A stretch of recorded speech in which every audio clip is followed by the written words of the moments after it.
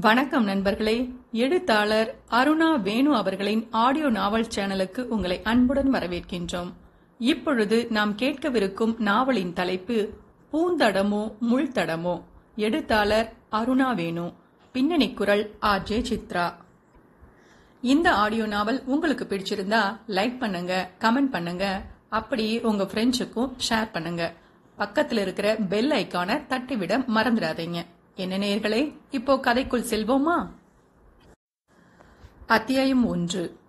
அம்மா என்ற அழகான மழலையின் அழைப்பில் அழுந்த மூடியிருந்த கண்களை சங்கமித்ரா மெதுவாக திறந்தாள். அவள் விழியோரம் அவளை அறியாமல் வழிந்திருந்த கண்ணீரை அவள் மகள் எப்போதும் போல் மெதுவாய் துடைத்து விட்டுக் கொண்டிருந்தாள். அம்மா அலறையா? என தன் மழலையில் குழந்தை கேட்க மகள்புறம் திரும்பி அவளை அழுத்தமாக அணைத்துக் கொண்டாள் சங்கமித்ரா. இல்லடா தாரா குட்டி தூக்கத்துல கண்ணீர் வந்துருச்சு போல. இன்னைக்கு என்ன பாப்பா சீக்கிரம் எழுந்துட்டீங்க? அதிசயமா இருக்கே. மகளின் நினைவுகளை மித்ரா மாற்றிவிட அவள் நினைத்தது போலவே குழந்தை மனமும் சட்டென மாறிவிட்டது. ம் ஸ்கூலுக்கு போலாம் டான்ஸ் ஆடலாமே என குதூகலத்துடன் அவள் அன்னை கழுத்தை கட்டிக்கொள்ள முகத்தில் உறைந்துவிட்ட புன்னகையுடன் தானும் மகளை அணைத்துக் கொண்டு அவளை கொஞ்சி தூக்கிக் கொண்டே எழுந்து அமர்ந்தாள் மித்ரா. படிக்க வேண்டுமென்றால் என்றாவது இப்படி ஓடியிருக்கிறாயடி? தாரா மூக்கை பிடித்து ஆட்டிக்கொண்டே மித்ரா கேட்க நான் நல்லா தனிமா படிக்கிறேன் என இடுப்பில் கை வைத்துக் கொண்டு அன்னையை முறைத்தது அந்த சிறிய வாண்டு. சிறு வார்த்தை கூட விட்டு கொடுத்து விடக்கூடாது ஆறு வயதில் மகளுக்கு இது அதிகப்படி அழுத்தம் தானோ என மித்ராவிற்கு அடிக்கடி தோன்றும். ஆனால் பிடிவாதமும் அழுத்தமும் அவள் ரத்தத்திலேயே கலந்திருக்கும் போது மித்ராவால் என்ன செய்துவிட முடியும்? நான் படிக்கலையாமா என மீண்டும் அழுத்தமாக ஒழித்த மகள் குரலில் நினைவுக்கு மீண்ட மித்ரா நீ சமத்து குட்டி தாண்டி அம்மா தான் தவறா சொல்லிட்டேன். சாரிடா என தன் காதை பிடித்து மன்னிப்பு கேட்க உடனடியாக சிரித்து அவளை அணைத்துக் கொண்டது குழந்தை.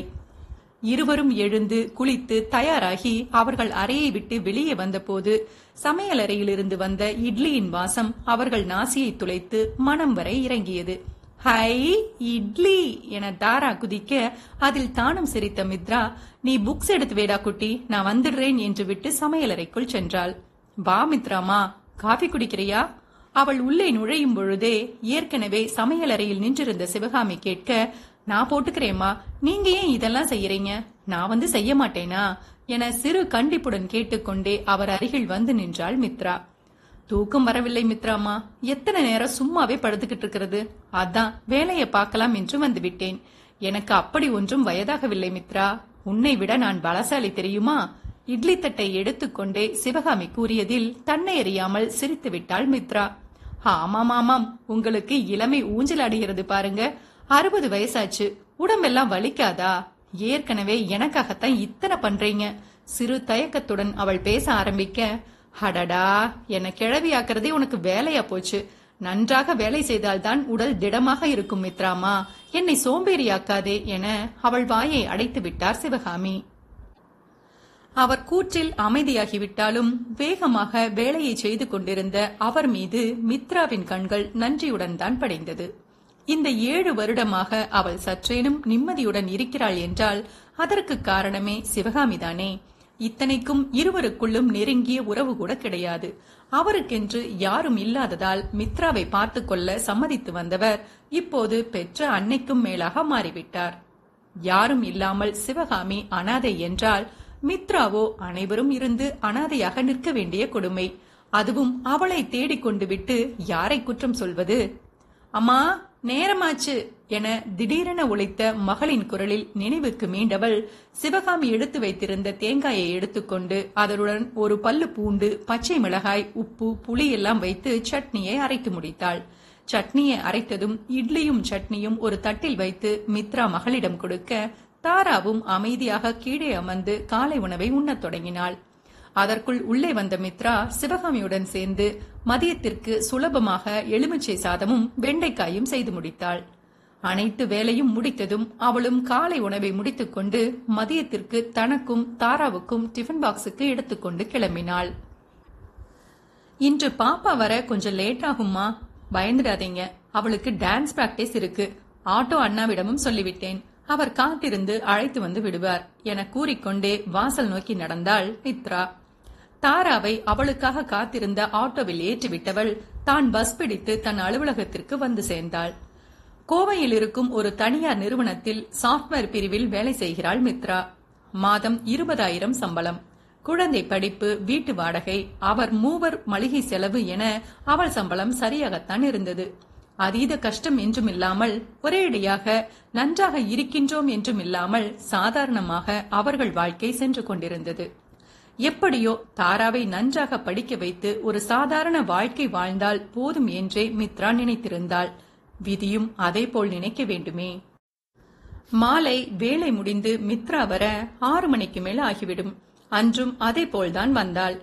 அவள் வந்தபோது தனக்கு எதிரில் இருந்த நோட்டை மூடிவிட்டு தாரா எழுந்து கொள்ள சரியாக இருந்தது. அதற்குள் ஹோம்ஒர்க் முடிச்சிட்டீங்களா குட்டி? என மித்ரா கேட்க முடிச்சாச்சே என கையை தட்டிக்கொண்டே எழுந்த தாரா சிவகாமி கொடுத்த ஆப்பிளை வாங்கிக் கொண்டு வீட்டிற்குள்ளேயே அவள் எப்போதும் ஓட்டி விளையாடும் பிளாஸ்டிக் வண்டியில் அமர்ந்து விளையாண்டு கொண்டே பொறுமையாக சாப்பிடத் தொடங்கினாள். உனக்கும் டீ வச்சிருக்கேன் மித்ராமா எடுத்துக்கோ என்று கூறிக்கொண்டே தாரா அருகில் அமர்ந்த சிவகாமி ஓய்வாக தொலைக்காட்சியை போட மித்ராவும் சரிமா என்று விட்டு குளியலறைக்குள் புகுந்து கொண்டாள். லேசாக குளித்து உடை மாற்றிக்கொண்டு தன் அறையில் இருந்த கண்ணாடி எதிரில் நின்று நெற்றியில் குங்குமம் வைத்துக் கொண்டிருந்தவள் காதில் சொல்லுங்க கிரிதரன் சார் என்ற குரல் விழ அவள் கைகள் தானாக அந்தரத்தில் நின்றுவிட்டது. அதைத் தொடர்ந்து என்னதான் சொல்லணும் உங்களுக்கு என அழுத்தமும் புன்னகையுமாக வந்து விழுந்த குரலில் தன்னை எறியாமல் அவள் கால்கள் குரல் வந்த திசை நோக்கி நடந்தது. ஹாலில் இருந்த டிவியிலிருந்துதான் அவள் மனதை பாதிக்கும் குரல் ஒலிக்கிறது என ஒருவாறு அவளுக்கு புரிய தன் அறை வாசலிலேயே நின்று டிவியை பார்க்கத் தொடங்கிவிட்டாள் மித்ரா. அவள் கண்கள் அங்கு டிவியில் க்ளோஸ் அப்பில் கால் மேல் கால் போட்டு அழுத்தமாக அமர்ந்திருந்தவன் மீதுதான் படிந்திருந்தது. எத்தனை மாற்றங்கள் இவனிடம் என அவள் மனம் கேள்வி கேட்டுக் கொண்டிருக்கும் பொழுதே டிவியில் அவனிடம் கேட்கப்பட்ட கேள்வி அவள் கவனத்தை கலைத்தது.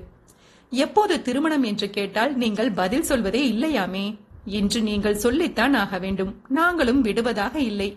யாரையாவது லவ் பண்றீங்களா? என பேட்டி எடுப்பவர் கேட்க அவன் முகம் ஒரு நொடி லேசாக சுருங்கியது. பின் ஏதோ நினைவில் புன்னகைத்தவன் எனக்கு திருமணம் ஆகவில்லை என்று உங்களுக்கு யார் சொன்னது? இப்படியெல்லாம் புரளியை கிளப்பி வைக்காதீங்க. எனக்கு திருமணமாகி பல வருடங்கள் ஆகிவிட்டது. தெளிவாக அவன் கூறிய பதிலில் பேட்டி எடுத்தவர் எப்படி உணர்ந்தாரோ இங்கு மித்ராவிற்கு இதயமே நின்றுவிட்டது போல இருந்தது. எதிர்பாராத பெரும் வழி. திடீரென இதயமெல்லாம் அடைத்துவிட்டது போல இருந்தது. அவள் கண்கள் அவள் அனுமதி இல்லாமலேயே தாரா மீது சென்று படிய அங்கு சிரித்து மகிழ்ச்சியாக விளையாண்டு கொண்டிருந்த குழந்தையை பார்த்தவளுக்கு மேலும் மனவழி அதிகமாகித்தான் தொலைத்தது. பல வருடங்கள் முன்பு அவளுக்கு இதேபோல் வழி ஏற்பட்டது. தோற்றுப்போன வழி அதை கடந்து வந்து விட்டதாக இத்தனை வருடம் இருமாப்பாக இருந்தாலே இப்போது ஏன் இப்படி வலிக்கிறது? இந்த பாழாய் போன மனம் மாறியே தொலையாதா? மாறித்தானே ஆக வேண்டும். யாருக்கும் வேண்டாத உணர்வுகளை சுமந்து கொண்டு என்ன செய்ய போகிறாள்? இந்த உணர்வுகளுக்கு அடிமையாகாதேன் மனமே. என வேகமாக அவள் மனதை அதட்ட அதுவோ அப்படியெல்லாம் இருக்க முடியாது என முறுக்கிக் கொண்டது போல் அவளுக்கு மூச்சடைக்க ஆரம்பித்தது. தேங்க்ஸ் ஆல் என மீண்டும் தொலைக்காட்சியில் இருந்து அவன் குரல் அவள் செவி தீண்ட அதற்கு மேல் முடியாமல் அங்கேயே மயங்கி சரிந்து விட்டாள் மித்ரா. அதுவரை அவள் சும்மா டிவி பார்த்து கொண்டு நிற்கின்றாள் என நினைத்துக் கொண்டிருந்த சிவகாமி அவள் மயங்கிச் சரிந்ததும் வேகமாக அவள் அருகில் ஓடினார். மித்ரமா மித்ரமா என்னாச்சுடா? அவளை உலுக்கி எழுப்ப முயன்றவர் பக்கத்தில் இருந்த சொம்பிலிருந்து நீரை எடுத்து வேகமாக அவள் முகத்தில் தெளிக்க மெதுவாக கண்களை திறந்தாள் மித்ரா. அவள் கண்களை திறக்கவும் தான் சிவகாமிக்கு உயிரே வந்தது போல இருந்தது. மித்ரமா என்ன பண்ணுதுடா? என சிவகாமி ஒரு புறம் பதட்டமாக கேட்க அம்மா அம்மா என தாராவும் ஒரு புறம் பதறிவிட்டாள். குழந்தை பயப்படுவதை உணர்ந்து முதலில் குழந்தையை வாரி அணைத்துக் கொண்டு எழுந்தமர்ந்தாள் மித்ரா. ஒன்னும் இல்லைம்மா கொஞ்சம் தலை சுற்றி விட்டது என மெதுவாக கூற இப்படி திடீரென்று மயங்கி விட்டாயே மித்ராமா? எனக்கு பயமா இருக்குடா. வா ஹாஸ்பிட்டல் போயிட்டு வந்துடுவோம் என அவர் எழுந்து கொள்ள முயற்சிக்க அவர் கையை பிடித்து அமர வைத்தாள் மித்ரா. இத்தனை டென்ஷன் ஆகும் அளவு ஒண்ணுமே இல்லைம்மா. இன்று கொஞ்சம் வேலை அதிகம். மதியம் சரியாக சாப்பிட முடியவில்லை. அதான் தலை சுற்றி விட்டது. இப்போ உங்க கையால போட்ட டீய குடிச்சா வலி ஓடியே போயிடும். இல்லையா குட்டி? தாராவையும் கூட்டு சேர்த்து நிலைமையை சரி செய்ய முயன்றாள் மித்ரா. ஆமாமா என தாராவும் கைதட்டி சிரிக்க ஆரம்பித்துவிட மித்ராவை ஒரு திருப்தியற்ற பார்வை பார்த்து கொண்டே சமையலறைக்குள் சென்றார் சிவகாமி. அவர் கண் மறைந்த பின் வாகாய் எழுந்து அமர்ந்து தாராவை தன் கைவளவிற்குள் வைத்துக் கொண்டவள் இன்னமும் வேகமாக துடித்து பயமுறுத்திய மனதை மிகவும் கடினப்பட்டு கட்டுப்படுத்திக் கொண்டாள். போதும் மனமே இது உன் வாழ்க்கை மட்டுமில்லை. உன்னை நம்பி ஒரு உயிர் இருக்கிறது. அதற்கான மதிப்பை நீ கொடுத்துத்தான் ஆக வேண்டும் என திடமாக மனதை கட்டுப்படுத்திக் கொள்ள முயன்றாள் மித்ரா. சில நிமிடங்களில் சிவகாமி கொடுத்த டீயை குடித்தவளுக்கு மனதளவில் தெம்பு இல்லாவிட்டாலும் உடல் கொஞ்சம் தெம்பானது போல்தான் இருந்தது. தம்பிய வேண்டும்னா ஒரு டைம் இங்க வர சொல்லலாமா மித்ராமா? என சிவகாமி மெதுவாக கேட்க ஐயோ அண்ணாவை இதற்கெல்லாம் தொந்தரவு பண்ணாதீங்கம்மா. அண்ணாவிடம் எதுவும் சொல்லவும் வேண்டாம். அவர் நிம்மதியை கெடுக்க வேண்டாம்மா. ப்ளீஸ். கெஞ்சலும் அழுத்தமுமாக மித்ரா கூறியதில் அவர் அந்த எண்ணத்தையும் கைவிடத்தான் வேண்டியிருந்தது. இரவில் எப்போதும் போல் குழந்தையை அணைத்துக் கொண்டு படுத்தவளுக்கு அன்று தாங்க மாட்டாமல் இதயம் கதறத்தான் செய்தது. என்ன முயன்றும் மாலை கேட்ட செய்தியை அவளால் மனதார சுத்தமாக ஏற்றுக்கொள்ள முடியவில்லை. அவ்வளவுதானா? எல்லாமே அவ்வளவுதானா? கடைசியில் அவள் இத்தனை பெரிய முட்டாளாகவா இருந்து விட்டாள் முட்டாள்தனம் என ஒதுக்கி தள்ளவும் முடியாமல் மனம் வேறு பதறி பதறி கதறி தொலைக்கிறதே. அன்றைய இரவு முழுவதும் தாங்க மாட்டாத வழியில் அவளுக்கு தூங்கா இரவாகத்தான் கழிந்தது. தாராவின் ஸ்பரிசமும் தூக்கத்திலேயே அன்னையை இறுக அணைத்துக் கொண்ட அந்த பிஞ்சின் கதகதப்பும் தான் அவளை தவறான எந்த முடிவும் எடுக்க விடாமல் தடுத்துக் கொண்டிருந்தது. கிரியங்க பத்மினி என தமிழரசன் குரல் கொடுக்க அவன் என்று இந்த நேரத்திற்கு வீட்டிற்கு வந்திருக்கின்றான். காலையிலேயே வெளியே போயாச்சு. இனி இரவுதான் வருவான். இப்படி போகாதே என்றால் உங்கள் பேரன் கேட்டுவிட்டுத்தான் மறுவேளை பார்ப்பானா? பேசாம போங்க என புலம்பிக் கொண்டே கணவருக்கு காலை உணவை பரிமாறினார் பத்மினி. மனைவியின் புலம்பலும் ஆதங்கமும் அவருக்கு புரியத்தான் செய்தது. விடு பத்மினி நாமும் எத்தனையோ முறை கேட்டு பார்த்து விட்டோம் வருடா வருடம் இந்த நாளில் அவன் வெளியே சென்று விடுவதுதானே. அவனும் மாறும் வழியை காணவில்லை. இந்த பழக்கமும் மாறும் வழியை காணவில்லை. எங்கேதான் போய் முடியப் போகிறதோ? என தானும் சலித்துக் கொண்டார் தமிழரசன். பெரியவர்கள் இருவரின் கவலைக்கும் காரணமான கிரிதரன் அதே மதுரையில் இருந்த ஒரு கோவிலில் ஒரு தூணில் சாய்ந்து அமைதியாக அமர்ந்திருந்தான். கோவிலுக்கு வரும் யாருக்கும் இடையூறு விளைவிக்காதவாறு ஒரு ஓரமாக அமர்ந்திருந்த அவன் கண்கள் என்னவோ பிரகாரத்தில் இருந்த கடவுள் மீதேதான் படிந்திருந்தது. காலையில் கோவில் திறக்கும் போது உள்ளே வந்து அமர்ந்தவன்தான். அந்த நொடியிலிருந்து அவன் பார்வை அங்குமிங்கும் நகரவே இல்லை. கண் சிமிட்டினானா இல்லையா என்று கூட அந்த கடவுளுக்கே வெளிச்சம். எத்தனை நேரம் அப்படியே அமர்ந்திருக்க முடியும்? அவனால் முடிந்தது. கிட்டத்தட்ட அன்று இரவு பூசாரி வந்து கதவை பூட்டணும் தம்பி என்று குரல் கொடுக்கும் வரை அவன் அங்கேயேதான் அமர்ந்திருந்தான். சுற்றி அனைவரிடமும் கோவிலை பூட்ட வேண்டும் என அவர் கொடுத்த குரலில்தான் ஒரு பெருமூச்சுடன் அவன் எழுந்தான். கடைசியாக ஒருமுறை கை கூப்பி எதையோ மனதார வேண்டிக் கொண்டவன் அமைதியாக வெளியே வந்துவிட்டான். கோவிலை விட்டு வெளியே வந்தவன் வீட்டை நோக்கி மெதுவாக நடக்கத் தொடங்க பாதி தூரம் அவன் வந்து கொண்டிருந்த போதே மழை முழு வேகத்துடன் பொழியத் தொடங்கியது. தலையில் வேகமாக விழுந்த மழை துளிகளை ஒருமுறை எந்த உணர்வும் அற்று நிமிர்ந்து பார்த்து கொண்டவன் அதை பற்றி எந்த கவலையும் இல்லாமல் தலையை கோதிக்கொண்டு பொறுமையாக நடந்தான். தன் வீட்டிற்கு வரும் வழியில் இருந்த வேறொரு வீட்டை கடக்கும் போது ஒரு நொடி அவன் கால்கள் தானாக நின்றது. அந்த வீட்டை தாண்டி செல்லும் முன் அவன் நடையின் வேகம் மேலும் குறைந்தது. மிக மெதுவாக அந்த வீட்டை கடந்தவன் கண்கள் எப்போதும் போல் அழுத்தமும் ஆராய்ச்சியுமாக அந்த வீட்டில் படிந்து ஏமாற்றத்துடன் மீண்டது. ஒருவாறு அவன் தன் வீட்டை அடைய அவனுக்காக தமிழரசனும் பத்மினியும் வாசலிலேயே காத்திருந்தனர். கொட்டும் மழையில் நனைந்து கொண்டு பொறுமையாக வந்த பேரனை பார்த்ததும் என்னடா இது? இப்படியே வருகிறாய்? ஒரு ஆட்டோ பிடித்து வருவதற்கென்ன? என கடிந்து கொண்டே பத்மினி வேகமாக தன் புடவையால் அவன் தலையை துவட்ட பக்கத்தில் வந்ததும் திடீர்னு மழை பிடிச்சிருச்சு பாட்டி. அதான் அப்படியே வந்துட்டேன். வாங்க நான் ட்ரெஸ் சேஞ்ச் பண்ணிட்டு படுக்கிறேன். நீங்களும் போய் தூங்குங்க. நேரம் ஆயிடுச்சே என தெளிவாக பொய் உரைத்து விட்டு அதிகம் நிற்காமல் தன் அறைக்குள் புகுந்து கொண்டான் கிரிதரன்.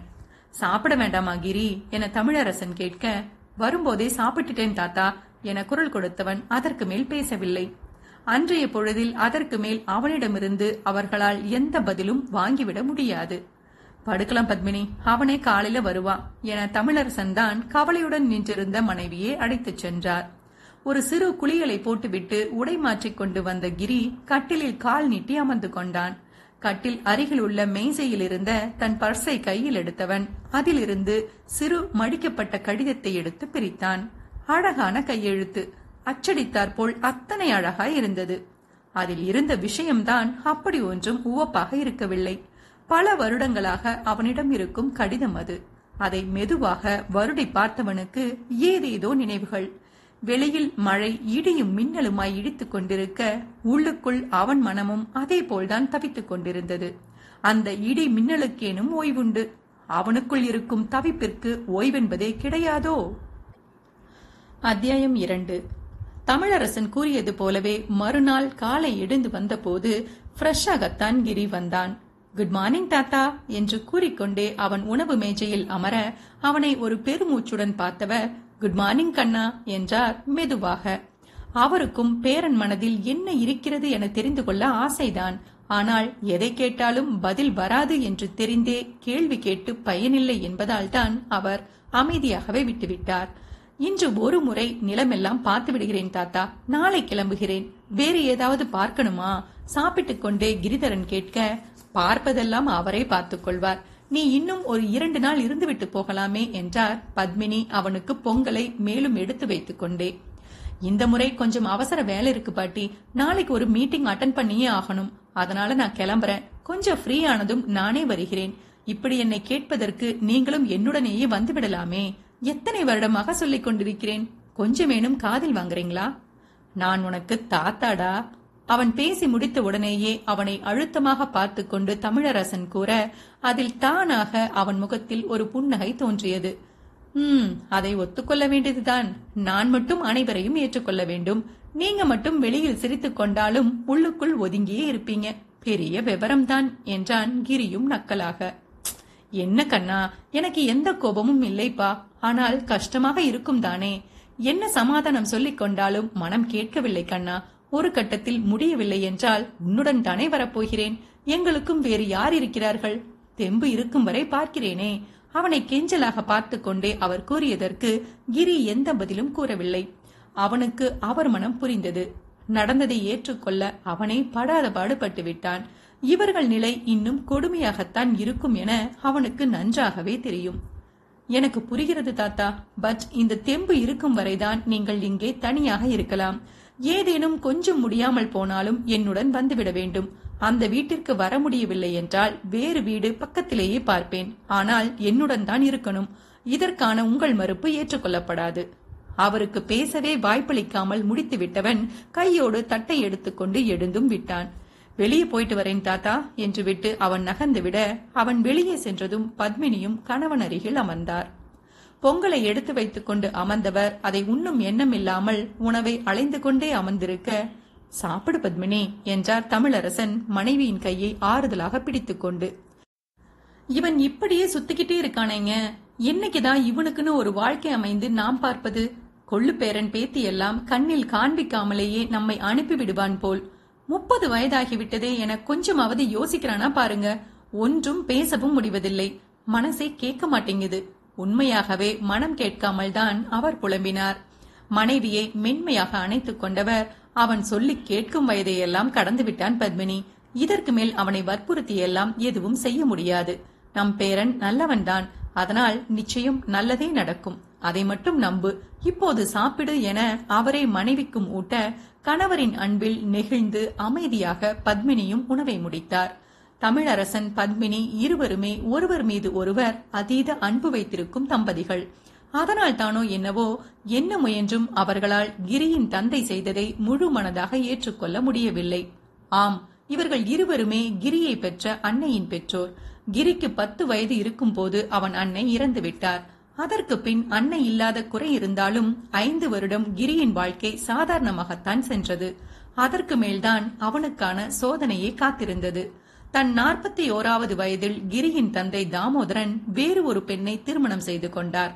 ஏனோ அதை கிரியால் சுத்தமாக ஏற்றுக்கொள்ளவே முடியவில்லை. அவர் திருமணம் செய்து கொண்ட ராகவியும் கணவனை இழந்தவர்தான். இருவரும் பக்கத்து பக்கத்து வீட்டில் இருந்ததால் சிறு வயதில் நல்ல பழக்கம். இப்போது இருவரும் வாழ்க்கை இழந்து நிற்கும் போது ஒருவருக்கொருவர் ஆறுதலாக திருமணம் செய்து கொண்டோம். இது கிரியை நிச்சயம் பாதிக்காது என தாமோதரன் எத்தனையோ கூறினார்தான். ராகவியும் மிகவும் நல்ல பெண்தான். தாமோதரன் திருமணம் செய்து கூட்டி வந்தபோது அவருக்கு முப்பத்தி இரண்டு வயதாகி இருந்தது. கிரியை அன்னையாய் மடிதாங்கத்தான் தயாராக இருந்தார். ஆனால் நன்றாக விவரம் தெரிந்துவிட்ட வயதில் அன்னையிடத்தில் வேறு யாரையுமே வைத்து பார்க்க கிரியால் சுத்தமாக முடியவில்லை. இதை கிரி பத்மினி தமிழரசனிடம் கூறி தன்னை அவர்களுடன் அழைத்து போகுமாறு அடமாக கூறிவிட்டான். அன்று முதல் இன்று வரை அவன் ஒன்றை அழுத்தமாக நினைத்துவிட்டால் அவ்வளவுதான். அதை மாற்றவெல்லாம் யாராலும் முடியாது. அன்றும் யார் கெஞ்சி எதையும் காதில் வாங்காமல் தாத்தா பாட்டியுடன் கிளம்பிவிட்டான். பத்மினி தமிழரசனுக்கு தாமோதரன் ராகவி மேல் கோபம் இல்லாவிட்டாலும் அவர்களுடன் ஒட்டவும் இவர்களால் முடியவில்லை. அங்கேயே இருக்கச் சொல்லி அவர்களும் கிரியிடம் சொல்லி பார்த்தனர். அந்த வயதிலேயே என்னால முடியல தாத்தா. உங்களுடன் வரவா? இல்லை வேறு எங்காவது நானே போய்விடவா என தெளிவாக கேட்டு அனைவரையும் அதிர வைத்து கிளம்பியவன் அவன். அப்போது வந்தவன் அடுத்து தாமோதரன் இறந்த பின்தான் அந்த வீட்டு பக்கமே சென்றான். அதுவும் வேறு வழி இல்லாமல் தான். கோடி கோடியாக கொட்டி கிடக்கும் தொழிலை ரோட்டிலா போட முடியும்? தாமோதரன் தான் அனைத்தையும் பார்த்து கொண்டிருந்தார். அவருக்கு பின் பொறுப்பு கிரி கையில் தானாக வந்தது. எங்களுக்கும் யாரு இல்ல கிரி? பெண் பிள்ளையை வைத்துக் கொண்டு நான் தனியாக என்ன செய்வேன்? இனியாவது எங்களுடன் இருப்பா? நீயும் இல்லை என்றால் நானும் பாப்பாவும் உன் அப்பாவுடன் போய்விடுவோம் என ராகவி அழுதபோது அவனால் அதற்கு மேல் ஒதுங்கி இருக்க முடியவில்லை. அதற்குள் வாழ்வில் அவன் நிறையவே பக்குவப்பட்டிருந்தான். தன் பிடிவாதத்தால் இழந்த வழிகள் அவனுக்குள்ளும் இருந்ததால் அதற்கு மேல் அவன் பிடிவாதம் பிடிக்கவில்லை. முக்கியமாக பெரும் ஐந்தாம் வகுப்பே படித்துக் கொண்டிருந்த சிறு பெண்ணை தங்கை என்றும் சாணத்தில் வைத்து பார்த்துவிட்டு அப்படியே விட்டுவிட்டு போக அவனுக்கு மனம் வரவில்லை. எப்படியோ ஒரு வழியாக மீண்டும் தன் வீட்டிற்கே சென்று விட்டான் கிரிதரன். கடந்த ஐந்து வருடமாக அங்கேதான் இருக்கிறான். அனைத்து தொழிலும் அவன் பொறுப்பில்தான் இருந்தது. வீட்டிலும் ராகவியிடமும் தங்கை துர்காவிடமும் அவனுக்கு ஒருவித அன்பு ஏற்பட்டிருந்தது. என்னதான் அவனுடன் அமர்ந்து பெரிதாக பேசிவிட முடியாது என்றாலும் அக்கறை அன்பு என்னும் நூலில் அவர்களின் உறவு பாலம் வலிமையாகத்தான் இருந்தது. மறுநாள் சொன்னது போலவே கிளம்பி கிரிதரன் சென்னை வந்து விட்டான். காலையில் வந்தவன் ஃப்ரெஷ் ஆகி நேரடியாக கம்பெனிக்கு சென்று விட்டான். கிரிதரன் இண்டஸ்ட்ரீஸ் சிட்டியில் உள்ள மிகப்பெரிய லெதர் ப்ராடக்ட்ஸ் தயாரிக்கும் நிறுவனம். Belt handbag car seat school bag இன்னும் அனைத்து வகையான லெதர் பொருட்களும் தயாரித்து விற்பனையும் ஏற்றுமதியும் செய்து கொண்டிருந்தனர். அன்றிருந்த முக்கிய மீட்டிங்கை முடித்துக்கொண்டு வேலைகளையும் பார்த்துவிட்டு கிரிதன் வீட்டுக்கு வரவே இரவாகிவிட்டது. இரவு உணவை முடித்துவிட்டு எழுந்தவனிடம் அண்ணா எனக்கு இந்த சம் புரியல. ஹெல்ப் பண்ணுங்களேன் என துர்கா வந்து நிற்க வாடா என கூறிக்கொண்டே அவளுடன் அமர்ந்து விட்டான் கிரி. ஹால் சோஃபாவில் அமர்ந்து இருவரும் படித்துக் கொண்டிருக்க நான் ஒன்னு கேட்கணும் கிரி என்றார் ராகவி மெதுவாக. சொல்லுங்க சித்தி என அவர் புறம் நிமிராமலேயே கிரி கேட்க கொஞ்சம் பெரிய விஷயம் கிரி. சீரியஸா பேசணும்பா என்றார் அவர் மெதுவாக. அவர் குரலில் இருந்த குழப்பமும் பதட்டமும் ஏதோ உணர்த்த முகம் சுருங்க அவர் புறம் திரும்பினான் கிரி. அவர் குரலைப் போலவே முகமும் கலங்கி இருப்பதை உணர்ந்தவன் ஒரு நிமிடம் சித்தி என்று விட்டு துர்காவிற்கு சொல்லிக் கொடுத்துக் கொண்டிருந்ததை முழுதாக முடித்தான். இத ட்ரை பண்ணுடா நான் வரேன் என்றவன் அவளிடம் நோட்டை கொடுத்துவிட்டு இப்போது ராகவிபுரம் முழுதாக திரும்பினான். இருவரும் எழுந்து சற்று தள்ளி இருந்த உணவு மேஜையில் வந்து அமர்ந்து கொண்டு பேசினர். டிவியில உன் பேட்டி பார்த்தங்கிரி அதில் நீ திருமணம் ஆகிவிட்டது என்று சொல்லி வைத்திருக்கிறாய். ஏன்பா அப்படி சொன்னாய்? அவன் பதில் சொல்லுவானோ மாட்டானோ என்ற தவிப்பிருந்தாலும் கேட்காமலும் இருக்க முடியாது என்பதால் தான் அவர் கேட்டார். அவனோ ஒரு நொடி அவரை அமைதியாக பார்த்துவிட்டு உண்மையைத்தான் சொன்னேன் சித்தி என்றான். அழுத்தமாக அவன் கூற்றில் அவருக்கு உண்மையாகவே பெரும் அதிர்ச்சி. இத்தனை நாள் திருமண பேச்சைத்தான் எடுக்க விடமாட்டேன் என்கின்றான் என்று பார்த்தால் அவன் இப்படி ஒரு குண்டை தூக்கி போட்டால் அவரும் என்னதான் செய்வார்? என்ன சொல்ற கிரி? எனக்கு நிஜமாவே புரியலப்பா. முகம் முழுக்க குழப்பமும் தவிப்புமாய் கேட்டவரை ஒரு ஆழ்ந்த மூச்செடுத்துக் கொண்டு பார்த்தவன் நான் பேட்டியில சொன்னது உண்மைதான் சித்தி. எனக்கு திருமணம் முடிந்து விட்டது அண்ட் என் வாழ்வில் திருமணம் ஒரு முறைதான். அது முடிந்தாயிற்று. இனி அதை பற்றி எந்த பேச்சும் வேண்டாம். அவருக்கு தன் வார்த்தைகள் வலிக்கும் என்று தெரிந்தாலும் அவனுக்கு வேறு வழி இருக்கவில்லை. அதை சொல்லித்தானே ஆக வேண்டும். ஒரு நொடி அவர் முகமும் வருத்தத்தில் சுருங்கித்தான் போயிற்று. முகம் இருக அமர்ந்திருந்தவரை பார்த்து அவனுக்கும் கஷ்டமாக இருந்திருக்க வேண்டும். சித்தி ஒவ்வொருவர் வாழ்க்கையும் தனிப்பட்டது. அவரவர் வாழ்க்கையில் அவரவர்தான் முடிவெடுக்க வேண்டும். நான் என் வாழ்க்கை முடிவை மட்டும்தான் கூறினேன். அதற்காக மற்ற முடிவெடுத்த அனைவரும் தவறென்று அர்த்தமில்லை. தேவையில்லாமல் எதுவும் யோசிக்காதீங்க. நிதானமாக கிரி கூறியதில்தான் ஒருவாறு அவர் சுய நினைவிற்கே மீண்டார். ஆம் இப்போது அவர் வாழ்க்கையா முக்கியம்? அதுதான் முடிந்து போன விஷயமாச்சே. பிரச்சனை அவன் வாழ்வை பற்றியதல்லவா? எப்போது திருமணம் செய்து கொண்டாய் கிரி? அந்த பெண் எங்கேப்பா? என்னிடம் சொல்லக்கூடாதா? அவன் சொல்ல மாட்டான் என்று தெரிந்திருந்தாலும் ஒரு நப்பாசையில்தான் அவர் கேட்டு பார்த்தார். கிட்டத்தட்ட அவர் எதிர்பார்த்த பதில்தான் கிடைக்கவும் செய்தது. சொல்லக்கூடிய சந்தர்ப்பம் அமையுமா என்று தெரியவில்லை சித்தி. அமைந்தால் நிச்சயம் சொல்கிறேன் என அவன் முடிக்கும் போதே அண்ணா என துர்கா குரல் கொடுத்துவிட தங்கையிடம் எழுந்து சென்று விட்டான் கிரிதரன். அதே பேட்டியை பார்த்துவிட்டு அவனுக்கு அழைத்து பதட்டத்துடன் கேள்வி கேட்ட தமிழரசன் பத்மினிக்கும் அதே பதில்தான் அவனிடமிருந்து கிடைத்தது. பெண் எங்கிருக்கிறாள் என்றாவது சொல்லுடா என போனிலேயே பத்மினி கெஞ்சிய போது தெரியாது என உணர்வுகளற்ற குரலில் அவன் கூறிய பதிலில் கடைசியில் அவர்கள் குழம்பித்தான் நிற்க வேண்டியிருந்தது. தங்கள் மனக்கசப்புகளையெல்லாம் மீறி ராகவி பத்மினி தமிழரசன் மூவரும் கூட இணைந்து பேசி பார்த்து விட்டனர். யாருக்கும் ஒன்றும் தெரியவில்லை. கிரிதரனோ கேட்கவே வேண்டாம். அவனிடமிருந்து ஒற்றை வார்த்தை கூட அவன் நினைக்காமல் வாங்கிவிட முடியாது. அவனிடம் சற்று உரிமையுடன் பேசுவதே தமிழரசன் மட்டும்தான். என்ன நடந்ததென்றாவது சொல்லேன் கிரி என அவர் கெஞ்சி கேட்டபோது கூட என் பர்சனல் வாழ்க்கையில் யாரும் தலையிடாதீங்க தாத்தா ப்ளீஸ் என தெளிவாக மறுத்துவிட்டான் கிரி. அத்துடன் விட்டுவிடுவார்கள் என்றுதான் அவன் எதிர்பார்த்தான். ஆனால் அப்படி விட்டுவிட அவர்கள் தயாராக இல்லை போல். என்ன இருந்தாலும் அவன் வாழ்க்கை என்று வரும்போது கையை கட்டிக்கொண்டு வேடிக்கை பார்க்க முடியாதே அவன் பாட்டிற்கு திடீரென திருமணம் ஆகிவிட்டது என்று பேட்டி கொடுத்துவிட்டு இவர்களிடமும் அதையே கூறினால் அவர்களும் என்னவென்று அதை எடுத்துக்கொள்வது ராகவி ஒரு பக்கம் போனில் தமிழரசனிடம் எனக்கு பயமா இருக்குப்பா என அழுதே விட நீ அழாதமா நானே வருகிறேன் என அவரை சமாதானம் செய்தவர் அடுத்த நாளை பத்மினியுடன் கிளம்பி வந்தும் விட்டார். கிரி கொடுத்த பேட்டி அவன் ஊரிலிருந்து வந்த அன்று மாலைதான் ஒளிபரப்பாகி இருந்தது. அதனால் தான் இத்தனை குழப்பம். இல்லை என்றால் அங்கேயே அவனிடம் பேசியிருப்பார்கள். காலை அலுவலகத்திற்கு தயாராகி கீழே வந்த கிரிதரனுக்கும் அந்த வீட்டில் தமிழரசனையும் பத்மினியையும் பார்த்து சற்றே ஆச்சரியமாகத்தான் இருந்தது. என்ன தாத்தா நான் கூப்பிட்ட போதெல்லாம் அடம் பிடித்து விட்டு இப்போது நீங்களே வந்து விட்டீர்களே? என்ன மாயம்? கிண்டலாக கேட்டுக்கொண்டே அவர்கள் எதிரில் அவன் அமர எல்லாம் உன்னாலதாண்டா என்ன செஞ்சு வச்சிருக்க? நீ பாட்டிற்கு திருமணம் ஆகிவிட்டது என்று பேட்டி கொடுத்துவிட்டு எங்களிடமும் எதுவும் சரியாக சொல்ல மாட்டேன் என்கின்றாய். கொஞ்சம் தெளிவாக சொல்லுகிறீ. எந்த மேல்பூச்சும் இல்லாமல் அவர் நேரடியாக கேட்டுவிட அவனோ மீண்டும் இதே கேள்வியை கேட்கவா இத்தனை தூரம் வந்தீங்க? என்றான் அசால்ட்டாக. அவன் கூற்றில் உள்ளுக்குள் தோன்றிய அதிர்ச்சியை மறைத்துக் கொண்டு அவனை பார்த்த தமிழரசன் ஆமாம் என தானும் அழுத்தமாக கூற அவரை கொஞ்சமும் குறையாத அழுத்தத்துடன் பார்த்து கொண்டே நிதானமாக எழுந்தவன் கடைசியாக உங்க மூவருக்குமே சேர்த்தே சொல்கிறேன். நல்லா கேட்டுக்கோங்க. எனக்கு கல்யாணம் முடிந்து விட்டது இந்த பிறவியில் எனக்கான திருமண வாழ்க்கை முடிந்தாயிற்று. என் மனைவி எங்கே என்று எனக்கு இப்போது தெரியாது. அவளுடன் வாழும் வாய்ப்பு கிடைத்தால் மட்டும்தான் எனக்கு மீண்டும் திருமண வாழ்க்கை. இல்லை என்றால் அவ்வளவுதான். இதற்கு மேல் நீங்கள் எப்படி கேட்டாலும் ஒரு பதிலும் கிடைக்காது. சோ தேவையில்லாமல் எந்த ஸ்ட்ரெயினும் பண்ணாமல் ரெஸ்ட் எடுங்க. பாய் என தெளிவாக கூறியவன் வா துர்கா என பள்ளி உடையில் தயாராகி நின்ற தங்கையை அழைத்துக் கொண்டு சென்று விட்டான். அவனை பற்றி நன்கு அறிந்த ராகவி பத்மினி தமிழரசன் மூவருக்குமே இனி அவனிடம் பேசி பிரயோஜனம் இருக்காது என தெளிவாக புரிந்தது. இப்போது என்னப்பா செய்வது? தவிப்புடன் ராகவி கேட்க வேடிக்கை பார்ப்பதைத் தவிர நமக்கு வேறு எந்த வழியும் அவன் விட்டு வைக்கவில்லையம்மா என்று தமிழரசன் கசப்பாக கூறினார். அத்தியாயம் மூன்று. எப்போதும் போல் மாலை நேரத்தில் ஹோம்ஒர்க் நோட் எடுத்துக்கொண்டு அமர்ந்த தாரா அம்மா அம்மா என கத்த அப்போதுதான் வீட்டிற்குள் வந்திருந்த மித்ரா வாரேண்டா குட்டி என குரல் கொடுத்து கொண்டே முகத்தை துடைத்துக் கொண்டு மகளிடம் வந்து அமர்ந்தாள்.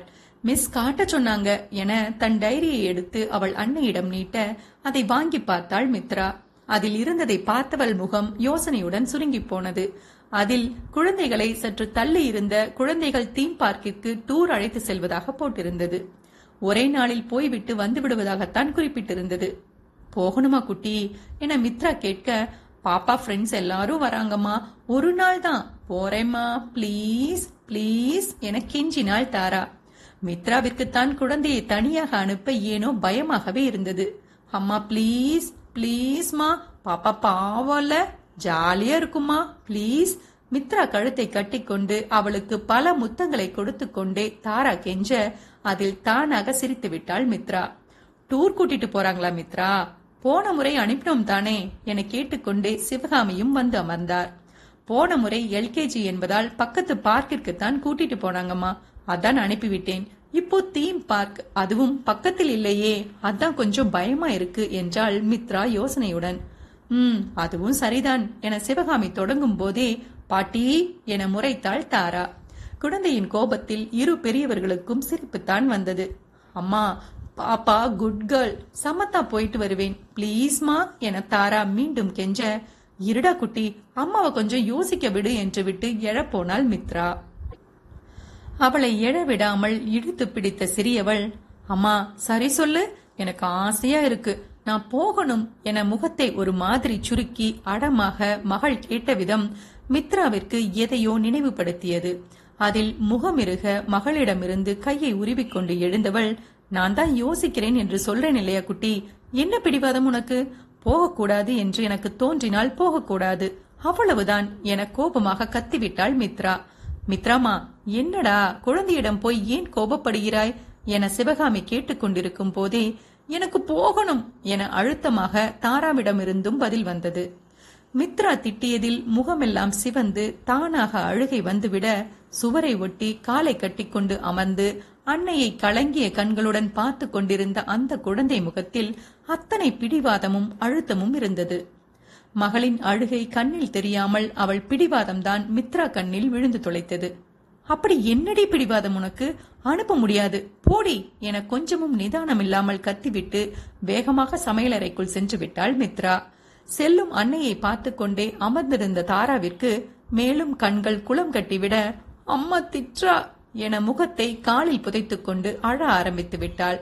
குழந்தையை அப்படியே தூக்கி மடியில் வைத்துக்கொண்டு சிவகாமிதான் சமாதானம் செய்தார். அழக்கூடாது குட்டிமா நீங்க குட் கேர்ள் இல்லையா? அம்மா தான் யோசிக்கிறேன் என்று சொல்றாங்க இல்லையா பாப்பா அம்மாவுக்கு யோசிக்க நேரம் கொடுத்திருந்தால் அம்மாவே அனுப்பியிருப்பாங்கடா. அதற்குள் பிடிவாதம் பிடிக்க கூடாது செல்லம். அதான் அம்மாக்கு கோபம் வந்துருச்சு. அம்மாவும் பாவம் தானே. காலையிலிருந்து வேலை பார்த்துட்டு வர்றாங்க. பாவண்டா குட் கேர்ளா இருக்கணும்டா குட்டி. குழந்தை முதுகை நீவிக்கொண்டே மெதுவாக சிவகாமி கூற ஏதோ புரிந்தது போல் பாட்டியை நிமிர்ந்து பார்த்தாள் தாரா.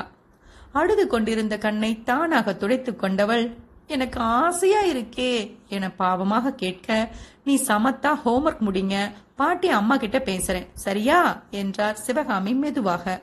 விடுவாங்களா? தன் விஷயத்திலேயே குழந்தை குறியாக இருக்க நான் சொல்லி பாக்குறேன் குட்டிமா. ஆனால் நீங்க அழுது அடம்பிடிக்க கூடாது. அது கெட்ட பழக்கம் சரியா? தாராவை கீழே அமர வைத்துவிட்டு அவள் கண்களை துடைத்து விட்டு கொண்டே சிவகாமி கூற ம் சரி என தலையை உருட்டியது குழந்தை.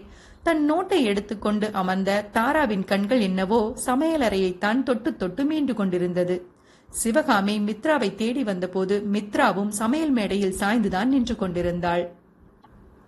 கைகளை இறுக மூடி உதடு துடிக்க ஏதோ குற்ற உணர்வை கட்டுப்படுத்த போராடிக் கொண்டு அவள் நிற்க என்ன ஆச்சு மித்ரமா உனக்கு? குழந்தையிடம்தான் உன் கோபத்தை காட்டுவதா? என சிறு கண்டிப்புடன் கேட்டுக்கொண்டே அவளிடம் வந்தார் சிவகாமி. அவளும் என்னதான் செய்வாள்?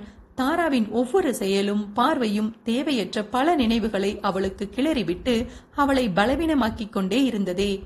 இந்த அடம் அழுத்தம் அனைத்தும் ஒரு காலத்தில் அவள் ரசித்து பின் வெறுத்து இப்போதோ மொத்தமாக இழந்தே விட்ட விஷயமாகிவிட்ட பின்பும் இந்த மனதிற்கு என்னதான் பிரச்சனை என்று அவளுக்கே புரிந்து தொலையவில்லையே. மித்ராமா என சிவகாமி அவளை பிடித்து உலுக்கியதில் அவள் கண்களில் தேங்கி இருந்த கண்ணீர் வேகமாக வெளியேறி அவளை நினைவுலகிற்கு மீட்டு வந்தது. ஒருவாறு பல்லை கடித்து உணர்வுகளை கட்டுப்படுத்திக் கொண்டு நிமிர்ந்தவள் சாரிமா ரொம்ப கத்திட்டேனா? என்றாள் மெதுவாக. ஆமாடா நீ பாப்பாவிடம் கோபமே படமாட்டாயே. பாவம் குழந்தை முகம் வாடி போச்சு. என்னாச்சு மித்ராமா? நீ ஏதோ சரியில்லடா. அவள் தலையை வாஞ்சையுடன் கோதிக்கொண்டே சிவகாமி கேட்க ஏதோ தேவையில்லாத நினைவுகள்மா அதை குழந்தையிடமும் காட்டியிருக்க கூடாதுதான். நான் சமாதானம் செய்கிறேன்மா என்றவள் அங்கிருந்த சிங்கில் நீர் பிடித்து நன்றாக முகத்தை அலம்பிக் கொண்டு அதனுடன் தன் நினைவுகளையும் புதைத்து விட்டாள் மீண்டும் தாராவிடம் வந்து அமர்ந்தவள் அவளை மடியில் தூக்கி வைத்துக் கொண்டு சாரி குட்டி அம்மா ஏதோ நினப்புல கத்திக்கேன் என அவளை கொஞ்ச பரவாயில்லம்மா அப்ப நான் போகலாமா? என ஓரக்கண்ணால் அவளை பார்த்து கொண்டே விடாமல் தன் தேவையை கேட்டது அந்த பாண்டு. அவள் செயலில் மீண்டும் முரண்டிய மனதை கடினப்பட்டு அடக்கிய மித்ரா வெளியில் மென்மையாக புன்னகைத்து மகளை அணைத்துக் கொண்டாள். போயிட்டு வாடா குட்டி அம்மா எதற்கும் உன் மிஸ்ஸிடம் பேசிவிடுகிறேன். நீ பத்திரமா போகணும். அடுத்த வாரம் தானே பேசாமல் நானும் லீவ் போட்டு விடுகிறேன். பாதியை மகளிடம் கூறியவள் மீதியை தனக்குள்ளேயே கூறிக்கொண்டாள்.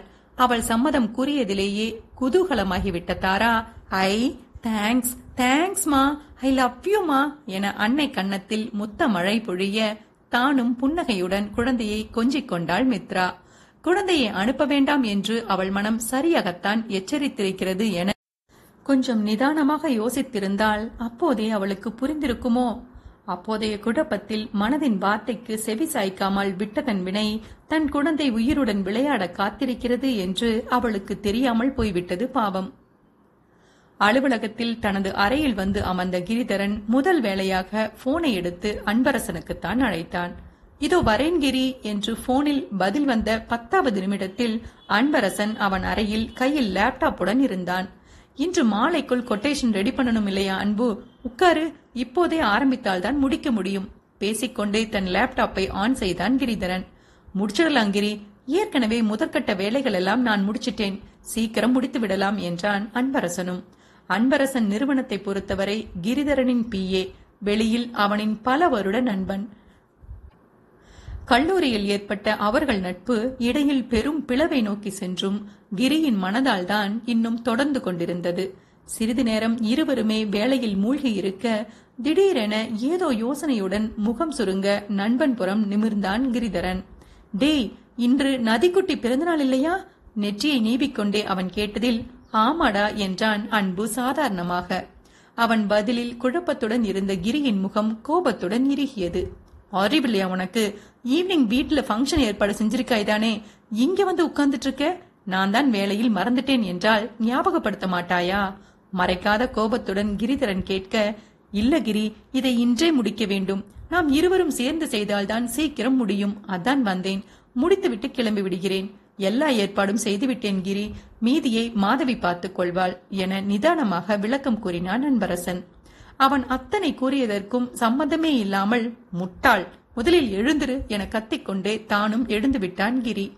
அவன் எழுந்ததில் வேறு வழி இல்லாமல் தானும் எழுந்து நின்ற அன்பு கோபப்படாதடா முடிச்சிட்டு கிளம்பிடலாம் என மெதுவாக கூற அவனுக்கு எதிரில் வந்து நின்ற கிரி உனக்கு எத்தனை முறை சொல்வது அன்பு? மனைவியும் குழந்தையும் தான் முதல்.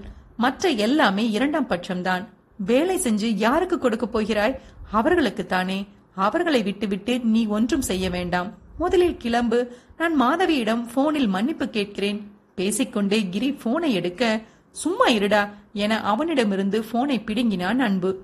எனக்கு அவர்கள் எத்தனை முக்கியமோ அதே போல் நீயும் முக்கியண்டா? மெதுவாக அன்பு கூற இது நட்பா? குற்ற உணர்வு அன்பு? என்றான் கிரி நிதானமாக கையை கட்டிக்கொண்டு. குற்ற உணர்வு இல்லை என்று அவனால் பொய் சொல்ல முடியாதே. அப்படியே கூறினாலும் கிரி சுலபமாக கண்டு கொள்வான். எந்த பதிலும் கூறாமல் அன்பு அமைதியாகவே நிற்க என்னை பார் என்றான் கிரி அழுத்தமாக. தயக்கத்துடன் அன்பு நிமிர்ந்து அவனை பார்க்க உனக்கு இத்தனை வருடமாக நான் பல முறை சொல்லிவிட்டேன் அன்பு. என் வாழ்க்கை என் பாவங்களுக்கு நான் தான் பொறுப்பு. வேறு யாருமே இல்லை. அதிலும் நீ சுத்தமாக இல்லை. என் மேல் இருந்த அக்கறையில் கூறிய ஒற்றை வார்த்தைக்கு இன்று வரை நீ பரிகாரம் செய்ய போராடுவது முட்டாள்தனம். இதுதான் உனக்கு நான் கடைசியாக சொல்வது அன்பு. இனியும் நடந்து முடிந்ததில் உன் தவறு இருக்கிறது என்று நினைத்து இதுபோல் முட்டாள்தனங்கள் நீ செய்தால் உன் நட்பை முழுதாக உதரவும் நான் தயங்க மாட்டேன். நிறுத்தி நிதானமாக கூறியவன் சொன்னதை செய்யவும் கூடியவன் என்பதால் அவனை வேதனையுடன் பார்த்தான் அன்பு. மன்னிச்சிடு கிரி என மெதுவாக கூறியவன் வேறு எந்த வாக்கும் கொடுக்கவில்லை. என்னதான் கிரி மீண்டும் மீண்டும் அவன் மேல் தவறில்லை என அழுத்தமாக கூறினாலும் கண்ணுக்கு நேர் கிரி தனியாக நிற்பதை பார்க்கும் ஒவ்வொரு நொடியும் அவனுக்கு வலிக்கத்தான் செய்தது. கிரியிடம் அத்தனை நெருங்கி அவன் உறவுகளே பழக முடியாத போது ஓரளவேனும் அவனிடம் நெருங்கி இருக்கும் அன்பிற்கு அவனின் வழிகள் நன்றாகவே தெரியும். வெளியில் எப்படி இருந்தால் என்ன? உள்ளுக்குள் அவன் இதயம் நொறுங்கித்தான் சுற்றிக் கொண்டிருக்கின்றான் என்று அன்புக்கு நன்றாகவே தெரியுமே. கிளம்புகிறாயா? மீண்டும் அழுத்தத்துடன் ஒழித்த கிரியின் குரலில் அவனை பார்த்தவன் போறேண்டா ஈவினிங் வந்து விடுவாய்தானே? என அன்பு கேட்க கண்டிப்பா நதிக்குட்டியை பார்க்க வராமலா? நிச்சயம் வருகிறேன் என்றான் கிரி சிறு புன்னகையுடன். என்றுமே கண்களை எட்டாத புன்னகை. வெளிப்படையாக அவனிடம் வருத்தத்தை கூட காட்ட முடியாது. கோபத்தில் துரத்தினாலும் துரத்தி விடுவான். வேறு வழி தெரியாமல் அமைதியாக கிளம்பி சென்று விட்டான் அன்பரசன். மாலை சொன்னது போலவே கிரிதரன் அன்பரசன் வீட்டிற்கு சென்றான். அன்பரசன் வீடு ஒரு சாதா அபார்ட்மெண்டில் இருந்த இரண்டு படுக்கையறை கொண்ட பிளாட் அவன் வீட்டில் அவன் அவன் மனைவி மாதவி மகள் நதியா மட்டும்தான். நதியாவின் இரண்டாம் வயது பிறந்த நாளிற்குத்தான் கிரி வந்திருந்தான்.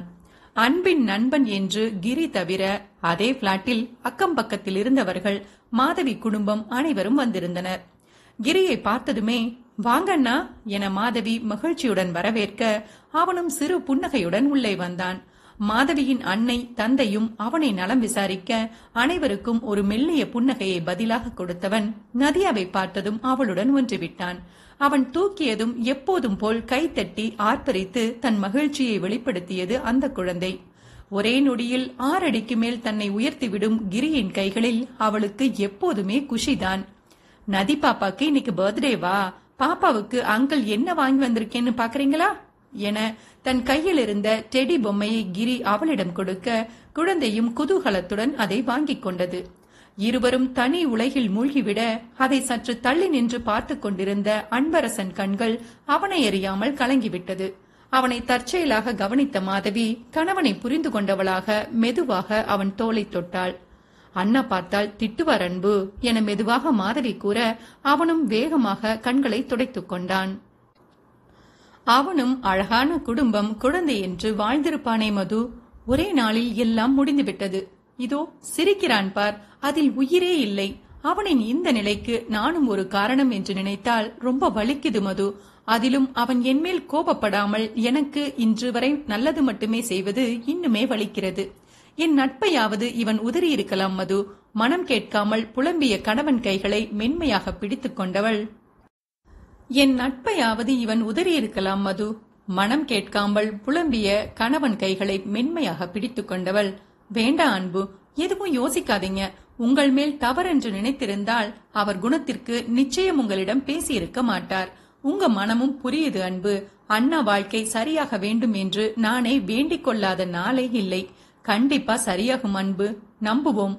மெதுவாக கூறிய மாதவியை வெறுமையாக திரும்பி பார்த்தவன் ம் அது நடந்தால்தான் என்னால் நிம்மதியாக இருக்க முடியும் மது. இந்த குற்ற உணர்வுடன் வாழ்வது ரொம்பவும் கொடுமைடா என்றவன் குரலில் பெரும் வேதனை மறைந்திருந்தது. அன்பு என திடீரென கிரி அழைக்கவும் வேகமாக கண்களை துடைத்துக் கொண்டு நண்பனிடம் சென்றான் அன்பரசன். சிறிது நேரத்தில் அழகாய் நதியாவின் பிறந்தநாள் கொண்டாட்டம் முடிய அதற்கு மேல் அங்கு இருக்காமல் கிளம்பிவிட்டான் கிரிதரன். அத்தியாயம் நான்கு. சங்கமித்ரா ஒருமுறை தாராவின் டீச்சரிடமும் பேசிவிட்டே முழு மனதுடன் தாராவை அனுப்ப சம்மதித்திருந்தாள். காலையில் தாரா பள்ளிக்கு சென்றுவிட்டு தன் அலுவலகத்திற்கு செல்ல அவள் பஸ் ஏறிய போது அவளின் போன் அடித்தது. ஃப்ரீயாக இருந்த சீட்டில் அமர்ந்துவிட்டே மித்ரா போனை எடுத்தாள். சொல்லுங்கண்ணா எப்படி இருக்கீங்க? அண்ணி பாப்பா அம்மா அப்பா எல்லோரும் எப்படி இருக்காங்கண்ணா? வரிசையாக அவள் கேள்விகளை அடுக்க எங்களுக்கு ஒரு குறையும் இல்லடா மித்ராமா. நல்லா இருக்கும். நீ எப்படி இருக்க? தாராக்குட்டி என்ன பண்றா? என்றான் செந்தில் மென்மையாக. அவ ஸ்கூலுக்கு போயிட்டா அண்ணா. நான் வேலைக்கு போய் கொண்டிருக்கிறேன். நாங்க ரெண்டு பேரும் நல்லா இருக்கோம் அண்ணா என்றவளுக்கு அடுத்து உங்களை பார்க்க வேண்டும் போல இருக்கிறது என வாய்வரை வந்துவிட்டது. ஆனால் அதை முயன்று கட்டுப்படுத்திக் கொண்டாள். இருக்கும் நிலைக்கு அவள் நினைத்தால் உடனடியாக யாரையும் பார்க்க முடியாதே. இங்கே அறுவடை வேலை போய்க்கொண்டிருக்கிறது மித்ராமா. முடிந்ததும் நான் கண்டிப்பா ஒரு முறை வரேண்டா தங்கையின் மனதை படித்தது போல் செந்தில் கூறியதில் அவள் மனம் நெகிழ்ந்து போயிற்று. கண்டிப்பாண்ணா முடிஞ்ச போது வாங்க என்றவள் தயக்கத்துடன் ஒரு நொடி நிறுத்தி பின் மெதுவாக அம்மாவும் அப்பாவும் என்ன கேட்டாங்களா அண்ணா? என கேட்க அங்கே அவனும் சில நிமிடங்கள் அமைதியாக இருந்தான். ம் அவங்களுக்கு உன்மேல் பாசம் இருக்கும் இல்லையா மித்ராமா? எங்கேயோ நீ கணவன் குழந்தையுடன் நன்றாக இருக்கிறாய் என்றுதான் நினைத்துக் கொண்டிருக்கிறார்கள். இன்னும் எத்தனை நாட்களுக்கு இப்படி மித்ராமா? உண்மையை சொல்லிவிடுவோம்டா. நீ இங்கேயே வந்துவிடேன். எங்களுடனேயே இருக்கலாம் இல்லையா? எதற்கு இப்படி தனியாக கஷ்டப்பட்டு கொண்டிருக்கிறாய்? மனம் கேட்காமல் செந்தில் புலம்ப இந்த பக்கம் கசப்பாக புன்னகைத்துக் கொண்டாள் மித்ரா. வேண்டாண்ணா கண்டிப்பா வேண்டாம். அவர்களாவது நிம்மதியாக இருக்கட்டும். திமிரெடுத்து போய் ஓடி போனதற்குத்தான் நான் படுகிறேன் அண்ணா. அவர்களுக்கு ஏற்கனவே போதுமான தலைக்குனிவை ஏற்படுத்திவிட்டேன். இதற்கு மேலும் அவர்கள் உணர்வுகளுடன் விளையாட வேண்டாம். நான் நன்றாக இருக்கிறேன் என்றே நினைத்துக் கொள்ளட்டும். இப்போது சொல்கிறேன் அண்ணா என்னை பற்றி நீ எதுவும் சொல்லக்கூடாது. சொன்னால் நிச்சயம் உன்னை விட்டும் போய்விடுவேன். வேதனையுடன் ஆரம்பித்தவள் ஒருவித அழுத்தத்துடன் முடிக்க ஒரு பெருமூச்சுடன் செந்திலும் சொல்லலடா என ஒத்துக்கொண்டே போனை வைத்தான். அவன் வைத்ததும் தானும் போனை வைத்துவிட்டு ஜன்னல் புறம் திரும்பி அமர்ந்தவளுக்கு கண்முன் அவள் மகிழ்ச்சியாக வாழ்ந்த நாட்களே வலம் வந்தது. சங்கமித்ராவின் குடும்பம் மிகவும் அழகானது. அவள் தந்தை ராஜேந்திரன் மிகவும் கண்டிப்பானவர். தாய் மல்லிகா அதற்கு நேர்மாறாக மிகவும் மென்மையானவர். அண்ணன் செந்திலுக்கு தங்கை என்றால் உயிர். அவன் மனைவி சீதாவிற்கும் மித்ரா செல்ல பிள்ளைதான் அப்போது அவர்களுக்கு திருமணம் நடந்திருந்த புதிது. மித்ரா பள்ளிப்படிப்பை முடித்திருந்த காலம். வீட்டில் புது மருமகள் மித்ராவிற்கு மற்றொரு அன்னை போல் என எந்த பிரச்சனையும் இல்லாத அழகிய காலகட்டம். காலையில் மித்ரா தாமதமாக எழுந்து வந்து ராஜேந்திரன் திட்டினால் கூட குழந்தையை திட்டாதீங்க என அழகாய் அண்ணனும் அண்ணியும் அவளை காப்பாற்றி விடுவார்கள். எல்லாம் இப்போது யோசித்தால் கனவு போல் இருந்தது. ஏழு வருடம் முழுதாக ஏழு வருடம் ஓடிவிட்டது. வாழ்க்கையில்தான் எத்தனை மாற்றங்கள் காதல் என்ற ஒற்றை சொல்லில் அவள் மாட்டியதன் வினை அனைத்தையும் இழந்துவிட்டாளே. காதல் என்றதும் அவள் கண்முன் அவன் உருவம்தான் வந்தது. நீங்க என்ன நேசித்தீர்களா இல்லையா தீரன்? இன்னமும் உங்கள் காதலில் குறை காண முடியவில்லை. ஆனால் இன்று நீங்கள் யாருக்கோ சொந்தமாகி விட்டீர்களே என்னை போல் உங்களுக்கு வலிக்கவில்லையா? நான் தான் முட்டாள் போல்.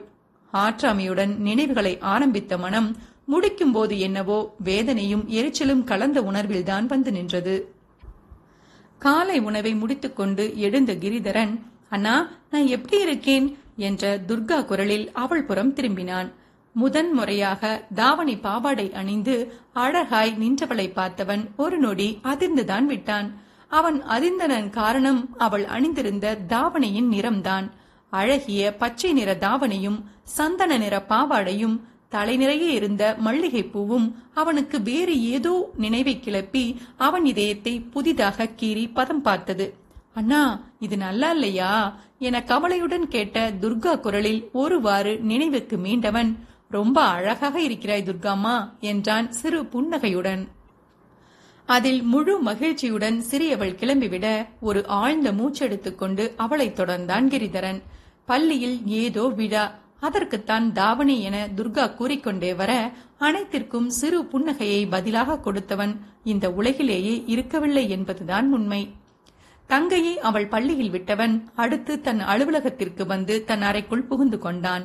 ஏனோ அந்த நொடி அவனால் எந்த வேலையும் செய்ய முடியவில்லை. லேப்டாப்பை ஆன் பண்ணும் எண்ணம் கூட இல்லாமல் சீட்டில் சாய்ந்து அமர்ந்தவன் மெதுவாக தன் பர்ஸை எடுத்தான். அதில் போட்டோ வைக்கக்கூடிய இடத்தில் அழகான ஒரு இளம் பெண்ணின் புகைப்படம் இருந்தது. என்றோ வைத்தது. இன்று வரை அவன் அதை அந்த இடத்திலிருந்து எடுக்கவே இல்லை. முகம் முழுவதும் பூரிப்புடன் அழகாய் சிரித்துக் கொண்டிருந்த அவன் அவன் கைகள் மெதுவாக வருடியது. என் சகி என மெதுவாக அவனின் வாய் முணுமுணுக்க அவன் மனம் அவன் அனுமதி பெறாமலேயே தன்னவளை சந்தித்த நாளை நோக்கிச் சென்றது. கிரி சாப்பிட்டுட்டு போடா கண்ணா என பத்மினி உள்ளிருந்து சத்தமாக கூறிக்கொண்டே வர வெளியே திண்ணையில் அமர்ந்து ஷூ மாட்டிக் கொண்டிருந்த கிரிதரன் கண்களை மட்டும் நிமிர்த்தி பாட்டியை பார்த்தான். லேட் ஆச்சு பாட்டி கோவிலுக்கு வேற போயிட்டு போகணும். காஃபி குடிச்சிட்டேனே வந்து சாப்பிட்டுக்கிறேன். இந்த அட்டம் பாஸ் பண்ணியே ஆகணும். பாதி பதிலை பத்மினியிடமும் மீதியை தன்னிடமுமே கூறிக்கொண்டவன் அதற்குள் பக்கத்தில் வந்திருந்த பத்மினியிடம் நிற்காமல் வரேன் பாட்டி என்று விட்டு வேகமாக சென்று விட்டான். அவனை நினைத்து அவர் எப்படி புலம்பித் தள்ளுவார் என மணக்கண்ணில் பார்த்தவனுக்கு தானாக சிரிப்பு வர புன்னகை முகத்துடனே வேகமாக நடந்தான் கிரி. முதலில் அவன் சென்றது பக்கத்தில் இருந்த கோவிலுக்குத்தான். பிகாம் இறுதி ஆண்டில் இருந்தவன் ஒரு பக்கம் கல்லூரி படிப்பை படித்துக் கொண்டே தனியாக சிஏவும் செய்து கொண்டிருந்தான். சென்ற முறை எழுதிய இன்டர் தேர்வில் தேர்ச்சி பெறாமல் போய்விட்டதால் இந்த முறை தீவிரமாக படித்திருந்தான். இன்று அவனுக்கு சிஏ இன்டர் தேர்வு இருந்தது. எதற்கும் கடவுளுக்கு ஒரு அப்ளிகேஷன் போட்டு வைப்போம் என்றுதான் கோவிலுக்கு வந்திருந்தான். கடவுளை தரிசித்துவிட்டு பிரகாரத்தை சுற்றியவன் கண்களில் ஒரு பக்கம் செடிகளுடன் செடிகளாகவே கலந்துவிட்டது போல பச்சை நிற தாவணியில் நின்றிருந்த பெண் விழுந்தாள். ச ஏன் இத்தனை உயரத்தில் போய் உட்கார்ந்திருக்கிறாய்? உன்னை எப்படி பறிப்பதாம்? என புலம்பிக் கொண்டே மேலே இருந்த பூவை அவள் எடுக்க போராடிக் கொண்டிருக்க அந்த காட்சி அவன் முகத்தில் தானாக ஒரு புன்னகையை தோற்றுவித்தது. இத்தனை நேரம் இருந்த எக்ஸாம் டென்ஷன் மறந்து அவள் செயலை சுவாரஸ்யமாக பார்க்கத் தொடங்கினான் கிரி. அவள் கையை நீட்டி எத்தனை எம்பினாலும் எட்டாத இடத்தில் இருந்த பூவை அவள் எப்படித்தான் எடுக்கிறாள் என்று பார்ப்போமே என்ற நினைவில் அவளையே பார்த்து கொண்டு நின்றுவிட்டான் கிரி. மீண்டும் ஒருமுறை எம்பிவிட்டு ஒரு பெருமூச்சுடன் கையை இறக்கியவள் சுற்றிலும் பார்வையை சுழற்றினாள். அழகாய் மையிட்டிருந்த மான் விழியில் கிரியின் மனம் தன்னை அறியாமல் லயித்து போயிற்று.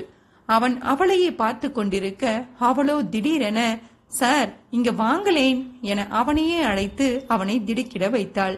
அவள் குரலில் ஒருவாறு நினைவுலகிற்கு வந்தவனும் தன் மனதை காண்பித்துக் கொள்ளாமல் மெதுவாக அவளிடம் சென்றான். அதை கொஞ்சம் எடுத்துக் கொடுங்களேன் என மேலே இருந்த பூவை அவள் கை காட்ட கடைசியில் என்னையே எடுக்க வைத்து விட்டாயே என மனதிற்குள் நினைத்துக்கொண்டு சிறு புன்னகையுடன் லேசாக கையை தூக்கி அந்த பூவை பறித்து அவளிடம் நீட்டினான் கிரிதரன். அவன் கொடுத்த பூவை வாங்கி தன்னிடம் இருந்த கூடையில் வைத்துக் கொண்டவள் ரொம்ப தேங்க்ஸ் சார் நீங்கள் என்ன வேண்டி இருந்தாலும் அது கண்டிப்பாக நல்லதாகவே நடக்கும் என்று விட்டு அவனை கடந்து சென்று விட்டாள். செல்லும் அவளை பார்த்து கொண்டே நின்றவனுக்கும் அந்த நொடி நல்லதே நடக்கும் என அழுத்தமாக தோன்றியது. கிரி டேய் இன்னும் இங்க என்னடா செஞ்சிட்டு இருக்க என திடீரென தனக்கு பின்னால் ஒழித்த நண்பனின் குரலில் லேசாக அசடு வழிய துடித்த முகத்தை கட்டுப்படுத்திக் கொண்டே திரும்பினான் கிரி. போகலாம் அன்பு என நண்பன் தோளில் கை போட்டுக் கொண்டு நடந்தவன் கண்கள் என்னவோ கோவில் பூசாரியிடம் பூக்களை கொடுத்துக் கொண்டிருந்த பெண் மீதுதான் இருந்தது. அன்பு எடுத்து வந்திருந்த பைக்கில் இருவரும் ஏறி கிளம்பிவிட்டனர். பொதுவாக தானே வண்டி ஓட்டும் கிரி இன்று பின்னால் ஏறிக்கொள்ள அவனை ஒரு மாதிரி பார்த்து கொண்டே பைக்கை கிளப்பினான் அன்பரசன். என்னடா ஆச்சு உனக்கு? கோவிலில் கடவுள் நேராக ஏதாவது வந்துவிட்டாரா என்ன? கிண்டலாக அன்பரசன் கேட்க அப்படித்தான் வைத்துக் கொள்ளேன் என நண்பன் தோளில் தட்டியவன் மனம் மீண்டும் அந்த தாவணி அழகியிடம்தான் சென்றது. அன்பரசன் அப்போது கிரியுடன் கல்லூரியில் படித்துக் கொண்டிருந்தான். அவனுக்கென்று சொந்தம் யாருமில்லை. கிரியின் நட்பு ஏற்பட்ட பின் கிரிதான் அவனுக்கு சொந்தமும் ஆகிப் போனான். பிறவியிலேயே யாரும் இல்லாத அன்பிற்கும் கோபத்துடன் குடும்பத்தை பிரிந்திருந்த கிரிக்கும் இயல்பாகவே நல்ல நட்பு ஏற்பட்டுவிட்டது. இருவரும் சேர்ந்துதான் சிஏ படித்தனர். இன்றும் இருவரும் தான் தேர்விற்கு சென்று கொண்டிருந்தனர். யார் பேச்சையும் கேட்காத கிரி கொஞ்சம் செவி சாய்ப்பது அன்பின் வார்த்தைகளுக்கு மட்டும்தான். அதுவே ஒரு கட்டத்தில் வினையாகும் என்று தெரிந்தால் அன்பே ஒதுங்கியிருப்பானோ என்னவோ. அன்றைய தேர்வை மிக அருமையாகவே முடித்திருந்தான் கிரிதரன். இந்த முறை நிச்சயம் பாஸ் ஆகிடுவேன் அன்பு என நண்பனிடம் கூறியவன் மனம் என்னவோ காலையில் அவள் சொன்ன வாழ்த்தின் தான் சென்று நின்றது. ஆமாடா இந்த முறை கண்டிப்பா முடிச்சிடலாம் என அன்பு கூறிய பதிலை அவன் கவனிக்கவே இல்லை. எப்பொழுதுமே அழுத்தமாக மட்டுமே பார்த்து பழகிய நண்பனுக்கு இன்று என்ன ஆனது என பெரிதாக குழம்பி போனான் அன்பரசன். என்னதாண்டா யோசிக்கிற? என்னை வீட்டை நோக்கி வண்டியை செலுத்திக் கொண்டே அன்பு கேட்க ஒன்னும் இல்லடா. என அப்போதைக்கு சமாளித்து விட்டான் கிரிதரன். பெயர் கூட தெரியாத ஒரு பெண் அவன் மனதில் புகுந்து ஆட்டம் காட்டினால் அவனால் என்னவென்று சொல்ல முடியும்? அன்றைய அவன் இரவு தூக்கத்தையும் அந்த பெண் பறித்துவிட மறுநாள் காலை மீண்டும் அவளை தேடி கோவிலுக்கு சென்றான் கிரி. அன்று அவனுக்கு ஏமாற்றமே காத்திருந்தது. அதிக நேரம் காத்திருந்தும் அவன் தேவதையை அவனால் பார்க்க முடியவில்லை. அவள் வாழ்த்திற்கு ஒரு நன்றியேனும் கூறியே ஆக வேண்டும் என திடமாக தோன்றிவிட அன்றிலிருந்து தினமும் கோவிலுக்கு வர ஆரம்பித்தான் கிரி. அவன் வேண்டுதலும் வீண் போகவில்லை. ஒரு வாரம் ஓடியிருந்த நிலையில் அடுத்த வெள்ளியன்று அவள் கோவிலுக்கு வந்திருந்தாள். இந்த முறை யோசிக்காமல் அவளிடம் சென்று பேசிவிட்டான் கிரி. கையில் பூக்கூடையுடன் அன்றும் பூக்களுடன் போட்டி போட்டுக்கொண்டு நின்றிருந்தவள் அருகில் சென்றவன் இன்று எந்த பூவும் கைகட்டாத தூரத்தில் போகவில்லையா? என திடீரென கேட்க அவன் குரலில் அதிர்ந்து திரும்பினாள் அந்த பெண். ஒரு நொடி முகம் சுருங்க யோசனையுடன் அவனை பார்த்தவளுக்கு அவன் வார்த்தைகளும் சேர்ந்து அவனை அடையாளம் காட்டியது. அதில் மெளிதாக சிரித்தவள் இன்று அந்த கஷ்டம் எனக்கு எந்த பூவும் வைக்கவில்லை என்று விட்டு தன் வேலையை தொடர்ந்தாள். முக்கியமா உன்னிடம் நன்றி சொல்லத்தான் வந்தேன். அன்று நீ வாழ்த்து கூறியது போலவே நான் எழுதிய எக்ஸாம் ரொம்பவும் சுலபமாக இருந்தது. தேங்க்ஸ்மா என மென்மையாக அவன் கூற அவனை திரும்பி சற்றே ஆச்சரியமாக பார்த்தவள் நான் சும்மா சொன்னேன் அதையெல்லாமா நினைவு வச்சிருப்பீங்க? எப்படியோ நல்லது நடந்ததில் சந்தோஷம்தான் என சாதாரணமாக முடித்துவிட்டாள் என் பெயர் கிரிதரன். இங்கே பக்கத்தில் தாத்தா பாட்டியுடன் இருக்கிறேன். பிகாம் படித்துக்கொண்டே சிஏ முயற்சித்துக் கொண்டிருக்கிறேன். என் வாழ்க்கையின் முதல் படியை வெற்றிகரமாக கடக்க வாழ்த்திய தேவதையின் பெயரை தெரிந்து கொள்ளலாமா? நிதானமாக அவன் கூறியதில் அத்தனை நேரம் அவனை நேராக கூட பார்க்காமல் பூக்களை பறித்துக் கொண்டிருந்தவள் இப்போது நன்றாக திரும்பி அவனை பார்த்தாள். பேன் பாக்கெட்டில் கைவிட்டுக் கொண்டு சிறு புன்னகையுடன் நின்றவனை பார்த்தவள் கட்டுப்படுத்த முடியாமல் சத்தமாகவே சிரித்து விட்டாள். பெயர் என்னவென்று நீங்க என்னை நேரடியாகவே கேட்டிருக்கலாம். அப்பா அதற்கு எதற்கு இத்தனை சுற்று?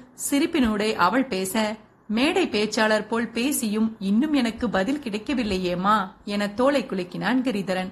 அதில் மேலும் புன்னகைத்தவள் சங்கமித்ரா என கூற ம் நைஸ் நேம் பட் கொஞ்சம் பெரிய பெயர் இல்லையா? என்றான் கிரிதரன்.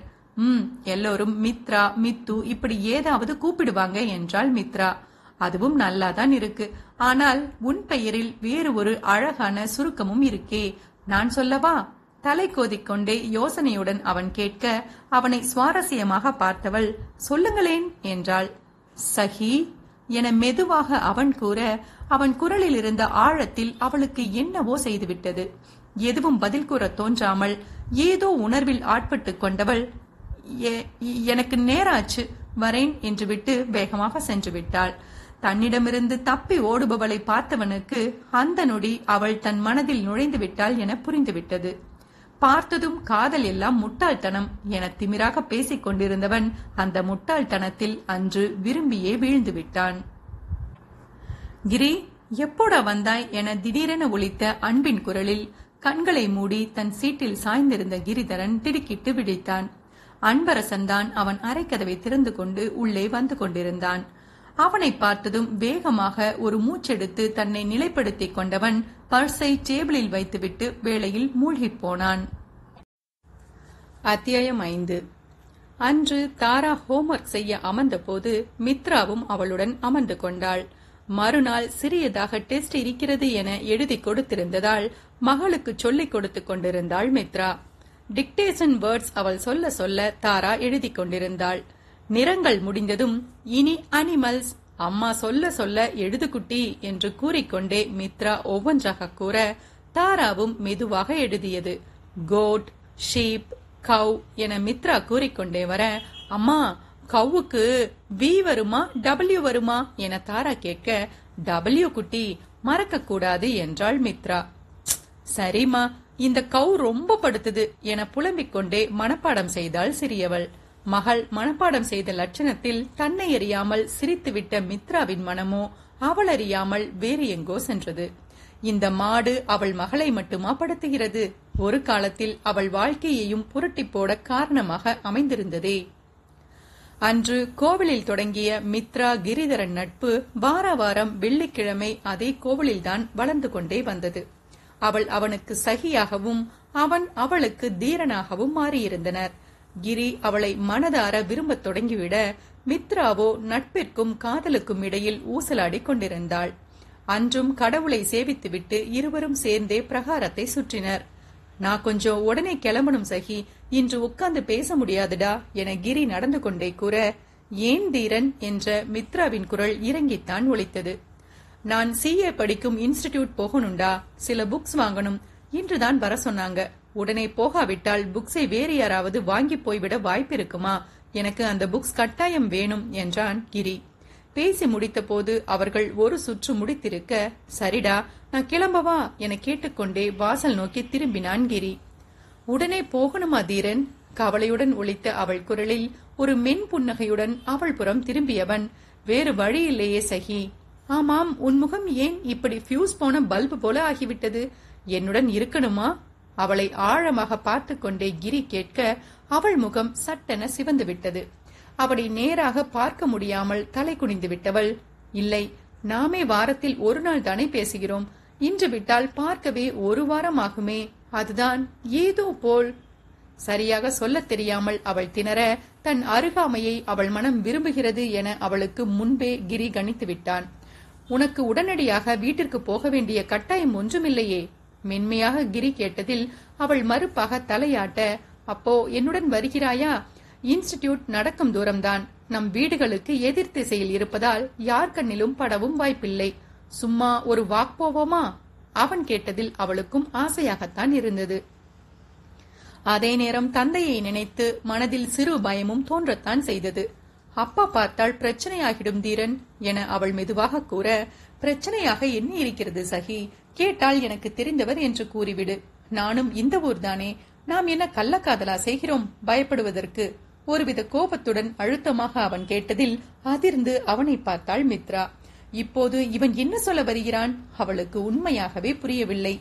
அவள் அதிர்ச்சியில் அப்படியே நின்றுவிட எனக்கு நேரமாகிவிட்டது சகி. என்னை ஒரு தோழனாக அறிமுகப்படுத்தக்கூட நீ யோசிப்பதாக இருந்தால் இதற்கு மேல் நாம் பழகுவதே தவறாகிவிடும். நீ கிளம்பு. நான் என் வேலையை பார்க்கிறேன் என்று விட்டு அவன் வேகமாக சென்றுவிட அப்போதைக்கு அவன் வார்த்தைகளுக்கு அர்த்தம் தேடுவதை விட அவன் கோபத்தை குறைப்பதுதான் அவளுக்கு முக்கியமாகப்பட்டது. தன் தயக்கத்தை உதறிவிட்டு வேகமாக அவன் பின்னால் சென்று அவளும் செருப்பை மாட்ட அவளை ஒரு முறை திரும்பி பார்த்து கொண்டவன் அதற்கு மேல் வேகம் காட்டாமல் அவளுடன் இணைந்து பொறுமையாக நடந்தான். யாரும் பார்த்தால் பரவாயில்லையா? ஒரு பக்கமாக அவளை பார்த்து கொண்டே அவன் கேட்க என் ஃப்ரெண்ட் என்று சொல்லிக் கொள்கிறேன் என தோலை குலுக்கினாள் மித்ரா. ஃப்ரெண்டு மட்டும்தானா?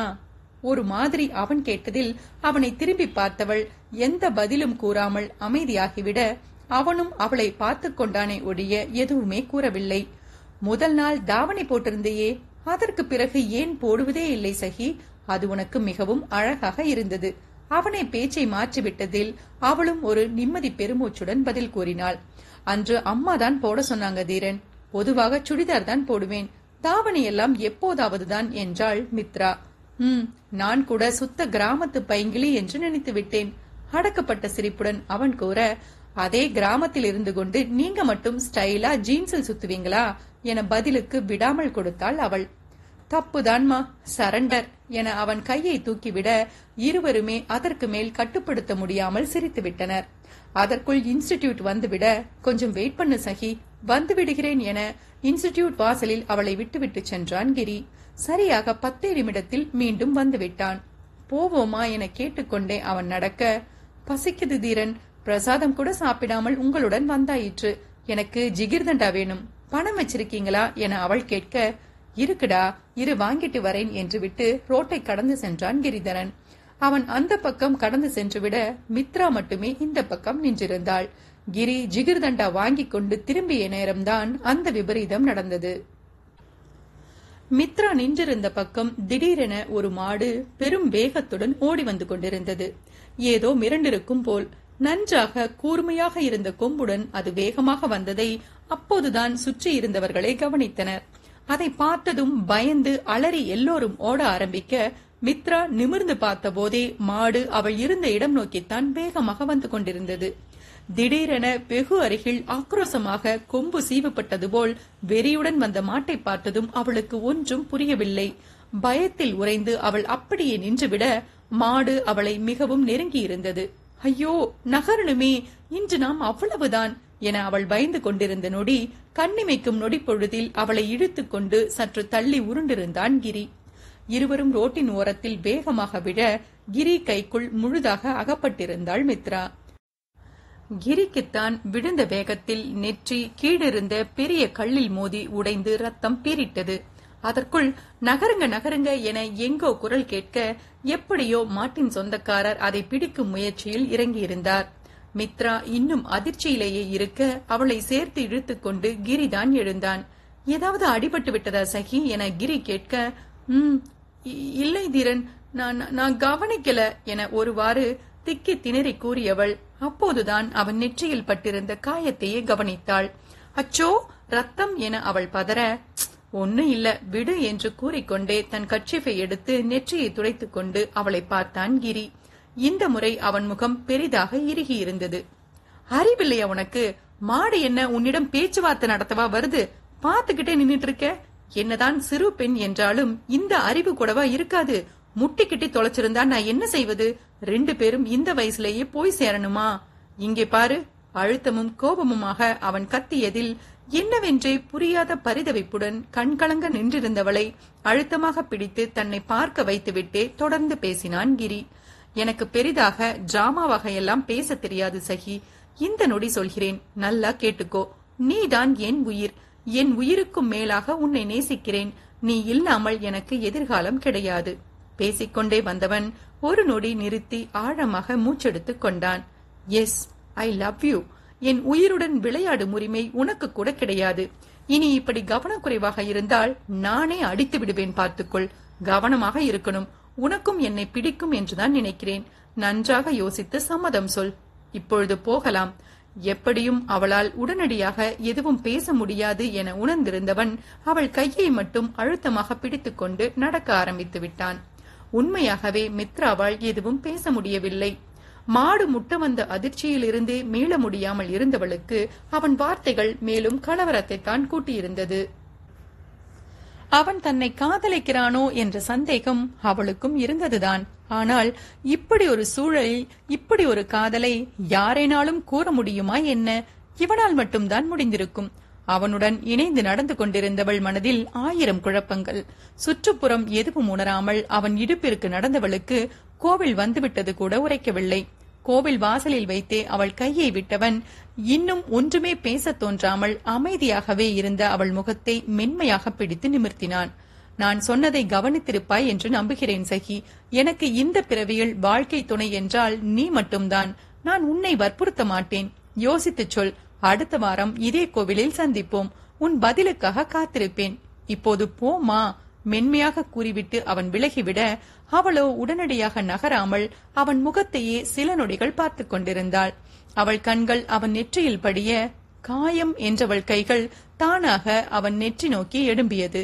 மெதுவாக அவள் அவன் காயத்தை தொட்டு பார்க்க அது ஒன்றும் பெரிய அடி இல்லடா சரியாகிடும் என சிரித்தான் கிரி.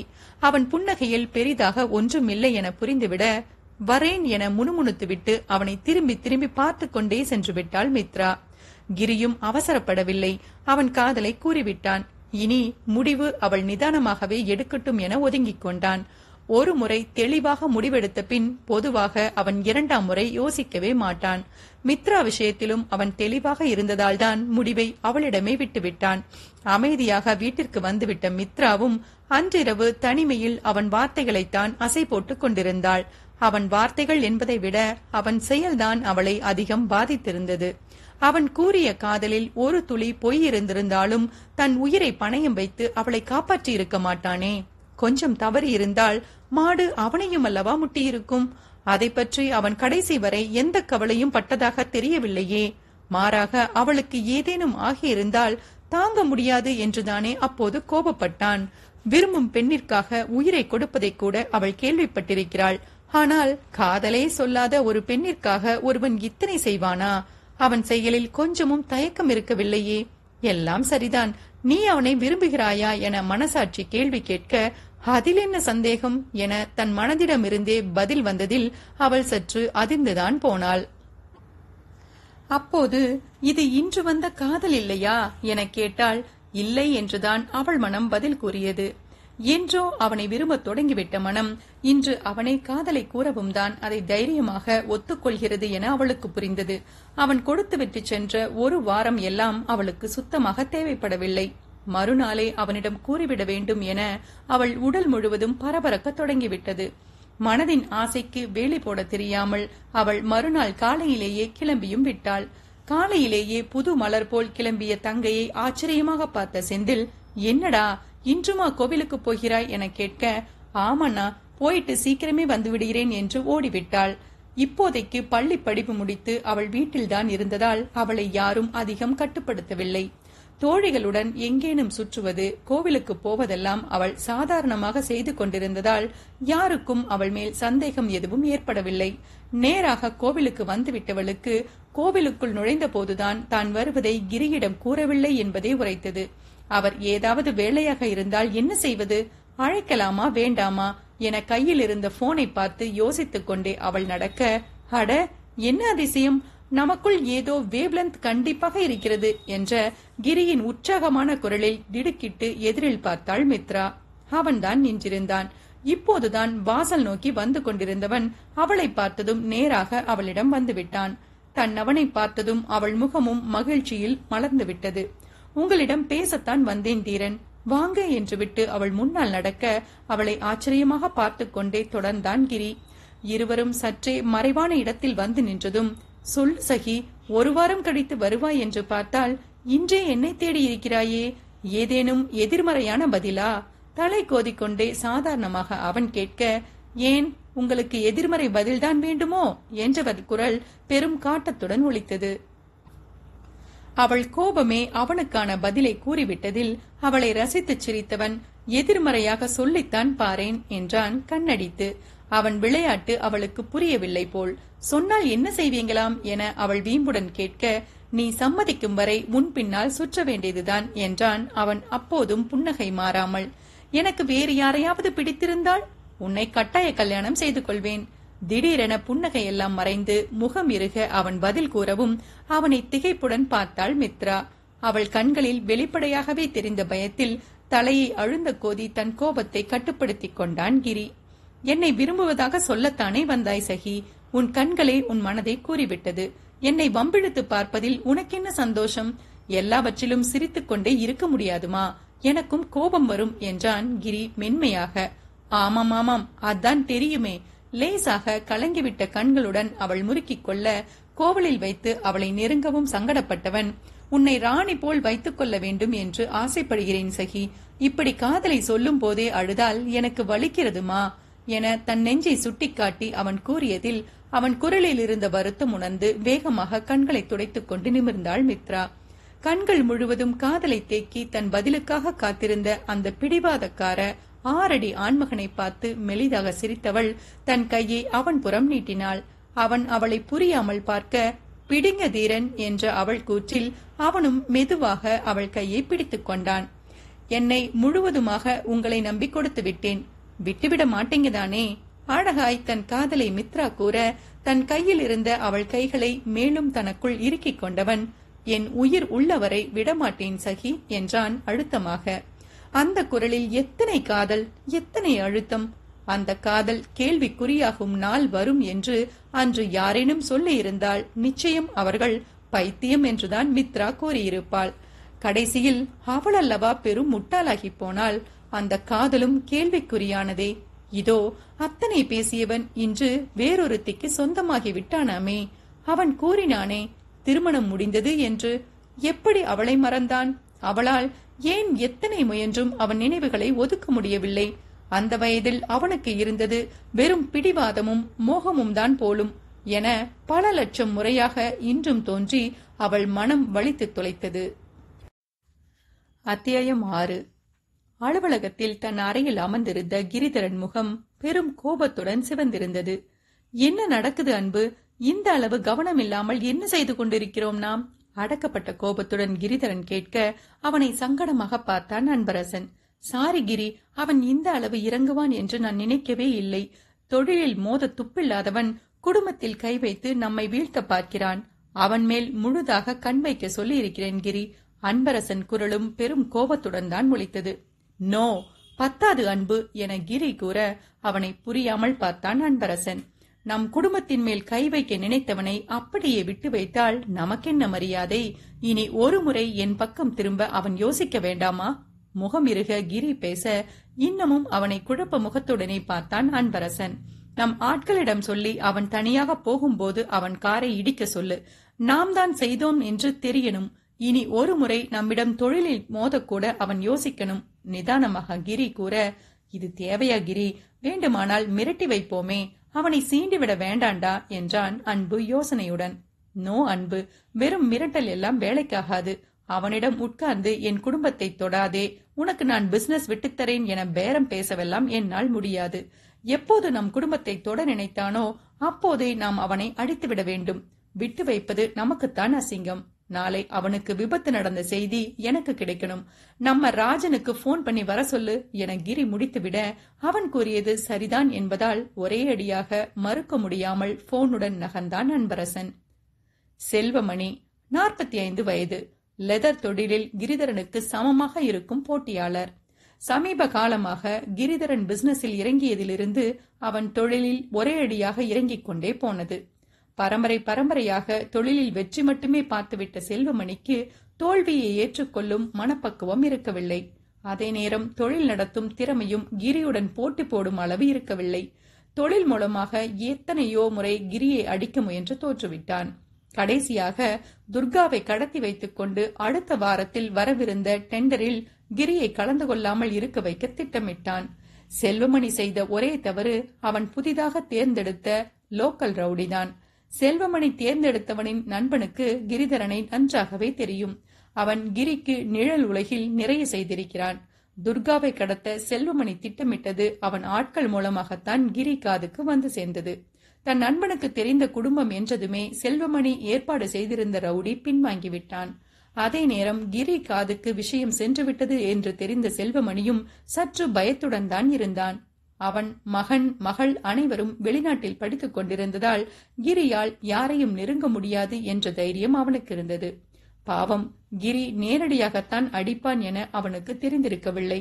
அன்று மாலை துர்காவை பள்ளியிலிருந்து அழைத்து வந்த போதே அதிக பாதுகாப்பு கொடுத்துத்தான் அழைத்து வந்தனர். இரவு வீட்டிற்கு வந்த கிரியிடம் ராகவியும் சற்றே பயத்துடன் இதை பற்றி பேசினார். என்னாச்சு கிரி? ஏன் பாதுகாப்பெல்லாம் அதிகப்படுத்தி இருக்கிறாய் என்னையும் தனியா எங்கேயும் விடமாட்டேங்கிறாங்களேப்பா? கவலையுடன் கேட்டவரை பார்த்து ஆறுதலாக புன்னகைத்தவன். எதற்கு இத்தனை பயம் சித்தி? தொழில் என்றால் எதிரிகள் உருவாகத்தான் செய்வாங்க. நாம் தான் பாதுகாப்பாக இருந்து கொள்ள வேண்டும். இப்போது கொஞ்சம் அதிகப்படி பாதுகாப்பு தேவைப்படுகிறது. இதில் கவனக்குறைவாக நான் இருக்க மாட்டேன். வெளியில் போவதானால் நம் காரில் உங்களுடன் பாதுகாப்பிற்கு வைத்திருக்கும் ஆளையும் சேர்த்து அழைத்து கொண்டு போங்க. ப்ராப்ளம் சால்வ்டு நான் பாத்துக்கிறேன் நீங்க எதுவும் யோசிச்சு குழம்பிக்க வேண்டாம். என்னை மீறி யாரும் எதுவும் செய்ய முடியாது. அழுத்தமாக கூறிவிட்டு செல்லும் மகனை பார்த்து ராகவி முகம் கணிந்துதான் போயிற்று. முதலில் தன்னை பிடிக்காமல் இங்கே இருக்க மாட்டேன் என அடம் பிடித்து அவன் சென்றபோது கடைசி வரை அவன் தங்களை ஏற்றுக்கொள்ளவே மாட்டானோ என்றுதான் ராகவி அதிகம் வருந்தியது. இன்றோ ஒரே அடியாக ஒட்டாவிட்டாலும் அன்பிலும் அக்கறையிலும் எந்த குறையும் வைக்காமல் அவன் இருந்ததே அவருக்கு பெரும் ஆறுதலாகத்தான் இருந்தது. மறுநாள் கிரி நினைத்தது போலவே செல்வமணிக்கு விபத்து நடந்து ஒரு கை ஒரு கால் உடைந்து விட்டது என்ற செய்தி அவனுக்கு கிடைத்தது. அதில் கிரியின் முகம் இகழ்ச்சியுடன் வளைந்ததோடு அந்த விஷயத்தை அவன் விட்டுவிட்டான். அதே நேரம் மருத்துவமனையில் அரைகுறை மயக்கத்தில் கிடந்த செல்வமணியின் முகம் அத்தனை வழியையும் தாண்டி பெரும் கோபத்துடன் இறுகியிருந்தது. என்னையே படுக்க போட்டு விட்டாயடா உன் நிம்மதியை மொத்தமாக பறிக்கிறேன் பார் என பெரும் எரிச்சலும் குரோதமுமாய் நினைத்துக் கொண்டான் அவன். காலையில் எழுந்ததிலிருந்தே வேக வேகமாக கிளம்பிக் கொண்டிருந்த மகளை சிறு புன்னகையுடன் பார்த்து கொண்டே அவளுக்கு யூனிஃபார்மை மாட்டிவிட்டாள் மித்ரா. சீக்கிரம் சீக்கிரமா என தாரா குதிக்க இப்படி குதித்தால் எப்படிடி சட்டையை மாட்டுவது? அமைதியா கைய தூக்கு என்றாள் மித்ரா சிரிப்பை கட்டுப்படுத்திக் கொண்டு. தாராவும் முகத்தை சுளித்துக் கொண்டே கையை தூக்க ரொம்ப பண்ணாத குட்டி உன்னை நேரத்துக்கு அனுப்ப வேண்டியது ஏன் பொறுப்பு? பவுடர் பூசி பொட்டு வைத்துக் கொண்டு சாப்பிட வா என்று விட்டு மகளுக்கு டிஃபன் எடுக்க சமையலறைக்குள் சென்றாள் மித்ரா. என்னடா ஒரே குஷியா இருக்கிறாளா? என்று கேட்டுக்கொண்டே தட்டில் இட்லி வைத்து சிவகாமி மித்ராவிடம் மீட்ட ஆமாம்மா காலையிலிருந்து ஒரே ஆட்டம்தான். இவள் டூர் கிளம்பும் முன் வீட்டையே ரெண்டு பண்ணிடுவா போல என்றாள் மித்ரா தலையாட்டி சிரித்துக்கொண்டே. பார்த்து பத்திரமா போயிட்டு வந்துடுவாள் தானேமா இவள் துருதுருப்பிற்கு எங்காவது ஓடிவிடாமல் இருக்கணும். கவலையுடன் சிவகாமி கேட்க எனக்கும் அந்த பயம் இருக்குமா? இந்த அருந்த வாளு இவளை நம்ப முடியாது. அதான் நானும் லீவ் போட்டிருக்கேன். இவள் முன்னால் ஸ்கூல் பஸ்ஸில் போகட்டும். நானும் ஒரு ஆட்டோ பிடித்து பின்னாலேயே போகிறேன். அவள் கண்ணில் படாமல் ஒரு பக்கமா நின்று பார்த்துக்கிறேன்மா. இவளை தனிய விட்டுட்டு எப்படி என்னாலும் நிம்மதியாக இருக்க முடியும்? என்றாள் மித்ரா தெளிவாக. ம் அதுவும் சரிதான் மித்ராமா. நம் கண் முன்னால் இருந்து விட்டால் நிம்மதிதான். போயிட்டு வாடா என்றார் சிவகாமி. அம்மா நான் ரெடி இருவரும் பேசிக் கொண்டிருக்கும் போதே ஆர்ப்பாட்டத்துடன் கத்திக்கொண்டே வந்த தாரா சமையலறையில் இருந்த நிலைப்படியில் தடுமாறி நிற்க பார்த்து வாடி என்ன அவசரம் உனக்கு? என வேகமாக வந்து குழந்தையை தூக்கிக் கொண்டாள் மித்ரா. மித்ரா கொடுத்த இரண்டு இட்லியை வேக வேகமாக முடித்துவிட்டு தாரா கிளம்ப அவள் ஷூ மாட்டி முடித்தபோது அவள் ஆட்டோவும் வந்துவிட்டது. அம்மா போலாம் என கத்திக்கொண்டே அவள் வெளியே ஓடிவிட கொஞ்சமாவது பொறுமை இருக்குதா பாருங்கம்மா. எப்ப பாரு ஓட்டம்தான் என புலம்பிக் கொண்டே மகளை தொடர்ந்தாள் மித்ரா. அதற்குள் ஆட்டோவில் ஏறி இருந்த குழந்தை அவளை பார்த்து கையாட்ட தானும் சிறு புன்னகையுடன் குழந்தைக்கு டாட்டா காட்டி அனுப்பிவிட்டே உள்ளே வந்தாள். நானும் கிளம்புறேம்மா. சரியா இருக்கும் என்று கூறிக்கொண்டே தன் உடைகளை எடுத்துக்கொண்டு மித்ரா பாத்ரூமிற்குள் சென்றுவிட சிவகாமியும் சமையலறைக்குள் புகுந்து கொண்டார். சிறிது நேரத்தில் மித்ரா தயாராகி வந்ததும் இருவரும் சேர்ந்தே காலை உணவை முடித்தனர். நான் போயிட்டு வந்துடுறேம்மா. முடிஞ்சா மதியத்துக்கு ஏதாவது செய்யுங்க. இல்லை வாங்கி வந்து விடவா? என கேட்டுக்கொண்டே அவள் வெளியே வர நான் செஞ்சு வைக்கிறேன் மித்ராமா. நீ பார்த்து போயிட்டு வா என அவளை அனுப்பி வைத்தார் சிவகாமி. பக்கத்து ஆட்டோ ஸ்டாண்டில் தனக்கு தெரிந்த ஒரு ஆட்டோ பிடித்துக்கொண்டு தாரா செல்லும் தீம் பார்க்கிற்கு தானும் சென்றாள் மித்ரா. அவள் அங்கே சென்றபோது ஸ்கூல் பஸ் ஏற்கனவே அந்த தீம் பார்க் வாசலில் நின்றிருந்தது. தானும் ஒரு டிக்கெட் வாங்கிக் கொண்டு உள்ளே சென்றவள் ஸ்கூல் பிள்ளைகள் இருக்கும் இடத்தை தேடிச் சென்றாள். தனியாக ஒரு பக்கம் சிறுவர் பூங்கா போல் அமைக்கப்பட்டிருந்த இடத்தில் அனைத்து குழந்தைகளும் விளையாண்டு கொண்டிருப்பது தெரிய அதில் தன் மகளைத்தான் மித்ராவின் கண்கள் தேடியது. ஒரு பக்கம் தன் தோழியுடன் கைதட்டி சிரித்துக் கொண்டே தாரா சீசா விளையாண்டு கொண்டிருக்க அவளை கண்டு கொண்டதும் அவள் மேல் ஒரு கண் வைத்துக் கொண்டு சிறியவள் கண்களுக்கு தெரியாத இடத்தில் நின்று கொண்டாள் மித்ரா. குழந்தைகள் விளையாடுவதை சிறிது நேரம் ஆசையாக ரசித்துக் கொண்டு அமைதியாக நின்றுவிட்டாள் மித்ரா. சிறிது நேரம் குழந்தை ஆசையாக பார்த்து கொண்டிருந்தவள் மனம் எப்போதும் போல் அவள் அனுமதி பெறாமலேயே அவள் அவனிடம் போய் நின்றது. அன்றுதான் கிரி மித்ரா இருவரும் சேர்ந்து அவர்கள் வீடு இருந்த இடத்தை தாண்டி சற்று தள்ளி வந்திருந்தனர். அன்பு தங்கியிருந்த விடுதியின் பக்கத்தில் இருந்த ஒரு சிறிய பூங்காவிற்குத்தான் கிரி மித்ராவை அழைத்து வந்திருந்தான். ஒரு மரத்தடியில் இருவரும் அமர்ந்திருக்க வந்தவுடன் அவளை சற்றே நெருங்கி அமர்ந்து அவள் கைகளை பிடித்துக் கொண்ட கிரி ஒன்றுமே பேசவில்லை. அவளும் சிறிது நேரம் அமைதியாகத்தான் இருந்தாள். கிரி மொத்தமே அவள் கைகள் மட்டும் போதும் என்று அமைதியாக இருந்துவிட மித்ரா தான் பேசினாள். இன்னும் எத்தனை நாட்களுக்கு இப்படி மறைந்து மறைந்து சந்திப்பது தீரன்? வீட்டில் போய் சொல்ல ரொம்பவும் சங்கடமா இருக்கு. எல்லோரும் என்னை ரொம்ப நம்புறாங்க தீரன். அனைவரையும் ஏமாற்றுகிறேன் என்று நினைத்தாலே குற்ற உணர்வாக இருக்கிறது. மெதுவாக மித்ரா கூற அத்தனை நேரம் அரிதாக கிடைத்த அவள் அருகாமையை மட்டுமே அனுபவித்துக் கொண்டு அமைதியாக அமர்ந்திருந்த கிரி அப்போதுதான் நினைவுலகிற்கே மீண்டான். அவள் கூற்றில் மென்மையாக அவள் தலை கோதி கொடுத்தவன் எனக்கு புரியுதுடா ஆனால் காதலிக்கிறோம் என தடாலடியாக கூறி திருமணம் செய்து கொள்ளும் வயது நமக்கில்லையே சகிமா? நீ இன்னும் கல்லூரி கூட சேரவில்லை. நான் கல்லூரி முடித்து விட்டாலும் இன்னும் சிஏ முடிக்கவில்லையேடா. நான் ஒழுங்காக படிப்பை முடித்து ஒரு வேளையில் அமர வேண்டும். நீயும் படிப்பை முடிக்க வேண்டும் இல்லையா நான் உன்னை மனதார நேசிக்கிறேன் சகி. ஆனால் ஒரு சிறு பெண்ணை ஏமாற்றி அவள் வாழ்க்கையை பாழ் பண்ணிவிட்டேன் என்ற எண்ணம் எனக்கு வந்துவிடக் கூடாதுடா. கொஞ்சம் பொறுத்துக்கொள். இப்போதுதான் போன் இருக்கிறதே. தினமும் பேசுவோம். இருவரும் நன்றாக வாழ்க்கையில் செட்டில் ஆனதும் இரு வீட்டிலும் பேசி அனைவர் சம்மதத்துடனும் மகிழ்ச்சியாக உன்னை கல்யாணம் பண்ணிக்கணும்டா.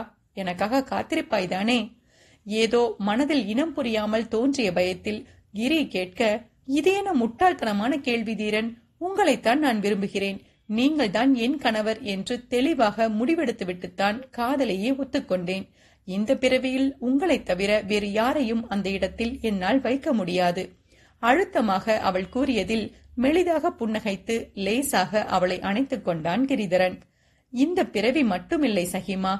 எத்தனை பிறவி எடுத்தாலும் நான் உன்னை விடமாட்டேன் தெரியுமா?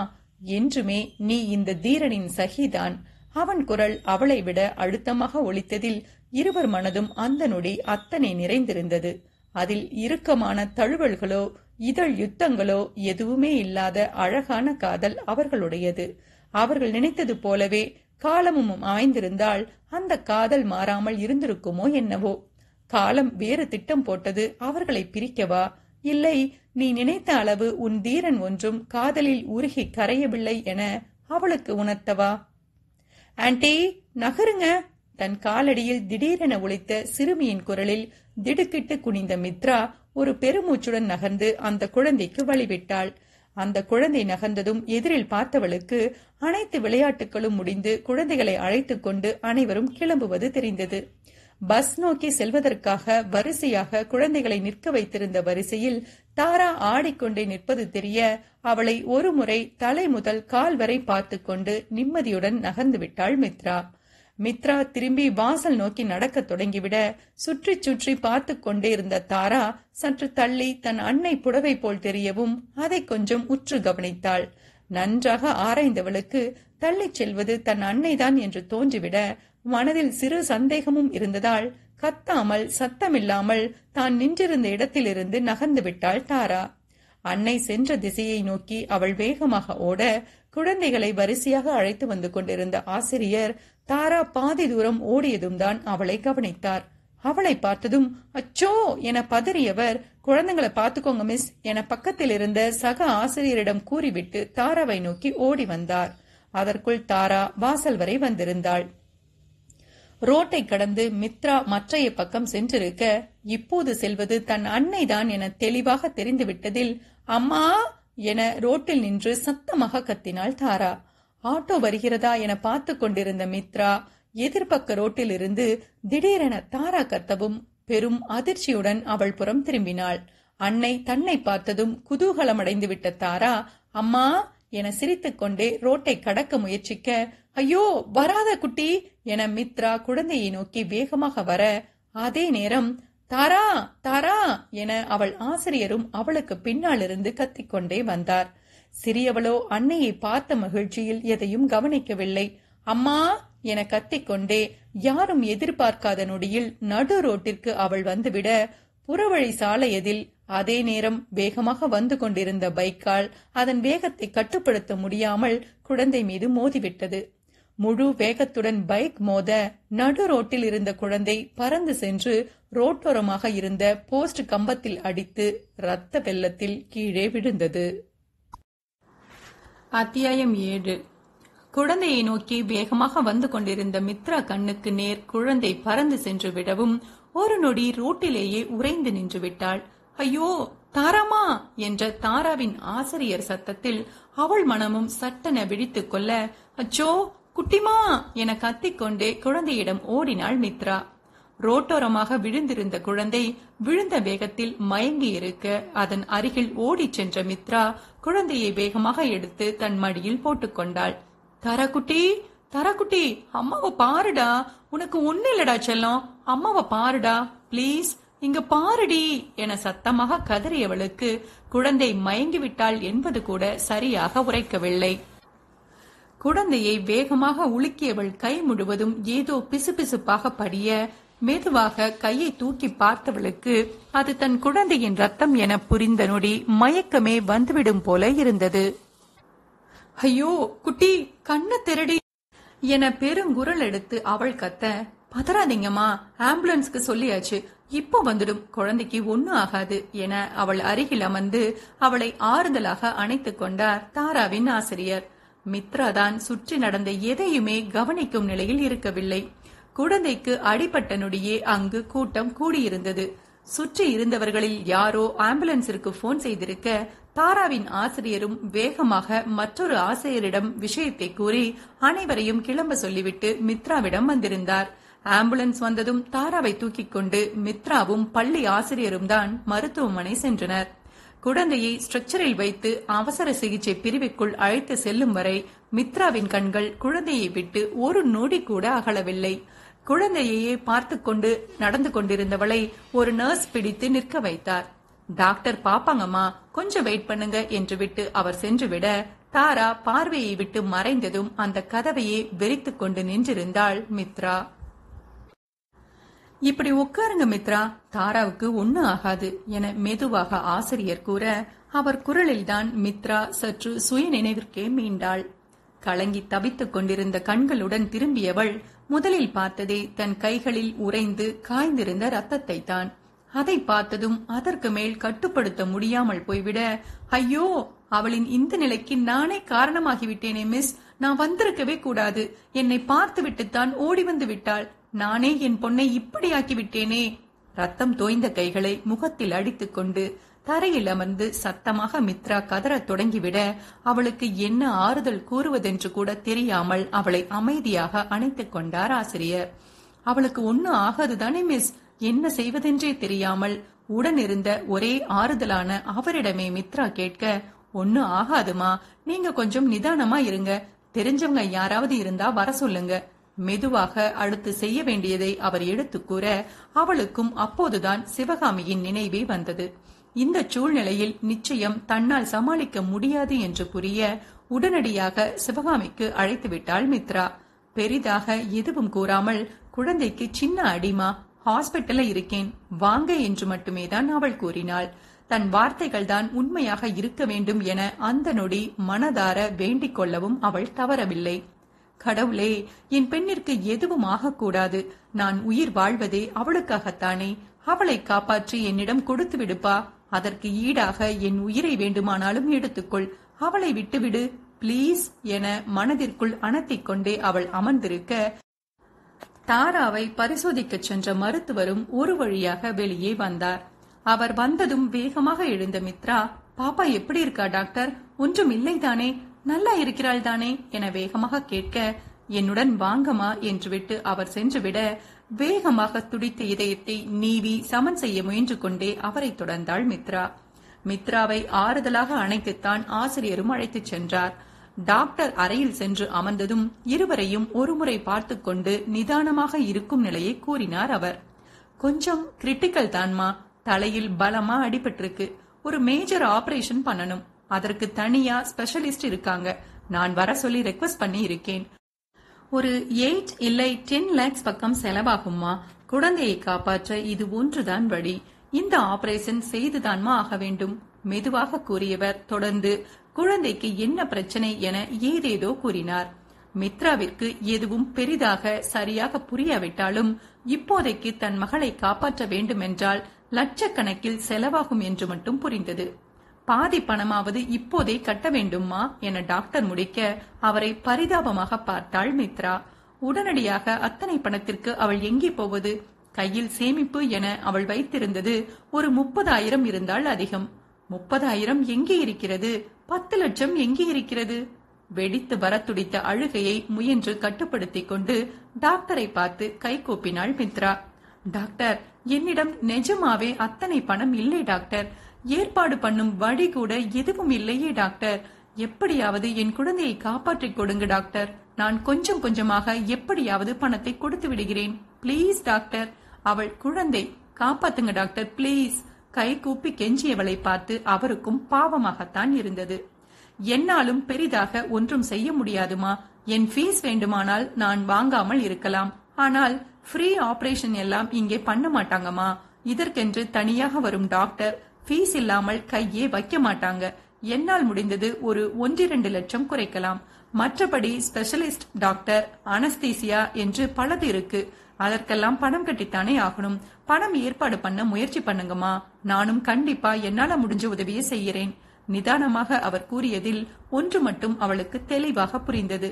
என்னதான் அவர் உதவினாலும் பணம் இல்லாமல் இங்கு ஒன்றும் நடக்காது. ட்ரீட்மெண்ட் நிறுத்திவிட மாட்டீங்களே டாக்டர்? திடீரென்று தோன்றிவிட்ட பயத்துடன் அவள் கேட்க அந்த அளவு மனிதாபிமானம் சாகவில்லைமா ஆனாலும் சீக்கிரம் பணத்தை ரெடி பண்ணுங்க. நிலைமையை மறைக்காமல் அவர் கூறிவிட மீண்டும் ஒருமுறை கைகூப்பி அவருக்கு நன்றி சொல்லிவிட்டு மித்ரா எழுந்து கொள்ள அவளுடன் ஆசிரியரும் எழுந்து வெளியே வந்தார். அமைதியாக வந்து தாராவை வைத்திருக்கும் அறை வாசலில் அமர்ந்துவிட்ட மித்ராவிற்கு மனதின் மேல் ஏதோ பாறாங்கல்லை வைத்து அடைத்து விட்டது போல் ஒன்றுமே புரியவில்லை. சிறிது நேரத்தில் சிவகாமியும் வந்துவிட அவர் வந்ததும் நான் நாளை வரேன் மித்ரா என்னால் ஏதாவது முடிந்தால் கண்டிப்பாக செய்கிறேன்மா என்று விட்டு ஆசிரியரும் சென்று விட்டார் மித்ரா இருந்த நிலையை பார்த்ததும் சிவகாமிக்கு பெரிதாக பயம் பிடித்துக் கொள்ள பாப்பாக்கு என்ன ஆச்சு மித்ராமா குழந்தை எங்கடா? என கேட்டுக்கொண்டே அவள் அருகில் அமர்ந்தார் சிவகாமி. அங்கேமா என கதவை கை காட்டிய மித்ராவால் உடனடியாக ஒன்றும் பேசக்கூட முடியவில்லை. அவள் காட்டிய கதவின் வழியாக பார்த்த சிவகாமிக்கோ பெரும் அதிர்ச்சி. உடல் முழுவதும் ஏதேதோ வயரெல்லாம் மாட்டி சுய நினைவே இல்லாமல் படுத்திருந்தது அவர்கள் தாராதானா? தன் கண் ஏதாவது பொய் சொல்லி இருக்குமோ என்ற நப்பாசையில் மீண்டும் முற்று பார்த்தவருக்கு அது தங்கள் குழந்தைதான் என புரிய ஐயோ பாப்பாக்கு என்னாச்சு மித்ராமா? ஏன் இப்படி? என கதறிக்கொண்டே மித்ராவிடம் வந்தார் சிவகாமி. அவர் அழுததில் அவளுக்கும் புதிதாக அழுகை வர அம்மா என அவரை அணைத்துக் கொண்டு மீண்டும் ஒரு முறை கதறி தீத்தாள் மித்ரா. ஒருவாறு அழுகையினூடே நடந்ததையும் கூறியவள் என்னை பார்த்துவிட்டுத்தான் ஓடி வந்தாமா நான் போயிருக்கவே கூடாது. நானே என் பெண்ணிற்கு யமனாக போய்விட்டேன். நான் பாவிமா. எனக்கு ராசியே இல்லை. என்னால் என் குழந்தையை காப்பாற்ற முடியாதா? மனதில் இருந்த அனைத்து குழப்பங்களையும் கொட்டி அவள் அழ முதலில் அவளை சமாதானப்படுத்த வேண்டிய கட்டாயத்தை உணர்ந்து முயன்று தன்னை கட்டுப்படுத்திக் கொண்டார் சிவகாமி. மித்ராமா அழாதடா. முடிஞ்சதையே யோசிக்காத. அடுத்து என்னவென்றும் யோசிப்போம். நம்ம தாரா குட்டிக்கு ஒன்னும் ஆகாதடா. நீ இப்படி அழுது கொண்டே இருந்தால் அடுத்ததை பார்க்க வேண்டாமா? நான் செந்திலுக்கு போன் பண்றேமா பேசிக்கொண்டே அவர் போனை எடுக்க இருங்கம்மா என அவர் கையை பிடித்து தடுத்து விட்டாள் மித்ரா. அவளுக்கும் இப்போது அண்ணனின் ஆறுதல் கிடைத்தால் நன்றாக இருக்கும் என்றுதான் தோன்றியது. ஆனால் அவர் மட்டும் பணத்திற்கு எங்கே போவார்? அவர்களுடையது ஒன்றும் பணத்தில் செழிக்கும் குடும்பம் இல்லையே. விவசாயமே அழிந்து கொண்டு வரும் நிலையில் அங்கு வரும் வருமானம் அவர்கள் வயிற்றுப்பாட்டிற்கே சரியாக இருக்கும். ஏற்கனவே அவள் வேலைக்கு போகும் முன் செந்தில் அவளுக்காக நிறைய செலவழித்து விட்டான். இப்போது மீண்டும் பணம் வேண்டுமென்றால் இருக்கும் நிலத்தை கூட விற்று கொடுத்து விடுவான் தான் ஆனால் அவனுக்கும் குடும்பம் இருக்கிறது. அவர்கள் வயிற்றுப்பாட்டிற்கே கஷ்டப்படும் நிலை ஆகிவிடுமே இப்போது செந்திலிடம் விஷயத்தை கூறினாலே அவன் பணத்துடன் தான் கிளம்புவான். அதனால்தான் மித்ரா சிவகாமியை தடுத்தாள். தன் மனதில் இருந்ததை அப்படியே அவரிடம் கூறியவள் அண்ணாவிடம் சொல்ல வேண்டாமா என்னால் அவர்கள் எல்லோரும் தெருவில் நிற்கும் நிலை வரக்கூடாது நானே ஏதாவது யோசிக்கிறேன்மா என மெதுவாக மித்ரா கூற நம்மிடம் அத்தனை பணம் புரட்ட ஒன்றுமே இல்லையேடா என்றார் சிவகாமி கவலையுடன். அண்ணாவாலும் நிச்சயம் உடனடியாக முடியாதுமா. நான் நான் கொஞ்சம் யோசிக்கிறேன்மா என்றவள் கண்மூடி சாய்ந்துவிட சிவகாமியும் அமைதியாக தனக்கு தெரிந்த அனைத்து கடவுளையும் வேண்டிக் கொண்டு அமர்ந்திருந்தார். அமைதியாக அமர்ந்து யோசித்தவளுக்கு பெரிதாக ஒன்றும் தோன்றிவிடவில்லை. குழந்தை வழியில் இருக்கிறது என்ற எண்ணத்தை தாண்டி யோசிப்பதே பெரும் பாடாக இருந்தபோது எங்கிருந்து யோசனை தோன்றும்? அதையும் மீறி மிகவும் முயன்றுதான் அவள் மூளைக்கு வேலை கொடுத்தாள். அவள் கழுத்தில் இருக்கும் தாலியில் இருந்தது கூட வெறும் ஒரு கிராம் தங்கம் தானே அதை தவிர அவளிடம் ஒன்றும் கிடையாதே. சேமித்து வைக்கும் அளவு அவளிடம் என்றுமே பணம் இருந்ததில்லையே. வரவும் செலவும் மிகவும் சரியாகத்தான் இருக்கும். வேலை செய்யும் இடத்தில் கடன் கேட்டாலும் நிச்சயம் இத்தனை லட்சங்கள் கிடைக்க வாய்ப்பே இல்லை. திடீரென்று ஏதோ தோன்ற வரேன் இருங்கம்மா என்று விட்டு எழுந்து சென்றாள் மித்ரா. மருத்துவமனையிலேயே இருந்த ஒரு செவிலிய பெண்ணிடம் சென்றவள் உடல் உறுப்பு தானம் போல் ஏதாவது செய்தால் பணம் கிடைக்குமா? என்று கூட கேட்டு பார்த்தாள். அவள் நேரமோ என்னமோ இப்போதைக்கு அது போன்ற தேவை கூட யாருக்கும் இல்லை என்று கூறிவிட்டனர். இடையில் ஒருமுறை குழந்தையை உள்ளே சென்று பார்த்துவிட்டு வந்தவளுக்கு தொண்டை அடைத்துக் கொண்டு கதறல் தான் வந்தது. அவள் மகளுக்கு நிற்க கூட தெரியாதே எப்போதும் ஓட்டம்தான். வாய் மூடி அவள் அமைதியாக இருப்பதே தூங்கும் நேரம் மட்டும்தான். கொஞ்சம் சும்மாதான் இரேண்டி என எத்தனை முறை காய்ந்திருப்பாள். இன்றோ அந்த குழந்தை வாய் திறந்து அம்மா என்று அழைத்து விடாதா என அவள் ஒவ்வொரு அணுவும் துடித்து கதறியது. இரவு நேரமாகியும் சிவகாமி மித்ரா இருவருக்குமே சாப்பிட தோன்றவில்லை. சிவகாமி அமர்ந்த இடத்திலேயே மித்ராவை ஆறுதலாக அணைத்துக் கொண்டு தன்னை எறியாமல் கண்ணயர்ந்து விட மித்ராவிற்குத்தான் அசதியில் கூட தூக்கம் வரவில்லை. பணம் பணம் பணம் என அவள் மனம் அதிலேயேதான் சுழன்று கொண்டிருந்தது.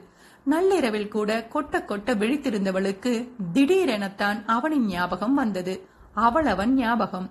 அவன் அன்று கொடுத்த பேட்டியை வைத்து பார்த்தால் அவன் குடும்பத்துடன் இணைந்து விட்டான் என்றுதானே அர்த்தம். அதான் வேறு திருமணம் செய்து கொண்டான் போல் நினைத்து கொண்டவளுக்கு இப்போது அது முக்கியமில்லை என உடனடியாக தோன்றிவிட்டது. முக்கியமாக அவனிடம் பணம் இருக்கும். அவனுக்கு பண பிரச்சனை இருக்காது. கேட்டால் கொடுப்பானா? நிச்சயம் சந்தேகம்தான். அவன் ஏதோ நினைவில் கொடுக்க நினைத்தாலும் அவன் மனைவி அனுமதிக்க வேண்டுமே. மீண்டும் மனம் சுணங்க தொடங்க அதை வேகமாக தட்டி எழுப்பினாள் மித்ரா இல்லை இது எதிர்மறையாக யோசிக்கக்கூடிய நேரமில்லை. இப்போதைக்கு பணம் கடமை இரண்டுமே இருக்கக்கூடிய ஒரே ஆள் அவன்தான். அவன் காலில் விழுந்தேனும் கேட்டுவிட வேண்டும். அதற்காக அவன் எதை ஈடாக கேட்டாலும் கொடுத்து விடலாம். அவன் மகள்தானே அந்த எண்ணம் கொஞ்சம் கூடவா இருக்காது என அவளின் மனசாட்சி சாதகமாக விஷயங்களை தேட அவனுக்கு போய் குழந்தை பாசமா என அவளின் மனம் நேரடியாகவே காரி துப்பியது. ஐயோ இல்லை இத்தனை வருடத்தில் கொஞ்சமேனும் மாறியிருக்க மாட்டானா? பாசம் வேண்டாம் மனிதாபிமானம் கூடவா மறத்து போயிருக்கும்? என்ன நடக்குமோ இருக்கும் ஒரு வழியை முயற்சித்து பார்க்காமல் இருக்க அவளுக்கு மனம் வரவில்லை. மனம் ஒரு தெளிவான முடிவெடுத்ததும் வேகமாக டைம் பார்த்தாள் மித்ரா. இரவு இரண்டு மணி என்று காட்டியது.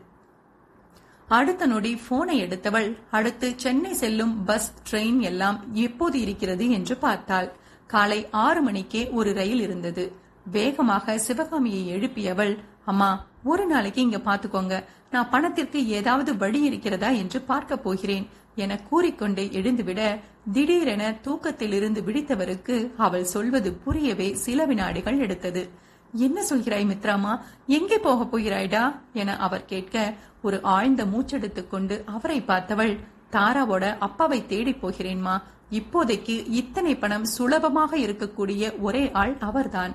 செய்வாரா என தெரியவில்லை. காலில் விழுந்தாவது கேட்டு பார்க்கிறேன். இருக்கும் வழியை முயற்சித்து பார்க்காமல் இருக்க மனம் வரவில்லைமா? தொண்டைக்குள் ஏதோ பெரிதாக அடைத்ததை விடுங்கிக் கொண்டு அவள் கூற ஒன்னும் பிரச்சனை வந்துடாதேடா. உன் கணவர் செய்வாரா? ஓரளவு மித்ரா பிரச்சனை தெரியும் என்பதால் அவர் சந்தேகமாக கேட்க தெரியலம்மா கேட்டு பாக்குறேன் நமக்கு வேறு வழி இல்லை. அவர் இப்போது சென்னையில் இருக்கிறார்மா? காலை ட்ரெயினில் போய்விட்டு இரவு ட்ரெயினில் கிளம்பி வந்து விடுகிறேன். அதுவரை இங்கே பார்த்துக்கோங்க. முதற்கட்ட பணத்திற்கு இதில் இருப்பதை எடுத்துக்கோங்க என தன் கார்டை அவரிடம் கொடுத்தவள் ஆறு மணிக்கு ட்ரெயின்மா நான் கிளம்புறேன். ஒரு ஆட்டோ பிடிச்சு போய் டிக்கெட் எடுத்துட்டு போயிட்டு வந்துடுறேன். நீங்க ஏதாவது சாப்பிட்டுக்கோங்கம்மா. நாம தெம்பா இருந்தா தான் குழந்தைய பாத்துக்க முடியும்.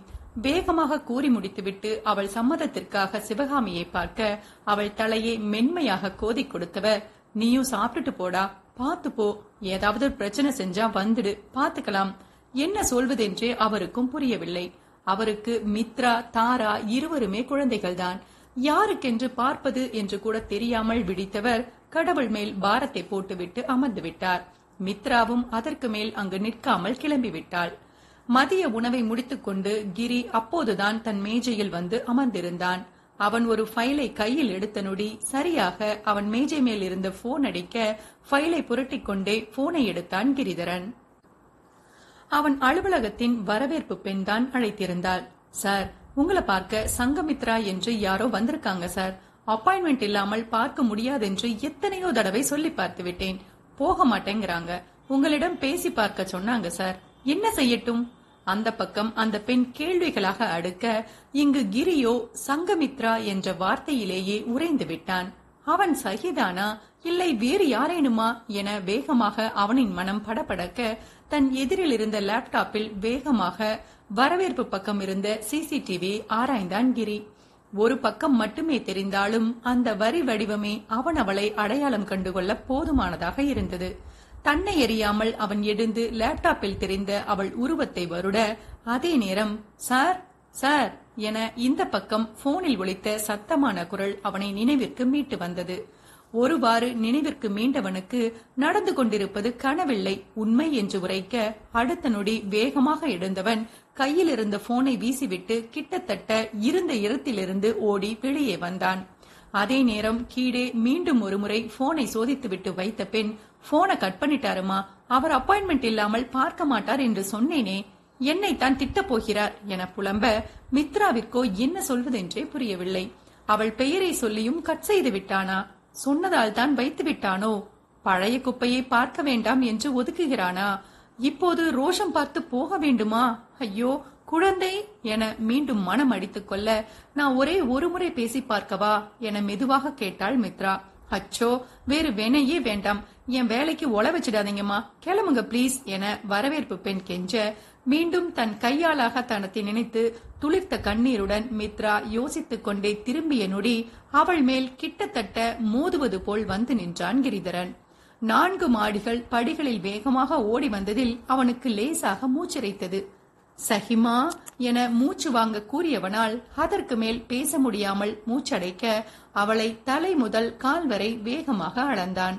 வெகு அருகில் அவளை வைத்துக்கொண்டு அவன் கைகள் வேறு அவளை இழுத்து அணைத்துக் கொள்ள துடித்தது. இத்தனை வருடத்தில் அவள் வாழ்க்கையில் என்ன மாற்றங்கள் நடந்திருக்குமோ என மூளை வேகமாக இடிக்க துடித்த கரங்கள் இரண்டையும் தன் பேண்ட் பாக்கெட்டுக்குள் விட்டுக்கொண்டவன் மூச்சுக்காற்றை சீராக்க முயன்று கொண்டே தன் முன் தன்னைப் போலவே உறைந்து நின்றிருந்த தன்னவளைத்தான் பார்த்துக் கொண்டிருந்தான். அத்தியாயம் எட்டு. தன் கண்முன் நின்றிருந்தவளை கண் சிமிட்ட கூட பயந்து பார்த்து கொண்டிருந்தான் கிரிதரன். எங்கே கண்களை சிமிட்டு விட்டால் மறைந்து விடுவாளோ என்ற பயம். எத்தனை வருட தவம் இந்த ஒரு நாளை எதிர்நோக்கித்தானே ஏழு வருடமாக கடினப்பட்டு உயிரையே உடலில் பிடித்து வைத்திருந்தான். ஏதேதோ கேட்க வேண்டும் பேச வேண்டும் என்று தோன்றியதுதான். ஆனால் வார்த்தைகள் வரவே மாட்டேன் என சண்டித்தனம் செய்தது போல் அவன் உதடுகள் ஒட்டிக்கொள்ள அவன் கண்கள் மட்டும்தான் வேலை செய்தது. மித்ராவிற்குமே பல வருடங்களுக்கு பின் அவனை நேரில் பார்த்ததில் ஸ்தம்பித்த நிலைதான். ஆனால் மகளின் உடல்நிலையோ? இல்லை ஏற்கனவே டிவியில் சில முறை பார்த்து விட்டதாலோ அவள் அதிர்ச்சி அதிக நேரம் நீடிக்கவில்லை. மகளை பற்றிய கவலை மனதை அரிக்கத் தொடங்க கண்முன் உயிரை கண்களில் தேக்கி தன்னையே பார்த்து கொண்டிருந்த அவன் உணர்வும் அவளுக்கு சரியாக புரியவில்லை. உங்களிடம் கொஞ்சம் பேசணும் என மெதுவாக அவள் கூற தோய்ந்து போய் ஒழித்த அவள் குரலில்தான் கிரி என்னும் கற்சிலைக்கு உயிரே வந்தது. மனம் நடப்பிற்கு வந்த நொடி அவள் குரலில் இருந்த சோர்வு புரிய அதே நேரம் அலைந்து திரிந்து நொந்து போயிருந்த அவள் தோற்றமும் அவன் கண்ணில் விழுந்தது. கசக்கி இருந்த புடவை மொத்தமாய் களை இழந்திருந்த முகம் களைந்திருந்த முடி அளவுக்கு அதிகமான இழைப்பு என ஆளே என்னவோ போல் இருந்தவளை பார்த்தவனுக்கு ஏண்டி இப்படி இருக்கிறாய்? என கதற வேண்டும் போல இருந்தது. அவனை எறியாமல் கேவல் வந்துவிடும் போல இருக்க அதை அவசரமாக ஒரு பெருமூச்செடுத்து கட்டுப்படுத்திக் கொண்டான் கிரிதரன். அவளது தற்போதைய நிலை தெரியாமல் அவன் ஒரு வார்த்தை பேசினாலும் தவறாக போய்விடுமே. என்னுடன் வா என்று விட்டு அவன் மெதுவாக முன்னால் நடக்க எதுவும் பதில் கூற தெம்பற்று அவனை அமைதியாக தொடர்ந்தாள் மித்ரா. கிரியின் செயலை விசித்திரமாக வரவேற்பில் இருந்தவர்கள் பார்த்ததையெல்லாம் அவன் ஒரு பொருட்டாகவே மதிக்கவில்லை. நேராக அவன் லிப்டில் ஏற அவனைத் தொடர்ந்து மித்ராவும் ஏறிக்கொண்டாள். நான்காம் தளத்தில் இருக்கும் தன் அறைக்கு அவளை அழைத்து வந்தவன் அறைக்குள் நுழைந்ததும் அங்கிருந்த இருக்கையை காண்பித்து உட்காரு சகி என்றான் மென்மையாக. அவளும் உடலும் மனமும் ஒரே அடியாக சோர்ந்து போயிருந்ததில் அமைதியாக அமர்ந்து விட்டாள். தன் மேஜையில் இருந்த தண்ணீர் கிளாஸை எடுத்து கிரி நீட்ட அதையும் மறுக்காமல் வாங்கி குடித்துக் கொண்டாள் மித்ரா. அவனிடம் பேச தெம்பு வேண்டுமே. தண்ணீர் உள்ளே சென்றதும் உண்மையாகவே சற்று தெம்பு வந்ததைப் போல இருக்க மெதுவாக அவனை நிமிர்ந்து பார்த்தாள் மித்ரா. அவள் பார்வையில் தெளிவை உணர்ந்தவன் எப்படி இருக்கிறாய் சகி? என கேட்க அவளுக்கோ மீண்டும் தொண்டை அடைத்துவிடும் போல இருந்தது. இல்லை வேறு எதுவும் யோசிக்க கூடாது. இப்போது குழந்தைதான் முக்கியம். அதை பற்றி பேச வேண்டும் என வேகமாக மனதை தேற்றிக் கொண்டவள் எழுந்து நின்று அவனை நேராக பார்த்தாள். கு- குழந்தைக்கு நேற்று வி- விபத்து நடந்துவிட்டது. பெரிய விபத்து. தலையில் நல்ல அடியாம். ஆபரேஷன் பண்ணணுமாம். பத்து லட்சம் பக்கம் செலவாகும்னு சொல்றாங்க. என்கிட்ட இல்லை. யாரிடம் கேட்பதென்றும் தெரியவில்லை. உங்களை தவிர வேறு யாரிடமும் கேட்க முடியாது. உங்களுக்கு பிடிக்காதுதான். ஆனால் எனக்கு வேறு வழி இல்லை. அவள் உங்கள் ரத்தம் என்று கூட பார்க்க வேண்டாம். ஏதேனும் தர்மத்திற்கு உதவி செய்வது போல் நினைத்து உதவுங்களேன். கடனாக கொடுத்தால் கூட போதும். காலம் முழுவதும் நீங்கள் சொல்லும் வேலையை செய்யக்கூட தயாராக இருக்கிறேன். என் பெண்ணிற்காக உயிர் பிச்சை கேட்டு வந்திருக்கிறேன். காப்பாற்றிக் கொடுங்க தீரன். ப்ளீஸ். பேசவே முடியாமல் திணறலாக இருந்தாலும் குரல் அடைத்ததையெல்லாம் பொருட்படுத்தாமல் திக்கி திணறி ஒரே மூச்சில் கூறி முடித்தவள் கடைசியாக அவன் காலிலும் அப்படியே விழுந்துவிட்டாள். அவன் காலை பிடித்துக்கொண்டு அவள் கதறிக் கொண்டிருக்க எதிரில் வெறித்துக் கொண்டு நின்றிருந்த கிரிதரனுக்கு உயிர் உறைந்து சில வினாடிகள் ஆகியிருந்தது. அவள் கூறிய செய்தி அவன் இதயத்தை சென்றடைந்த நொடியே அதன் வீரியத்தை தாங்க முடியாமல் அவன் இதயம் வேலை நிறுத்தம் செய்து போராடத் தொடங்கியிருந்தது. மெது மெதுவாக நிலைமையின் தீவிரம் மூளைக்குள் உரைத்து உறைந்திருந்த மனதிற்கு இரத்த ஓட்டம் செல்ல அதற்கு மேல் நிற்கக்கூட தெம்பற்று மித்ரா அருகிலேயே அமர்ந்து விட்டான் கிரி. திடீரென நிலையில்லாமல் அவனும் அமரவும் அத்தனை நேரம் அழுது கொண்டிருந்த மித்ரா அதிர்ச்சியுடன் அவனை நிமிர்ந்து பார்த்தாள். அவன் முகத்திலிருந்து அவளால் ஒன்றுமே கண்டுபிடிக்க முடியவில்லை. வழியில் துடித்துக் கொண்டிருந்த அவள் மனதிற்கு எதிரில் ஒருவன் உயிர் உறைந்து அமர்ந்திருப்பது சரியாக புரியவில்லை போல். கலங்கி சிவந்த கண்களுடன் கண்ணீரை துடைக்க கூட தோன்றாமல் அமர்ந்திருந்த அவளவன் மரண வழி அவளுக்கு புரியாமல் போனது பரிதாபமே. தலைமுடியை அழுந்த பற்றிக் கொண்டு கழுத்து நரம்புகள் எல்லாம் புடைத்திட உடல் முழுவதும் சிவந்து அமர்ந்திருந்தவனை பார்த்தவளுக்கு லேசாக பயமாக கூட போய்விட தீரன் என மெதுவாக அவன் கைகளை பிடித்து அசைத்தாள் மித்ரா. அவள் தொடுகையில் அவள் புறம் திரும்பியவனுக்கு தன்னை கட்டுப்படுத்திக் கொள்ள வேண்டிய கட்டாயம் ஒருவாறு புரிந்தது.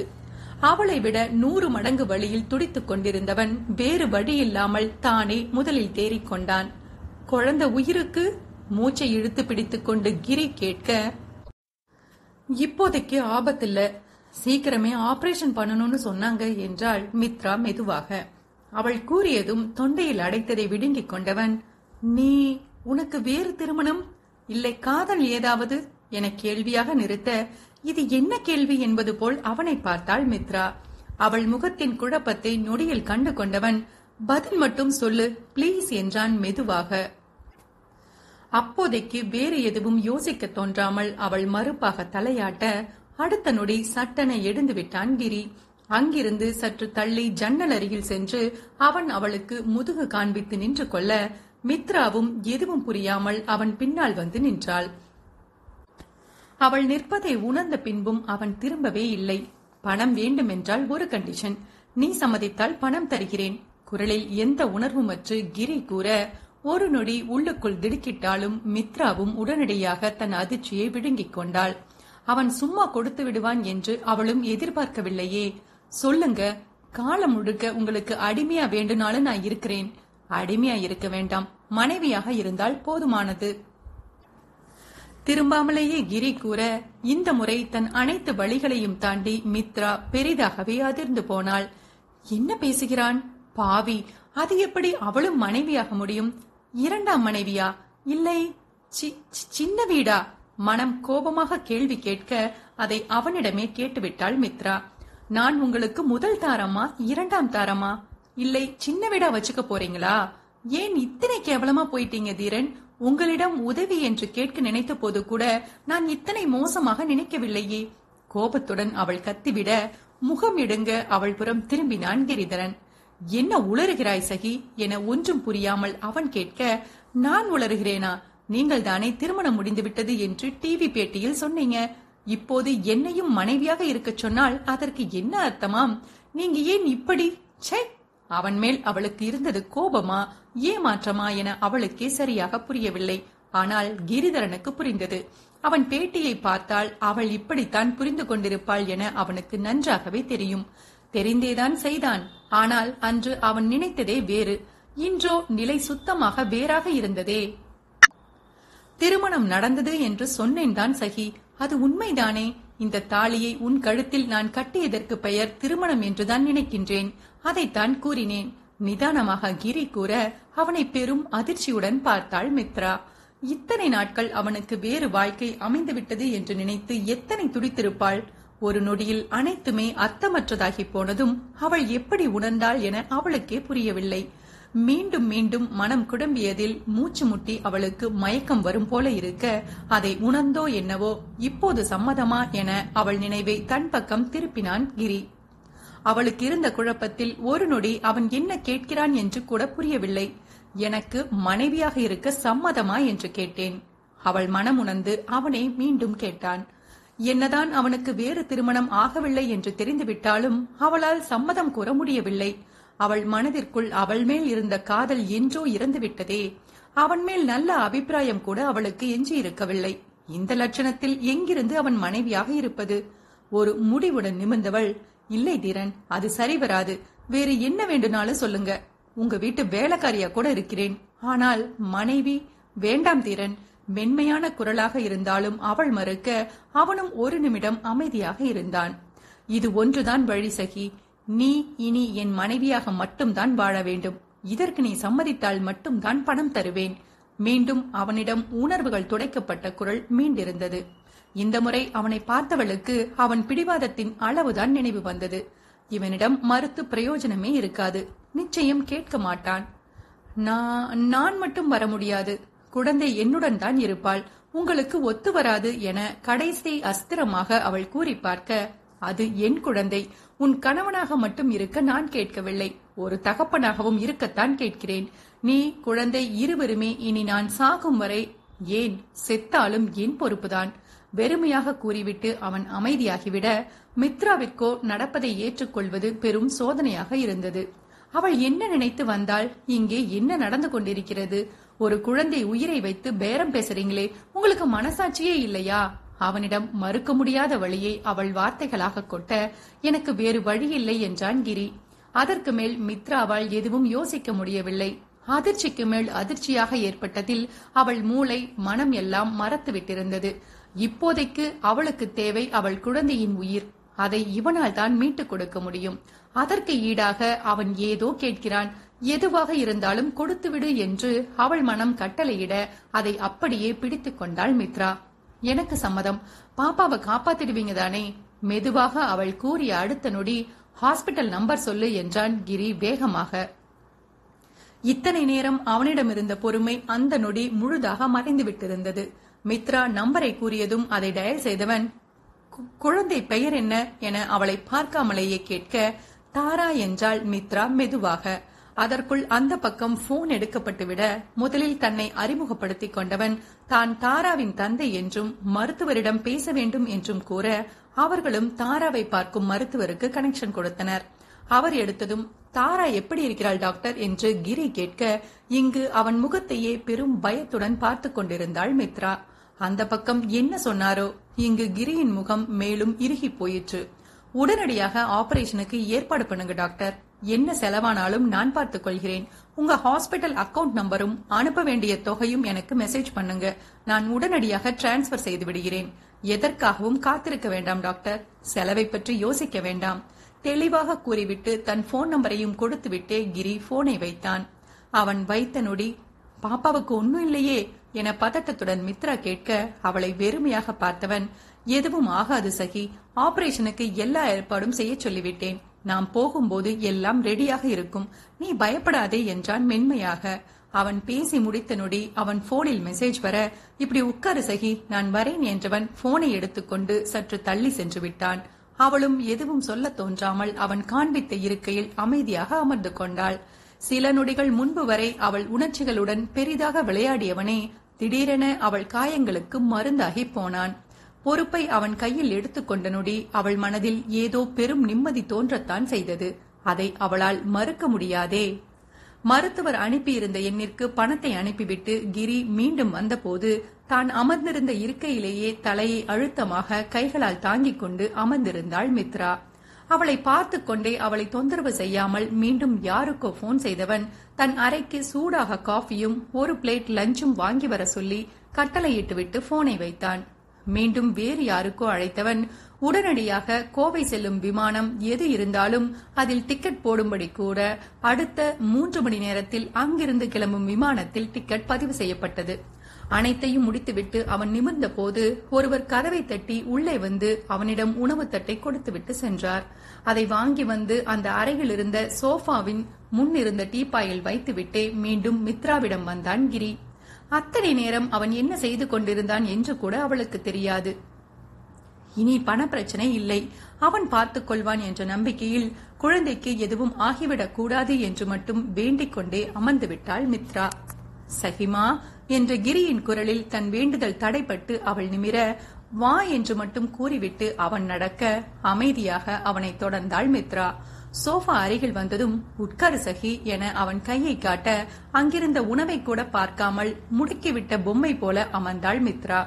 இத சாப்பிடு சகிமா. நீ சாப்பிட்டு முடிச்சதும் கிளம்ப வேண்டியதுதான். டிக்கெட் போட்டாச்சு. சரியாக இருக்கும். மென்மையாக கிரி கூற அப்போதுதான் எதிரில் இருந்த உணவை பார்த்தவளுக்கு அதை சுத்தமாக உண்ண முடியும் என்று தோன்றவில்லை. முகம் சுருக மீண்டும் எழுந்தவள் எனக்கு வேண்டாம் தீரன் நாம கிளம்பலாமா? என்று கேட்டு வைக்க சாப்பிடு சகிமா நீ கடைசியாக எப்போது சாப்பிட்டாய் என்றே தெரியவில்லை. தெம்பே இல்லாமல் இருக்கிறாய். கொஞ்சமேனும் சாப்பிடுமா? மென்மையாக அவன் கூறியது அவளுக்கு ஒன்றும் ரசிக்கவில்லை போல். எனக்கு வேண்டாம் தீரன் குழந்தைய பார்க்கணும். எனக்கு பயமா இருக்கு. போகலாம் ப்ளீஸ் என்றாள் மித்ரா. இவளிடம் மென்மையெல்லாம் வேலைக்காகாது என அவனுக்கு புரிந்துவிட்டது. அவளை அழுத்தமாக தானே பிடித்து சோஃபாவில் அமர வைத்தவன். இதை முழுதாக நீ சாப்பிட்டு முடித்தால் மட்டும்தான் இங்கிருந்து நாம் நகருவோம் சகி என நிதானமாக கூற அவனை எரிச்சலுடன் பார்த்தாள் மித்ரா. என் குழந்தை உயிருக்கு போராடிக் கொண்டிருக்கிறது தீரன். எனக்கு எப்படி சாப்பாடு உள்ளே இறங்கும்? எல்லோரையும் உங்களைப் போலவே நினைக்காதீங்க. ஆற்றாமையுடன் அவள் கத்திவிட அவளை எந்த உணர்வும் அற்று வெறித்தவன். சாப்பிட்டால் போகலாம் என்றான் கொஞ்சமும் இலகாமல். அவளுக்கும் பொறுமையெல்லாம் பறந்துவிட இப்போது என்ன உங்களுக்கு? இதை சாப்பிடணும். அவ்வளவுதானே? என கத்தியவள் எதிரில் இருந்த தட்டை எடுத்து அதில் என்ன இருக்கிறது? என்று கூட கவனிக்காமல் வேக வேகமாக விழுங்கினாள். கண்கள் கலங்க பெரும் பாடுபட்டு உணவை உள்ளே தள்ளியவளை அமைதியாக பார்த்து கொண்டு நின்றிருந்தான் கிரி. வேக வேகமாக அவள் உணவை முடித்துவிட்டு அவனை முறைக்க அதை கண்டுகொள்ளாமல் காஃபியை எடுத்து அவளிடம் நீட்டியவன் இதையும் குடி என்றான். எந்த பதிலும் கூறாமல் அதையும் வாங்கி ஒரே மூச்சில் குடித்து விட்டாள் மித்ரா. அங்கே ஹேண்ட் வாஷ் என அவன் கை காண்பிக்க அந்த திசையில் சென்றவள் அங்கிருந்த சிறிய பாத்ரூமிற்கு சென்று கையை அலம்பிவிட்டு வந்தாள். ஒரு அரை மணி நேரத்தில் கிளம்பி விடலாம். அதுவரை இங்கேயே ரெஸ்ட் எடு. நான் வந்து விடுகிறேன் என கிரி கூற அவளும் அமைதியாக மீண்டும் சோஃபாவில் முடங்கிவிட்டாள். சாப்பிட்டதில் கொஞ்சம் மனம் தெளிவடைந்ததும் தான் அவளுக்கு சிவகாமி நினைவே வர அவருக்கு சொல்வதற்காக போனை எடுத்தாள் மித்ரா. அவள் தெளிந்துவிட்டதை உறுதி செய்து கொண்ட கிரிதரனும் அதற்கு மேல் அவளிடம் நிற்காமல் நகர்ந்து விட்டான். தன் மேஜையில் இருந்த பென் ஸ்டாண்டிலிருந்து ஏதோ எடுத்துக்கொண்டவன் நேராக அங்கிருந்த பாத்ரூமிற்குள் புகுந்து கதவடைத்துக் கொண்டான். உள்ளே இருந்த சிறிய வாஷ் பேஷன் அருகில் வந்து நின்றவன் தனக்கு எதிரில் இருந்த கண்ணாடியில் தன் முகத்தை பார்த்தான். இத்தனை நேரம் உயிரை கொன்று அவன் மறைத்துக் கொண்டு சுற்றிய வழி முழுவதும் கொஞ்சம் கொஞ்சமாக அவன் முகத்தில் பரவியது. வாஷ் பேஷனை இரண்டு கைகளாலும் அழுத்தமாக பிடித்துக் கொண்டிருந்தவன் கட்டுப்படுத்த முடியாத வழியில் வாய்விட்டு கதற முடியாமல் உடல் முழுவதும் நடுங்க தொண்டையடைத்து பல்லை கடித்துக் கொண்டு தன் உணர்வுகளுடன் போராடிக் கொண்டிருந்தான். கண்ணாடியில் தெரிந்த தன் பிம்பத்தை பார்த்தவனுக்கு அதன் மீது கொலை வெறி ஏற்பட தன்னையே பெரும் கோபத்துடன் பார்த்து கொண்டு தன் கையில் இருந்த பொருளை பிரித்தான் கிரி. அது ஒரு சிறிய கத்தி. அவசரத்திற்கு உபயோகிக்க அவன் பென் ஸ்டாண்டில் எப்போதும் இருப்பது. ஃபோல்டபிள் கத்தியை நிதானமாக பிரித்தவன் தன் சட்டையின் மேல் பட்டன்களை அவிழ்த்தான். நெஞ்சிற்கு நேராக கத்தியின் கூர் பகுதியை வைத்து அழுத்தியவன் தன்னையே வெறித்துக் கொண்டு அழுத்தமாக நெஞ்சில் கீற சதை கிழிந்து அவன் நெஞ்சு பகுதியிலிருந்து ரத்தம் வழிந்தது. அழுத்தமான கீறலில் மிகவும் லேசாகவே அவன் மனதை தாண்டி உடம்புக்கு ஏற்பட்ட வழிதான் அவனை கொஞ்சமேனும் சமாதானமடையச் செய்தது. நெஞ்சில் கீறி ரத்தம் வழிந்து கொண்டிருப்பதை ஒருவித நிம்மதியுடன் பார்த்தவன் அமைதியாக மீண்டும் சட்டை பட்டனை மாட்டிவிட்டான். ரணமாக வலித்த மனதை ரணத்தைக் கொண்டே சமாதானம் செய்ய முயன்றான் போல். அத்தியாயம் ஒன்பது. மீண்டும் கிரி வெளியே வந்தபோதும் மித்ரா யாருடனோ பேசிக் கொண்டுதான் இருந்தாள். மாலை வந்து விடுவேன்மா அதுவரை கொஞ்சம் பார்த்துக்கோங்க. இல்லைமா ஒன்றும் பிரச்சனை இல்லை என்றவள் கண்கள் தன்னை அறியாமல் எதிரில் நின்றிருந்தவன் மீது படிய அவனோ அவளை பார்த்து கொண்டே நகர்ந்து விட்டான். அவன் வெளியேறியதும் மீண்டும் மித்ரா போனில் குழந்தையை விசாரிக்க தொடங்கிவிட வெளியே வந்த கிரி நேராக அன்பரசன் அறைக்குத்தான் வந்தான். அன்பரசன் ஒரு முக்கியமான வேலையை தீவிரமாக அன்று முடித்துக் கொண்டிருந்தான். அதனால் எதையுமே அவன் கவனிக்கவில்லை. அறைக்கதவு திறக்கப்படும் சத்தத்தில் நிமிர்ந்தவன் எதிரில் வந்து நின்ற நண்பனை சாதாரணமாக நிமிர்ந்து பார்த்தான். பார்த்த நொடி அவன் தோற்றம் கண்டு அதிர்ந்து எழுந்து விட்டவன் கிரி என்னடா ஆச்சு? ஏன் இப்படி இருக்கிற? என பதறிக்கொண்டே அவனிடம் வர என்னுடன் வா அன்பு என அவனை பிடித்து அழைத்துக் கொண்டு வெளியே வந்தான் கிரி. என்னடா ஆச்சு? என கேட்டுக்கொண்டே அன்பு வர தன் அறையின் பக்கவாட்டு சுவர் அருகில் வந்து நின்ற கிரி அங்கே பார் என தன் அறைக்குள் காட்ட கண்ணாடி தடுப்பின் அந்த பக்கம் பார்த்த அன்பும் அந்த நொடி திகைத்துத்தான் விட்டான். தன் அறையிலிருந்தே வேலைகளை கண்காணிக்க கிரி ஏற்படுத்திக் கொண்ட கண்ணாடி தடுப்பு அது. அந்த அறையிலிருந்து வரும்போதே அதன் ஸ்கிரீனை லேசாக நகற்றிவிட்டுத்தான் அவன் வந்திருந்தான். அது மித்ரா தானே கிரி? அதிர்ச்சியும் கொஞ்சமும் குறையாமல் அன்பு கேட்க ம் என்றான் கிரி. எப்படி இருக்கிறாள்டா? ஏன் என்னவோ போல் இருக்கிறாள்? நான் பேசவா? திடீரென தோன்றிவிட்ட பரபரப்புடன் அன்பு கேட்க நீ இப்போது அவளை பார்க்க வேண்டாம் அன்பு. எதையும் எதிர்கொள்ளும் நிலையில் அவள் இல்லை. உன் அறையிலேயே போய் பேசுவோம். வா என்றவன் அவனை கையோடு இழுத்துக்கொண்டே வந்துவிட்டான். அன்பரசனும் மித்ராவை திரும்பி திரும்பி பார்த்து கொண்டாலும் வேறு வழியில்லாமல் நண்பனை தொடர்ந்தான். அறைக்குள் நுழைந்ததுமே என்னடா ஆச்சு? மித்ரா எப்படி இங்கே? வேகமாக அன்பரசன் கேட்க கிரிதரனும் அதற்கு மேல் மறைக்காமல் நடந்ததை அப்படியே கூறினான். என் பாவத்திற்கான தண்டனை ரொம்பவும் கொடுமையாக இருக்கிறது அன்பு. விரக்தியுடன் கூறிக்கொண்டே கிரி அமர்ந்துவிட கிரி என்னடா கொடுமை இது? என்ற அன்பின் கண்களும் கலங்கித்தான் இருந்தது. நானும் வரேன்டா. தாராவிற்கு ஒன்னும் ஆகாது கிரி. கவலைப்படாதடா மெதுவாக கூறியவன் ஆறுதலாக கிரியை அணைத்துக் கொள்ள ஒரு நொடி தானும் ஆறுதலாக அவன் தோல் சாய்ந்து கொண்டவன் அடுத்த நொடி விலகியும் விட்டான். இல்லை அன்பு நான் பலவீனமாக கூடாது. இப்போது நான் திடமாக இருந்தே ஆக வேண்டும். நான் கிளம்புகிறேன். இப்போது நான் சொல்வதை கொஞ்சம் உணர்ச்சி வசப்படாமல் கேள் என்றவன் கண்களை துடைத்துக் கொண்டு நிமிர்ந்து நின்றான். குழந்தைக்கு மேஜர் ஆபரேஷன் செய்ய வேண்டுமாம். ரிஸ்க் அதிகம் என்றுதான் சொன்னாங்க. மீண்டும் தொண்டை அடைத்துவிடும் போல இருக்க பிடிவாதத்துடன் அதை சரி செய்து கொண்டு தொடர்ந்து பேசினான் கிரி. குழந்தைக்கு எதுவும் ஆகாது என்று நம்புகிறேன் அன்பு. ஒருவேளை ஒருவேளை ஏதாவது ஆகிவிட்டால் சகி தாங்குவாள் என்று தோன்றவில்லை. இத்தனை வருடத்திற்கு பின் இருவரையும் பார்த்துவிட்டு கண்ணுக்கு நேர் அவர்களை பறிகொடுக்கும் கொடுமையை தாங்கும் சக்தி எனக்கில்லை அன்பு. ஏதாவது தவறாக நடந்தால் நானும் திரும்ப வரமாட்டேன். என் முட்டாள்தனத்தால் இந்த உலகில் கிடைத்திருக்க வேண்டிய சொர்க்கத்தை ஒரு முறை இழந்துவிட்டேன் அது இனி வேறு உலகில்தான் கிடைக்கும் என்றால் அங்கே போய் அனுபவித்துக் கொள்கிறேன். நான் இல்லாவிட்டால் கொஞ்சம் என் குடும்பத்தை பார்த்துக்கொள். துர்கா வாழ்க்கை உன் பொறுப்பு. என்னடா பேசுகிறாய்? வேண்டாம் கிரி. ப்ளீஸ் என்னால தாங்க முடியலடா. அவன் வார்த்தைகளை கொஞ்சமும் ஏற்றுக்கொள்ள முடியாமல் துடித்து அன்பு கதறிவிட இப்போ அழாதடா என அவனை திட்டினான் கிரி. அவன் சத்தமாக கத்தியதில் அன்பு அதிர்ந்து நிமிர தேவைப்பட்டால் சேர்த்து வைத்து அழுது கொள் அன்பு. இப்போது நான் கிளம்புகிறேன். குழந்தைக்கு நல்லாகிவிட்டாலும் எப்போது வர முடியும் என்று தெரியவில்லை. நான் சித்தியிடம் போனில் பேசுகிறேன். நான் சொல்லும்போது நீ நேரில் போய் அவர்களிடம் நடந்ததை கூறிவிடு. இப்போதைக்கு பிசினஸ் வேலையாக போகிறேன் என்று மட்டும் சொல்லி வைக்கிறேன். உன்னிடம் கேட்டாலும் அதையே சொல்லிக்கொள். பார்த்துக்கோடா. நேரமாச்சு. நான் கிளம்புறேன். வாற்றை பார்த்து கொண்டே அவன் கூற அவனை வேகமாக வந்து அணைத்துக் கொண்டான் அன்பு. ஒன்றும் ஆகாது கிரி. கண்டிப்பா ஆகாது. நீங்க மூணு பேருமே நல்லபடியா வருவீங்கடா. வரணும். இல்லை என்றால் குற்ற உணர்வே என்னை கொன்றுவிடும்.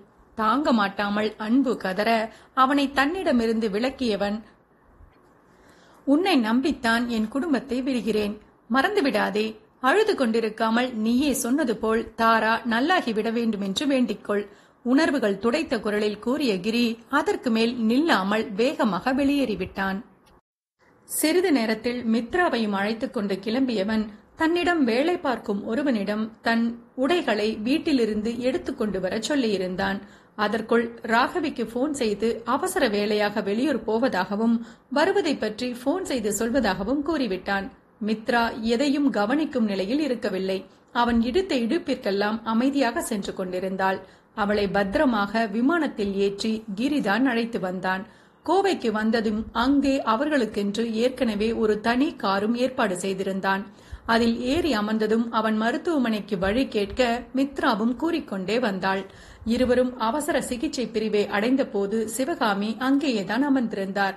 அம்மா பாப்பாக்கு ஒன்றுமில்லையே என அவரை பார்த்தவுடன் மித்ரா கேட்க ஒன்னும் இல்லடா என்றவர் கண்கள் கிரி மீதுதான் படிந்தது.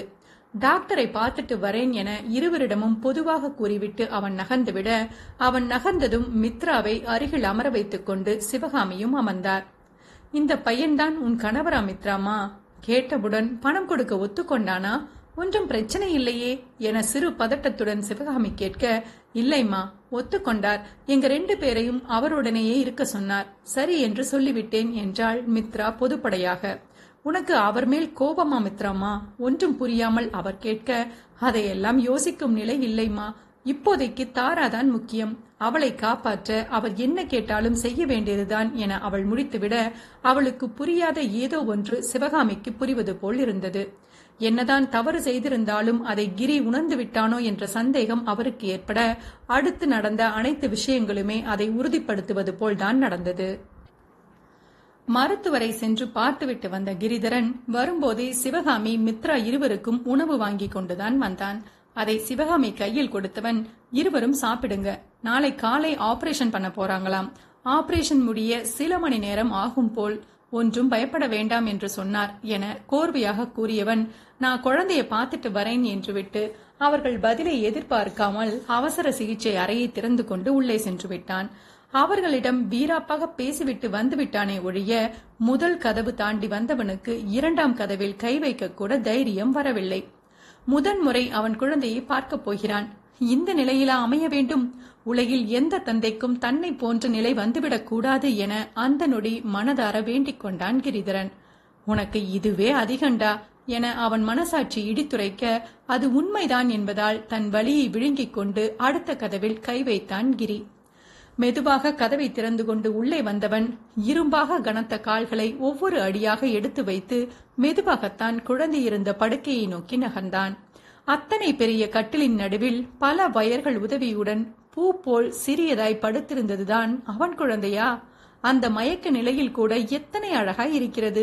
உடல் முழுவதும் ஏதேதோ வயர்களும் ஆங்காங்கே சிராய்ப்புகளும் கட்டுக்களும். என்ன கொடுமை இது?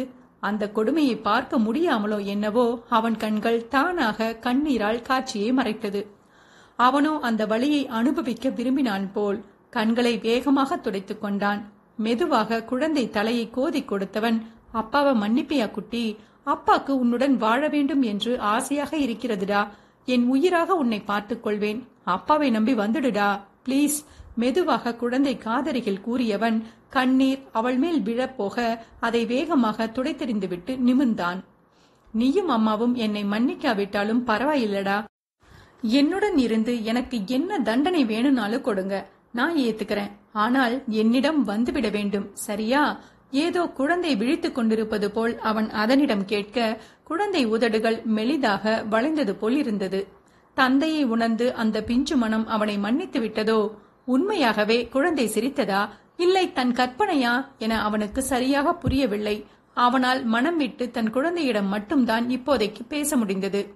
நான் பெரிய பாவி குட்டி உன் அம்மா எந்த அளவு துடித்திருப்பாள் என இப்போது புரிகிறது. எனக்கு தேவைதாண்டா? நீங்க சீக்கிரம் கண் முழிச்சு அப்பா கிட்ட வாங்க. செஞ்ச பாவத்தை கழிக்க அப்பாவுக்கு நீங்க தான் வாய்ப்பு தரணும் குட்டி. மெதுவாக பேசிக் கொண்டிருந்தவனால் ஒரு கட்டத்திற்கு மேல் சலனம் இல்லாமல் இருந்த சிறிய உருவத்தை பார்க்க முடியவில்லை. இதற்கு மேல் நின்றால் ஒன்று கட்டுப்படுத்த முடியாமல் கதறிவிடுவோம் இல்லை நெஞ்சடைத்து இறந்து விடுவோம் என்று தோன்றிவிட வேகமாக வெளியே வந்துவிட்டான். ஐசியு கதவை திறந்து கொண்டு வந்தவன் எதையும் கவனிக்காமல் எங்கோ வேகமாக சென்றுவிட அப்போதுதான் சிவகாமி மிரட்டலில் உண்ணத் தொடங்கியிருந்த மித்ரா குழப்பத்துடன் அவன் சென்ற திசையை விரைத்தாள். நீ சாப்பிடு மித்ராமா என மீண்டும் சிவகாமி அவள் கவனத்தை திருப்பிவிட ஏதோ அரைகுறையாக குறித்து வைத்தாள் மித்ரா. ஒருவாறு சிவகாமியும் சாப்பிட்டு முடித்து பத்து நிமிடம் சென்றுதான் கிரி மீண்டும் வந்தான். அவர்கள் அருகில் வந்ததும் அவர்கள் உண்டுவிட்டதை உறுதி செய்து கொண்டவன் இதே ஃப்ளோரில் ஒரு ரூம் கொடுத்துருக்காங்க. ரெண்டு பேரும் அங்க போய் ரெஸ்ட் எடுங்க. வாங்க ரூம் காட்டுறேன் என அழைக்க நான் இங்கேயே தான் இருப்பேன் என்றால் மித்ரா முதல் ஆளாக. கொஞ்சம் படு சகிமா நாளை குழந்தை கண்பிடிக்கும் போது நீ மயங்கி கிடப்பாயா? என கிரி கேட்க இல்லை நான் இங்கேயே இருக்கேன் என திடமாக மறுத்துவிட்டாள் மித்ரா. அவள் மனநிலை புரிந்ததால் அவளை வற்புறுத்த அவனுக்கு மனம் வரவில்லை. நீங்களாவது வாங்கம்மா இவளுக்குத்தான் அடம். ஒருத்தராவது நல்லா இருக்கணும் என சிவகாமிபுரம் அவன் திரும்ப அத்தனை நேரம் அவனை ஆராய்ந்து கொண்டிருந்தவர் சற்று அதிர்ந்துதான் விட்டார். மித்ரா அவன் முகத்தையே கவனிக்கவில்லை. ஆனால் சிவகாமி நன்றாகவே கவனித்தார். என்னதான் பல முறை முகம் அலம்பி இருந்தாலும் அவன் முயற்சியை எல்லாம் தாண்டி சற்றே வீங்கியிருந்த அவன் கண்களும் சிவப்பு மறையாமல் இருந்த அவன் முகமும் தனியாக சென்று பெரிதாக அழுதுவிட்டுத்தான் வந்திருக்கிறான் என தெளிவாகவே பறைசாற்றியது. மனதார அவன் மாறிவிட்டான் என புரிய சிவகாமிக்கு இந்த ஒரு சான்றை போதுமானதாக இருந்தது.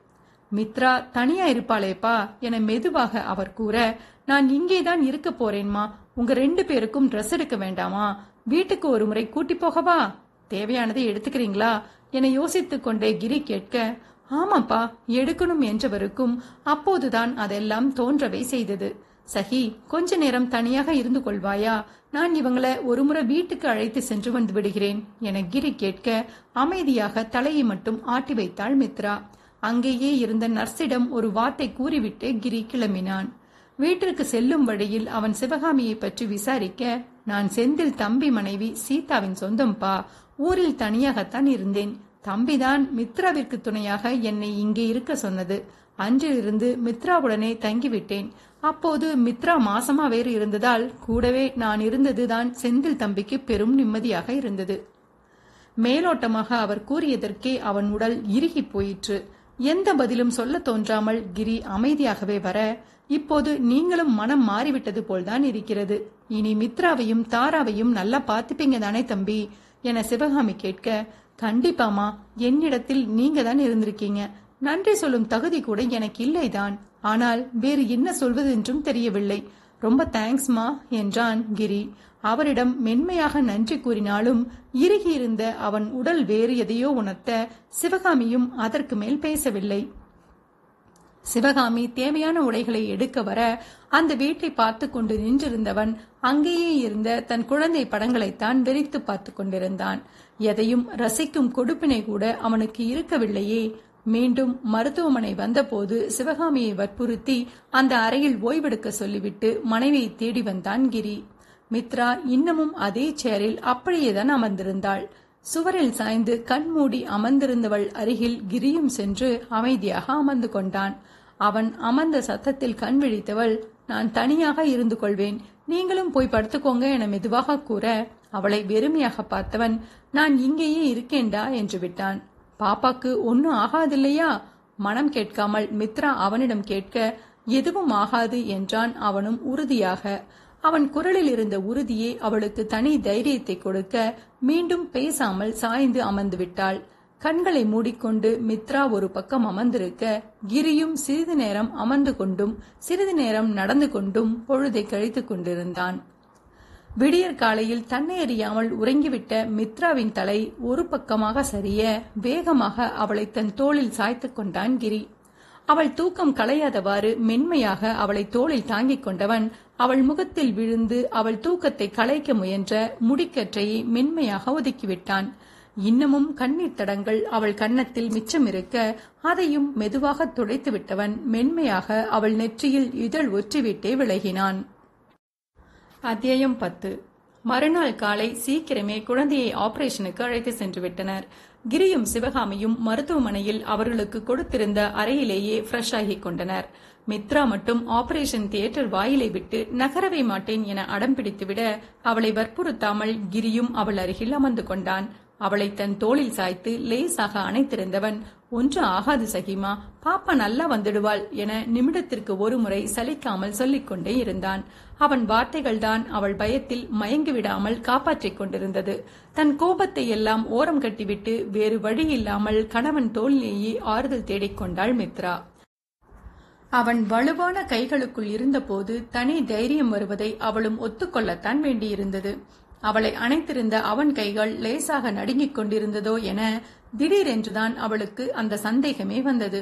மெதுவாக அவனை நிமிர்ந்து மித்ரா பார்க்க ஒரு பக்கம் அவளை ஆறுதலாக அணைத்து அவளுக்கு தைரியம் கூறிக்கொண்டிருந்தாலும் இறுகியிருந்த அவன் முகமும் அழுந்த மூடியிருந்த அவன் மற்றொரு கையும் அவனும் தவித்துக் கொண்டுதான் அமர்ந்திருக்கிறான் என்பதை உணர்த்தியது. அதை முழுதாக ஆராயும் மனநிலை இல்லாததால் சரியாக எதையும் கவனிக்க கூட முடியாமல் மித்ராவின் மனம் குழந்தையிடம் சென்றுவிட்டது. எப்படியோ பல மணி நேரம் கடந்து மதியம் போல்தான் மருத்துவர்கள் வெளியே வந்தனர். அவர்கள் வந்த நொடி மித்ரா கிரி சிவகாமி மூவரும் அவரிடம் ஓட பதறாதீங்க என முதலில் அவர்களை நிறுத்தியவர் ஆபரேஷன் நல்லபடியா முடிஞ்சது. இனி உயிருக்கு ஆபத்தில்லை. முக்கால்வாசி எதுவும் பாதிப்பு இருக்காது. எதற்கும் குழந்தை கண் விழித்ததும் சோதித்து விடலாம். இன்று ஐசியூவில் தான் இருப்பாங்க. நாளைதான் ரூமுக்கு மாற்ற முடியும். குழந்தை கண் விழிக்கவும் ஒரு நாள் ஆகும். பயப்படாம இருங்க. She will be all right நிதானமாக கூறிவிட்டு அவர் சென்றுவிட மூவருக்கும் அப்போதுதான் உயிரே வந்தது போல் இருந்தது.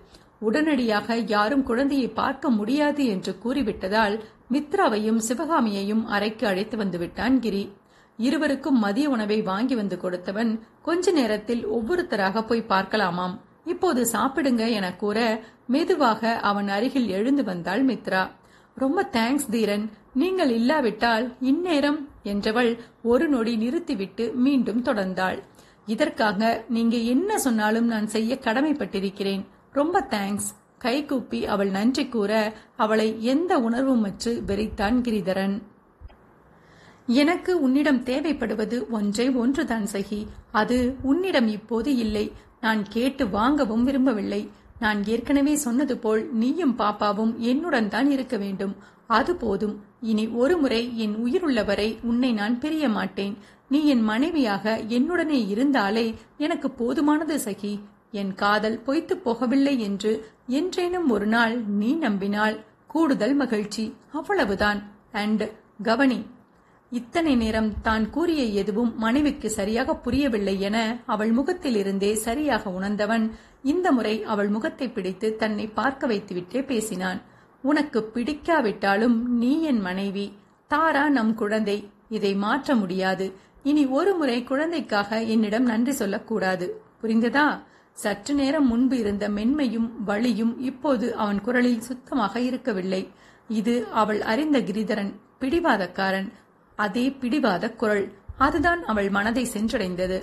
அவன் வார்த்தைகள் மனதை தீண்டிய நொடி அவனது அன்றைய பிடிவாதமும் சேர்த்தே நினைவுக்கு வந்து மித்ராவின் முகம் இறுகிப் போயிற்று. நன்றி சொல்லவில்லை. நீங்க செஞ்ச உதவிக்கு பதிலாக இந்த உறவை ஏற்றுக்கொள்கிறேன். கடனுக்கு பணத்திற்கு பதில் பொருள் கொடுப்பது போல். ஏதோ எண்ணத்தில் அவளிடமிருந்து குத்தலாகத்தான் பதில் வந்தது. நியாயப்படி பார்த்தால் அவனுக்கு குத்தி இருக்கத்தான் வேண்டும். ஆனால் அவனோ சம்பந்தமே இல்லாமல் மெளிதாக சிரித்து வைத்தான்.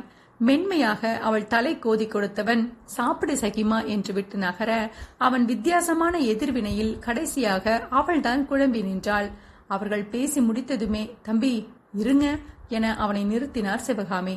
அவர் குரலில் நின்று அவன் திரும்ப நீங்களும் சாப்பிடுங்க தம்பி நேற்றில் இருந்தே நீங்க எதுவும் சாப்பிடவில்லை. இப்போதுதான் குழந்தை நல்லாகிவிட்டதே இனியேனும் சாப்பிடுங்க என்றார் சிவகாமி. அவர் கூறியதும் உண்மைதான். மித்ராவை பார்த்து தாராவை பற்றி அறிந்ததிலிருந்து இந்த நொடி வரை அவன் பச்சை தண்ணீர் கூட குடிக்கவில்லை. மனைவியை உருட்டி மிரட்டி சாப்பிட வைத்தவன் தான் அந்த எண்ணமே இல்லாமல் தான் இருந்தான். சிவகாமியும் அதை கவனித்துக் கொண்டுதான் இருந்தார். முதலில் பேச தயங்கியவருக்கு இப்போது அப்படியே இருக்க முடியாமல் தான் கூறிவிட்டார். சிவகாமி கூறியது மித்ராவிற்குமே புதிதென்பதால் அவள் கணவனை அதிர்ச்சியுடன் பார்க்க அவனோ புன்னகை முகம் மாறாமல் சிவகாமியை பார்த்தவன் சாப்பிட்றேம்மா என்று விட்டு நகர்ந்து விட்டான். வெளியே வந்தவன் மறக்காமல் தானும் உண்டு விட்டான். அவன் உடல் அவனை மீறி பலவீனமாவதை உணர்ந்தே இருந்ததால் தனக்கு இப்போது எதுவும் ஆகிவிடக் கூடாது என்றுதான் ஒழுங்காக சாப்பிட்டு விட்டான். உணவை முடித்ததும் முதல் வேளையாக அன்பரசனுக்குத்தான் அழைத்தான் கிரி. போனை எடுத்ததுமே ஆபரேஷன் நல்லபடியா முடிஞ்சுதா கிரி? குழந்தைக்கு ஒன்றும் இல்லையே என பெரும் தவிப்புடன் அன்பு கேட்க நல்லபடியாக முடிஞ்சுது அன்பு. ஒன்றும் பிரச்சனை இல்லை. இனியேனும் நிம்மதியாக இரு என்று விட்டே கிரி போனை வைத்தான். நிச்சயம் நண்பனும் பெரும் தவிப்பில்தான் இருந்திருப்பான் என்று அவனுக்கு தெரியும். சிறிது நேரத்தில் மூவரும் தனித்தனியாக சென்று குழந்தையை பார்த்துவிட்டு வந்தனர். தலையில் பெரிய கட்டுடன் இருந்த குழந்தையை பார்த்துவிட்டு வந்து மித்ரா புதிதாக அழத் தொடங்க. தன் வேதனையை விழுங்கிக் கொண்டு அவளை சமாதானம் செய்தான் கிரி. அதற்கும் அவள் அவனிடம் எரிந்து விழுந்தாள். உங்களுக்கு எங்கிருந்து இந்த வழி புரிய போகிறது? நீங்கள் எல்லாம் கொலைக்கு கூட அஞ்சாதவர். போங்க நீங்க எனக்கு வேண்டாம். தன்னை அணைத்திருந்தவன் பிடியிலிருந்து திமிரிக் கொண்டே ஏதோ உளறி வைத்து அவள் அழுது கொண்டிருக்க அவளை விலக விடாமல் தன்னுள் மேலும் இறுக்கிக் கொண்டான் கிரிதரன். அவள் வார்த்தைகளுக்கு அவன் எந்த பதிலும் கூறவில்லை. என்ன வேண்டுமானாலும் சொல்லிக் கொள்ளட்டும் என தாங்கிக் கொண்டான். என்னை விடுங்க என தாங்க மாட்டாமல் அவள் தேம்ப மாட்டேன் சகி என அதற்கு மட்டும் அவள் காதருகில் அழுத்தமாக ஒலித்தது அவன் குரல். ஒருவாறு அழுது ஓய்ந்து அவன் மார்பிலேயே அவள் லேசாக கண்ணயர்ந்த பின்தான் கிரி விலகினான். அவளை அப்படியே கட்டிலில் படுக்க வைத்தவன் நீங்களும் ரெஸ்ட் எடுங்கம்மா என சிவகாமியிடமும் கூறிவிட்டு போனை எடுத்துக்கொண்டு வெளியே சென்று விட்டான். கிரி சரியான பிடிவாதக்காரன் என மித்ரா அவனை பற்றி கூறி சிவகாமி கேட்டிருக்கிறார். ஆனால் அவள் நல்லதற்காக அவன் காட்டிய அழுத்தம் அவருக்கு ஒன்றும் தவறாக தெரியவில்லை. மறுநாள் மதியம்தான் தாராவிற்கு சுயநினைவே வந்தது. லேசாக அவள் கண் அசைவதை பார்த்துவிட்டு நர்ஸ் என்று மருத்துவரை அழைத்து வர அவருடன் சேர்ந்து கிரி சிவகாமி மித்ராவும் உள்ளே வந்தனர். பாப்பா இங்க பாருங்க நான் பேசுறது கேக்குதா? என மெதுவாக குழந்தை அருகில் குனிந்து டாக்டர் கேட்க அதுவும் தன் சிறு கண்களை மெதுவாக திறந்தது. ஒரு நொடி கண்ணை மூடி மீண்டும் திறந்த குழந்தை லேசாக சுற்றி பார்க்க தன் அன்னையை பார்த்ததும் அதன் முகம் அழகாய் மலர்ந்து விட்டது. அம்மா என மெதுவாக தாரா அழைக்க குட்டிமா என வேகமாக அவளிடம் ஓடி வந்தாள் மித்ரா. மெதுவாமா என மித்ராவை எச்சரித்துவிட்டு தொடர்ந்து பேசினார் மருத்துவர். தாராக்குட்டி இங்க பாருங்க அங்கிள் விரல் தெரிகிறதா என டாக்டர் கேட்க ம் என்றது குழந்தை. இதையே பாருங்க என்றவர் தொடர்ந்து அவள் பார்வை கேட்கும் திறன் எல்லாமே சோதித்தார். இவங்க யாரு என மித்ராவை காண்பித்து அவர் கேட்க அம்மா என மெதுவாக கூறியவள் தண்ணி என அன்னை கண்ணீரையும் துடைக்க அதில் மேலும் வந்த கதறலை கட்டுப்படுத்தி வேகமாக கண்ணீரை துடைத்துக் கொண்டாள் மித்ரா. அது என சிவகாமியை காண்பித்து டாக்டர் கேட்டபோது பாட்டி என்றது குழந்தை. அதே கேள்வியை கிரியை காண்பித்ததும் மருத்துவர் கேட்க உள்ளுக்குள் தோன்றிய மரண வழியை கட்டுப்படுத்த கிரி பெரிதாக போராட வேண்டியிருந்தது. அவனை அடையாளம் தெரியாமல் தாரா முகம் சுருக்க வலித்த இதயத்தை மெதுவாக நீவி விட்டுக்கொண்டே அவள் அருகில் வந்தான் கிரி. அதற்கு மேல் அமைதியாக இருக்க முடியாமல் உன் அப்பாடா? என மித்ரா மெதுவாக கூற குழந்தை முகம் ஆச்சரியத்துடன் விரிந்தது. அப்பாவா? என ஆசையாக கேட்டுக்கொண்டவள் கிரியை நோக்கி கை நீட்ட அவள் முகத்தருகில் வேகமாக குனிந்தான் கிரி. அப்பா என மீண்டும் ஒருமுறை கூறி பார்த்து கொண்டவள் உனக்கும் தண்ணி என தந்தையின் கண்ணீரையும் தன் பிஞ்சு கரங்களால் துடைத்து விட்டது லவ் யூ தோரா குட்டி என மெதுவாக கிரி குழந்தை காதரியில் கூற லவ்யூப்பா என்றது குழந்தையும் ஏதோ புரிந்தது போல். வலிக்குது என தாரா திடீரென முகத்தை சுருக்க ஒன்னும் இல்லடா நீங்க தூங்குங்க சரியாகிடும் என்றார் மருத்துவர். அவர் நர்ஸிடம் கண்ணை காட்ட அவரும் ஏதோ ஒரு ஊசியை குழந்தை ட்ரிப்ஸில் மெதுவாக ஏற்றிவிட்டார். தேங்க் காட் எந்த பாதிப்பும் இல்லை. பாப்பா நல்லா இருக்கா. இங்கே ஒரு மாதம் இருங்க. முழுசா சரியானதும் டிஸ்சார்ஜ் பண்ணிக்கலாம். ஈவினிங் ரூமிற்கு மாற்ற சொல்லிவிடுகிறேன். இப்போ வாங்க இங்க ரொம்ப நேரம் இருக்கக்கூடாது என அவர்களையும் அழைத்து கொண்டே டாக்டர் வெளியே வந்துவிட குழந்தை நிம்மதியாக உறங்குவதை பார்த்துவிட்டு அவர்களும் வெளியே வந்துவிட்டனர்.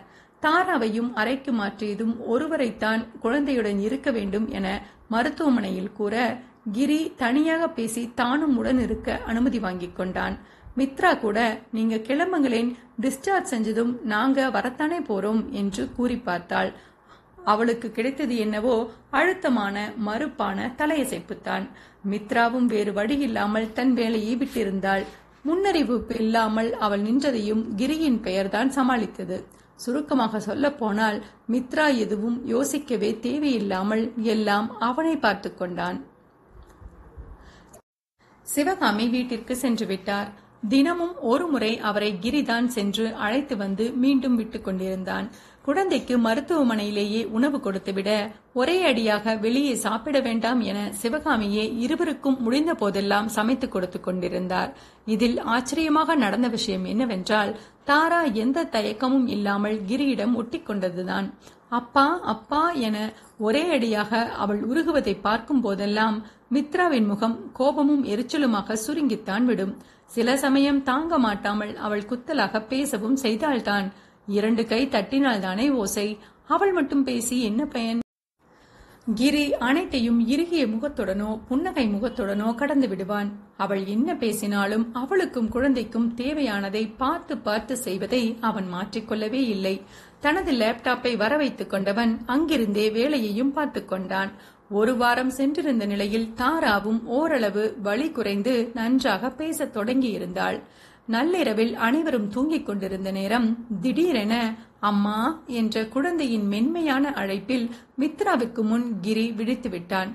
வேகமாக எழுந்து குழந்தை அருகில் வந்தவன் என்னடா குட்டி? என குழந்தை புறம் குடிந்து கேட்க சூச்சு என ஒற்றை விரலை காட்டினாள் சிறுமி. அதில் மெலிதாக சிரித்துக் கொண்டவன் அவளுக்கு பெட்டன் வைத்து விட்டான். சில நாட்களுக்கு குழந்தை படுக்கையில் தான் இருக்க வேண்டும் என டாக்டர் கூறியிருந்ததால் எப்போதாவது எழுந்து அமர்ந்து கொள்வதைத் தவிர பெரிதாக வேறு எதுவும் அவளை செய்ய விடுவதில்லை குழந்தையின் வேலை முடிந்ததும் கையோடு அவளை சுத்தம் செய்துவிட்டான் கிரி. அனைத்தையும் அதிகம் சத்தம் வராமல் தான் அவன் செய்தான். மனைவி எழுந்துவிடக் கூடாதே என்ற அக்கறைதான்.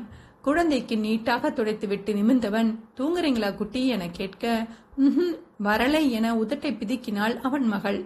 ஹேய் நடுராத்திரி குட்டி இப்ப என்ன செய்யறது? என அவன் சிரித்துக்கொண்டே கேட்க விளையாடலாமா? என்றாள் சிறியவள் குதூகலமாக. "ஷ், கத்தத குட்டி அம்மா தூங்குறாங்க பாரு என கிசுகிசுப்பாக அவன் கூற அதில் தானும் "ஷ், ஷ்" என வாயில் விரல் வைத்துக் கொண்டவள் விளையாடலாம்பா என மெதுவாக கெஞ்சலாக கேட்க அவள் அருகில் அமர்ந்து கொண்டவன் என்ன விளையாடலாம்? என்றான். உட்காரணம்பா என சிறியவள் முகத்தை சுருக்க அவளை மெதுவாக தூக்கி அமர வைத்தான் கிரி. நம்பர் விளையாடலாம்பா என தாரா கூற சரிடா என்று விட்டு அவளுடன் மெதுவாக விளையாடினான் கிரி. சில நாட்களாக இருவரும் இதுபோல் விளையாடுவதுதான் தனக்கு தெரிந்த அனைத்து விளையாட்டையும் தந்தைக்கு அவள் சொல்லிக் கொடுத்திருந்தாள். நம்பர் விளையாட்டு என்றால் இருவரும் ஒரே நேரத்தில் கையை குலுக்கி விரல் விட வேண்டும். யார் அதிக விரல் விடுகிறார்களோ அவர்களே வெற்றியாளர். குழந்தையை ஒவ்வொரு முறை வெற்றி பெற வைத்தே விளையாடினான் கிரி. ஒரு கட்டத்தில் அப்பா அவுட்டு என சத்தமாகவே தாரா கத்திவிட ஐயோ கத்தாத குட்டி என அவன் கூறிக்கொண்டிருக்கும் போதே மித்ரா எழுந்துவிட்டாள். கண்களை கசக்கிக் கொண்டு எழுந்தவள் இருவரையும் கேள்வியாக பார்க்க அப்பா நான் தூங்க போறேன் என்று விட்டு தாரா படுத்துவிட்டாள். அடி பாவி என்ன மாட்டி விட்டுட்டியே என அவன் புலம்ப குறும்புடன் சிரித்துக்கொண்டே கண்களை மூடி படுத்து விட்டாள் தாரா. என்ன பண்ணுறீங்க என அவன் பயந்தது போலவே மித்ரா அவனை முறைக்க தூக்கம் வரவில்லை என்று சொன்னாள் சஹி அதான் விளையாண்டு கொண்டிருந்தோம் என குழந்தைக்கு மெதுவாக தட்டி கொடுத்து கொண்டே கூறினான் கிரி. அவள் கேட்டால் நீங்களும் உட்காரணுமா? இந்த நேரத்திற்கு என்ன விளையாட்டு? அவளுக்கு முடிய வேண்டாமா? உங்கள் பாசத்தை காட்ட வேறு வழியே தெரியவில்லையா? அவளை ஏதாவது பண்ணிட்டு போகாதீங்க. கோபத்துடன் அவள் பேச அதற்குள் தன் கையை பிடித்துக்கொண்டு உறங்கிவிட்டிருந்த குழந்தையிடமிருந்து கைகளை உருவிக்கொண்டு மெதுவாக எழுந்து மனைவியிடம் வந்தான் கிரி. கோபத்துடன் அவனை முறைத்துக் கொண்டிருந்தவள் நெற்றியில் மென்மையாக இதழ் பதித்தவன் அவளுக்கு என்னால் ஏதேனும் ஆபத்து என்றால் அதை செய்ய நான் உயிருடன் இருக்க மாட்டேன் சகிமா? இது சத்தியம். தயவு செஞ்சு நம்பு. இப்போ படு என்றவன் அவள் பதிலை எதிர்பார்க்காமல் அவளை ஒருமுறை அழுத்தமாக அணைத்து விடுவித்துவிட்டு தானும் சென்று படுத்துக்கொண்டான் பெரிய பாசம்தான் என கோபத்துடன் முணுமுணுத்துக் கொண்டே மித்ராவும் படுத்து உறங்கிவிட்டாள். அத்தியாயம் பதினொன்று. அடுத்து வந்த ஒரு மாதமும் மித்ராவிற்கும் கிரிக்கும் மருத்துவமனையில்தான் கழிந்தது இடையில் எத்தனையோ முறை மித்ரா கிரியை கிளம்ப சொல்லி பார்த்தும் அவன் காதிலேயே வாங்கவில்லை. இப்போது குழந்தையின் தலையில் இருந்த பெரிய கட்டு பிரிக்கப்பட்டு சிறியதாக போட்டுவிட்டிருந்தனர். இனி நடக்கலாம் என்றும் கூறியிருந்த டாக்டர் நடப்பதில் ஓடுவதில் ஏதாவது பிரச்சனை ஏற்படுகிறதா என்றும் கவனிக்க சொல்லியிருந்தார். அன்று மாலை நேரத்தில் எழுந்து அமர்ந்திருந்த தாரா போர் அடிக்குதுமா என மித்ராவிடம் புலம்ப தன்னுடைய புடவையை துவைக்க கொடுத்தனுப்ப எடுத்து வைத்துக் கொண்டிருந்த மித்ரா மகள் புறம் திரும்பினாள். இரு குட்டி இதையெல்லாம் வைத்துவிட்டு வருகிறேன். நாம் விளையாடலாம் என மித்ரா கூற ம் இங்க போர். வெளியில போகலாம் என்றால் தாரா முகம் சுருங்க. கார்டன் போகலாண்டா. ஒரு டென் மினிட்ஸ் வரேன் என மித்ரா கூற அதே நேரம் அலுவலக விஷயமாக பேச வெளியே சென்றிருந்த கிரி கதவை திறந்து கொண்டு உள்ளே வந்தான். ஹை அப்பா. நான் அப்பாவோட போறேன். அப்பா தூக்கு என தாரா கை நீட்ட சிறு புன்னகையுடன் மகள் அருகில் சென்று அவளை தூக்கி கொண்டான் கிரி. கார்டன் போகலாம்பா என தாரா அவன் கழுத்தை கட்டிக்கொண்டு கெஞ்ச போலாமே என்றவன் சம்மதத்திற்காக மித்ராவை பார்க்க அவளோ அவன் பக்கமே திரும்பாமல் கவனம் என்று மட்டும் கூறிவிட்டு தன் வேலையை தொடர்ந்தாள். பாப்பாவுடன் விளையாண்டு விட்டு வந்து வீட்டிற்கு கிளம்புகிறேன் சகி என கிரி கூற அதற்கும் உம் என்ற முனகள் மட்டும்தான் அவளிடமிருந்து வந்தது. அதில் தன்னை அறியாமல் வெளிப்பட்ட ஒரு பெருமூச்சுடன் வெளியே சென்று விட்டான் கிரி. மித்ரா உடையையும் தாரா உடையையும் சிவகாமியிடம் துவைக்க கொடுத்து விடுபவன் தன்னுடையதை தானே துவைத்து காயப்போட்டு வந்து விடுவான். சிவகாமி தான் செய்வதாக கூறினாலும் அவன் கேட்பதில்லை. மித்ராவிற்கு எதுவுமே சரியாக தெரியாது. அவள் கவனம் முழுவதும் குழந்தை மீது மட்டும்தான் இருந்தது. குழந்தையை அழைத்துக் கொண்டு மருத்துவமனையிலேயே பின்பக்கம் அமைக்கப்பட்டிருந்த புல்தரைக்கு வந்தான் கிரி. தன் கையிலேயே குழந்தையை வைத்துக்கொண்டு அங்கே மரத்தடியில் அவன் அமர்ந்து கொள்ள சில நிமிடங்கள் தான் தாரா அமைதியாக இருந்தாள். அப்பா விடு என சினுங்கிக் கொண்டே அவன் கையிலிருந்து அவள் திமிரத் தொடங்க என்னடா என்றான் கிரி அவளை தூக்கிக் கொண்டே. ம் கீழே என அவள் கை காட்ட ஓடக்கூடாது சரியா என பேரம் பேசிவிட்டே கிரி குழந்தையை இறக்கிவிட்டான். நான் உன்னை பிடிக்கிறேன் வா அவன் கையையும் பிடித்து தாரா இழுக்க ஓட வேண்டாமே குட்டி. என தயங்கினான் கிரி. பிளீஸ் பா கொஞ்ச நேரம். முகம் சுருங்க கெஞ்சிய மகளின் அழகில் மறுக்க மனம் வராமல் எழுந்தவன் வாங்க என கூறிக்கொண்டே மெதுவாகத்தான் நடந்தான். மிக மெதுவாக அவன் நடக்க தாராவிற்கு ஒரு கட்டத்தில் சலித்து விட்டது. போப்பா வேகமா போ இல்லாட்டி டூ என அவள் கோபித்துக் கொள்ள சரி சரிடா கோபப்படாத வா என்றவன் சற்றே வேகமாக அவள் பிடிக்க முடியாதது போல் நடந்தான். அவள் மேல் பார்வை இருக்க வேண்டுமே என கிரி பின்பக்கமாகவே நகர தாராவும் சிரித்துக்கொண்டே அவனை வேகமாக நெருங்கிக் கொண்டிருந்தாள். சரியாக கார்டன் முடிந்து மொசைத்தரை தொடங்கும் இடத்தில் கிரி நின்றுவிட அவனை உடனடியாக பிடித்துவிட வேண்டும் என்ற வேகத்தில் ஒரே பெரிய அடியாக எடுத்து வைத்து தடுமாறி விழப்போனாள் தாரா. அவள் தடுமாறிய நொடியே அதை கண்டு கொண்ட கிரி அவள் விழும் முன் சரியாக குனிந்து அவளை தூக்கிவிட்டான். பார்த்து குட்டி என அவன் சற்றே கோபமாக தொடங்கும் போதே என்ன பண்றீங்க ரெண்டு பேரும்? என்ற அதட்டலான குரல் அவர்களுக்கு பின்னால் உழைத்தது கிரிக்குத்தான் உள்ளுக்குள் திக்கென்றிருந்தது. அவன் பயந்தது போலவே மித்ரா கண்களுக்கு நடந்தது தவறாகத்தான் தெரிந்தது. குழந்தையை ஒரு கையில் வைத்துக்கொண்டு தலை கோதிக்கொண்டே அவன் திரும்ப அவனை முறைத்துக் கொண்டே குழந்தைக்காக கை நீட்டினாள் மித்ரா. அவனும் அமைதியாக அவளிடம் குழந்தையை கொடுத்து விட்டான். கொஞ்சமேனும் அக்கறையாக பார்த்துக்கலாம் தீரன். முடியவில்லை என்றால் விட்டுவிடுங்கள். உங்களுக்கு எத்தனையோ முறை சொல்லிவிட்டேன். ஏன் இப்படி ஒவ்வொரு முறையும் பச்சை குழந்தையிடம் அலட்சியம் காட்டுறீங்க? எரிச்சலுடன் மித்ரா கேட்க நீ முன்பு பார்த்த கிரி செத்து பல வருஷம் ஆச்சு சகிமா. அதை மறந்துட்டு என்ன பாரு? நீ இப்படி நினைத்துக்கொண்டே என்னை பார்த்தால் எல்லாமே தவறாகத்தான் தெரியும். உனக்கு தாரா எத்தனை முக்கியமோ அதை விட நீங்கள் இருவரும் எனக்கு முக்கியம். உனக்கு எப்படி புரிய வைக்கப் போகிறேன் என்றுதான் எனக்கு தெரியவில்லை. இயலாமையும் தன் மீதே வெறுப்புமாகத்தான் அவனும் பதில் கூறினான். ஏற்கனவே நிறைய புரிந்தாயிற்று தீரன். புதுசாக புரிய எதுவுமில்லை. மீண்டும் சொல்கிறேன். தயவு செய்து உங்களால் பார்த்து கொள்ள முடியாதென்றால் பாப்பாவிடம் வராதீங்க என மீண்டும் அழுத்தமாக கூறிவிட்டு மித்ரா சென்றுவிட அவளையே சில நொடிகள் வெறுமையாக பார்த்து கொண்டு நின்றவன் ஒரு தலை சிலுப்பலுடன் தன்னை சமன் செய்து கொண்டு மீண்டும் அறைக்கு வந்தான். அங்கே தாராவை படுக்க வைத்துவிட்டு பக்கத்தில் அமர்ந்து மித்ரா கதை கூறிக் கொண்டிருக்க அவர்கள் அருகில் வந்தவன் குனிந்து தாராவிற்கு அழுத்தமாக முத்தமிட்டுவிட்டு நிமிரும்போது மனைவி கன்னத்திலும் மறக்காமல் இதழ் ஒற்றி அவள் முறைப்பையும் வாங்கிக் கொண்டே நிமிர்ந்தான். வீட்டுக்கு போயிட்டு வரேன். ஏதாவது எடுத்துட்டு வரணுமா? என அவன் சாதாரணமாக கேட்க அம்மாவிடம் சொல்லிட்டேன் என்றாள் மித்ரா. என் டெடி என திடீரென தாரா கூற வீட்டுக்கு போய் விளையாண்டுக்கலாம் குட்டி என குழந்தையை அடக்கினாள் மித்ரா. அதில் தாரா முகம் சிரித்துவிட நான் எடுத்துட்டு வரேன் குட்டிமா என மகளிடம் கூறியவன் உன் கோபத்தை என்மேல் மட்டும் காட்டு சகிமா? குழந்தையிடம் காட்டாதே என மென்மையாக கூறி அவள் தலை கோதிவிட்டு சென்று விட்டான். இன்னும் ஒரு வாரத்தில் தாராவை டிஸ்சார்ஜ் செய்து கொள்ளலாம் என்று கூறிவிட அதற்கு பின்தான் ராகவிக்கு அழைத்து விஷயத்தையே கூறினான் கிரிதரன். அவர் போனை எடுத்ததும் முதல் கட்ட சம்பிரதாய விசாரிப்புகளுக்கு பின் விஷயத்தை கூறினான் கிரி. சித்தி என் மனைவி பற்றி சொல்லக்கூடிய சந்தர்ப்பம் அமைந்தால் சொல்கிறேன் என்று சொல்லியிருந்தேன் இல்லையா? இப்போதுதான் சந்தர்ப்பம் கிடைத்தது. இன்னும் ஒரு வாரத்தில் என் மனைவியையும் குழந்தையையும் அழைத்து வரேன் சித்தி. தடாலடியாக அவன் போட்டு உடைத்துவிட ராகவிக்கோ முதலில் அதிர்ச்சியில் வார்த்தைகளை வரவில்லை. கிரி என ஆரம்பித்தவர் என்ன சொல்வதென்றே புரியாமல் திணறிப் போனார். எனக்கு புரிகிறது சித்தி. பட் இதுதான் நிதர்சனம். ஏத்துக்கோங்க என அவன் அழுத்தமாக கூற அவன் குரலில் இருந்த அழுத்தமே அவருக்கு நிலையை உணர்த்தியது. அவங்க இருக்குமிடம் தெரிந்துவிட்டதா கிரி? நல்லா இருக்காங்களா? ஏற்கனவே ஒரு முறை மனைவியை பற்றி கேட்டதற்கு அவன் தெரியவில்லை என கூறியிருந்த பதிலை நினைத்துத்தான் அவர் கேட்டார். ம் தெரிந்துவிட்டது சித்தி. குழந்தைக்குத்தான் கொஞ்சம் உடம்பு முடியவில்லை. அதான் ஒரு வாரம் டைம். குழந்தைக்கு என்னாச்சுப்பா? அவன் சொல்லிக் கொண்டிருக்கும் போதே பதட்டத்துடன் ராகவி இடைப்புக ஒன்னு இல்ல சித்தி சின்ன விபத்து தான். இப்போது நன்றாகவே இருக்கிறாள். கொஞ்சம் பார்த்துவிட்டு கிளம்பி விடுவோம் என்றான் கிரி. குழந்தைக்கு என்ன வயது கிரி? எனக்கு உன் மனைவி குழந்தை போட்டோ அனுப்புறியா? ஆசையுடன் அவர் கேட்க அனுப்புறேன் சித்தி. பாப்பாவுக்கு ஆறு வயது. சாதாரணமாக அவன் கூற இங்கே மீண்டும் ஒரு முறை ராகவிக்கு தூக்கி வாரி போட்டது. ஆறு வயதென்றால் என அதிர்ச்சியுடன் அவர் நிறுத்த எனக்கு திருமணம் முடிந்து ஏழு வருடம் ஆயிற்று சித்தி. அதற்கு மேல் கேட்காதீங்க.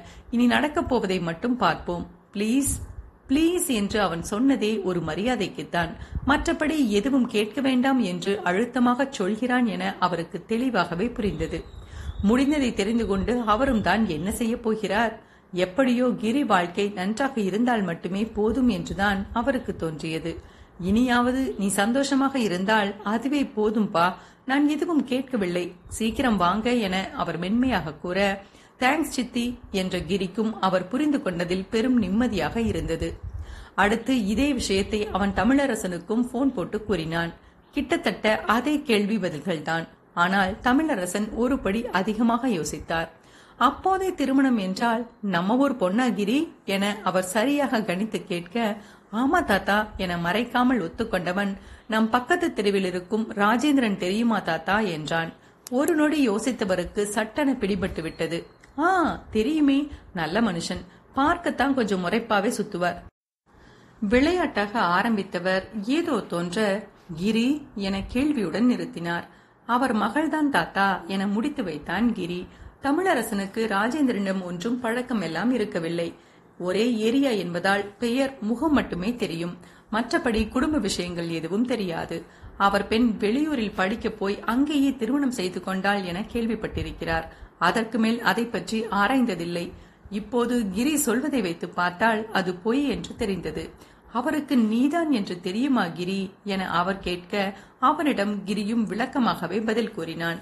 தெரியாது தாத்தா திருமணமான கொஞ்ச நாளிலேயே நாங்கள் பிரிந்துவிட்டோம். வீட்டை விட்டு மகள் யாருடனோ போய்விட்டாள் என்பதை தவிர அவருக்கு எதுவும் தெரியாது. அவருக்கு தெரியாமல் அவள் அண்ணன் செந்தில்தான் அவளுக்கு உதவியிருக்கிறார். அது எனக்கே இப்போதுதான் தெரியும் தாத்தா.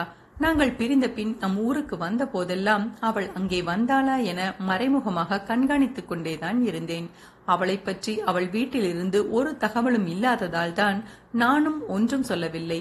எல்லாமே நீ சரி பண்ணணும் தாத்தா. கண்டிப்பாக செய்வேன். உறுதியாக அவன் முடிக்க எப்படியும் இனி பேரன் பார்த்துக் கொள்வான் என அவரும் அமைதியாகிவிட்டார். நானும் ஒரு வாரத்தில் சென்னை வரேன் கிரி. என் கொள்ளு பேத்தியை பார்க்கணும் என அவர் கூற கண்டிப்பா வாங்க என்று விட்டு போனை வைத்தான் கிரி. ஒரு வழியாக அவன் பக்கம் முடிய அடுத்து சிவகாமியை பற்றிய பேச்சு வந்தது. அன்று மதியம் உணவை எடுத்துக்கொண்டு வரும்போது சிவகாமியையும் சேர்த்தே அழைத்து வந்து விட்டான் கிரி. மித்ராவையும் வைத்துக் கொண்டுதான் அவன் அவரிடம் பேசினான். நீங்களும் எங்களுடன் வந்துடுங்கம்மா என அவன் கூற வேண்டாம் தம்பி என உடனடியாக மறுத்தார் அவர். ப்ளீஸ்மா என மித்ராவும் கெஞ்சி பார்க்க இல்லடா உனக்கு பாதுகாப்பு வேண்டும் என்றுதான் நான் வந்தேன். குழந்தையுடன் நீ தனியாக இருக்க முடியாது என்றுதான் நான் மீண்டும் ஊருக்கு போகாமலேயே இருந்தேன். என்னை தேட யாரும் இல்லாவிட்டாலும் நான் போனால் பழக நிறைய ஆட்கள் ஊரில் இருக்காங்கடா. முக்கியமா என் கணவர் வாழ்ந்த வீடு அங்கே இருக்கிறது. சின்ன வீடா இருந்தாலும் அவர் வாழ்ந்த வீட்டில்தான் கடைசி காலத்தில் வாழணும் என்பது என் ஆசை மித்ராமா. எப்படியும் செந்தில் தம்பி பக்கத்தில் தான் இருக்கப் போகிறது. ஏதாவது தேவை என்றால் கூப்பிட்டால் வந்துவிடும். நான் அங்கேயே போய்கொள்கிறேன்மா. எனக்கென்று கொஞ்சம் நிலமும் இருக்கிறது. அதில் ஏதாவது போட்டால் என் வயிற்றுப்பாட்டிற்கு போதும். என்ன வற்புறுத்தாதீங்கடா ப்ளீஸ். நீளமாக உறுதியாக அவர் கூறிவிட்டதில் அதற்கு மேல் அவரை வற்புறுத்த இருவருக்குமே மனம் வரவில்லை. என் சுயநலத்திற்காக உங்களை பயன்படுத்திக் கொண்டது போல் இருக்குமா? மனதில் தோன்றிய குற்ற உணர்வுடன் மித்ரா கூற அப்படி யோசிக்க கூடாது மித்ராமா. எப்படியும் தாராக்குட்டி வளர்ந்ததும் நான் ஊருக்கு போய்த்தான் இருப்பேன். எனக்கு அவர் வாழ்ந்த வீட்டில் இருப்பதுதான் சந்தோஷண்டா? அவர் கூறியதும் உண்மைதான். இதை அவர் ஏற்கனவே சில முறை மித்ராவிடமும் கூறியிருந்ததால் அவள் அதற்கு மேல் சங்கடப்படாமல் ஒத்துக்கொண்டாள். அடுத்து மிக முக்கியமான விஷயம் செந்திலிடம் சொல்வது. அவன் அதை எப்படி எடுத்துக்கொள்வான் என்று மித்ராவிற்கு பயமாகத்தான் இருந்தது. இத்தனை வருடங்கள் உன் கணவர் யார் என்று எத்தனையோ முறை செந்தில் மித்ராவிடம் கேட்டிருக்கிறான். அப்போதெல்லாம் அவள் எதுவுமே கூறியதில்லை. அவரை பற்றி இனி பேசாதீங்க. இனி என் வாழ்வில் அவரை பார்க்கவே நான் விரும்பவில்லை என பிடிவாதமாக கூறிவிடுவாள். இப்போது திடீரென கணவனுடன் போகிறேன் அதுவும் கட்டாயத்தில் போகிறேன் என்றால் அவன் நிச்சயம் ஒத்துக்கொள்ள மாட்டானே என குழம்பி தவித்தாள் மித்ரா. இரவில் தாரா தூங்கிய பின் அதே சந்தேகத்தை கிரியும் அவளிடம் கேட்டான். உன் அண்ணாவிடம் சொல்ல வேண்டும் இல்லையா சஹிமா என அவன் தொடங்க அதுதான் ஒரே குழப்பமாக இருக்கு தீரன் உங்களிடம் பணம் வாங்கிக் கொண்டு அதற்காக நான் வருகிறேன் என்று சொன்னால் நிச்சயம் விடமாட்டார். பணத்தை நான் தருகிறேன். நீ போகாதே என்றுதான் கூறுவார். ஓ இப்போது என்ன? அவரிடம் பணத்தை வாங்கி கொடுத்துவிட்டு இங்கேயே இருக்கப் போகிறாயா? திடீரென குரல் இருக கிரி கேட்கவும் தான் அவள் அவன் புறமே திரும்பினாள். கட்டிலின் ஒரு புறம் அமர்ந்திருந்தவன் முகத்தில் எந்த உணர்வும் இல்லாமல் அவளையே பார்த்து கொண்டிருந்தான். அவன் உணர்வை படிக்க அவளும் முயற்சிக்கவில்லை. அப்படி அவரால் பணம் கொடுத்திருக்க முடியும் என்றால் நான் ஏன் உங்களிடம் வரப்போகிறேன்? ம் அதுவும் சரிதான். நீ என் என்னை தேடி வந்திருக்கப் போகிறாய்? என்றவன் குரலில் என்ன இருந்தது? இப்போதும் அவளுக்கு புரியவில்லை. உங்கள் உதவியை நான் அசிங்கப்படுத்தவில்லை. அப்படி நினைக்க வேண்டாம். சாதாரணமாக அவள் கூறியதில் அவள் முகத்தில் இருந்து கண்களை அகற்றாமல் பார்த்து கொண்டிருந்தவன் உதவி என்று சொல்லக்கூடாது என ஏற்கனவே சொன்னதாக ஞாபகம் என்றான் ஒருவித அழுத்தத்துடன். அவன் என்ன சொல்லி என்ன செய்ய? அவனுக்கு தந்தை பாசம் என்று ஒன்று இருக்கும் என்பது அவள் தலைக்குள் ஏறவே இல்லையே. இப்போது அது பிரச்சனை இல்லை. அண்ணாவிடம் என்ன சொல்வது? என அவள் விஷயத்திற்கு வர அவனும் தன் கோபத்தையும் வேதனையையும் விழுங்கிக் கொண்டு அவளுக்கு பதில் கூறினான். குழந்தைக்கு இத்தனை பெரிய விபத்து நடந்ததை சொல்லாதே சிறு காயம் என்று சொல்லிக்கொள். இதற்கும் நம் விஷயத்திற்கும் சம்பந்தம் இருக்கிறது என்றே சொல்ல வேண்டாம். நானே உன்னை தேடி கண்டுபிடித்து வந்து அழைத்தேன் என்றும் குழந்தைக்காக நீ ஒத்துக்கொண்டதாகவும் சொல். அதையும் மீறி என்மேல் இருக்கும் கோபத்தில் உன் அண்ணன் என்னை அடித்துக் கொள்வதானால் கொல்லட்டும். உனக்கும் விடுதலை எனக்கும் பிராயச்சித்தம் செய்த நிம்மதி. முதலில் அவளுக்கு தேவையான யோசனையை கூறியவன் தன் மனக்குமுறலையும் கொட்டிவிட்டு எழுந்து வெளியே சென்று விட்டான். அவன் சென்ற பின்பு அமைதியாக இருந்தவளுக்கு அவன் சொன்ன யோசனைதான் சரியாகப்பட்டது. கடைசியாக அவன் கூறியது போல் செந்தில் கோபப்படும் அளவெல்லாம் அவள் வைத்துக் கொள்ள மாட்டாளே. அவனிடம் சொல்லும் போதே தானும் மகிழ்ச்சியுடன் போவதாக கூற வேண்டும் என்றுதான் அவள் நினைத்திருந்தார். தாராவை டிஸ்சார்ஜ் செய்வதற்கு முந்தைய நாள் கிரியும் உடனிருக்கும் போதேதான் மித்ரா செந்திலுக்கு அழைத்தாள். என் கணவர் என்னை தேடி வந்தார் அண்ணா. என்னை அவருடனே வரச் சொல்கிறார் அன்று செய்தது தவறென்று உணர்ந்து விட்டார் மன்னிப்பும் கேட்டார். என்னையும் தாராவையும் அழைத்துப் போவதாக சொல்கிறார். நானும் போய்விடலாம் என்று பார்க்கிறேன் அண்ணா என மனப்பாடம் செய்தது போல் அவள் ஒப்பிக்க அவள் வாயிலிருந்தே வெளிப்படும் ஒவ்வொரு வார்த்தையும் உண்மையாகத்தான் என அவளுக்கு எப்படி புரிய வைப்பது என்று புரியாத தவிப்புடன் கைகளை கட்டிக்கொண்டு ஒரு பக்கமாக நின்று அவளையே பார்த்து கொண்டிருந்தான் கிரிதரன். அவனாகவே அவளை கண்டுபிடித்திருந்தாலும் நிச்சயம் அவள் சொன்னதைத்தான் செய்திருப்பான். ஆனால் சூழ்நிலை காரணமாக அவளை பிளாக்மெயில் செய்து சம்மதிக்க வைப்பது போல் அமைந்துவிட்டதில் அவளை பொறுத்தவரை இது கதையாகி அல்லவா போனது. இல்லை அண்ணா உண்மையாகத்தான் சொல்கிறேன். இப்போது தாராவை நல்லா பார்த்துக் கொள்கிறார். கோபப்பட்டு கொண்டே இருந்தால் வாழ்க்கை நகராதே அண்ணா. அதான் அவரும் இத்தனை தூரம் கூறும்போது மறுக்க தோன்றவில்லை என மித்ரா கொடுத்து கொண்டிருந்த விளக்கத்தில் கிரி கவனம் அவள் புறம் திரும்பியது. வாங்கண்ணா என்று விட்டு போனை வைத்தவள் கிரியைத்தான் பார்த்தாள். அவனும் அவளைத்தான் கேள்வியாக பார்த்தான். நாளை கிளம்பி நேரில் வருகிறாராம். நாம் கிளம்பும் முன் உங்களை பார்த்து பேச நினைக்கிறார் போல் என மித்ரா கூற பயப்படாதே சகி உன் அண்ணாவை முழு திருப்தியுடன் அனுப்ப வேண்டியது என் பொறுப்பு. நீ காட்டிக் கொடுக்காமல் இருந்தால் சரிதான். கிண்டல் போல் அவன் கூற நான் ஒன்றும் காட்டிக் கொடுக்க மாட்டேன். உங்களை விட அவர் நிம்மதி எனக்கு முக்கியம் என்றாள் மித்ரா கடுப்புடன். அவள் கூறிய அழகில் அவனுக்கு மேலும் சிரிப்புத்தான் வந்தது.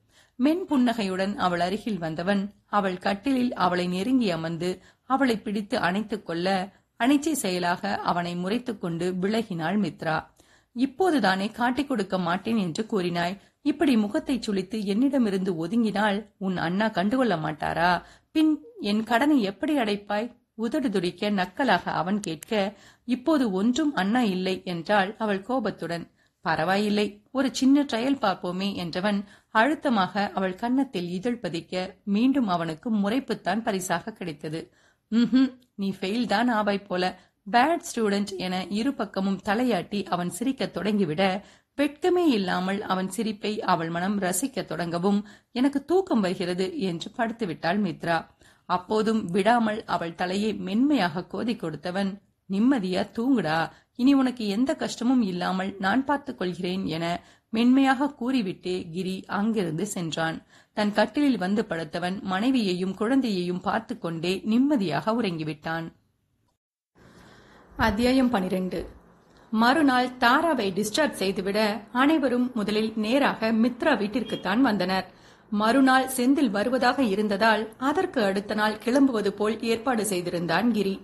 தாராவை மருத்துவமனையில் சேர்த்ததிலிருந்து அடிக்கடி அந்த வீட்டிற்கு அவன் வந்து போய்கொண்டுதான் இருந்தான். ஆனால் ஒரு முறை கூட நிம்மதியாக அமர்ந்ததில்லை. இன்றுதான் அவனால் கொஞ்சம் ஆசுவாசமாக மூச்சை விட்டுக்கொள்ள முடிந்தது. சிவகாமியும் மித்ராவும் சமையல் வேலையை கவனித்துக் கொண்டிருக்க கிரி தாராவுடன் அமர்ந்து விளையாண்டு கொண்டிருந்தான். சிறிது நேரத்தில் மித்ரா வந்து உண்ண அழைக்க குழந்தையையும் தூக்கிக் கொண்டு வந்தவன் தானும் சாப்பிட்டுக் கொண்டே சிறியவளையும் சாப்பிட வைத்தான். மதிய உணவு முடிந்ததும் அனைவரும் கொஞ்சம் ஓய்வாக அமர குழந்தையை மித்ரா தூங்க வைத்துக் கொண்டிருந்தாள். அவள் அறையிலேயே ஒரு பக்கம் கீழே அமர்ந்து லேப்டாப்பில் வேலை செய்து கொண்டிருந்தான் கிரி. ஒருவாறு தாரா தூங்கியதும் அவன் புறம் திரும்பிய மித்ரா கொஞ்சம் படுக்கிறீங்களா? என்று கேட்க அதற்குள் தானும் வேலையை முடித்திருந்தவன் லேப்டாப்பை மூடிவிட்டு நிமிர்ந்தான். இல்லை சகி தூக்கம் வரலை என்றவன் ஒரு நொடி தயங்கி பின் ஒரு பெருமூச்சுடன் தான் நினைத்ததை கேட்டான். தாரா குட்டி ஆல்பம் ஏதாவது இருக்கிறதா சகி? அவள் சிறு வயதிலிருந்து எப்படி இருந்தாள் என்று பார்க்க ஆசையாக இருக்கிறது. மனைவி கோபப்படுவாள் என்று தெரிந்தேதான் அவன் கேட்டது. என்ன செய்ய அவள் கோபத்திற்கு பார்த்து கொண்டே இருந்தால் வாழ்க்கை நகராதே. குழந்தையை ரசித்து போட்டோ எடுக்கும் நிலையில் நான் இருக்கவில்லை. நக்கலாக மித்ராவிடமிருந்து பதில் வர அதை முயன்று விழுங்கிக் கொண்டவன் ஒரு ஆல்பம் கூட இல்லையா? என்றான் மெதுவாக. இந்த முறை அவள் கோபம் ஏறித்தான் போனது. இருந்தால் உங்களிடம் காட்டணுமா? யாருக்காக இப்போது நடித்துக் கொண்டிருக்கிறீர்கள் என்று எனக்கு நிஜமாகவே புரியவில்லை. இவள் மேல் உங்களுக்கு அதீத பாசம். இதை நான் நம்பணுமா? கட்டுப்படுத்த முடியாமல் வெடுக்கென மித்ரா கேட்டுவிட நம்புவது கஷ்டம்தான் என்று புரிகிறது சகி என கிரியும் உடனடியாக ஒத்துக்கொண்டதில் அவள்தான் வாயடைத்து போனாள். நீ நம்ப வேண்டாம். ஆல்பம் இருந்தால் கொடேன் என அவன் மீண்டும் கேட்க இந்த பிடிவாதம் சை என முணுமுணுத்துக் கொண்டவள் வேறு வழி தெரியாமல் தன்னிடம் இருந்த இரண்டு ஆல்பத்தை அவனிடம் எடுத்துக் கொடுத்தாள். முறைத்துக் கொண்டு அவள் கொடுத்ததை கொஞ்சமும் கண்டு கொள்ளாமல் ஆசையுடன் அதை வாங்கிக் கொண்டான் கிரி. அவனை சுத்தமாக நம்ப முடியாமல் இருந்ததால் அவன் முகத்தை பார்க்க முடியாமல் மித்ரா தாராவுடன் படுத்துவிட கிரியும் ஆல்பத்தில் மூழ்கிப் போனான். அதிலிருந்த படங்களை பார்த்தபோது மித்ரா கூறியது பொய்யில்லை என கிரிக்கும் புரிந்தது. குழந்தையின் முதல் இரண்டு வயதில் பெரிதாக ஒன்றும் படங்கள் இருக்கவில்லை. ஒன்றிரண்டு தான் இருந்தது. மூன்று வயதிற்கு மேல்தான் சில படங்கள் எடுத்திருந்தாள். போனில் எடுத்த படங்களை ஆல்பம் போட்டு வைத்திருந்தாள் போல். முக்கால்வாசி இந்த வீட்டில் எடுத்திருந்த படங்கள் தான் பள்ளி மாறுவேட போட்டிக்கு அலங்காரம் செய்து கொண்ட போது எடுத்தது. ஆனுவல் டே ஃபங்க்ஷனுக்கு நடன உடை போட்டிருந்த போது எடுத்தது என அழகழகான படங்கள். வெறும் நான்கு வயதில் புடவை எல்லாம் கட்டி குட்டி மண்பானையை வைத்துக்கொண்டு நின்றிருந்த மகளை பார்த்தவனுக்கு தன்னை அறியாமல் கண்களில் நீர் திரையிட்டது. எத்தனை இழந்து விட்டான்? இதோ பிடிவாதம் பிடிவாதம் என மனைவி திட்டுகிறாளே எல்லாம் அந்த பாழாய் போன குணத்தால் வந்தது. குழந்தையின் ஒவ்வொரு செயலையும் அழகாய் ரசித்து வளர்ந்திருக்க வேண்டியது. கடைசியாக வெறும் படமாக பார்க்கத்தான் அவனுக்கு கொடுத்து வைத்திருக்கிறது. அவனுக்கே இத்தனை வேதனை என்றால் தனியாக குழந்தையுடன் இருந்த மித்ரா என்ன பாடுபட்டிருப்பாள்? மெதுவாக அவன் மனைவியை நிமிர்ந்து பார்க்க அவள் குழந்தையை அணைத்துக் கொண்டு தூங்கியே விட்டிருந்தாள். கையில் இருந்த ஆல்பத்தை கீழே வைத்துவிட்டு எழுந்தவன் கட்டில் அருகில் வந்து நின்று தூங்கும் இருவரையும் ஆசையாக பார்த்து கொண்டான். நீ என்மேல் கோபப்படுவதில் தவறே இல்லை சகிமா. எத்தனை வேண்டுமானாலும் கோபப்பட்டுக்கொள். எனக்கு தேவைதான். ஒரே வித்தியாசமாக என் மனைவியாக இருந்தே அந்த கோபத்தை காட்டு. நான் எத்தனை கஷ்டப்பட்டாலும் இனி உங்களுக்கு ஒரு கஷ்டமும் வரவிட மாட்டேன் சகி. இனி உங்கள் வாழ்வில் மகிழ்ச்சி மட்டும்தான். அதற்கு நான் பொறுப்பு. மனதார மனைவியிடம் பேசிக்கொண்டான் கிரி. அவளிடம் நேரடியாக அவனால் ஒன்றும் சொல்ல முடியாது. எப்படியும் அவள் நம்பப் போவதில்லையே. மித்ரா அறையில் இருந்தது ஒருத்தர் மட்டுமே படுக்கக்கூடியது போன்ற கட்டில்தான். சிவகாமி பொதுவாக தரையில்தான் படுப்பார் என்பதால் அவர்கள் வீட்டில் ஒரு கட்டில்தான் இருந்தது. இரவில்தான் கிரி படுக்க வேண்டுமே என்ற எண்ணமே வர உணவை எல்லாம் முடித்துக்கொண்டு அவர்கள் அறைக்கு வந்தபோது மித்ரா தான் அந்த பேச்சை எடுத்தாள்.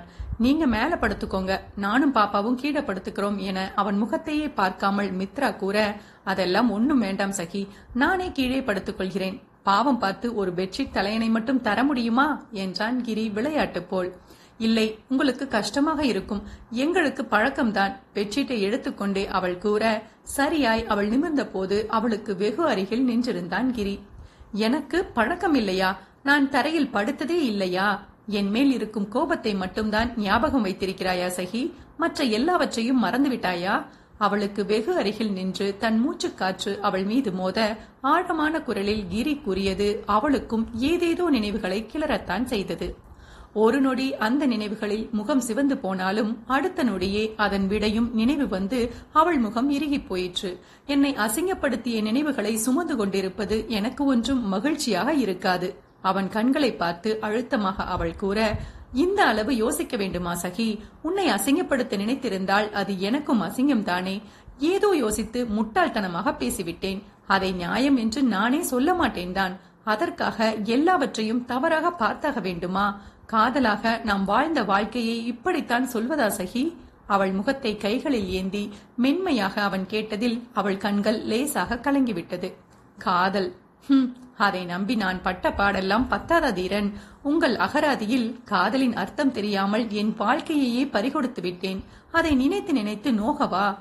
என் அகராதியில் மட்டுமில்லை பெண்ணே. உலகில் எந்த அகராதி எடுத்தாலும் காதலின் அர்த்தம் ஒன்றுதான். அதை மாற்றவே முடியாது. என் தவறு என் காதலை கேள்விக்குறியாக்கும் என்னும் அறிவு எனக்கு அப்போது இருக்கவில்லை சகி. அதை நினைத்து நினைத்து நான் நோகாத நாளே கிடையாது.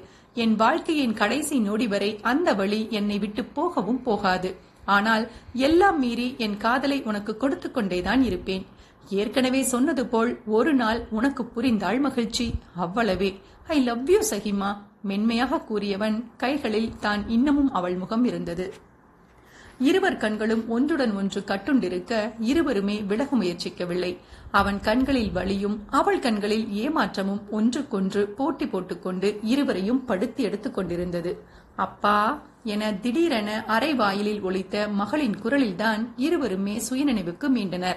மித்ரா வேகமாக கண்களை துடைத்துக் கொள்ள அவள் நெற்றியில் மென்மையாக இதழ் ஒற்றிவிட்டே அவளை விட்டு விலகிய கிரி அவள் வைத்திருந்த பெட்ஷீட்டை எடுத்து தரையில் விரித்தான். அதற்குள் அப்பா தூக்கு என தாரா வந்துவிட அவளை தூக்கிக் கொண்டவன் தாரா குட்டிக்கு என்ன வேண்டுமாம்? என கேட்டுக்கொண்டே அவளை கொஞ்ச அம்மாக்கு மட்டும் கிஸ் கொடுத்தாயே என முகத்தை தூக்கினாள் அவன் பெண். அதில் மெலிதாக புன்னகைத்துக் கொண்டவன் அம்மாவுக்கு ஒண்ணுதானே கொடுத்தேன் பாப்பாவுக்கு நிறைய கொடுக்கலாமா? என்றவன் அவள் நெற்றி கண்ணம் இரண்டிலும் அழுத்தமாக முத்தம் கொடுக்க ஹை எனக்குத்தான் நிறைய என தந்தைக்கு பதில் முத்தம் கொடுத்துக்கொண்டு அவன் கையிலேயே குதித்தாள் தாரா. தந்தையும் மகளும் சிறிது நேரம் இப்படியே கொஞ்சிக் கொண்டிருக்க அவர்களை வெறுமையாக பார்த்து கொண்டு அமர்ந்திருந்தாள் மித்ரா. ஒருவாறு தாராவை மித்ரா அருகில் விட்டவன் தூங்கு குட்டி மீதி நாளைக்கு விளையாடுவோம் குட் நைட் என்று விட்டு குட் நைட் சகி என அவளிடமும் கூறிவிட்டு கீழே படுத்து விட்டான் மறுநாள் காலையிலேயே செந்தில் வந்துவிட்டான். அவன் வந்தபோது மித்ரா சிவகாமி கிரி மூவருமே ஹாலில் அமர்ந்து காஃபி குடித்துக் கொண்டிருந்தனர். செந்திலை பார்த்ததும் வேகமாக எழுந்த மித்ரா வாங்கண்ணா என அவனிடம் சென்றுவிட கிரியும் அமைதியாக எழுந்து நின்றான். செந்திலின் கைகளும் தங்கையை அணிச்சை செயலாக அணைத்துக் கொண்டாலும் அவன் கண்கள் முழுவதும் கிரி மீதுதான் இருந்தது. குழந்தைக்கு ஏதோ உடம்பு முடியவில்லை என்று சொன்னாயேடா இப்போது எப்படி இருக்கிறாள்? என செந்தில் கேட்க நல்லா இருக்கானா தூங்குறா. நீங்க ஃப்ரெஷ் ஆயிட்டு வாங்க என அவனை தன் அறைக்கு அனுப்பி வைத்தாள் மித்ரா. குழந்தைக்கு மொட்டை எடுத்து முடி வளர்ந்தது போல் இருந்ததை யோசனையுடன் பார்த்து செந்தில் கேட்டதற்கும் ஒரே சளி பிடித்துக் கொண்டே இருந்ததுனா அதான் மொட்டை எடுத்து விட்டேன். இப்போது கீழே விழுந்ததில் அதான் அடி கொஞ்சம் பலமாகப்பட்டு விட்டது என சமாளித்து விட்டாள் மித்ரா. இந்த ஒரு மாதத்தில் ஓரளவு முடி வளர்ந்து விட்டதால் தையல் வெளிப்படையாக தெரியாமல் இருந்தது அவர்களுக்கு வசதியாய் போயிற்று. செந்திலின் கவனமும் அதிகம் கிரி மீதே இருந்ததால் அவன் தாராவை ஆராயவில்லை. ஒரே நாளில் கிளம்ப வேண்டிய கட்டாயத்தில் வந்திருந்தவன் கவனம் முழுவதும் கிரி மீதுதான் அதிகம் இருந்தது. அவன் ஃப்ரெஷ்ஷாகி வந்து காலை உணவை முடிக்கும் வரை அவன் கிரியிடம் ஒன்றுமே பேசவில்லை. இடையில் தாரா எழுந்து வந்து அப்பா அப்பா என கிரி மீது ஏறிக்கொண்டு சுற்றியது குழந்தையை கீழே கூட இறக்காமல் கையிலேயே கிரி வைத்துக் கொண்டது. குழந்தையை பார்க்கும்போது அவன் கண்களில் எப்போதும் இருக்கும் கனிவு என அனைத்தையும் செந்தில் கவனித்துக் கொண்டுதான் இருந்தான். காலை உணவை அனைவரும் முடித்ததும் நேராக கிரியிடம் வந்தவன் உங்களிடம் கொஞ்சம் தனியாக பேசணும் என்று தொடங்க வாங்க என்று விட்டு கிரியும் அவனுடன் நடந்தான். இருவரும் வீட்டின் முன்பக்கம் சென்றுவிட உள்ளே மித்ராவும் சிவகாமியும் தான் சற்று பதட்டத்துடன் அமர்ந்திருந்தனர். செந்தில் சுற்றி வளைக்காமல் நேரடியாக விஷயத்திற்கு வந்தான். நீங்க மித்ராவையும் தாராவையும் உடன் அழைத்து போக வந்திருப்பதாக மித்ரா கூறினாள். இத்தனை நேரம் கவனித்ததில் இருவர் மீதும் உங்களுக்கு அக்கறை இருக்கிறது என்று புரிகிறது. அதற்காக மித்ரா பட்ட துன்பங்கள் எதுவும் இல்லை என்று ஆகிவிடாது. வயிற்றில் குழந்தையுடன் அவள் பட்ட பாட்டை என்னால் இன்றும் மறக்க முடியவில்லை. உங்களால் ஒழுங்காக பார்த்துக்கொள்ள முடியாது என்றால் இப்போதும் ஒன்றும் கெட்டுப்போகவில்லை நீங்கள் கிளம்பலாம். என் தங்கையையும் அவள் குழந்தையையும் என்னால் கடைசி வரை நன்றாக பார்த்துக்கொள்ள முடியும். நிதானமாக செந்தில் கூற கிரியும் அவனை வெறுமையாக பார்த்துக் கொண்டிருந்தான். அவனுக்கு செந்திலின் அன்பும் பயமும் புரிந்தது. முன்பென்றால் புரிந்திருக்குமோ என்னவோ இப்போது அவனும் ஒரு அண்ணன் ஸ்தானத்தில் தானே இருக்கிறான். அதனால் தெளிவாகவே புரிந்து கொண்டான். உங்கள் பயம் எனக்கு புரிகிறது செந்தில். உங்கள் தங்கையிடம் கூறியதைத்தான் உங்களிடமும் சொல்கிறேன். பழைய கிரி செத்து பல வருடம் ஆகிவிட்டது. இத்தனை வருடமும் நான் சகியை தேடிக்கொண்டேதான் இருந்தேன். செய்த பாவத்திற்கு நானும் பட வேண்டும் இல்லையா அதுதான் இந்த ஏழு வருட இழப்பு.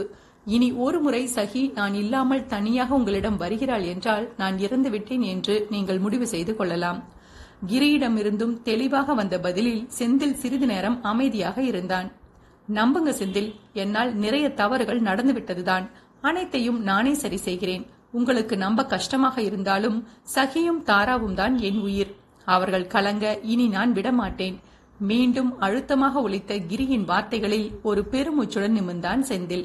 உங்களை பற்றி சொல்லுங்க என செந்தில் கேட்க கிரியும் தன் தொழில் குடும்பம் என எதுவும் மறைக்காமல் கூறினான். தமிழரசன் தாத்தா பேரனா? அதனால்தான் உங்களை பற்றி மித்ரா என்னிடம் சொல்லவே இல்லை போல். ம் தெரிந்தால் நீங்கள் அவர் மூலமாக என்னிடம் வந்துவிடுவீர்கள் என்று நினைத்திருப்பாள். எப்படியும் என் கண்ணில் பட்டுவிடக்கூடாது என்று தெளிவாக இருந்திருக்கிறாள் என்ற கிரியின் குரலும் பெரும் வேதனையுடன் ஒழித்தது அவன் வேதனை செந்திலுக்கு லேசாக புரிவது போல் இருந்தது. ஒரு முறை தவறு செய்து அதன் வினையை அனுபவித்து திருந்தியவர்கள் மீண்டும் அத்தனை சுலபமாக தவறழைக்க மாட்டார்கள் என்று கேள்விப்பட்டிருக்கிறேன். அந்த ஒரே நம்பிக்கையில்தான் இப்போது மித்ராவையும் தாராவையும் உங்களுடன் அனுப்புகிறேன். நம்பலாம் தானே? அவனை கூர்மையாக அளந்து கொண்டே செந்தில் கேட்க கட்டாயம் என்றான் கிரி உறுதியாக. மீண்டும் உள்ளே வந்தபோது இருவர் முகமும் தெளிந்திருந்ததில் மித்ராவிற்கு நிம்மதியாக இருந்தது.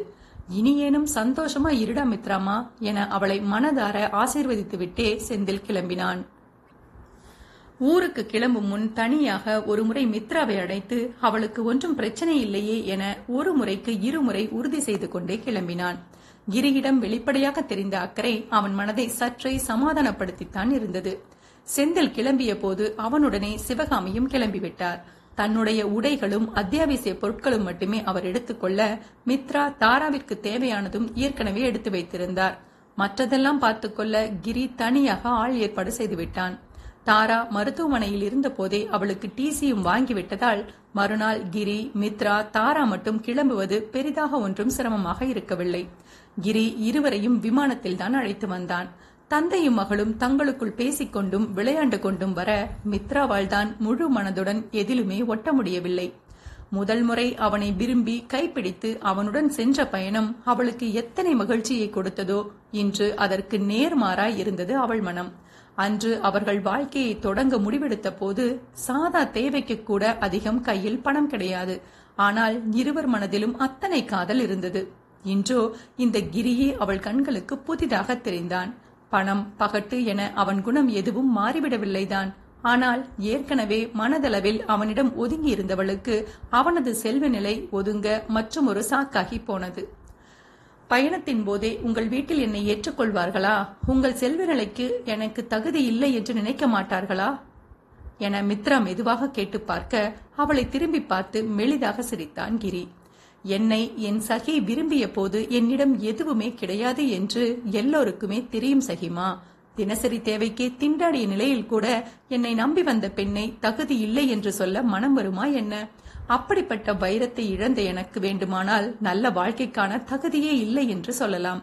புன்னகை முகம் மாறாமல் கூறிவிட்டு அவன் திரும்பிவிட அவளுக்குத்தான் படபடப்பு முழுதாக குறையவே இல்லை.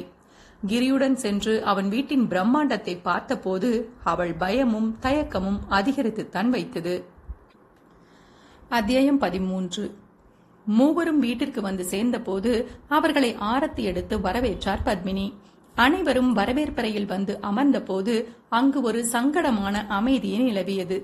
குட்டி அத்தையிட்ட வர்றீங்களா? என முதல் ஆளாக துர்கா கேட்க தாரா தன் தந்தையின் முகத்தை தான் பார்த்தது. உன் அத்தை தான் குட்டி உன்னுடன் விளையாடுவா போ என கிரி கூற குழந்தையும் தயங்கிக் கொண்டே துர்காவிடம் சென்றது. உங்களுக்கு நிறைய டாய்ஸ் காண்பிக்கிறேன். என்னுடன் வர்றீங்களா? என கேட்டுக்கொண்டே துர்கா வாகாக தாராவை தூக்கிக் கொள்ள நிறைய பொம்மை இருக்கா? என கண்ணை விரித்தாள் சிறியவள். ம் நிறைய இருக்கே. நம்ம விளையாடலாமா? என கேட்டுக்கொண்டே குழந்தையுடன் துர்கா நகர்ந்து விட்டாள். சங்கடமெல்லாம் பெரியவர்களுக்குத்தான் போலும். குழந்தைகளுக்கு அது எதுவுமே தேவைப்படவில்லை. குழந்தைகள் செயலை பார்த்ததும் தான் தாங்கள் அமைதி தேவையற்றது என பெரியவர்களுக்கும் புரிந்தது. தமிழரசன் தான் முதலில் பேசினார். உங்கள் இருவருக்கும் என்ன பிரச்சனை என்று நாங்க கேட்க மாட்டோம் கிரி. நீ திருமணம் முடிந்துவிட்டது பெண் எங்கே என்று தெரியவில்லை என சொன்னதிலிருந்து நாங்கள் தவித்த தவிப்பு எங்களுக்குத்தான் தெரியும். இன்று மனைவி குழந்தை என்று நீ வந்திருப்பது நிஜமாகவே அத்தனை நிறைவாக இருக்கிறது. யார் மீது தவறு இருந்தாலும் இனியேனும் அதெல்லாம் மறந்துவிட்டு சந்தோஷமாக வாழுங்க கண்ணா. நிதானமாக தமிழரசன் கூற என் தப்புதான் தாத்தா. என்னை விரும்பிய ஒரே பாவத்திற்கு சகி நிறையப்பட்டு விட்டாள். அவள் காதல் பாவமாகவே நின்று விடாமல் இனி நிச்சயம் பார்த்துக் கொள்வேன். அழுத்தமாக வந்து விழுந்த அவன் வார்த்தைகள் அனைவருக்குமே பெரும் நிம்மதியாக இருந்தது. மித்ரா அமைதியாக அமர்ந்திருக்க அவள் அருகில் வந்து அவளை மென்மையாக அணைத்துக் கொண்டு அமர்ந்தார் பத்மினி. அழகாக இருக்கிறாய்மா என்ன? ரொம்பவும் இழைத்திருக்கிறாய் நல்லா சாப்பிடணும். நிலைமையை சகஜமாக்க அவர் கூறியதில் மித்ரா முகத்திலும் சிறு புன்னகை தோன்றியது. அடடா! சிரித்தால் இன்னமும் அழகாக இருக்கிறாயே என அவர் திருஷ்டி வேறு கழிக்க ப்ளீஸ் பாட்டி என்றால் மித்ரா சிரிப்பை கட்டுப்படுத்தி கொண்டே. இந்த முரடன் இனி உன்னை ஏதாவது கஷ்டப்படுத்தினால் என்னிடம் சொல்லுமா? நான் நன்றாக கேட்கிறேன். ஏதாவது வம்பு செய்தால் தாத்தா கொம்பால் விளாசி விடுவோம் ஆனால் இனி பிரிய மட்டும் செய்யாதீங்கடா. எங்கள் வயதிற்கு சிறியவர்கள் வழியுடன் சுற்றுவதை பார்க்க முடியவில்லை. விளையாட்டாக ஆரம்பித்தவர் முடிக்கும் போது அவர் குரல் தன்னையும் அறியாமல் கலங்கிவிட்டது. சாரி பாட்டி என மெதுவாக கூறிய மித்ராவிற்கோ தன் வீட்டிலும் இப்படித்தானே வருந்திக் கொண்டிருப்பார்கள் என்று நினைத்து மனம் கனத்துத்தான் போயிற்று. அவளை பற்றி இப்போதெல்லாம் தந்தையும் அன்னையும் நிறைய கேட்பதாக செந்தில் கூட சொல்லியிருந்தான். ஏனோ அந்த நொடி தன் குடும்பத்தை பார்க்க வேண்டுமென அவளுக்கு மிகவும் ஆசையாக இருந்தது. மனதில் தான் ஏங்கிக் கொண்டிருந்தாளே ஒழிய வெளியில் மித்ரா எதுவும் காட்டிக்கொள்ளவில்லை அப்படித்தான் நினைத்தாள். ஆனால் கிரி அவளை கவனித்துக் கொண்டேதான் இருந்தான். அவள் விழியசைவே அவள் மனதை அவனுக்கு படம் பிடித்து காட்டிவிட்டது. பாப்பா என்ன சாப்பிடுவா மித்ராமா? ஏதாவது தனியாக செய்ய சொல்லட்டுமா? என ராகவி கேட்க இல்லை அத்தை சாதாரணமா நாம் சாப்பிடுவதைத்தான் சாப்பிடுவாள். தனியாக எதுவும் வேண்டியதில்லை என்றாள் மித்ரா. ஒருவாறு வீட்டிலிருந்த அனைவரும் அவளை அப்படியே ஏற்றுக்கொண்டதில் கிரியின் மனமும் முதல் முறை நிகழ்ந்துதான் விட்டது. யார் எதிர்த்தாலும் அவன் கேட்க மாட்டான் என்றாலும் அவர்கள் மித்ரா மீது காட்டிய அன்பு அனைத்தும் அவர்கள் தன் மீதான அன்பின் வெளிப்பாடு என்று அவனுக்கு நன்றாகவே புரிந்தது. வீட்டை ஒருமுறை சுற்றி காட்டவாடா? நீ காட்டுகிறாயா கிரி? இல்லை நான் காட்டவா? மித்ராவிடம் ஆரம்பித்து ராகவி கிரியிடம் முடிக்க நீங்களே காட்டுங்க சித்தி என்று விட்டான் கிரி. அவர்கள் கொஞ்சம் பழகி கொள்ளட்டும் என்றுதான் அப்படி கூறினான். அவன் நினைத்தது போலவே இருவருக்குள்ளும் நல்ல இலக்க நிலை விரைவாகவே ஏற்பட்டது. வீட்டு வேலைக்காரர்களை எல்லாம் மித்ராவிற்கு அறிமுகம் செய்து வைத்துவிட்டு வீட்டையும் அவளுக்கு சுற்றி காட்டினார் ராகவி. தன் மனதில் இருந்ததையும் மருமகளிடம் பேசிக்கொண்டேதான் அவர் நடந்தார். கிரி கொஞ்சம் பிடிவாதக்காரன் தான்மா ஆனால் உன்னை பிரிந்த பின் அவன் கண்மூடித்தனமாக எதற்கும் பிடிவாதம் பிடிப்பது போல் தெரியவில்லை. எனக்கு தெரிந்தவரை உன் பிரிவு அவனை நிறையவே மாற்றி இருக்கிறதுடா முன்பு அவன் எப்படி இருந்திருந்தாலும் இப்போது அவனிடம் அதிகம் எஞ்சி இருப்பது அன்பு மட்டும்தான் மித்ராமா கோபத்தை விட்டுவிட்டு மகிழ்ச்சியாக வாழ பாருங்கடா. அக்கறையுடன் கூறியவரிடம் என்ன மறுத்து கூறிவிட முடியும்? ஒன்றை அவளும் ஒத்துக்கொள்ளத்தான் வேண்டியிருந்தது. அவன் நிறைய மாறியிருக்கிறான் தான் ஆனால் மொத்தமாக அவன் குணம் மாறிவிட்டது என அவர் கூறியதை மித்ராவால் ஒத்துக்கொள்ள முடியவில்லை. இப்போது அவளை இங்கு அழைத்து வந்ததே அவன் மாறா குணம்தானே? எதை வைத்து பிளாக்மெயில் செய்தான்? இதில் எங்கிருந்து பழைய காதலும் அன்பும் மீண்டும் வரும்? எதையும் அவரிடம் கூற முடியாமல் சரியத்தை என குத்துமதிப்பாக தலையாட்டி வைத்தாள் மித்ரா. வீட்டை முழுவதும் சுற்றி காட்டியவர் கிரியின் அறைக்குள் மட்டும் நுழையவில்லை. பொதுவாக அவன் அறைக்குள் யாரும் அதிகம் போவதில்லைடா.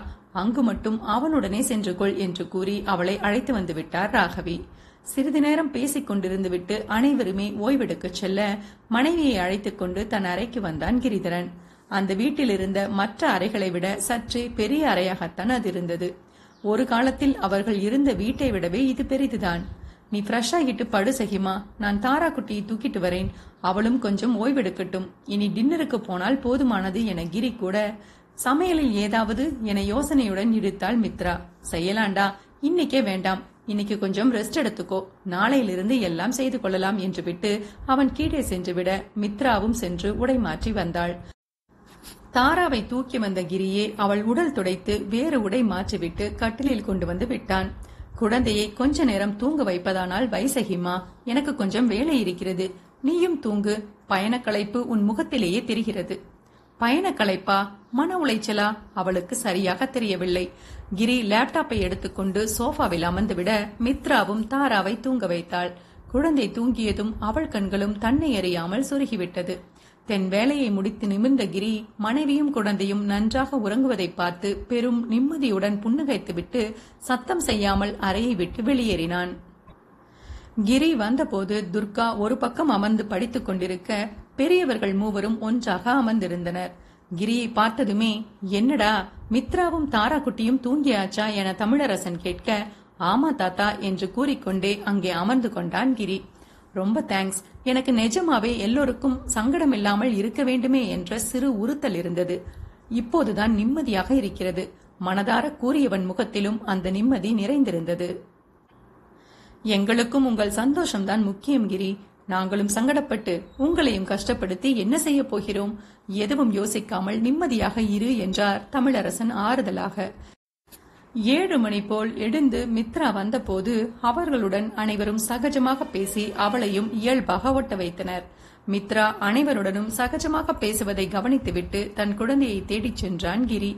நன்றாக உறங்கிக் கொண்டிருந்த மகள் அருகில் மெதுவாக அமர்ந்து அவளை பார்க்க ஆரம்பித்தவன் ஏதோ நினைவில் முகம் கசங்க அவளையே பார்த்து கொண்டிருந்தான். திடீரென குழந்தை அவன் புறம் திரும்பி கண்ணை கசக்கி எழப்போக அவள் செயலில் தன் நினைவு கலைந்து மீண்டவன் வேகமாக கலங்கியிருந்த கண்களை துடைத்துக் கொண்டு மகள் புறம் குனிந்தான். தாராக்குட்டி எழுந்தாச்சா? என கேட்டுக்கொண்டே அவன் மகளை தூக்கிக் கொள்ள அவளும் தந்தை தோளில் சுகமாக சாய்ந்து கொண்டாள். ம் குட் மார்னிங் பா என மெதுவாக தாரா கூற அதில் சிரித்து விட்டவன் அட வாளு இரவு நேரத்தில் எழுந்துவிட்டு குட் மார்னிங்கா? வா சாப்பிட்டு விட்டு மீண்டும் வந்து தூங்க வேண்டியதுதான். இப்போ எழுந்துக்கோங்க என அவளை நன்றாக எழுப்பி கீழே அழைத்துச் சென்றான் கிரி. சிறிது நேரத்தில் அனைவரும் இரவு உணவை முடிக்க மாலை தூங்கிவிட்டதால் தாரா துர்காவுடன் அமர்ந்து விளையாண்டு கொண்டிருந்தாள்.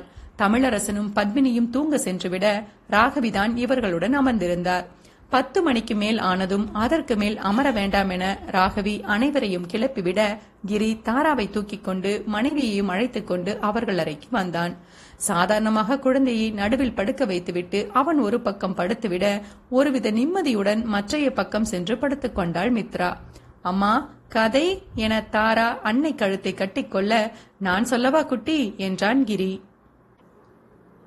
தந்தை கூற்றில் கண்கள் விரிய அவன் புறம் திரும்பிய குழந்தை உனக்கும் தெரியுமாப்பா? என ஆச்சரியமாக கேட்க உன் அம்மா அளவு தெரியாதுதான். கொஞ்சம் அட்ஜஸ்ட் பண்ணிக்கோங்க என்று விட்டு அவளை தட்டி கொடுத்து கொண்டே மென்குரலில் கதை கூற தாராவும் தூங்கத் தொடங்கியது.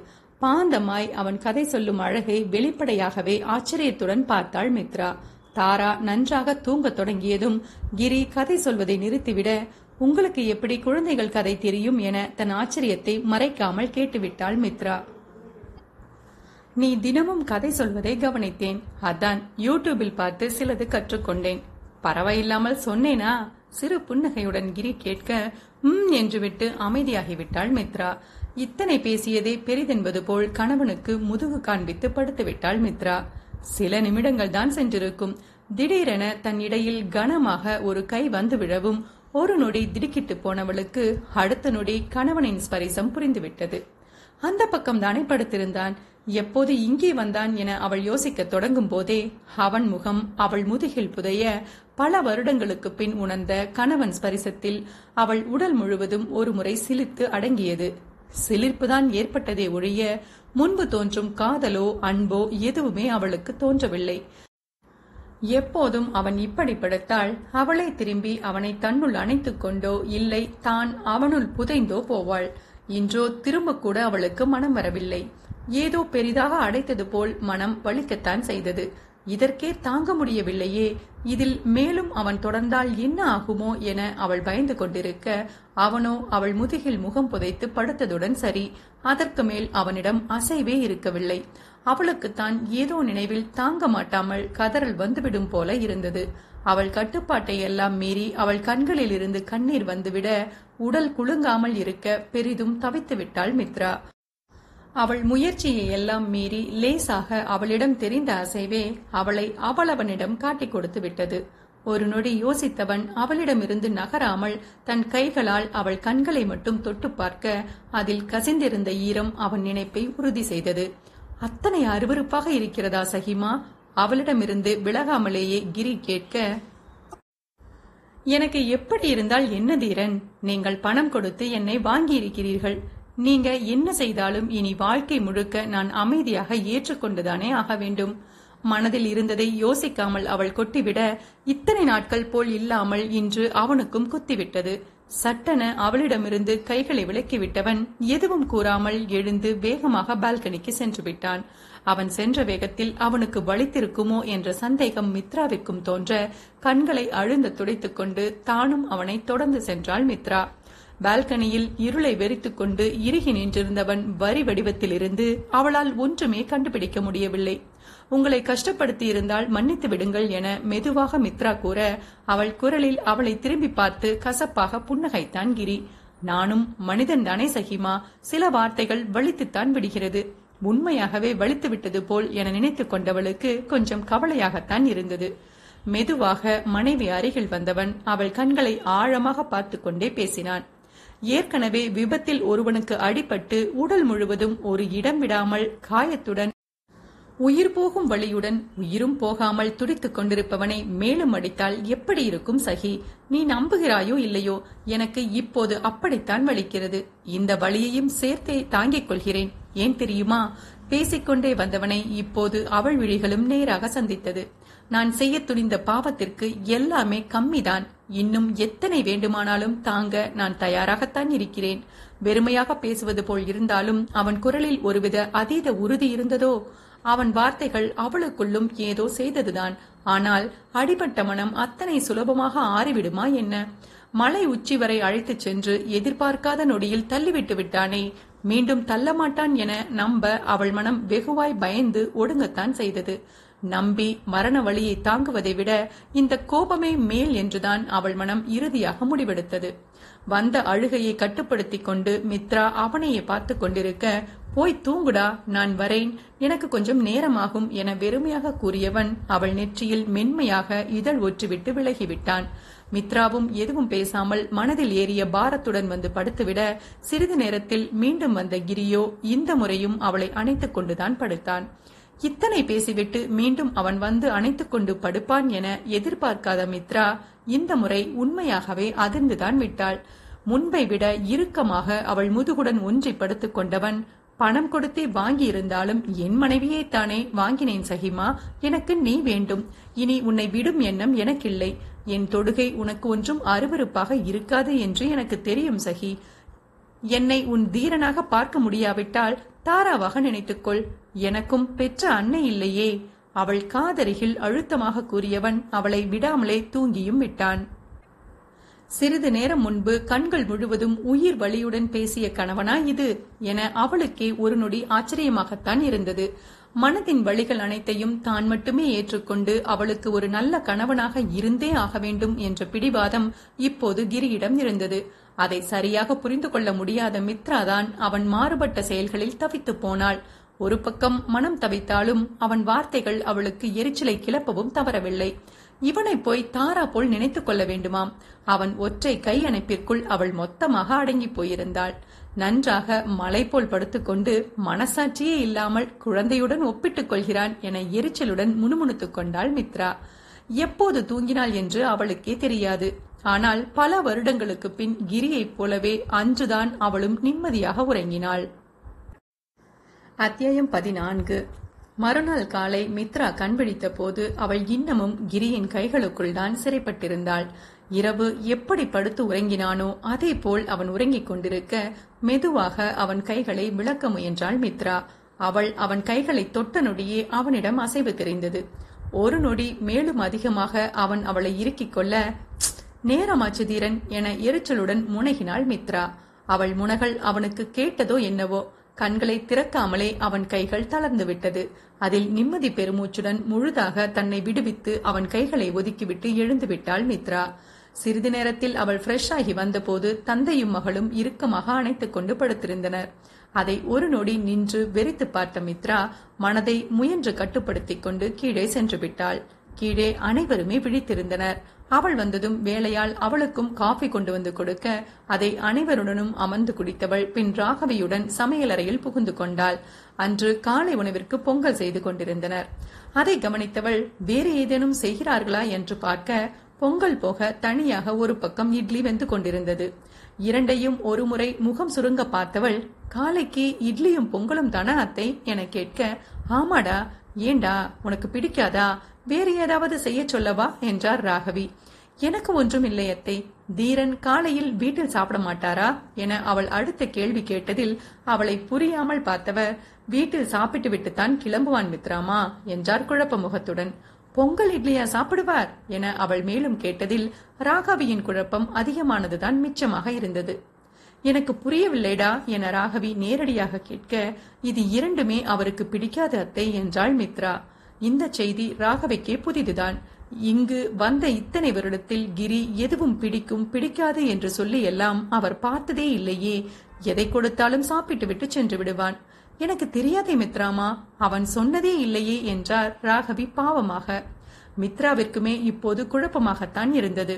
ஒருமுறை அவர்களுக்கு திருமணமான புதிதில் அவள் பொங்கல் செய்திருந்த போது பொங்கலா? ஐயோ எனக்கு சுத்தமா பிடிக்காது சகிமா. என முகத்தை சுருக்கியவன் அவள் முகம் வாடியது பொறுக்காமல் வேகமாக சாப்பிட்டு முடித்துவிட்டு என் சகிமா செய்தால் சாப்பிட்டு விட்டேன். ப்ளீஸ் பொண்டாட்டி இனி செய்யாதேடா. நான் பாவம் இல்லையா? என அவளை கொஞ்சி விட்டு சென்றான்.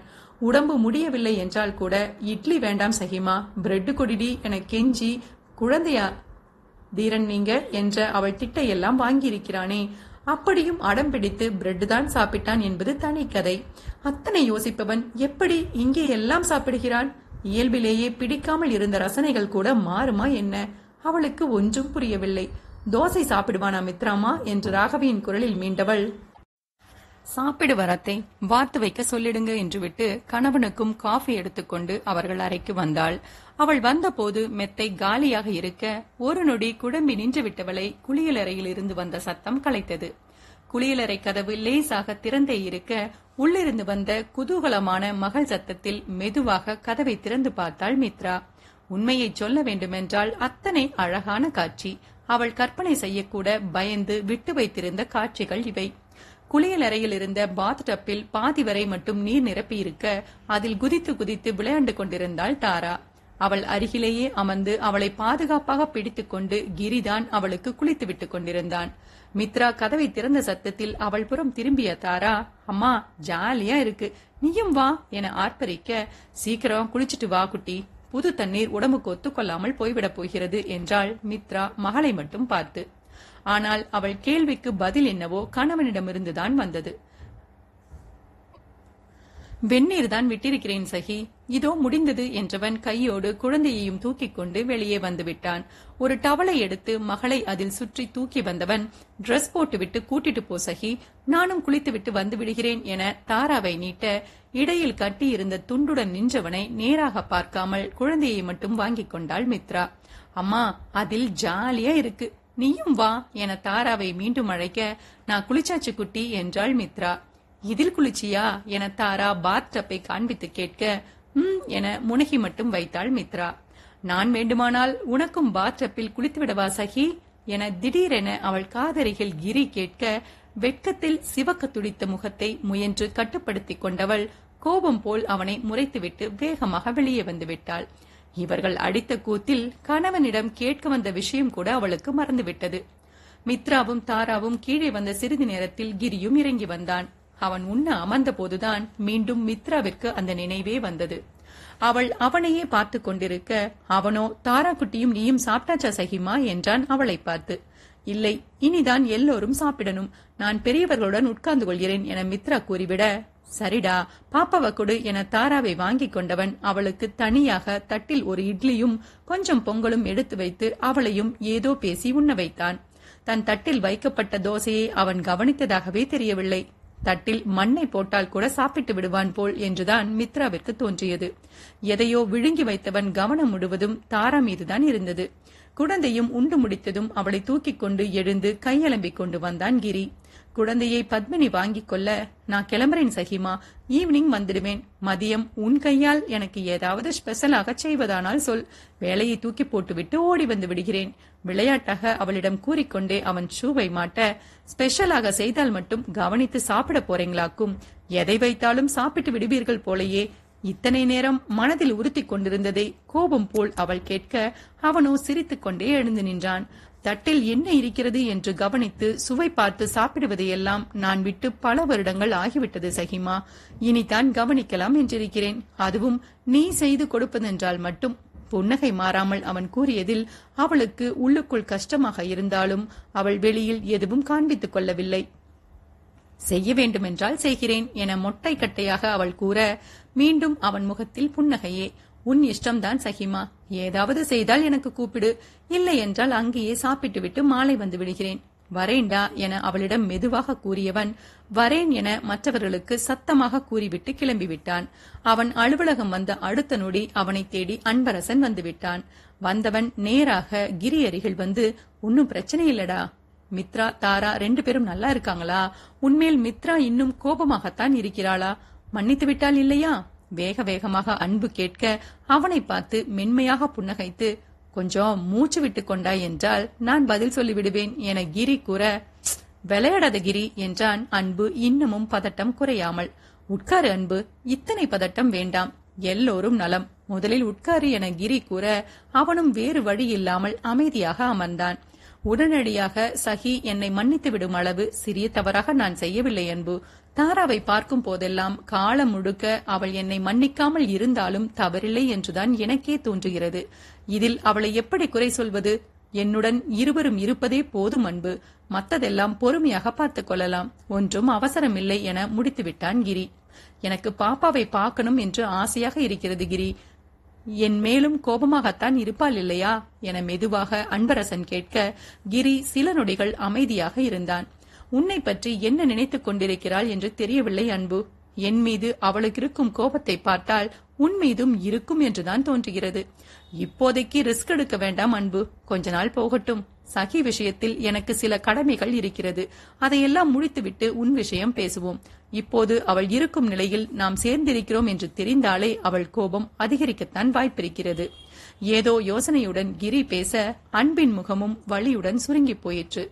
நான் சொல்கிறேன் என்று கோபப்படாதே கிரி. இப்போதேனும் என்னை விட்டுவிடேண்டா? நான் வேறு ஏதாவது வேலை பார்த்துக் கொள்கிறேன். நீ உன் குடும்பத்தை பார். இருக்கும் கஷ்டத்தில் என்னை வைத்து ஒரு பிரச்சனையும் வேண்டாம் கிரி. மெதுவாக அவன் கூற அவன் எதிர்பார்த்தது போலவே அவனை உறுத்து விழித்தான் கிரிதரன்.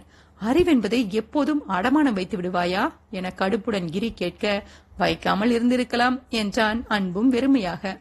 அன்பு எத்தனை வருடமாக இப்படி யோசிப்பதை நிறுத்து? என்று உன்னிடம் சொல்லிக் கொண்டிருக்கிறேன். தவறு செய்தது நான் மட்டும்தான். நீ எனக்கு நல்ல நண்பனாக சரியாக அறிவுரை கொடுக்காமல் எனக்கு சாதகமாக பேசியது மட்டும்தான் தவறு. நிச்சயம் தவறுதான். ஆனால் அதற்கும் என் பாவ கணக்கிற்கும் சம்பந்தமில்லை. என் பாவத்தை நான் நியாயப்படுத்த மாட்டேன். ஆனால் உன் பக்க நியாயத்தை என்னால் சகிக்கும் புரிய வைக்க முடியும்.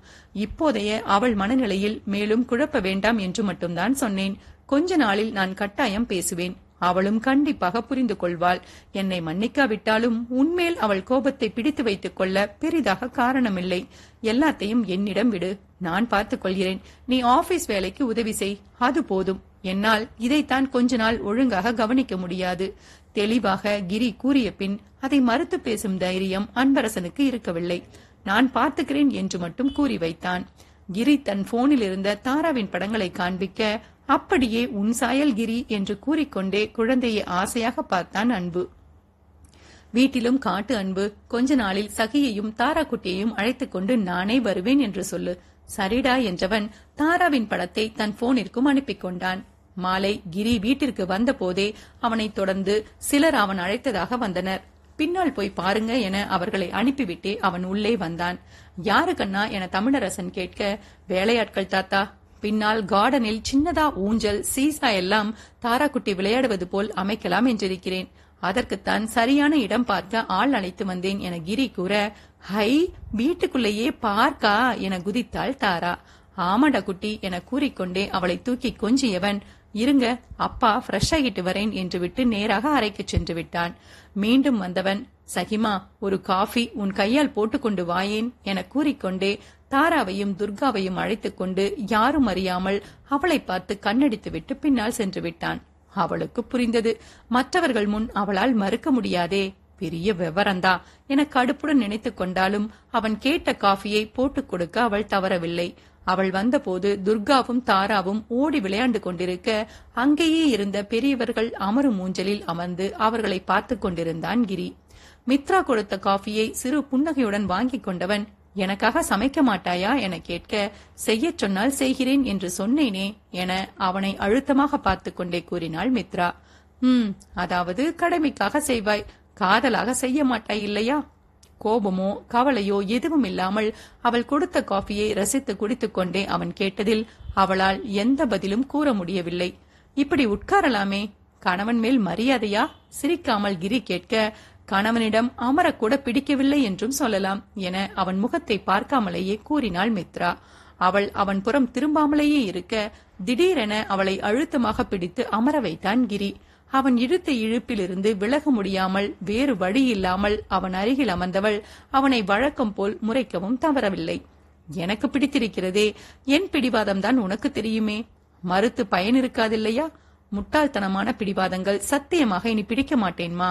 அவன் வார்த்தைகளில் அவள் முகம் போன போக்கில் வேகமாக தன் தலையில் அடித்து சத்தியம் செய்தான் கிரி.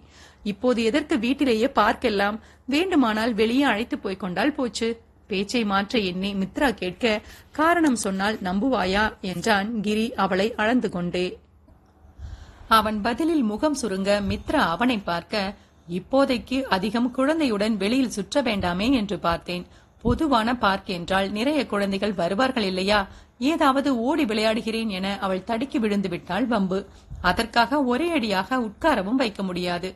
அதான் வீட்டிலேயே ஏற்பாடு செய்தால் துர்காவுடன் விளையாண்டு கொள்வாள். அவன் பதிலில் மித்ரா அவனை வெறுமையாகத்தான் பார்த்தாள். இப்போது இத்தனை அவன் யோசிப்பது அவளுக்கு ஒன்றும் பெரிதாக உவப்பாக இருக்கவில்லை. குழந்தை என்று இருப்பது தெரிந்துவிட்டால் செய்வதை திருந்தச் செய்ய வேண்டும் என்று நினைக்கிறீர்கள் போல். தனக்கு தோன்றியதை அவள் அப்படியே கூற என்றுமே உன்னை பற்றியும் நம் குழந்தை நலனை பற்றியும் மட்டுமே தான் யோசிக்கிறேன் என்றும் சொல்லலாம். நீ நம்பப் போவதில்லை என்பதால் இப்போதைக்கு காஃபிக்கு தேங்க்ஸ் என அவன் சம்பந்தமே இல்லாமல் முடித்துவிட மித்ராவும் எதுவும் சொல்ல தோன்றாமல் அமைதியாக வேடிக்கை பார்க்க தொடங்கிவிட்டாள். அந்த இடத்தில் வேலைக்கென்று வந்திருந்தவர்களில் ஒருவன் கிரி அருகில் வந்தான். அந்த இடத்தில் ஊஞ்சல் சறுக்கு சீசா எல்லாம் வைத்து விடலாம் சார். ஒரு நான்கு நாட்கள் ஆகும் என அவன் கூற நாளை காலை வந்து வேலையை ஆரம்பித்து விடுங்கள். உங்களுக்கு உதவிக்கும் மேற்பார்வைக்கும் ஒருவர் வருவார் என்று கூறி அவர்களை அனுப்பி வைத்தான் கிரி. இரவு உணவிற்கு அனைவரும் சேர்ந்து அமர்ந்திருந்த போது எப்போது ஊருக்கு கிளம்புகிறீர்கள் தாத்தா? என திடீரென கிரி கேட்க ஏன்பா திடீரென்று எங்களை துரத்துகிறாய்? என்றார் தமிழரசன் சிரித்துக்கொண்டே அதில் தானும் சிரித்தவன் துரத்தவில்லை தாத்தா. நாங்களும் உங்களுடன் வரப்போகிறோம். அதாவது நான் சஹி தாரா மூவரும். சித்தி நீங்களும் துர்காவும் கூட வரணும். எல்லோரும் சேர்ந்துதான் போகப் போகிறோம் என அவன் அசால்ட்டாக கூற மற்றவர்களுக்கு எப்படி இருந்ததோ மித்ராவிற்குத்தான் தூக்கி வாரி போட்டது. அத்தியாயம் பதினைந்து. நீயே சொல்லு கண்ணா. எப்போது போகலாம் என தமிழரசன் கிரியையே கேட்க ஒரு இரண்டு வாரத்தில் கிளம்புவோம் தாத்தா. ஏற்கனவே ஒரு மாதம் ஆபீஸை பார்க்கவில்லை. கொஞ்சம் எல்லாம் சரி பார்த்துவிட்டு வருகிறேன் என்றான் கிரி. அவர்கள் பாட்டிற்கு சாதாரணமாக பேசிக் கொண்டிருக்க மித்ராவிற்குத்தான் உள்ளுக்குள் பெரிதாக படபடத்து போனது. ஊருக்கு போனால் அவள் தந்தை கண்ணில் பட வேண்டி இருக்குமே. இவன் பாட்டிற்கு எதையும் யோசிக்காமல் எத்தனை சுலபமாக பேசுகிறான். தந்தையிடம் என்னவென்று சொல்லுவாள்? அவர் முகத்தில் விழிக்கும் தைரியம் கூட அவளுக்கு அப்போதைக்கு இருக்கவில்லை. முதல் முதலாக அவருக்கு பயந்து அவரை ஏமாற்றியதிலிருந்து இப்போது வரை ஏதோ காரணம் வைத்து ஏமாற்றிக் கொண்டேதானே இருக்கிறாள். குற்றமுள்ள நெஞ்சு வெகுவாய் குறுகுறுத்து போனது. கையில் இருந்ததை உண்ணக்கூட தோன்றாமல் அவள் அமர்ந்துவிட கிரியும் அவளை கவனித்துக் கொண்டேதான் இருந்தான். ஏதோ நினைவில் அவள் யாரையும் கவனிக்காமல் அப்படியே அமர்ந்திருக்க மற்ற அனைவரும் அதற்குள் உண்டே முடித்திருந்தனர். ராகவி மித்ராவை கவனித்து அவளிடம் பேச வர கண்களாலேயே அவரை தடுத்து தான் பார்த்துக் கொள்வதாக தலையாட்டி அவரை அனுப்பி வைத்தான் கிரி. அனைவரும் எழுந்து சென்றதும் சஹிமா என அவளை அழுத்தமாக பிடித்து அவன் அசைக்க அவளும் அப்போதுதான் நினைவுலகிற்கே மீண்டாள். அப்படி என்ன யோசனை? ஏதேனும் ராக்கெட்டை விடப் போகிறாயா என்ன? சிரித்துக்கொண்டே அவளிடம் கேட்டவன் அவள் தட்டில் இருந்த உணவை எடுத்து அவளுக்கு ஊட்ட அவளோ வாயை திறக்காமல் அவனையே பரிதவிப்புடன் பார்த்தாள். வாய தெர சகிமா என அவன் அழுத்தமாக கூற மறுப்பாக தலையசைத்தவள் இப்போ எதுக்கு ஊருக்கு? என மெதுவாக கேட்க சாப்பிட்டால் சொல்லுவேன் என்றான் அவன் விடாமல். ஒருவாறு அவன் குரலில் இருந்த அழுத்தத்தில் முழுதாக மீண்டவள் கொடுங்க என கோபத்துடன் தட்டை இடுக்க வாயத்திற திற என்றான் அவன் மீண்டும். மனதில் இருந்த அலைப்புறுதலில் அவனிடம் சண்டையிட தெம்பில்லாமல் அமைதியாக அவன் ஊட்டிய உணவை வாங்கிக் கொண்டாள் மித்ரா. ஊருக்கு போவதில் எதற்கு இத்தனை பயம் சகிமா? சாதாரணமாக அவன் கேட்டதில் மேலும் அவனை முறைத்தவள் உங்களுக்கு தெரியாதா? என காய தெரியுமே இதில் பதற என்ன இருக்கிறது? என்றுதான் கேட்கிறேன். கடைசி வரை உன் வீட்டிற்கு போகாமலேயே இருக்கப் போகிறாயா சகிமா? அந்த சூழலை ஒருமுறை தைரியமாக எதிர்கொண்டு விட்டால் உனக்கு உன் குடும்பம் மொத்தமும் கிடைக்கும். நாம் போகத்தான் போகிறோண்டா? நிதானமாக அவளுக்கு ஊட்டிக்கொண்டே கூறி முடித்தான் கிரி. எனக்கு ரொம்பவும் குற்ற உணர்வாக இருக்கிறது தீரன். நிலையில்லாத ஒரு வாழ்க்கையை நம்பி என்மேல் அன்பு வைத்திருந்தவர்களை தவிக்க விட்டு விட்டேன் இன்று அவர்களை பார்த்து மன்னிப்பு கேட்கக்கூட கூசுகிறது. அவனை நேராக பார்க்காமல் தன்னை அறியாமல் மனதில் இருந்ததை அவள் அப்படியே கூறிவிட அவன் கைகள் ஒரு நொடி முகமிருக நின்றுவிட்டது. பின் ஒரு பெருமூச்சிற்குள் தன் மனதை அடக்கிக் கொண்டவன் அவளுக்கு தொடர்ந்து ஊட்டினான். தவறோ சரியோ நடந்து முடிந்துவிட்டது சகிமா. நடந்த எதையும் மாற்ற முடியாதே. நம் பிரச்சனை நம்மோடு. அவர்கள் கண்ணுக்கேனும் நீ குடும்பம் குழந்தை என நன்றாகத்தான் இருக்கிறாய் என்று பார்த்தால் சந்தோஷப்படுவார்கள் இல்லையா? அவன் பேசிக் கொண்டிருக்கும் போதே அவனை ஒரு குற்றம் சாட்டும் பார்வை பார்த்தாள் மித்ரா. அவர்கள் பார்வைக்கு என்று மட்டும்தான் சொன்னேன் சகி. மற்றபடி உன் மனதை நான் கொன்றதை நியாயப்படுத்தவில்லை. அதற்கு இப்போது கூட நீ இன்னும் எந்த தண்டனை கொடுத்தாலும் நான் ஏற்றுக்கொள்ள தயாராகத்தான் இருக்கிறேன். முகத்தில் எந்த உணர்வும் இல்லாமல் வெறுமையாக அவன் கூறியதில் அவள் எப்போதும் போல் அமைதியாகத்தான் இருக்க வேண்டியிருந்தது. வாடா என கூறிக்கொண்டே கிரி எழுந்துவிட அப்போதுதான் பேசிக்கொண்டே தன்னை சாப்பிட வைத்தும் முடித்து விட்டான் என்று அவளுக்கு புரிந்தது. என்னதான் அவன் சொல்வதெல்லாம் சரிதான் என்றாலும் உள்ளுக்குள் ஏற்பட்ட படபடப்பை அவளால் ஒரே அடியாக கட்டுப்படுத்த முடியவில்லை.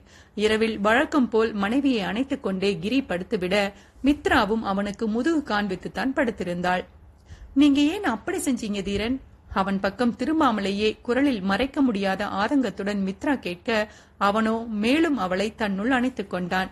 திமிர்தான் சகிமா. நான் நினைப்பதுதான் சரி என்ற திமிர். வலிக்க வலிக்க பட்டதும் தானே சில விஷயங்கள் உரைக்கிறது. என்ன செய்வதுடா? அவன் குரலிலும் பெரும் ஆதங்கமே நிறைந்திருந்தது. என்னால் என்ன முயன்றாலும் உங்களை மன்னித்து முன்பு போல் ஏற்றுக்கொள்ள முடியவில்லை தீரன். பின் எதற்கு இப்படி ஒரு கட்டாய வாழ்க்கை? இன்று போலவே என்றும் இருந்து விடாது என்ற நம்பிக்கைதான் சகி. என்றேனும் ஒரு நாள் என் மனம் உனக்கு புரியும் என்ற நம்பிக்கை. இருவரும் ஒருவர் முகத்தை கூட மற்றவர் பார்க்க தோன்றாமல் தான் பேசிக் கொண்டிருந்தனர். அவன் நம்பிக்கை நடக்காது என்றே மித்ராவிற்கு தோன்றியது. எதையும் சொன்னால் அவன் ஒத்துக்கொள்ள மாட்டான் என்றும் நன்றாக தெரியும் என்பதால் அமைதியாக உறங்க முயற்சித்தாள் மித்ரா. கிரியும் அவள் முதுகில் அழுத்தமாக இதழ் பதித்து அவளை அணைத்தபடியே உறங்கிவிட்டான். அடுத்த நான்கு நாட்களில் சொன்னது போலவே வீட்டின் பின்புறம் அழகாக பார்க் தயாராகி இருந்தது. மாலை நேரத்தில் கிரி வந்தபோதே வீட்டில் அனைவரும் பின்பக்கம்தான் இருந்தனர். தானும் ஃப்ரெஷ் ஆகிவிட்டு கிரி பின்னால் வர அதுவரை ஊஞ்சலில் ஆடிக்கொண்டிருந்த தாரா அவனை பார்த்ததும் அவனிடம் ஓடி வந்தது. அப்பா ஊஞ்சல் சூப்பர் என ஆர்ப்பரித்துக் கொண்டே தாரா வர அவளை கைகளில் தூக்கிக் கொண்டான் கிரி. பாப்பாக்கு எல்லாம் பிடிச்சிருக்கா? என கிரி கேட்க ம் சூப்பர் பா ஐ லவ் யூ என அவன் கன்னத்தில் அழுத்தமாக இதழ் பதித்தாள் சிறியவள். அவனை கொஞ்சிவிட்டு அவள் மீண்டும் இறங்கி விளையாட ஓடிவிட டிஃபன் சாப்பிடுகிறாயா கிரி? என்றார் ராகவி. இங்கேயே கொண்டு வர சொல்லுங்களேன் சித்தி என்றவன் ஒரு பக்கம் தமிழரசன் பத்மினி மித்ரா மூவரும் அமர்ந்திருந்த இடத்தில் கீழேயே கால் நீட்டி அமர்ந்து விட்டான். அங்கு மூன்று சேர் மட்டுமே போடப்பட்ட சிறிய டீ மேஜை போல் இருக்கும். அதில்தான் மற்ற மூவரும் அமர்ந்திருந்தனர். அவன் கீழே அமர்ந்ததும் அதை கவனித்துவிட்ட மித்ரா உடனடியாக எழுந்து விட்டாள். நீங்க உட்காருங்க என்று விட்டு அவள் உள்ளே போக சஹிமா உன் காஃபி ப்ளீஸ் என்றான். கிரி இருந்த இடத்திலிருந்து நகராமல் இவனிடம் பேசியே இருக்கக்கூடாது என்று நினைத்துக் கொண்டே உள்ளே சென்று விட்டாள் மித்ரா. அவள் முறைத்துக் கொண்டு செல்வதைக் கூட வெட்கமே இல்லாமல் ரசித்துக் கொண்டே தானும் எழுந்து காலியாகியிருந்த நாற்காலியில் அமர்ந்து கொண்டான் கிரி. நான் ஒன்று கேட்கலாமா கிரி? என திடீரென தமிழரசன் கேட்க சொல்லுங்க தாத்தா என்றான் கிரி குழந்தைகள் மேல் கண் வைத்துக் கொண்டே ஏதேனும் பெரிய தவறாக செய்துவிட்டாயா கிரி? அவனை அளந்து கொண்டே தமிழரசன் கேட்டதில் ஒரு நொடி தலை கோதி அமைதியாக இருந்தவன் அடுத்த நொடி ஒருவித உறுதியுடன் நிமிர்ந்தான். அவனை நன்றாக உணர்ந்த அவர்கள் கண்களுக்கு எதுவும் தப்பாது என அவனுக்கும் புரிந்தது. ஆமா தாத்தா என அவன் உடனடியாக ஒத்துக்கொள்ள மித்ராவை சமாதானப்படுத்த முயற்சிக்கவில்லையா? என்றார் பத்மினி. அதைத்தான் செய்து கொண்டிருக்கிறேன். சரியான மாதிரி தெரியவில்லையே. ஒரே நாளில் எல்லாம் மாறிவிடாது இல்லையா பாட்டி? பல வருட வழி. ஆறும் வரை காத்திருக்க நான் தயார்தான் என்றவன் குரலில் இருந்த உறுதியை மீறி அவர்கள் எதுவும் கேட்கவில்லை. எப்படியும் பேரன் தெளிவாகத்தான் இருக்கிறான் என்ற நிம்மதி அவன் பதிலிலிருந்து அவர்களுக்கு கிடைத்திருந்தது. மித்ரா தான் கிரிக்கு டிஃபன் எடுத்து வந்தாள். கையோடு தாரா துர்காவிற்கும் எடுத்து வந்தவள் அவர்களையும் அழைத்துக் கொடுக்க துர்காவும் தாராவும் கீழே அமர்ந்து கையில் பவுலை வைத்துக்கொண்டு அதில் இருந்த பழங்களை உண்டனர். மித்ரா அவர்களுடன் அமர்ந்து கொள்ள கிரியும் மீண்டும் கீழே இறங்கி அவர்களுடன் அமர்ந்து கொண்டான். நீங்க எல்லோரும் சாப்பிடலையா சகி? என கேட்டுக்கொண்டே அவளை நெருங்கி அவன் அமர எனக்கு காது கேட்கும் என்றால் மித்ரா மெதுவாக. எனக்கு என் பொண்டாட்டி ஸ்பரிசம் வேண்டுமே என்றவன் விடாமல் அவள் அருகில்தான் அமர்ந்தான். பெரியவர்கள் முன் அவனை ஒரே அடியாக முறைக்க முடியாமல் போக நாங்க எல்லோரும் சாப்பிட்டாச்சு என்றால் அவள் பற்களை கடித்துக்கொண்டே. நீ கோபத்தில் பல்லை கடிக்கும் சத்தம் வெளியே கேட்கிறது சகிமா? அதை ஏன் கஷ்டப்படுத்திக் கொண்டு? பேசாமல் இதை சாப்பிடு என ஒரு ஆப்பிள் துண்டை எடுத்து அவன் அவள் வாயில் வைத்துவிட இந்த முறை வெளிப்படையாகவே அவனை முறைத்தாள் மித்ரா. ஹப்பா ஏற்கனவே காஃபி கொதிக்கிறது சகிமா. நீ இப்படி கண்களாலேயே எரித்தால் நான் எப்படி குடிப்பது என்றவன் காஃபியை வேகமாக ஊத அவள் முகத்தில் இருந்த கோபம் தானாக வடிந்துவிட்டது. அண்ணா என துர்கா அழைக்க இருவர் கவனமும் அவள் புறம் திரும்பியது. அடுத்த வாரம் என் பள்ளியில் ஃபேன்சி ட்ரெஸ் காம்படிஷன் வருகிறது அண்ணா. பெருசா செய்யறாங்க. பேரண்ட்ஸும் கூப்பிட்டு இருக்காங்க நீங்களும் அண்ணியும் வரீங்களா என துர்கா கேட்க கண்டிப்பா வரோண்டா என்றான் கிரி. என்ன வேடம் போட போகிறாய் துர்காமா? என மித்ரா கேட்க தெரியவில்லை அண்ணி. ஒன்றுமே தோன்றவில்லை. யோசித்துக் கொண்டே இருக்கிறேன் என்றாள் துர்கா. உங்களுக்கு ஏதாவது ஐடியா இருக்கா அண்ணி? ஏதாவது தீம் இருக்கிறதா துர்கா? இல்லை அண்ணி. நம் இஷ்டம்தான். எந்த வேடம் வேணுமானாலும் போடலாம். அப்போது ஆண்டாள் வேடம் போடுவோமா? திருப்பாவை சொல்லிக் கொள்ளலாம். உன் வயதில் நான் அந்த வேடம் போட்டு பரிசெல்லாம் வாங்கியிருக்கிறேன். நானே மேக்கப் செய்து கூட விட்டு விடுவேன் உனக்கு ஓகேவா? மித்ரா கேள்வியில் துர்காவிற்கும் புது குதூகலம் பிறந்துவிட சூப்பர் அண்ணி அதுவே போடுவோம். எனக்கு திருப்பாவை மட்டும் சொல்லிக் கொடுங்க என்றாள் துர்கா. சொல்லித் தரேன்டா. பாடலாகவே சொல்லித் தரேன். பாடினால் இன்னும் நன்றாக இருக்கும். பெண்கள் இருவரும் சிரத்தையாக திட்டமிடத் தொடங்கிவிட தாராவை மடியில் வைத்துக்கொண்டு அவர்களை சிறு புன்னகையுடன் வேடிக்கை பார்த்துக் கொண்டிருந்தான் கிரி. தாரா குட்டியை ஸ்கூலில் சேர்க்க வேண்டாமா அண்ணா திடீரென தோன்றிவிட்ட சந்தேகத்துடன் துர்கா கேட்க இந்த வருடம் எப்படியும் முடிய போகிறதேடா. அடுத்த வருடம் நேரடியாக சேர்த்துக் கொள்ளலாம். இப்போதைக்கு கொஞ்ச நாள் கழித்து வீட்டிலேயே டியூஷனுக்கு ஏற்பாடு செய்கிறேன். போதும் என்றான் கிரி. அடுத்த வருடம் என் ஸ்கூலிலேயே சேர்த்து விடுவோம் அண்ணா. கண்டிப்பாடா. அங்கேதான் சேர்க்கப் போகிறோம். நீதானே இவளை பார்த்துக் கொள்ள வேண்டும் என கிரி கூற ஹை நானும் அத்தை கூட போக போறேன் என குதிக்க ஆரம்பித்து விட்டாள் தாரா. அடுத்த ஒரு வாரம் வேகமாக ஓடிவிட அன்று காலையிலிருந்து துர்காவை அழகாக அலங்கரித்துக் கொண்டிருந்தாள் மித்ரா. பச்சை நிற அழகிய பட்டுப்புடவை உடுத்தி சில செயற்கை நகைகள் போட்டு தலையில் ஆண்டாள் கொண்டை வைத்து அழகாக பின்னிவிட்டிருந்தாள். மொத்தமாக அலங்காரம் முடித்த பின் சிறியவளை நிற்க வைத்து ஒரு முறை தலை முதல் கால் வரை அளந்து கொண்டவள். ம் சூப்பர்டா. ஓகேவா பாரு என அவளை கண்ணாடி நோக்கி மித்ரா திருப்பிவிட வாவ் ரொம்ப அழகா இருக்க நீ என்றாள் துர்காவும் மகிழ்ச்சியுடன். துர்காவை பார்த்த அனைவருமே மித்ராவை பாராட்ட நீயும் இப்படித்தான் இருந்தாயா சகிமா? என்றான் கிரி அவள் காதோரம். அது எப்படி? இப்படி இருந்திருப்பேன். நான் என்னை போலத்தான் இருக்க முடியும் என வெடுக்கென அவள் பதில் கூற அது சரிதான். அதை சாதாரணமாக கூட சொல்லலாமா இப்படி பேசினால் அடித்து விடுவாயோ என்று பயமாக இருக்காதா? என தொடர்ந்து வம்பிடித்து அவள் முறைப்பையும் வாங்கிக் கொண்டே அவன் கிளம்பினான். நால்வரும் பள்ளிக்கு வந்து சேர்ந்தபோது துர்கா மாணவர்களுடன் இணைந்துவிட கிரி மித்ரா தாரா மூவரும் பெற்றோர்களுக்கு என போடப்பட்டிருந்த இருக்கையில் அமர்ந்து கொண்டனர். சிறிது நேரத்தில் விழா தொடங்க அனைத்து வகுப்பு மாணவர்களும் அழகாய் தங்கள் திறமைகளை வெளிப்படுத்தினர். மாறுவேட போட்டி என்பதால் தாராவும் அதை ரசித்து பார்த்துக் கொண்டிருந்தாள். திடீரென சொன்னால் கேட்டாயாடி ரொம்ப வலிக்கிறதா? என மித்ரா பக்கத்தில் இருந்து ஒருவன் குரல் சற்றே சத்தமாக ஒழிக்க மித்ரா கிரி இருவர் கவனமும் அந்த பக்கம் திரும்பியது. அங்கே ஒரு கர்ப்பிணி பெண்ணும் அவள் கணவனும் அமர்ந்திருந்தனர். அந்த பெண் லேசாக முகம் சுருங்க அமர்ந்திருக்க அவள் கணவன் அவளை கவலையும் கோபமுமாக விரித்துக் கொண்டிருந்தான். ஒன்னும் இல்லடா நான் பிள்ளை சுமக்கிறேனா? நீயா என்றே தெரியவில்லை. வர வர நான் மூச்சு விட்டால் கூட பதறுகிறாய். ஒழுங்காக குழந்தையை பார் என செல்லமாக கணவனை கடிந்து கொண்ட அந்த பெண் அவள் கணவன் தோளில் சலுகையுடன் சாய்ந்து கொள்ள என் உயிரே உன்னிடமும் நம் குழந்தைகளிடமும் தானே இருக்கிறது. இதற்கு பதறாமல் என்ன செய்வதாம்? என புலம்பிக் கொண்டவனும் அவளை அணைத்துக் கொள்ள தவறவில்லை. இந்த காட்சியை கண்ட மித்ராவிற்கு ஒரே நேரத்தில் கோபமும் அழுகையும் சேர்ந்தே வர பல்லை கடித்து அழுகையை கட்டுப்படுத்திக் கொண்டு திரும்பியவள் கண்கள் தன்னையும் அறியாமல் கணவன் மீது படிந்தது. அவனும் அவர்களைத்தான் பார்த்துக் கொண்டிருந்தான் போல். அவள் எதுவும் சொல்லவே தேவையில்லாமல் ஏற்கனவே உடல் வெகுவாய் இறுகி இருக்க கைகளை இறுக மூடி தன்னை நிலைப்படுத்த போராடி கொண்டுதான் அவனை அமர்ந்திருந்தான். மனைவி பார்வை தன்மேல் படிவதை உணர்ந்து அவனும் அவளை பார்த்தான். நீ ஏதோ பெரிய பாவம் தான் செய்து விட்டாய் சகிமா. அதான் என்னைப் போல ஒருவனிடம் மாட்டிக்கொண்டாய் மன்னித்து விடு சகி. இதை தவிர வேறு என்ன செய்வதென்று எனக்கு தெரியவில்லை. வெறுமையான குரலில் கூறியவன் அதற்கு மேல் அவளை பார்க்க தெம்பில்லாமல் மேடையை நோக்கி பார்வையை திருப்பிவிட்டான். அவனும் அனைத்தையும் கடந்து வந்துவிட வேண்டும் என்றுதான் முயற்சித்துக் கொண்டிருந்தான். அவனுக்காக இல்லாவிட்டாலும் குறைந்தது மனைவிக்காக வேணும் ஒரு புது வாழ்க்கையை தொடங்க வேண்டும் என்பதுதான் அவனின் ஆசையாக இருந்தது. இதுபோல் கண்களுக்கு நேர் மனதை பதம் பார்ப்பது போலவே ஏதேனும் நடந்து கொண்டிருந்தால் அவனும் என்னதான் செய்வது? அடிக்கடி அவனும் மனித பிறவிதான் என காலம் அவனுக்கு உணர்த்தியது போலும் ஒருவாறு துர்கா மேடைக்கு வந்தபோது அந்த நிகழ்வை கொஞ்சம் மறந்து இருவர் கவனமும் மேடை மேல் படிந்தது. மிக அழகாய் துர்கா பாடியதை ஆச்சரியத்துடன் பார்த்த கிரி துர்காவிற்கு இத்தனை நன்றாக பாட வரும் என்று எனக்கு தெரியவே தெரியாது சகிமா என மனைவியிடம் கூற எனக்கும் தெரியவில்லை தீரன்.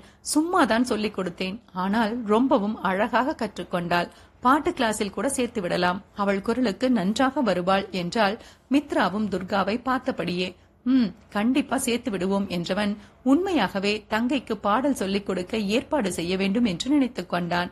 துர்காவிற்கே முதல் பரிசும் கிடைத்துவிட மீண்டும் வந்தபோது இடையில் தோன்றியிருந்த கசடு கூட மறைந்து அவர்கள் மனம் நிம்மதியுடன் இருந்தது. அத்தியாயம் பதினாறு. மறுநாள் மதுரை கிளம்ப வேண்டும் என்ற நிலையில் அன்று அடுத்து செய்ய வேண்டிய வேலைகளை அன்பரசனிடம் பட்டியலிட்டுக் கொண்டிருந்தான் கிரி. எல்லாம் பார்த்துக்கோ அன்பு. எப்படியும் நான்கு நாளில் வந்து விடுவேன். ஒருவேளை ஏதாவது தாமதமானாலும் பார்த்துக்கொள். ஒன்றும் பிரச்சனை இல்லையே என கிரி கேட்க இதெல்லாம் நான் பார்த்துக்கொள்கிறேன் கிரி. செல்வமணி டிஸ்சார்ஜ் ஆகிட்டானாம். அவனுக்கு ஒரு காலில் நல்ல அடி இல்லையா? பாதமே எடுக்கும் நிலை ஆகிவிட்டதாம். நாம் தான் செய்தோம் என்று வேறு தெரியுண்டா? நம்மேல் பெரும் கோபத்தில் இருப்பான். ஏற்கனவே அவன் ஒரு சைக்கோகிரி இப்போது என்ன செய்வான் என்றே சொல்ல முடியாது. கவலையுடன் அன்பரசன் கூறியதில் கிரியின் முகமும் யோசனையுடன் சுருங்கியது. பேசாமல் மொத்தமாக போட்டு தள்ளி இருக்கலாம் இருக்கும் டென்ஷனில் அந்த கொசு தொல்லை வேறு. எரிச்சலுடன் கிரி புலம்ப இப்போது அவனை அலட்சியம் செய்வது ஆபத்து கிரி. அவன் அடிபட்ட பாம்பு. நிச்சயம் நம்மை அடிக்க பார்ப்பான். அவனால் கண்டிப்பாக பிசினஸில் முடியாது. சோ மீண்டும் குடும்பத்தை தான் குறிவைப்பான். என முடித்து வைத்த கிரி சில பல நல்ல வார்த்தைகளால் அவனை திட்டிக் கொண்டான். என்ன செய்யலாம் கிரி? மீண்டும் அவனை உடனடியாக அடிக்க முடியாது இல்லையா அன்பு? நிறைய பாதுகாப்புடன் இருப்பான். ரைட் சீட்டில் சாய்ந்து அமர்ந்து நாடியை நீவி விட்டுக் கொண்டே கிரி கேட்க ஆமாடா வெளியிலும் வருவது போல் தெரியவில்லை என்றான் அன்பரசனும் யோசனையுடன். ம் அப்போ நாம் தான் பாதுகாப்பாக இருந்து கொள்ளணும். எனக்கு தெரிந்தவரை உன்னிடம் வரமாட்டான். எதுக்கும் நீயும் பார்த்து பத்திரமா இருந்துக்கோ. இப்போதைக்கு நான் மதுரை போவதால் பிரச்சனை இல்லை. வந்ததும் முன்பு போலவே வீட்டிற்கு பாதுகாப்பிற்கு ஒரு ஆள் ஏற்பாடு செய்து கொள்ளலாம். தெளிவாக பேசினாலும் கிரியின் முகம் கசங்கியேதான் இருந்தது. என்ன யோசிக்கிறாய் கிரி? அவன் பிசினஸ் கையில் எடுக்கிறானா என்று கவனித்துக் கொண்டிரு அன்பு. எப்படியும் வந்தால் ஒழுங்காக ஒன்றும் செய்ய மாட்டான். ஏதாவது தவறு செய்வான். அதில் அவனை பிடிக்க பார்ப்போம். உள்ளே தள்ளிவிட்டால் நிம்மதியான பாடு. கிரி கூறியது அன்பிற்கும் சரி என்றுதான் பட்டது. கண்டிப்பா கிரி கண்காணிக்க சொல்கிறேன் என்றான் அன்பரசன். மறுநாள் காலை இரண்டு காரில் மொத்த குடும்பமும் மதுரை நோக்கி கிளம்பினர். கிரி மித்ரா தாராவுடன் துர்காவையும் இணைத்துக் கொள்ள பெரியவர்கள் மூவரும் மற்றொரு காரில் வந்தனர். துர்காவும் தாராவும் பின்னல் அமர்ந்து விளையாண்டு கொண்டிருக்க முன்னால் அமர்ந்திருந்த மித்ரா சிறு படபடப்புடன் தான் அமர்ந்திருந்தாள். கைகளை பிசைந்து கொண்டே அமர்ந்திருந்தவளை திரும்பி பார்த்த கிரி குறைந்தது இன்னும் நான்கு மணி நேரம் ஆகும் சகிமா நாளை தான் உன் வீட்டிற்கு போகிறோம். அதுவரை இப்படி கையை போட்டு பிசைந்து கொண்டே இருந்தால் கை எரியாதா என சீரியஸாக கேட்க எனக்கு விளையாட்டாக இல்லை தீரன் என்ற மித்ராவின் குரலில் உண்மையான ஆதங்கம் இருந்தது. அவள் மனமுணர்ந்து அவள் கைகளை மென்மையாக பிடித்துக் கொண்டவன் செந்திலிடம் பேசினாயா சகிமா என மென்மையாக கேட்க ம் என்றாள் மித்ரா. என்ன சொன்னார்? எல்லோரும் நம்மை எதிர்பார்க்கிறாங்க. யாருக்கும் கோபமில்லை என்று மெதுவாக மித்ரா கூற அப்புறம் என்னடா? இங்கேதான் என்னிடமும் கூறினார். அப்படியே ஏதாவது கோபப்பட்டால் கூட நான் தான் வற்புறுத்தினேன் என்று வேண்டுமானாலும் சொல்லிக்கொள் சகிமா. எனக்கு ஒன்றுமில்லை. தவறு செய்தாயிற்று மன்னிப்பு கேட்டு முடித்து விடுவோண்டா. அதுதான் அனைவருக்குமே நிம்மதி. அவன் ஏற்கனவே கூறிய வார்த்தைகள்தான். இருந்தும் அவள் பயம் போக வேண்டும் என்பதற்காக இந்த ஒரு வாரத்தில் அவனும் மாற்றி மாற்றி இதையே சொல்லிக் கொண்டுதான் சுற்றுகிறான். அவள் படபடப்புதான் குறைந்த பாடில்லை. அன்று மாலை போல் வீட்டிற்கு சென்றவர்கள் சற்று ஓய்வெடுக்க நீ ரெஸ்டடு சகிமா நான் வந்து விடுகிறேன் என்று விட்டு எங்கோ கிளம்பிச் சென்றான் கிரி. அவன் நேராக வந்தது மித்ராவின் வீட்டிற்குத்தான். செந்திலிடம் ஏற்கனவே வருவதாக கூறியிருந்தான். அவனுக்காக செந்தில் வீட்டு வாசலிலேயே காத்திருந்தான். வாங்க கிரி என அவன் அழைக்க எல்லோரும் இருக்காங்க தானே செந்தில்? என கேட்டுக்கொண்டே வந்தான் கிரி. இருக்காங்க கிரி வாங்க என உள்ளே அழைத்துச் சென்றான் செந்தில். அங்கு ராஜேந்திரன் அவர் மனைவி மல்லிகா செந்தில் மனைவி சீதா அனைவரும் இருந்தனர். வாங்க என எழுந்து அவனை அழைத்த ராஜேந்திரன் ஒருவித சங்கடத்துடன் அவனை பார்க்க அவர் எதிரில் வந்து நின்றவன் எதுவும் யோசிக்காமல் மன்னிச்சிடுங்க மாமா என முதல் வேளையாக கைகூப்பி மன்னிப்பு கேட்டுவிட ஒரு நொடி அனைவருமே திகைத்து நின்றுவிட்டனர். அனைவரையும் ஒருமுறை பார்த்து கொண்டு மெளிதாக சிரித்தவன் உட்கார்ந்து பேசுவோமா மாமா? என கேட்க ராஜேந்திரனும் எதுவும் சொல்லத் தோன்றாமல் அமர்ந்து விட்டார். எல்லா தவறும் என்னுடையது மட்டும்தான் மாமா. அந்த வயதில் சகி மிகவும் சிறிய பெண். அவளுக்கு ஒன்றும் தெரியாது. நான் தான் சரியா இருந்திருக்கணும். நானும் அவசரப்பட்டு விட்டேன். என் ஒருவனால் எல்லோருக்கும் நிறைய கஷ்டம் நிறைய தலைகுனிவு மாமா. என்னால் தான் சகி இத்தனை வருடம் உங்களை பிரிந்திருக்க வேண்டியதாகி போயிற்று. எல்லாவற்றிற்கும் சேர்த்து என்னை மன்னித்து விடுங்கள். மன்னிக்க முடியவில்லை என்றால் ஏதாவது கோபம் என்றால் கூட என்னிடம் காட்டுங்கள். சகி பாவம். ஏற்கனவே பெரும் பயத்திலும் குற்ற உணர்விலும் தவித்துக் கொண்டிருக்கிறாள். அவளை ஏத்துக்கோங்க. ப்ளீஸ் நிதானமாக அவன் பேசி முடித்ததும் அங்கு சில நொடிகள் குண்டூசி போட்டால் கூட பயங்கரமாக சத்தம் கேட்கும் போல் அமைதி நிலவியது. எனக்கும் நிறைய கோபம் இருந்துச்சு மாப்பிள. என ராஜேந்திரன் தான் முதலில் தொடங்கினார். நிறையவே கோபம் இருந்தது. அவள் மீது முகம் தெரியாத உங்கள் மீது எல்லோர் மீதும் அவளை அப்படியே தலைமுழுகிவிட்டதாகத்தான் சில வருடங்கள் நினைத்துக் கொண்டிருந்தேன். ஆனால் ஒரு கட்டத்திற்கு மேல் கோபத்தை எல்லாம் பிடித்து வைத்துக் கொள்ள முடியவில்லை மாப்பிளை அவள் எப்படி இருக்கிறாளோ என மனம் அடித்துக் கொள்ள ஆரம்பித்து விட்டது. அதுதான் செந்திலிடம் சொல்லி தேடச் சொன்னேன். உண்மையை சொல்ல போனால் இப்போது அவளையும் என் பேத்தியையும் பார்க்க வேண்டும் என்ற ஆவல்தான் மிச்சம் இருக்கிறது மாப்பிள்ளை. உங்களைப் போல் ஒருவர் நாங்கள் தேடியிருந்தால் கூட கிடைத்திருக்க மாட்டார் என்று இப்போது தோன்றுகிறது. மனதார அவர் கடைசி வார்த்தைகளை கூற உள்ளுக்குள் இருந்த குற்ற உணர்வில் அதை ஏற்றுக்கொள்ள முடியாமல் அவன் தலைகுனியத்தான் வேண்டியிருந்தது. நொடியில் சுதாரித்து நிமிர்ந்து விட்டவன் ரொம்ப சந்தோஷமாமா நாளை காலை சகியையும் தாராவையும் கூட்டிட்டு வரேன் என்றவன் என்ன அத்த வீட்டுக்கு வந்த மாப்பிளைக்கு ஒரு வாய் காஃபி கொடுக்க கூடாதா? என மல்லிகாவையும் பேச்சில் இழுத்துவிட அச்சோ இதோ எடுத்துட்டு வரேன் மாப்பிள்ளை என அவசரமாக கூறிக்கொண்டே உள்ளே சென்றார் அவர். பையன் பேர் என்ன? சீதா அருகில் நின்றிருந்த சிறுவனை பார்த்து கிரி கேட்க. ராஜா என்றாள் சீதா. என்னிடம் வர்றீங்களா? சாக்லேட் வாங்கித் தரேன் என கிரி ஆசை காட்ட அவனிடம் மெதுவாக வந்தான் சிறியவன்.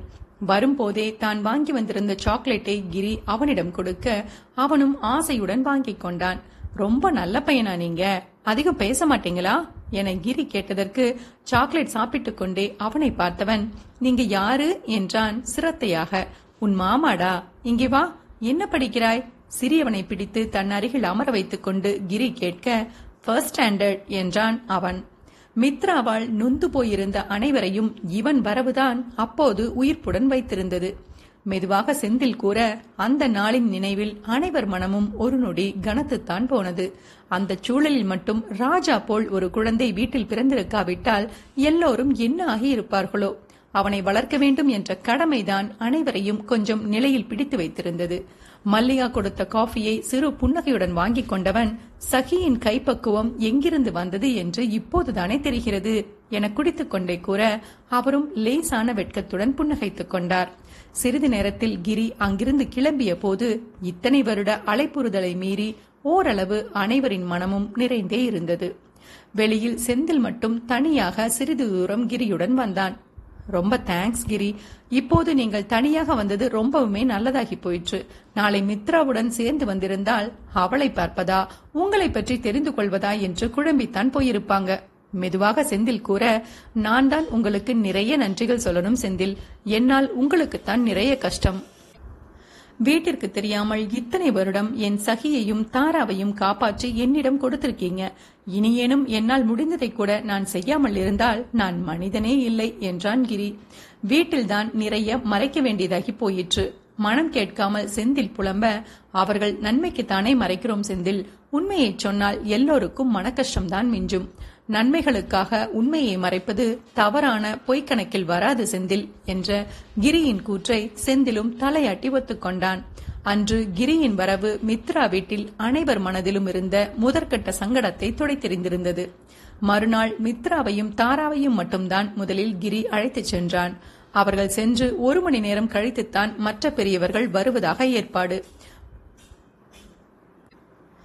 முக்கியமாக தன் வீட்டில் அனைவரிடமும் ராஜேந்திரனிடமும் தான் கூறியிருந்ததை கிரி கூறிவிட்டான். அதாவது கிரி மதுரைக்கு வந்திருந்த போது மித்ராவும் அவனும் விரும்பியது. பின் ராஜேந்திரனுக்கு பயந்து முதலில் இரு வீட்டிற்கும் தெரியாமல் திருமணம் செய்து கொண்டது. சீக்கிரமே கிரி குடும்பத்துடன் சேர்ந்து அனைவரும் சென்னையில் தான் இருந்ததாக கூறியிருந்தான். தமிழரசனிடம் கேட்டால் மித்ரா ராஜேந்திரன் மகள் என இத்தனை நாள் அவருக்கே தெரியாது என்று கூற சொல்லிவிட்டான். நிறைய பொய்கள்தான் ஆனால் அதுதான் பலருக்கு நிம்மதி தரும் என்றால் அதை செய்வதில் தவறில்லை என்பதுதான் கிரியின் கருத்து. மித்ரா ஒருவித பயத்துடனே செல்ல அவளை பார்த்ததுமே மித்ரமா? என கதறிக்கொண்டே மல்லிகா அணைத்துக் கொண்ட போது அவள் தயக்கம் சங்கடம் எல்லாம் அர்த்தமற்றதாகத்தான் போய்விட்டது. அம்மா என்னை மன்னிச்சிடுமா? என அன்னையை அணைத்துக் கொண்டு அவளும் கதறிவிட அவர்களை பார்த்து கொண்டு நின்றிருந்த ராஜேந்திரன் கண்களும் தன்னை அறியாமல் கலங்கிவிட்டது. அன்னையிடமிருந்து விலகியவள் இப்போது கூட தந்தை மீது இருந்த பயத்தில் அவரை தயக்கத்துடனே பார்க்க அப்பா அத்தனை மோசமானவனா மித்ராமா? என்றார் அவர் மெதுவாக. ஐயோ அப்படி இல்லைப்பா பயம் என அவள் கண்கள் கலங்க இங்கே வா என்ற அவரின் ஒற்றை சொல்லில் வேகமாக அவருடன் ஒன்றிக் கொண்டாள் மித்ரா. வீட்டிற்குள் போய் அழுவதற்கு கொஞ்சம் மிச்சம் வைத்துக் கொள்ளலாமே. திடீரென கிரி கூற அவன் குரலில் மித்ரா அதிர்ந்து விழித்தாள் என்றால் ராஜேந்திரன் சிரித்து விட்டார். வாங்க மாப்ள என் பேத்தியை கொடுங்க என அவர் கை நீட்ட குழந்தையிடம் உன் தாத்தா என்று கூறி அவளை அவரிடம் கொடுத்தவன் அத்தை காஃபி ப்ளீஸ் என்று கேட்டுக்கொண்டே அதிர்ந்து விழித்துக் கொண்டிருந்த மித்ராவை அழுத்தமாக பிடித்துக்கொண்டு உள்ளே வந்தான். அவள் இன்னமும் அதிர்ச்சி நீங்காமல் அவனையே பார்த்து கொண்டு அவன் இடுப்பிற்கு வர சஹிமா வாயில் ஈ போய்விட்டது பார் என்றான். அவன் அவள் காதருகில் குனிந்து கணவன் கூற்றில் சிரிக்கத் தோன்றாமல் மேலும் அவள் விழிக்க அவள் கைகளை அழுந்து பிடித்து நிறுத்தி சற்றே பின்தங்கியவன் நேற்றே இங்கு வந்து அனைவரிடமும் பேசிவிட்டேன் சகி. என் சார்பாக மன்னிப்பு கேட்டாயிற்று. இனி யாரும் பழையதை பேச மாட்டாங்க. சந்தோஷமா இரு மற்றபடி கதை நாம் ஏற்கனவே நம் வீட்டில் சொன்னதுதான் என்று விட்டு லேசாக கண்ணடித்து அவளை பிடித்து அவள் அன்னை நோக்கி நகர்ச்சிவிட்டு செந்திரிடம் சென்று அமர்ந்து கொண்டான் கிரி. மல்லிகாவை நோக்கிச் சென்ற மித்ராவிற்கு மெதுவாகத்தான் அவன் கூறியது மூளைக்குள்ளேயே சென்றது. வா மித்ராமா நீயும் காஃபி எடுத்துக்கோ என அன்னை நீட்டிய டம்ளரை எடுத்துக்கொண்டவள் அவர் அருகிலேயே நின்று கொண்டு கிரியை பார்த்தாள். செந்தில் அருகில் சோஃபாவில் அமர்ந்திருந்தவன் ராஜேந்திரனுடன் பேசிக்கொண்டே அவர் தாராவை பற்றி கேட்டதற்கெல்லாம் சிறு புன்னகையுடன் பதில் சொல்லிக் கொண்டிருந்தான். எல்லாம் அவள் நல்லதற்காகத்தான் செய்திருக்கிறான். எப்படி எதிர்கொள்ளப் போகிறோம் என அவள் பயந்து பயந்து நொந்து கொண்டிருந்த சூழலை அவளுக்காகவே வெகு இலகுவாய் மாற்றி வைத்திருக்கிறான். அவனுக்கும் சங்கடமாகத்தான் இருந்திருக்கும். அவளுக்காகத்தான் இறங்கி வந்திருக்கிறான் என அவள் மூளைக்குள்ளும் லேசாக உரைத்தது. அதிகம் யோசித்துக் கொண்டிருக்க முடியாமல் சீதா அவளுடன் பேச வந்துவிட அதற்கு மேல் தன் அண்ணியிடம் திரும்பிவிட்டாள் மித்ரா. சிறிது நேரத்தில் தமிழரசன் பத்மினி ராகவி துர்கா அனைவருமே வந்துவிட்டனர். தமிழரசன் தன் கலகலப்பான பேச்சால் சூழ்நிலை கெடாமல் பார்த்துக்கொள்ள மீண்டும் ஒரு சங்கடம் அழகாய் தவிர்க்கப்பட்டது. முக்கியமாக யாரும் முடிந்து போனதை பற்றி அதிகம் பேசவில்லை. பொதுவான விசாரிப்புகள் இனி அனைவரும் ஒன்றாக இருக்க வேண்டும் என்பது போன்ற பேச்சுக்கள் தான் அதிகம் அடிபட்டது. ராஜேந்திரன் செந்தில் தமிழரசன் கிரி அனைவரும் ஒரு புறம் இருக்க ராகவியும் பத்மினியும் மற்ற பெண்களுடன் இணைந்து கொண்டனர். துர்கா தாராவையும் ராஜாவையும் வைத்துக்கொண்டு தனியாக ஒரு பக்கம் விளையாண்டு கொண்டிருந்தாள். அனைவரும் ஏதேதோ பேசிக் கொண்டிருக்க அதை அமைதியாக நெகிழ்வுடன் பார்த்து கொண்டிருந்தான் கிரி. அவன் பார்வை தானாக மனைவியை தேட சமையலறை வாசலில் நின்றிருந்த அவளும் தற்செயலாக கணவனை திரும்பி பார்த்தாள். அவள் பார்வை தன் மீது படிந்ததும் வா என வாயசைத்துவிட்டு அவன் எழுந்து வெளியே செல்ல அவளும் அனைவரையும் ஒருமுறை பார்த்துவிட்டு கணவனை தொடர்ந்தாள். வாசல் அருகில் வந்திருந்தவன் நிலைக்கதவில் சாய்ந்து நின்றிருந்தான். மித்ரா அவன் அருகில் வர சந்தோஷமா சகிமா? என்றான் கிரி மென்மையாக. அவளுக்கு உண்மையாகவே மகிழ்ச்சியாகத்தான் இருந்தது. அவன் மீது இருந்த வருத்தமெல்லாம் தாண்டி அந்த நொடி நிறைவாக புன்னகைத்தவள் ரொம்பவும் சந்தோஷம் தீரன். இது ஒரு காலத்தில் நாம் கண்ட கனவு இல்லையா? உள்ளே பார்த்து கொண்டே மித்ரா கூற என்னால் மொத்தமாக சிதைந்து போன கனவு என முடித்தான் கிரி. அவன் வார்த்தைகளில் மித்ரா அவன் முகம் பார்க்க இது என்றோ நடந்திருக்க வேண்டியது சகிமா? என் முட்டாள்தனத்தால் தான் இத்தனை வருடம் ஓடிவிட்டது. என் காதல் நம் குடும்பத்தை இணைத்திருக்க வேண்டும். இன்றோ குடும்பம் இணைந்துவிட்டது. ஆனால் காதல் வெறுமையாக அவளை பார்த்தவன் அதை பறிகொடுத்து விட்டேன் இல்லையா? என்றான் உணர்வு துடைத்த குரலில். என்னால் இப்போதைக்கு உனக்கு கொடுக்க முடிந்த சந்தோஷம் இதுதாண்டா எனக்காக ஒன்றே ஒன்று செய்வாயா? மனைவியை நேராக பார்த்து கிரி கேட்க என்ன? என்றாள் மித்ரா. அவன் கிளறிவிட்ட ஞாபகங்களில் அவள் மனமும் சுருங்கிவிட்டிருந்ததே. இங்கு இருக்கும் வரையாவது என்மேல் இருக்கும் கோபத்தை மறந்துவிடு சகிமா. ஒரு இரண்டு மூன்று நாள் தானே மொத்த குடும்பமும் சேர்ந்திருக்கிறோம். நமக்கு திருமணமான புதிதில் நடந்திருக்கிறது என்று நினைத்துக் கொள்ளேன். எதுவும் யோசிக்காமல் சந்தோஷமாக இரு சகிமா. என்னை பற்றி யோசிக்க வேண்டாம். என் நினைவை ஒதுக்கிவிட்டு மற்றவர்களுடன் மகிழ்ச்சியா இருடா நான் தள்ளி இருந்து என் சகியை பார்த்துக் கொள்கிறேன். செய்வாயா? ப்ளீஸ் முகம் சுருங்க கெஞ்சலாக அவன் கேட்க அவனையே வெறித்து பார்த்துக் கொண்டிருந்தாள் மித்ரா. அவன் ஒவ்வொரு வார்த்தையும் ஒவ்வொரு செய்கையும் அவள் மேலான காதலைத்தான் அள்ளி அள்ளி வெளிப்படுத்திக் கொண்டிருந்தது. ஒரு காலத்தில் அதை நம்பித்தானே அவள் அனைத்தையும் துறந்தது. ஆனால் பின் மனம் அங்கு செல்லும் போதே இப்போதுதானே அதை நினைக்காதே என்று கூறினான். என அவள் மனமே ஒரு அரட்டு போட்டு அவளை மீட்டது.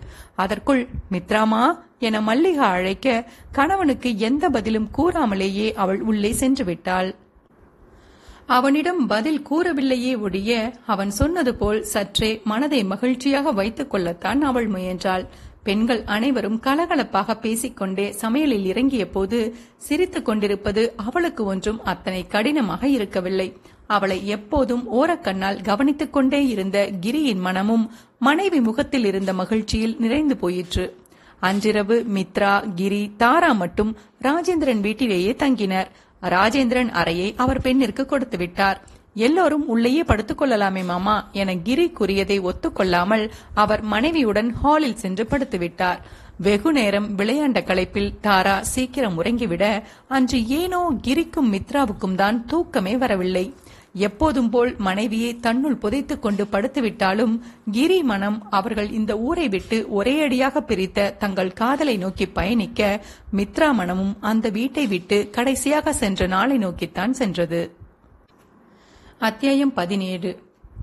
நீ இப்படி அழுது கொண்டே இருந்தால் நான் எப்படி நிம்மதியாக கிளம்புவது சகிமா? மென்மையாக கிரி கேட்க கண்களை துடைத்துக் கொண்டு பாவமாய் அவனை நிமிர்ந்து பார்த்தாள் மித்ரா. எப்போதும் போல் அவர்கள் சந்திக்கும் கோவிலின் பின்பக்கம் இருந்த குளத்தின் படியில்தான் இருவரும் அமர்ந்திருந்தனர். கிரி கல்லூரி படிப்பை முடித்திருந்தான்.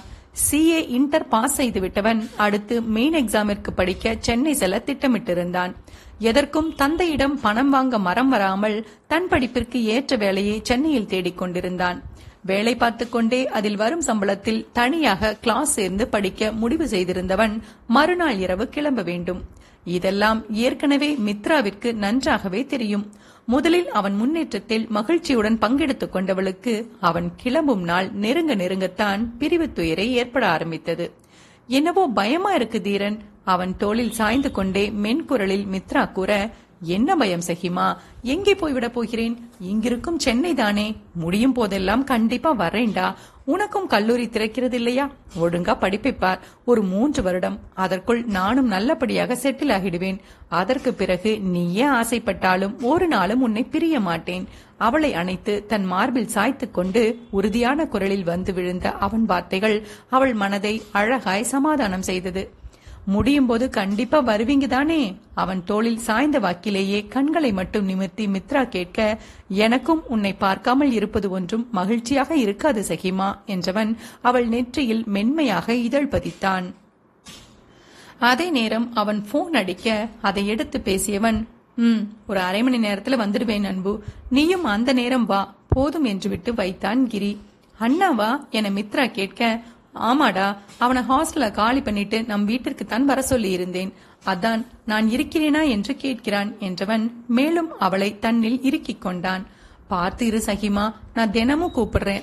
போனை கையிலேயே வச்சிரு. எடுக்க முடியலேனா ஒரு மெசேஜாவது செஞ்சிடு என சில பல அறிவுரைகளை கூறிவிட்டே கிளம்பினான். அன்பரசனும் கிரியுடன் தான் சென்னைக்கு சென்றான். இருவரும் சேர்ந்து ஒரே நிறுவனத்தில்தான் வேலைக்கே சேர்ந்திருந்தனர்.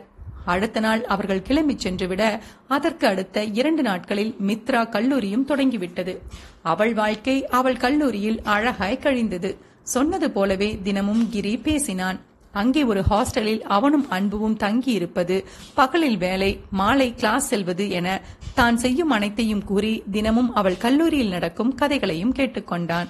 ஒரு ஆறு மாதம் எந்த பிரச்சனையும் இல்லாமல் தான் கழிந்தது திடீரென ஒரு நாள் உனக்கு மாப்பிள்ள பார்த்திருக்கேன் மித்ராமா என ராஜேந்திரன் குண்டை போட்டபோது எல்லாம் தலைகீழாக மாறி போனது பொதுவாக அந்த வீட்டில் யாருக்குமே ராஜேந்திரனை எதிர்த்து பேசி பழக்கமில்லை. யார் பேச்சையும் அவர் கேட்கவும் மாட்டார். சிறு வயதில் சும்மாவே சேட்டைகள் செய்து அவரிடம் பலமாக அடிவாங்கியிருந்த மித்ராவிற்கு தந்தை மேல் தனி பயம் உண்டு. அவர் எதிரில் நின்று கூட பேச மாட்டாள். ஒரு நாள் மாலை அவள் கல்லூரியிலிருந்து வந்தவுடன் அவள் அன்னை அவளை புடவை கட்ட சொல்ல எதுக்குமா என கேட்டவள் தலையில் உன்னை பெண் பார்க்க வராங்கடா அப்பாதான் உன்னை தயாராக சொன்னார் என சாதாரணமாக குண்டை தூக்கி போட்டார் மல்லிகா. அம்மா என்னம்மா இப்படி திடீர்னு சொல்றீங்க? நான் இப்போ தானேமா காலேஜ் சேர்ந்திருக்கேன் என அழுது விடுபவள் போல மித்ரா கேட்க நான் என்ன செய்ய முடியும் மித்ராமா? அப்பா நல்லது தாண்டா செய்வார். நீ முதலில் புடவையை மாற்று என்று விட்டு அவர் பாட்டிற்கு வெளியே சென்று விட்டார். மித்ராவிற்கு தான் எதுவும் புரியவில்லை. தந்தையிடம் சென்று என்னவென்று கேட்கவும் பயம். அவள் வேகமாக அண்ணனை தேட அண்ணா அப்பாவுடன் வெளியே போயிருக்கார் மித்ராமா என்றார் சீதா. என்ன அண்ணி இது? இப்படி பண்றாங்களே என சீதாவிடம் அவள் புலம்ப உன் அண்ணனிடம் பேசி பார்ப்போம் மித்ராமா. எனக்கு புரியுதுடா. இப்போதைக்கு தயாராகி வா. எல்லோரும் வந்துட்டு போனதும் பேசிக்கலாம் என அவளை சீதா தான் சமாதானம் செய்தாள். வேறு வழி இல்லாமல் புடவையை மாற்றிக்கொண்டு வந்தவள் அன்னை கொடுத்த காஃபியை யார் அமர்ந்திருக்கிறார்கள்? என்று கூட கவனிக்காமல் கொடுத்து வைத்தாள். எங்களுக்கு பெண்ண ரொம்பவும் பிடிச்சிருக்கு. அடுத்த வாரமே நிச்சயம் வைத்துக் கொள்ளலாம். என வந்தவர்கள் அவர்கள் பங்கிற்கு அவள் வயிற்றில் புலியை கரைத்துவிட்டு சென்றனர். அனைவரையும் மகிழ்ச்சியுடன் வழி அனுப்பிவிட்டு வந்த ராஜேந்திரன் நடுவீட்டில் வைத்து அனைவருக்கும் பொதுவாக பேசினார். பையன் இன்னும் ரெண்டு மாசத்துல வெளிநாடு போறான் நம்ம மித்ராவையும் அழைச்சு கொண்டு போறானாம். எனக்கு நன்றாக தெரிந்த குடும்பம். பயப்பட எதுவுமில்லை. இப்படி சம்பந்தம் அமைவது கஷ்டம். அதனால் கல்யாணத்தை முடித்து விடுவோம். படிப்பை மாப்பிள்ளையிடம் சொல்லி தொடர்ந்து கொள்ளட்டும் என முடித்துவிட்டவர் யார் பதிலையும் எதிர்பார்க்கவில்லை. தந்தையின் குரலில் இருந்த உறுதியில் மித்ரா பயம் அதிகரித்துக் கொண்டேதான் போனது. அன்றிரவு தன் அண்ணனிடம் அழுது விட்டாள் மித்ரா. அண்ணா எனக்கு சுத்தமாக இஷ்டமில்லை அண்ணா. நான் படிக்கிறேன்னா ப்ளீஸ் அப்பாவிடம் பேசுங்க என அழுகையுடன் அவள் கெஞ்சியதில் சரிடா நீ அழாத நான் பேசுறேன் என அவளை சமாதானம் செய்த செந்திலும் மெதுவாக தந்தையிடம் பேசி பார்த்தான்.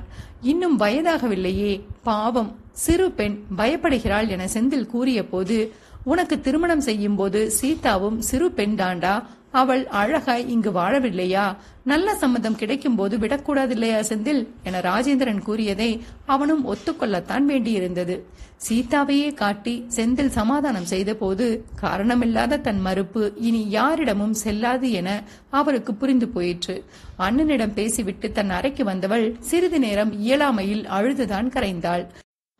அழுது கொண்டே யோசித்தவளுக்கு எப்படியும் வீட்டில் யாரிடமும் தன் காதலை கூற முடியும் என்று தோன்றவில்லை. அதே நேரம் காதலை சொல்லாமல் திருமணத்தை நிறுத்தவும் வழியிருப்பதாக அவளுக்கு தெரியவில்லை. அவள் பாட்டிற்கு சும்மா வேண்டாம் என்று அடம்பிடித்து தந்தை ஏதேனும் மிரட்டினால் அவளால் மறுக்க முடியாத சூழல் ஏற்பட்டுவிட்டால் பெரும் வம்பாகிவிடுமே.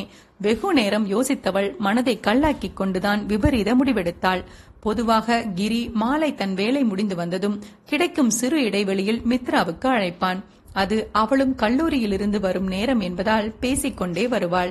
அன்று சற்று சீக்கிரமே கல்லூரியிலிருந்து கிளம்பியிருந்தவள் அவர்கள் கோவில் குளக்கரையில் வந்து அமர்ந்திருந்தாள். எப்போதும் போல் போன் செய்த கிரியிடம் போனை எடுத்த உடனேயே வீட்டில் நடந்ததை கூறிவிட்டாள் மித்ரா. என்னால் தடுக்க முடியவில்லை தீரன். எவ்வளவோ சொல்லி பார்த்தேன். அண்ணாவும் பேசி பார்த்து விட்டார் அப்பா கேட்க மாட்டேன் என்கிறார் தீரன். அப்பாவிடம் காதல் என்று சொல்ல முடியாதில்லையா? என அவள் நிறுத்த ம் என்றான் கிரி. அவன் மனமும் பெரும் குழப்பத்தில்தான் இருந்தது. இப்படி ஒரு திருப்பத்தை அவன் யோசிக்கவே இல்லையே. நீ கொஞ்சம் பேசி பாரேன் சகிமா. நெற்றியை நீவி விட்டுக் கொண்டே யோசனையுடன் கிரி கூற என்னவென்று பேசுவது தீரன்? காதல் என்று அவருக்கு எப்படி புரிய வைப்பது? அப்படியே சொன்னாலும் நம்மை நம்பி மூன்று வருடம் அமைதியாக இருக்க ஒத்துக்கொள்வார் என்றா நினைக்கிறீங்க? மாட்டார்தான் என்று கிரிக்கும் தோன்றியது. சில நொடிகள் அமைதியாக யோசித்தவன் நான் வேண்டுமானால் தாத்தாவிடம் சொல்லி பேசச் சொல்லவா சகிமா? அவர் பேசினால் புரிந்து கொள்ள வாய்ப்பிருக்குமே. இருக்கலாம் தீரன் ஆனால் என் அப்பா காதலை எல்லாம் ஒரு பொருட்டாக மதிப்பார் என்றே தோன்றவில்லை. சுலபமாக முடியாது என்று மறுத்துவிட்டு என்னை ஏதாவது பிளாக்மெயில் செய்தால் நிலைமை கைமீறிவிடும் தீரன். தெளிவாக மித்ரா கூறிய அனைத்தையுமே அவனால் மறுக்க முடியவில்லை. இப்போது வேறு வழியில்லையே சகி. இந்த கல்யாண பேச்சை நிறுத்தியே ஆக வேண்டுமே. அதற்கு உடனடியாக ஏதாவது செய்துதானே ஆக வேண்டும். கிரியின் குரலும் பெரும் குழப்பத்துடன் ஒழித்தது. நான் ஒரு வழி சொல்லவா? மெதுவாக மித்ரா கேட்க சொல்லுடா என்றான் கிரி.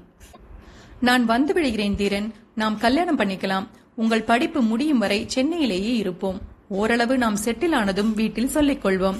கல்யாணம் என்று ஆகிவிட்டால் நம்மை யாராலும் பிரிக்க முடியாது தீரன். வேற எந்த ரிஸ்கும் எடுக்க வேண்டாம் தீரன். ப்ளீஸ் கெஞ்சலாக அவள் கேட்க ஓடி போகலாம் என்கிறாயா? என்றவன் குரல் கட்டுப்படுத்தப்பட்ட கோபத்துடன் ஒழித்தது அவளுக்கு புரிந்தது. எனக்கு வேறு வழி தெரியவில்லை தீரன். மெதுவாக அவள் கூற அதற்காக வீட்டிற்கு தெரியாமல் ஓடி வருவாயா சகி? ஆறிவில்லையா உனக்கு? என்றான் அவன் எரிச்சலுடன். இங்கு மித்ராவிற்கும் கோபம் வந்தது. வேண்டாம் என்றால் விட்டுவிடுங்கள் தீரன். உங்களுக்கு என்ன தோன்றுகிறதோ அதை செய்யுங்கள். ஏதேனும் பெரும் பிரச்சனையானால் இருக்கவே இருக்கிறது இந்த குளக்கரை. இதில் குதித்து நான் உயிரை விட்டு விடுவேன். அதற்கு பின் உட்கார்ந்து அழுதுகோங்க. என்ன பேசுகிறாய் சகி? இந்த முறை இடைமறைத்த அவன் குரலில் கோபத்தையும் தாண்டிய சிறு நடுக்கம் இருந்தது. அது புரிந்தாலும் அவள் ஒன்றும் கவலைப்படவில்லை.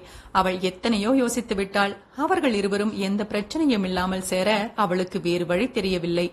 தாங்கள் சேர வேண்டும் என்று மட்டுமே யோசித்தவள் இந்த வயதில் குடும்பத்தை மொத்தமாக துறந்துவிட்டு சமுதாயத்தை எதிர்கொண்டு வாழ முடியுமா என்று யோசிக்கவில்லை.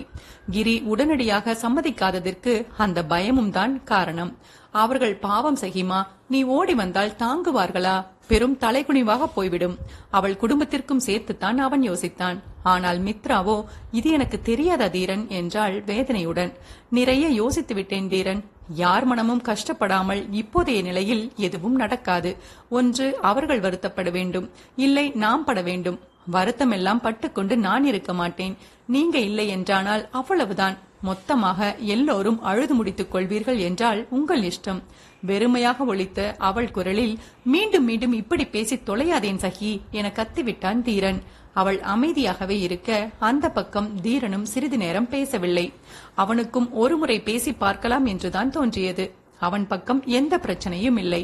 ஆனால் மித்ராவை பொறுத்தவரை மதில் மேல் பூனை கதைதான். எந்த பக்கம் வேண்டுமானாலும் பாய்ந்துவிடும். தவறான பக்கம் சென்று விட்டால் அவளுக்குத்தான் பெரும் போராட்டமாக ஆகிவிடும். எதற்காகவும் அவளை இழக்க அவனும் தயாராக இல்லை.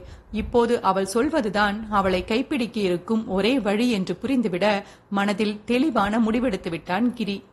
எனக்கு புரிகிறது சகிமா ஒரு இரண்டு நாள் பொறுத்துக்கொள். நான் வந்து உன்னை அழைத்து போகிறேன். அதுவரை சமாளித்து விடுவாய்தானே நிதானமாக கிரி கேட்டதில் இந்த குரல் பின்வாங்காது என்று உணர்ந்த மித்ராவிற்கு பெரும் நிம்மதியாக இருந்தது. சமாளித்து விடுவேன் தீரன் என்றாள் மித்ராவும் மனநிறைவுடன். அதற்கு மேல் ஒவ்வொரு நொடியும் குற்ற உணர்வுடனே கடத்தினாலும் தன் வாழ்க்கை தன் தீரனுடன் தான் என்பதில் உறுதியாக இருந்தாள் மித்ரா. சொன்னது போலவே அடுத்த இரண்டாம் நாள் இரவு அவளை அழைத்து போக கிரி வந்துவிட்டான். நள்ளிரவில் அனைவரும் தூங்கியதும் சிறு துண்டு பேப்பரில் என்னை தேட வேண்டாம். நான் விரும்பும் என்னவருடன் என் வாழ்க்கையை அமைத்துக் கொள்ளப் போகிறேன். உங்களிடம் சொல்லும் தைரியம் இல்லை. தயவு செய்து மன்னித்து விடுங்கள். பெரிய பாவம்தான். எனக்கு வேறு வழி தெரியவில்லை. அனைவரும் என்னை மன்னித்து விடுங்கள் என எழுதிவிட்டு மனதை திடப்படுத்திக் கொண்டு கிளம்பிவிட்டாள் மித்ரா. வீட்டு வாசலை தாண்டிய நொடி பெரிய தவறாக செய்கிறோம் என மனம் அடித்துக்கொண்டு கதறி துடித்தாலும் கிரியை மட்டுமே நினைத்துக்கொண்டு ஒருவித உறுதியுடன் வெளியேறிவிட்டாள். அந்த தெருமுனையிலேயே கிரி ஒரு காருடன் அவளுக்காக காத்திருந்தான். அவள் வந்ததும் அவளுடன் காரில் ஏறியவன் இப்போது கூட ஒன்றும் கெட்டுப்போகவில்லை சகிமா. எதற்கும் பேசி பார்ப்போமா? என மனம் கேட்காமல் கேட்க எனக்கு பயமா இருக்கே தீரன் என்றவள் குரல் பெரும் கலக்கத்துடன் ஒழித்தது ஏற்கனவே கலங்கி போயிருப்பவளை மேலும் குழப்ப அவன் விரும்பவில்லை. சரிடா என்ன ஆனாலும் பார்த்துக்கலாம். விடு என அழுத்தமாக கூறிவிட்டு காரை எடுத்து விட்டான் கிரி. கடைசியாக ஒருமுறை தன் வீட்டை திரும்பி பார்த்து கொண்டவள் மனதை அழுத்திய பெரும் பாரத்தை கட்டுப்படுத்த முடியாமல் கிரி தோளில் சாய்ந்து கொள்ள அவனும் மென்மையாக அவள் தலை கோதி கொடுத்துவிட்டு வண்டியை ஓட்டினான். கிரி தன் நண்பனின் காரைத்தான் வாங்கி வந்திருந்தான். கார் இருந்ததால் அவர்கள் பிரயாணம் பிரச்சனை இல்லாமல் முடிந்தது. மறுநாள் அவள் எழுதியிருந்த கடிதத்தை பார்த்து அவள் வீட்டில் அனைவருக்குமே அதிர்ச்சிதான். முதலில் பெரும் கோபத்துடன் வீட்டையே ஒரு வழி செய்து கையோடு அவளை ராஜேந்திரன் தலைமுழுகி விட்டார் என செந்தில் கூறிய பின்னாளில் மித்ராவுக்கு தெரிய வந்தது. இங்கு ஒரு குடும்பமே ரணகளமாக இருக்க அதே நேரம் சென்னை வந்து சேர்ந்த கிரி ஒரு அபார்ட்மெண்டில் இருந்த ஒரு சிறிய வீட்டிற்கு மித்ராவை அழைத்து வந்தான். வீட்டின் பூட்டை திறந்து கொண்டு அவன் உள்ளே நுழைய மித்ராவின் கண்களும் அந்த வீட்டை அளந்தது. ஒற்றை படுக்கையறை கொண்ட மிகச்சிறிய வீடு. ஒரு பிளாஸ்டிக் சேர் ஒற்றை கேஸ் அடுப்பு சில பாத்திரங்கள் காய்கறிகள் ஒரு சிறிய மேஜை ஒரு ஓரமாக பெட்ஷீட் தலையணை அவ்வளவுதான் அங்கே இருந்தது. குளித்துவிட்டு இதை மாற்றிக்கொண்டு வாசகிமா என கிரி ஒரு கவரை நீட்ட அதை வாங்கி பார்த்தவள் அதிலிருந்த புடவையை பார்த்துவிட்டு அவனை கேள்வியாக பார்த்தாள். பத்து மணி முகூர்த்தத்தில் நம் திருமணம் சகி கிளம்பு நீ குளித்ததும் நான் குளிக்கிறேன். இப்போதைக்கு என் சம்பளத்தில் இந்த வீடுதான் பார்க்க முடிந்தது. நான் நல்லபடியாக படிப்பை முடித்து வேறு வேலைக்கு போகும் வரை இங்கேதான் சமாளிக்கணும். பார்த்துக்கலாண்டா நான் பார்த்துக் கொள்கிறேன் நீ கிளம்பு. தெளிவாக நிதானமாக பேசியவனை பார்த்தவளுக்கு அந்த நொடி இத்தனை நேரம் மனதில் இருந்த இனம் புரியா பயம் சுத்தமாக மறைந்து விட்டது இதுதான் அவள் தீரன். சரியான அழுத்தக்காரன். எத்தனை தெளிவாக திட்டமிட்டிருக்கிறான். வெறும் இரண்டு நாளில் தன்னிடம் இருப்பதை வைத்து தன்னால் எத்தனை முடியுமோ அத்தனையும் செய்திருக்கிறான். இவனிடம் வாழ்க்கையை ஒப்படைப்பதை விட வேறு எது அவள் வாழ்க்கையை அழகாக்கிவிடப் போகிறது? ஐ லவ் யூ தீரன் என மெதுவாக மித்ரா கூற அதில் மெலிதாக புன்னகைத்து மென்மையாக அவள் நெற்றியில் இதழ் ஒற்றி விலகியவன் ஐ லவ் யூ சஹிமா கிளம்புடா என்று கூற அவளும் அமைதியாக குளித்துவிட்டு வந்தாள். மெலிதான பட்டு போன்ற புடவைதான். அடர் சிவப்பு நிறத்தில் அவளுக்கு அத்தனை பாந்தமாய் பொருந்தியிருந்தது. முடியை தளர பின்னி அவன் கொடுத்த பூவையும் வைத்துக் கொண்டவள் அங்கிருந்த பவுடரை போட்டு பொட்டு வைத்துக் கொண்டு தயாராக அதற்குள் குளித்து முடித்து சாதா வேஷ்டி சட்டையில் கிரியும் தயாராகியிருந்தான். இருவரும் பெரிதாக பணமதிப்புள்ள உடைகளோ நகைகளோ அணியவில்லைதான். ஆனால் அவர்கள் அணிந்திருந்த உடைகள் அவர்களுக்கு அத்தனை அழகாக இருந்தது. நீ தேவதையே தான் சகிமா என அவளை பாராட்டிக் கொண்டே வெளியே வந்தான் கிரி. அடுத்து அவர்கள் சென்றது பக்கத்திலேயே இருந்த ஒரு கோவிலுக்குத்தான். அங்கு அன்பரசன் கையில் இரண்டு மாலையுடன் கோவில் வாசலிலேயே நின்றிருந்தான். அவன் அருகில் வந்ததும் எல்லாம் ஓகேவா அன்பு? என கிரி கேட்க ம் ஓகேடா ஐயரிடம் சொல்லிவிட்டேன். உங்கள் பெயரில் அர்ச்சனைக்கும் சொல்லிட்டேன் என்றான் அன்பரசன். டன் வா என்ற கிரி மித்ரா கைகளை பிடித்துக்கொண்டு உள்ளே வந்தான். அவர்கள் மூவரை தவிர அவர்கள் கல்யாணத்தில் வேறு யாரும் இல்லை. கடவுள் சன்னிதானத்தில் வைத்து இருவரும் மாலை மாற்றிக்கொள்ள அங்கே இருந்த ஐயர் கடவுள் பாதத்தில் தாலியை வைத்து எடுத்து வந்து கொடுத்தார். மஞ்சள் கயிற்றில் சிறிதாக தங்கத்தில் தாலி போல் செய்திருந்தான் கிரி. அவர் கொடுத்ததை கையில் வாங்கிக் கொண்டவன் மித்ராவை பார்க்க முகம் முழுவதும் மகிழ்ச்சியும் நிம்மதியுமாய் தன்னை பார்த்தவள் பார்வையில் மனம் நிறைந்துவிட தானும் மனநிறைவுடன் அவள் கழுத்தில் மூன்று முடிச்சிட்டு அவளை தன் மனையாளாக ஏற்றுக்கொண்டான் கிரிதரன். அவன் தாலி கட்டி முடித்ததுமே வாழ்த்துக்கள்டா வாழ்த்துக்கள் மித்ராமா என அன்பு கூற இருவரும் சிறு புன்னகையுடன் அவன் வாழ்த்தை ஏற்றுக்கொண்டனர். இரண்டு நாளில் இந்த அளவு நீங்க ஏற்பாடு செய்வீங்க என்று நான் நினைக்கவே இல்லை தீரன். இத்தனை அழகான திருமணம் நான் கற்பனை கூட செய்யவில்லை தெரியுமா? நெகிழ்வுடன் மித்ரா கூற ஏதோ என்னால முடிஞ்சது சகிமா. நம் வாழ்க்கையை தொடங்க போகிறோண்டா அதை ஏனோ தானோவென செய்ய எனக்கு மனம் வரவில்லை என்று நாம் நினைத்து பார்த்தாலும் நம் வாழ்க்கை முழு நிறைவாகத்தான் இருக்க வேண்டும் சஹிமா வெகு அழுத்தத்துடன் ஒழித்த அவன் குரல் அந்த நொடி அவள் மனதிற்குள் அத்தனை நிறைவை ஏற்படுத்தியது. வாழ்க்கை முழுவதும் நிறைவாக இருக்க வேண்டும் என்று கூறியவனே அந்த நிறைவை குலைத்து விடுவான் என அவள் அப்போது அறியவில்லையே. அத்தியாயம் பதினெட்டு. கிரிதரன் மித்ரா வாழ்க்கை மிக அழகாக தொடங்கியது. இருவருமே முதலில் படிப்பு முடிந்து வீட்டிலும் சொல்லிவிட்டு அதற்கு பின் வாழ்க்கையை தொடங்கிக் கொள்ளலாம் என்றுதான் ஒரு மனதாக முடிவெடுத்திருந்தனர். ஆனால் அவர்களே அறியாமல் அவர்கள் வாழ்க்கை ஒரு நாள் அழகாக தொடங்கியும் விட்டது. கிரி இந்த சில மாதங்களாக தான் சேர்த்து வைத்திருந்த பணம் முழுவதுமே முதற்கட்ட தேவைகளுக்கு பயன்படுத்தியிருந்தான். இப்போது தனியாக குடும்பம் நடத்த வேண்டுமென்றால் அவன் சம்பளம் தாண்டி அதிக பணம் தான் தேவைப்பட்டது. அதனால் சில நாட்களுக்கு ஓவர் டைம் பார்க்கலாம் என முடிவெடுத்தவன் தான் போகும் கிளாஸிற்கு வார இறுதி நாட்கள் மட்டுமே செல்லத் தொடங்கினான். முதல் இரண்டு நாளும் இரவு எட்டு மணிக்கு மேல் கிரி வீட்டிற்கு வரவும் தான் அவன் அதிகம் வேலை பார்க்கிறானோ என்ற சந்தேகம் மித்ராவிற்கு வந்தது. அன்றிரவும் ஒன்பது மணிக்கு அவன் வீடு வந்து சேர அவனுக்கு தோசையை போட்டு கொடுத்துவிட்டு தானும் ஒரு தட்டில் வைத்துக்கொண்டு அவன் அருகில் வந்து அமர்ந்தாள் மித்ரா. எனக்கும் நீயே ஊட்டு சகிமா என்று விட்டு அவன் சுவரில் சாய்ந்து கால் நீட்டி அமர்ந்துவிட அவன் அருகில் அமர்ந்தவள் அவனுக்கு ஊட்டிக்கொண்டே தானும் சாப்பிட்டாள். போனில் யாருக்கோ மெசேஜ் செய்து கொண்டே சாப்பிட்டவன் சிறிது நேரத்தில் போனை வைத்துவிட்டு மனைவி புறம் திரும்பினான். நீங்கள் தினமும் கிளாஸ் போவீங்களே தீரன். இப்போதெல்லாம் ஆபீஸிலிருந்து வரவே லேட் ஆகி எப்படி கிளாஸ் போவீங்க? முன்பெல்லாம் இப்படி இல்லையே தீரன் ஏதோ யோசனையுடன் அவள் கேட்க கிளாஸ் இனி வீக்கெண்ட் தாண்டா. வார நாட்களில் ஓவர் டைம் பார்க்கிறேன் என்றான் கிரி. ஏன் தீரன்? முன்பு நீங்க பார்க்கலையே. இருப்பதை வச்சு சமாளிக்கலாம் தீரன். படிப்பு முக்கியம் இல்லையா? அதை விட்டுடாதீங்க. இல்லடா என் சம்பளம் பத்தாது. ஃபீஸ் போக வாடகைக்குத்தான் சரியாக இருக்கும். மீதி செலவிற்கு கொஞ்சமேனும் பணம் வேண்டும் இல்லையா? அவன் கேள்வியில் மித்ராவுக்குத்தான் வேதனையாக இருந்தது. என்னால் தான் உங்களுக்கு கஷ்டம் தீரன். நீங்க பாட்டிற்கு நிம்மதியாக படித்துக் கொண்டிருந்தீர்கள்.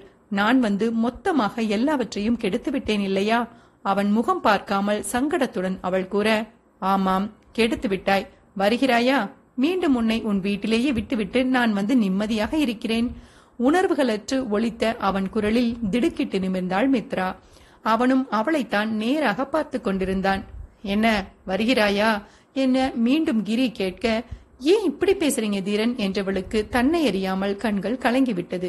வேறு எப்படி பேசுவது? நீ எனக்கு சுமையா? இது நம் வாழ்க்கை என்ற எண்ணமே இல்லை இல்லையா? உனக்கு செய்யாமல் வேறு யாருக்கு நான் செய்ய போகிறேன் சகி.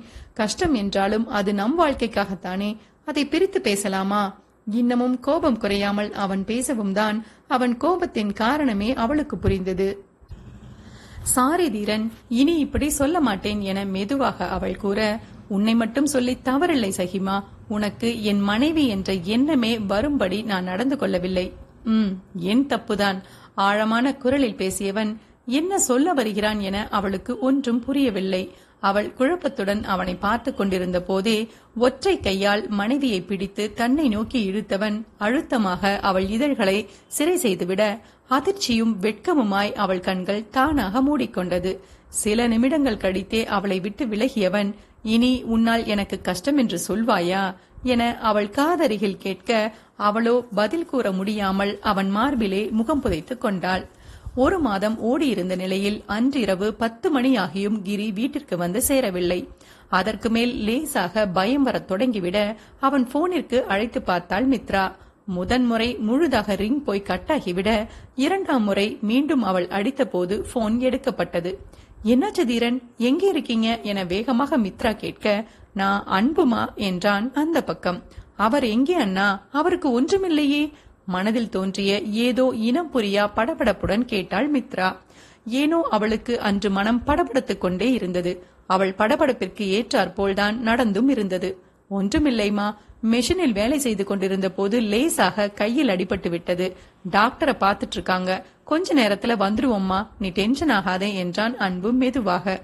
ஐயோ பெரிய அடியாண்ணா. எனக்கு பயமா இருக்குண்ணா. எந்த ஹாஸ்பிட்டலில் இருக்கீங்க? சொல்லுங்க நானும் வரேன். பெரும் தவிப்புடன் அவள் கேட்க இல்லைமா என அன்பு கூறிக்கொண்டிருக்கும் போதே சஹிமா என்ற அவள் கணவன் குரல் ஒலித்தது. அதில் திரன் திரன் என்னாச்சு உங்களுக்கு என மேலும் அவள் பதற ஒண்ணு இல்ல சகிமா.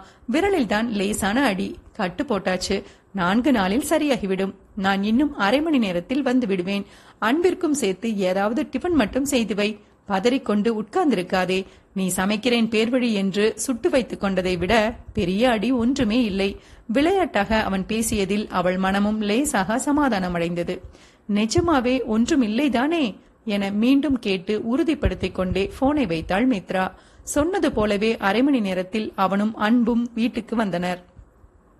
கிரியை பார்த்ததுமே அவனிடம் ஓடி வந்த மித்ரா உங்களுக்கு ஒண்ணு இல்லையே தீரன் என அவனை தலை முதல் கால் வரை ஆராய அவளை பிடித்து மெலிதாக அணைத்துக் கொண்டவன் ஸ்கேன் செய்து முடித்து விட்டாயா? இந்த விரலில் மட்டும்தான் அடி வேறு எங்கும் இல்லை. எல்லாவற்றுக்கும் பதறாமல் வயிற்றுக்கு ஏதாவது கருணை காட்டுமா? பசிக்கிறது என்றான் கிரி. அவளும் அடிபட்டிருந்த அவன் ஆட்காட்டி விரலை ஒரு முறை நன்றாக ஆராய்ந்துவிட்டு தன்னை மீறி வந்த அழுகையை கட்டுப்படுத்திக் கொண்டு சென்றாள். நான் வேண்டுமானால் கிளம்புகிறேன் கிரி. சிஸ்டர் பாவம். ரொம்ப பயந்த மாதிரி இருக்காங்க என மெதுவாக அன்பு கூற பயந்த மாதிரி எல்லாம் இல்லைடா. நன்றாகவே பயந்துதான் விட்டாள். அதற்கு ஏன் நீ கிளம்புகிறாய்? ஒழுங்கா சாப்பிட்டுட்டு போ என கிரி கூறிக்கொண்டிருக்கும் போதே மித்ராவும் இரண்டு தட்டில் சப்பாத்தியுடன் வந்துவிட்டாள் ஒன்றை அன்பிடம் கொடுத்தவள் சாப்பிடுங்கண்ணா என்று விட்டு மற்றொன்றை தானே வைத்துக்கொண்டு கணவனுக்கு ஊட்டினாள். சும்மாவே இரவில் அவளை ஊட்டச் சொல்லித்தான் அவன் உண்பது.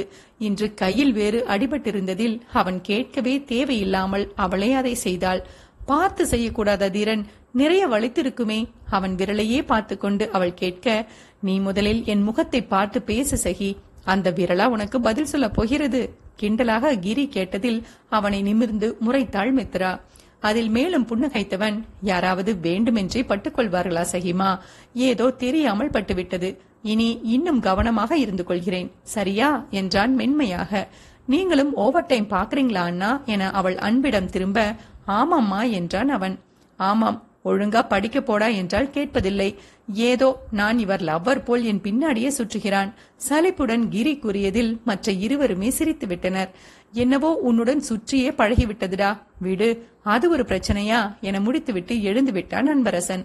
அன்பிற்கு கிரி மேல் எப்போதுமே தனி பாசம் உண்டு. மற்றவர்கள் அவனுடன் இதுவரை நல்ல நண்பனாகத்தான் பழகியிருக்கிறார்கள். ஆனால் அனாதையான அவனை ஒரு குடும்ப உறுப்பினராகவே பார்த்தது கிரி மட்டும்தான். நண்பன் என்பதை தாண்டி அவனிடம் ஒருவித சகோதர பாசமே அன்பிற்கு இருந்தது. அன்பு கிளம்பிச் சென்றதும் மித்ராவும் சாப்பிட்டுவிட்டு படுக்க வந்தாள். மித்ரா வந்த போதே தரையில் பெட்ஷீட் விரித்து இரண்டு தலையணை எடுத்து போட்டுவிட்டு அமர்ந்திருந்தான் தீரன்.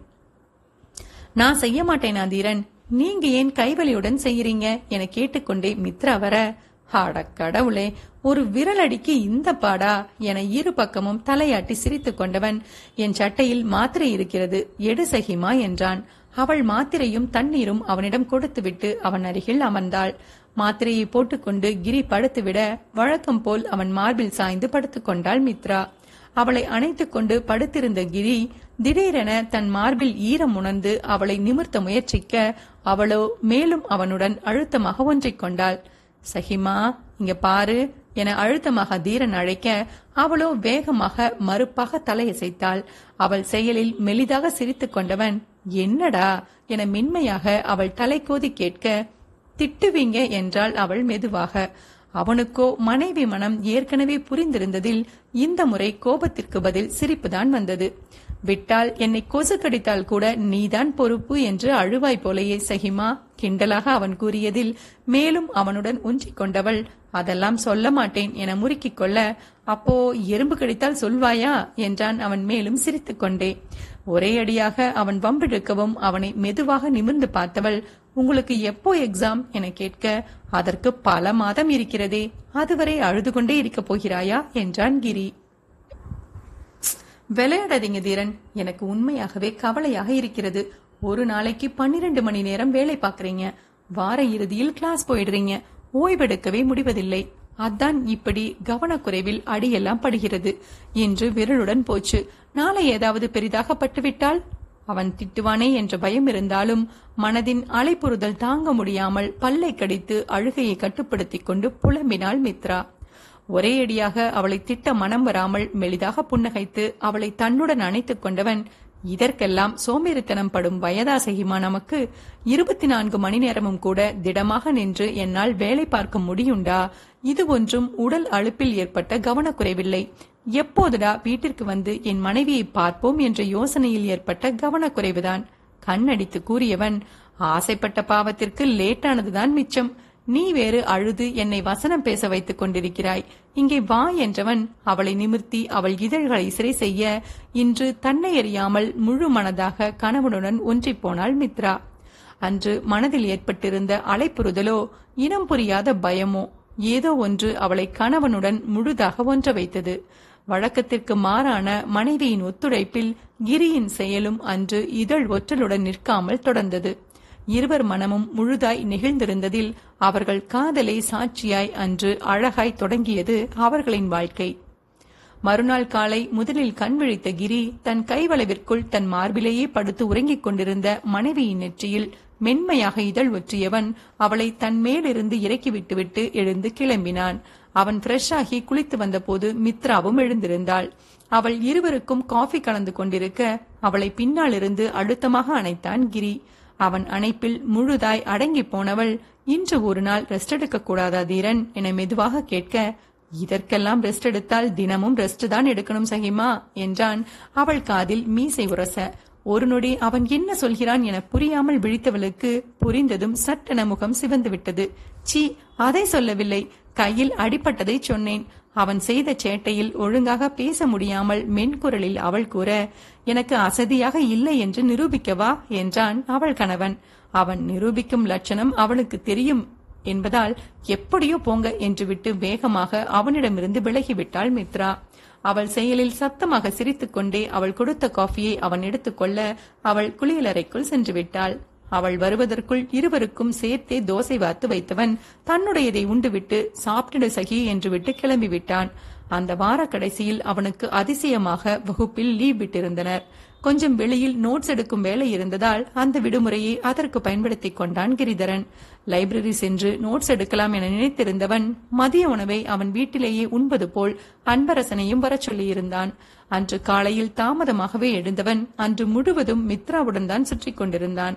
மதிய சமையலுக்கு காய் நறுக்கி தருகிறேன் என அவள் அருகில் வந்து நின்றிருந்தவன் அவளை சீண்டிக் கொண்டே இருக்க அப்படி உட்கார்ந்து கூட காய் நறுக்கலாம் தீரன் என்றாள் மித்ரா சிவந்த முகத்தை மறைத்துக் கொண்டு நறுக்கலாம் தான் ஆனால் நான் செய்ய மாட்டேனே.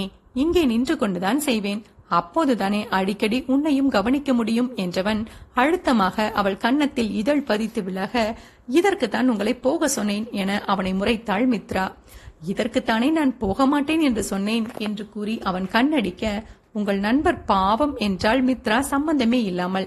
ஏய் நான் அவனுக்கெல்லாம் இதெல்லாம் கொடுக்க மாட்டேன்மா என கிரி அலற அதில் சத்தமாக சிரித்து விட்டவள் கஷ்டம் அப்படி சொல்லல. இந்த லட்சணத்தில் சமைத்தால் சாப்பிட வருபவர் பாவம் இல்லையா? என்றாள் மித்ரா. அதெல்லாம் அவன் அட்ஜஸ்ட் பண்ணிப்பான். தங்கை சமைத்து நன்றாக இல்லை என்று சொல்லும் தைரியம் எல்லாம் அவனுக்கு இருக்காது. என அசால்ட்டாக தீரன் தோலை குலுக்க அவளோ மேலும் சிரித்துக்கொண்டே வேலையை தொடர்ந்தாள். மதியம் போல் அன்பு வந்துவிட இருவரையும் அமர வைத்து உணவை பரிமாறினாள் மித்ரா. நீயும் எங்களுடன் சாப்பிடு மித்ராமா. இதில் என்ன ஃபார்மாலிட்டி என அன்பு கூற ஆமாடா சாப்பிடு வா என அவளுக்கும் எடுத்து வைத்தான் கிரி. ஏன் கிரி? மித்ரா படிப்பை பற்றி என்ன பிளான் வைத்திருக்கிறாய்டா? அவளும் படிக்க வேண்டாமா? சாப்பிட்டு கொண்டே அன்பு கேட்க கண்டிப்பா படிக்கணும் அன்பு. ஆனால் பணம் வேண்டுமே. ஒழுங்காக காலேஜ் சேர்த்து விட வேண்டாமா? இந்த ஒரு வருடம் போகட்டும். நான் ஒழுங்காக எக்ஸாம் எழுதி பாஸ் செய்துவிட்டால் நல்ல வேலை கிடைத்துவிடும். பணப்பிரச்சனை தீர்ந்ததும் நிம்மதியாக படிக்கட்டும். ஒரு வருடம் தானே. இவளுக்கு மட்டும் ஒரு வருடம் எக்ஸ்ட்ரா வெக்கேஷன் அவ்வளவுதான். என்ன சகிமா? என அவன் மனைவியிடம் முடிக்க ஆமாதீரன் என்றாள் அவளும் புன்னகைத்து. இந்த விளக்கம் எல்லாம் அன்பிற்குத்தான். அவளுக்கு கணவன் மனம் ஏற்கனவே தெரியும் என்பதால் அவளை பொறுத்தவரை எதுவுமே புதிதில்லை. சரிதான் கிரி என அன்பு முடித்துவிட இருவரும் உணவு முடிந்ததும் கிளம்பிவிட்டனர். அடுத்த இரண்டு மாதம் பெரிதாக எந்த மாற்றமும் இல்லாமல் அழகாக கடிந்தது. ஒரு நாள் காலை எழுந்த மித்ராவிற்கு லேசாக தலை சுற்றுவது போல இருக்க கணவனை அனுப்பிவிட்டு அமர்ந்தவளுக்கு மெதுவாகத்தான் நாள் கணக்கு நினைவு வந்தது. அதில் மனதில் தோன்றிய பரபரப்புடன் பக்கத்து மெடிக்கல் ஷாப்பிற்கு சென்று கர்ப்பத்தை உறுதி செய்யும் கிட் வாங்கி வந்து சோதித்தவளுக்கு அவர்கள் வாரிசு உருவாகியிருந்தது தெரிந்தது. மனம் முழுவதும் அத்தனை மகிழ்ச்சி. குடும்பத்திற்கே தெரியாமல் வாழ்க்கையை தொடங்கிவிட்டோமே என்று மனதில் உறுத்திக் கொண்டிருந்த உறுத்தல் எல்லாம் அந்த நொடி மறைந்தது போல் உணர்ந்தாள் மித்ரா. அவர்களுக்கென ஒரு உயிர் வரப்போகிறது. அது அனைத்தையும் சரி செய்துவிடும். அவர்கள் சந்தோஷமான வாழ்க்கையின் அடையாளம் அல்லவா உருவாகியிருக்கிறது. இனி வாழ்க்கை முழுமையடைந்து பல மடங்கு மகிழ்ச்சியாக இருக்கப் போகிறது என்ற எண்ணத்துடன் கணவனுக்காக அவள் காத்திருக்க அவன் வந்தபோதோ அவள் மகிழ்ச்சிக்கு சம்பந்தமே இல்லாமல் அவர்கள் வாழ்க்கை தலைகீழாக மாறிப்போனது. அத்தியாயம் பத்தொன்பது. இரவு வெகுநேரம் விழித்துக் கொண்டிருந்ததில் மறுநாள் காலை மித்ரா சற்று தாமதமாகத்தான் கண் விழித்தாள். அதுவும் நாசியில் உணர்ந்த காஃபியின் வாசத்தில்தான் அவள் தூக்கமே கலைந்தது. மெதுவாக அவள் கண் விழித்த போது சரியாக அவளை எழுப்ப அவள் அருகில் குனிந்திருந்தான் கிரி. கண் விழித்ததும் முகத்திற்கு வெகு அருகில் கணவன் முகத்தை பார்த்தவள் ஒரு நொடி எதுவும் நினைவில்லாமல் மெலிதாக புன்னகைக்க அவன் முகத்தில் பெரும் ஆச்சரியம் பரவியது. அது மாறாமல் அவள் நெற்றியில் இதழ் ஒற்றி விலகியவன் கனவிலிருந்து விழித்துக்கொள் சகி நீ நேசித்த தீரன் இல்லை நீ வெறுக்கும் தீரன் தான் மிச்சம் இருக்கிறேன் என ஆழமாக கூற அவன் குரலில் உண்மையாகவே திடுக்கிட்டு எழுந்து அமர்ந்தாள் மித்ரா. எழுந்து அமர்ந்ததும் அவள் பார்வையில் மீண்டிருந்த வெறுமையில் மெலிதாக சிரித்துக் கொண்டவன் நான் கனவாகவே போயிருக்கலாம் போல் என்று கூறிக்கொண்டே காஃபியை எடுத்து அவளிடம் நீட்டினான். குடி சகிமா என அவன் கூற ஃப்ரெஷ் ஆகிட்டு வரேன் என முனகிவிட்டு எழுந்து சென்று விட்டாள் மித்ரா. அவள் மனதின் அலைப்புறுதல் அவள் கூறாமலேயே அவனுக்கு புரிந்தது. இத்தனை வருடங்களுக்கு பிறகு பெரிய பெரிய மாற்றங்கள் நடந்திருக்கிறது. அவள் மனம் ஏதேதோ நினைவில் சிக்கிக் கொள்வது ஒன்றும் அதிசயமில்லையே. ஃப்ரெஷ்ஷாகி வந்தபோது முழுதாக தெளிந்திருந்தாள் மித்ரா. அவன் வைத்திருந்த காஃபியை எடுத்துக்கொண்டவள் கட்டிலை ஒருமுறை பார்த்துவிட்டு தாரா எங்கே? என்று கேட்க அவள் பாட்டியுடன் அமர்ந்து சப்பாத்தி மாவு பிசைந்து கொண்டிருக்கிறாள். இன்று அவள் கையால் போடும் சப்பாத்தி தான் அனைவரும் சாப்பிட வேண்டுமாம் என்றான் கிரி. அவன் பதிலில் மித்ரா சிரித்துக் கொள்ள எல்லோரும் கோவிலுக்கு போகலாம் என்று சொன்னாங்க சகிமா. நான் குளித்துவிட்டு கிளம்புகிறேன். நீயும் கிளம்பு என்றவன் தன் உடையுடன் குளியலறைக்குள் புகுந்து கொண்டான். அவன் சென்றதும் மித்ராவும் அன்னைக்கு உதவ சென்று விட்டாள். சிறிது நேரத்தில் கிரி தயாராகி வந்துவிட அடுத்து மித்ரா குளிக்கச் சென்றாள். குளித்துவிட்டு சீதாவின் பட்டுப்புடவை ஒன்றை கட்டிக்கொண்டவள் தலை துவட்ட வாசலுக்கு செல்ல அவளை தற்செயலாக பார்த்த கிரியும் அவளைத் தொடர்ந்து வாசலுக்கு வந்தான். ரொம்ப அழகா இருக்கிற சகிமா என மெதுவாக கிரி கூற தலைத்து துவட்டிக் கொண்டே அவனை பார்த்தவள் இந்த அழகு இல்லை என்றால் இத்தனை பிளாக்மெயில் எல்லாம் செய்து என்னை மீண்டும் உடன் அழைத்திருக்க மாட்டீர்களோ என்றாள் நக்கலாக. அவள் வார்த்தைகள் கொடுத்த வழியை எப்போதும் போல் தன் புன்னகையில் மறைத்துக் கொண்டவன் அழகுதான் வேண்டும் என்றால் உன்னை விட அழகான பெண் இத்தனை வருடத்தில் எனக்கு கிடைத்திருக்க மாட்டாளா சகிமா? மனசாட்சியை தொட்டு சொல்லு பார்ப்போம். உன் அழகிற்குத்தான் நான் உன்னை விரும்பினேனா? அவளை அழுத்தமாக பார்த்து கொண்டே கிரி கேட்க அவன் கண்களை பார்க்காமல் தவிர்த்தவள் யாருக்கு தெரியும்? என முணுமுணுத்து வைத்தாள். அவள் முகத்தை அழுத்தமாக பிடித்து தன் கண்களை பார்க்க வைத்த கிரி என் முகத்தை பார்த்து பேசுமா? சொல்லு. இந்த கண்களில் உன்மேலான காதலும் குற்ற உணர்வின் தவிப்பும் உனக்கு தெரியவே இல்லையா? அவளை குனிய விடாமல் அவன் அழுத்தமாக பிடித்திருக்க அவன் முகத்தில் தெரிந்த கலவையான உணர்வை காண முடியாமல் தவித்து அவள் கண்கள் கலங்கிவிட்டது. மனைவியின் முகத்தில் கலக்கத்தை பார்த்ததும் தான் தன் செயலை உணர்ந்தவன் போல சட்டென அவளை விட்டுவிட்டான் கிரி. சாரிடா என மெதுவாக கூறியவன் ஆனாலும் நீ ரொம்ப அழகாகத்தான் இருக்கிறாய் சகிமா. அதில் மாற்று கருத்தில்லை என்றவன் சுற்றிலும் பார்த்து கொண்டு அவள் கன்னத்தில் அழுத்தமாக இதழ் ஒற்றிவிட்டே சென்றான். அவன் செயலில் இத்தனை நேரம் மனதில் ஏறியிருந்த பாரம் மறைந்து செல்லும் கணவனை முறைத்து கொண்டவளுக்கு மனதில் முன்பு போலவே கோபம் இருந்ததா என்று கேட்டால் அது கேள்விக்குறியாகத்தான் நின்றது. சிறிது நேரத்தில் தமிழரசன் குடும்பம் மொத்தமும் அங்கே வந்துவிட அனைவரும் சேர்ந்து கோவிலுக்கு கிளம்பினர். பக்கத்தில் இருந்த கோவில்தான் என்பதால் நடந்தே வந்தனர். பெண்கள் ஒரு பக்கம் பொறுமையாக வர ஆண்கள் அனைவரும் முன்னால் நடந்தனர். தாராவை கிரிதான் கைகளில் தூக்கிக் கொண்டிருந்தான். தந்தை கையில் இருக்கும் சுகத்திற்கு அவளும் அவனை விட்டு இறங்காமல் இருந்ததால் மித்ராவும் விட்டுவிட்டாள். அவர்கள் நல்ல நேரமோ கெட்ட நேரமோ அனைவரும் வந்து சேர்ந்த கோவில் மித்ராவும் கிரியும் எப்போதும் சந்திக்கும் கோவில்தான். அனைவரும் வரிசையாக கோவிலுக்குள் சென்றுவிட கிரி மட்டும் கோவில் வாசலிலேயே நின்று விட்டான் மனைவி வந்ததும் அவள் கையை பிடித்து அவளை தன்னுடன் அழைத்துக் கொண்டவன் என்னுடன் வாசகி என அவள் கைகளை விடாமல் அழைத்துச் சென்றான்.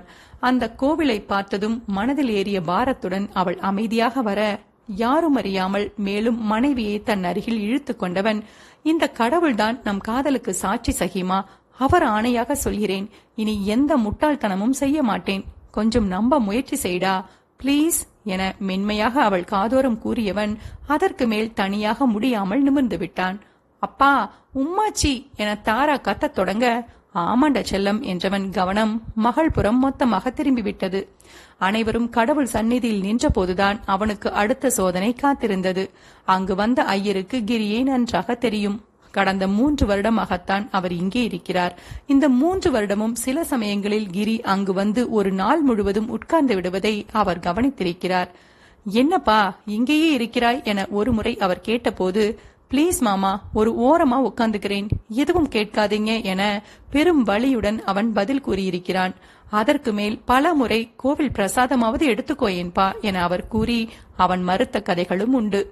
இன்று அவரை பார்த்ததும் ஒரு நொடி கிரி உள்ளுக்குள் திடுக்கிட்டு விட அனைவருக்கும் தீபாராதனை தட்டை காண்பித்துக் கொண்டே வந்த அவரும் கிரியை இத்தனை பெரிய குடும்பத்துடன் பார்த்ததும் திகைத்து நின்று விட்டார்.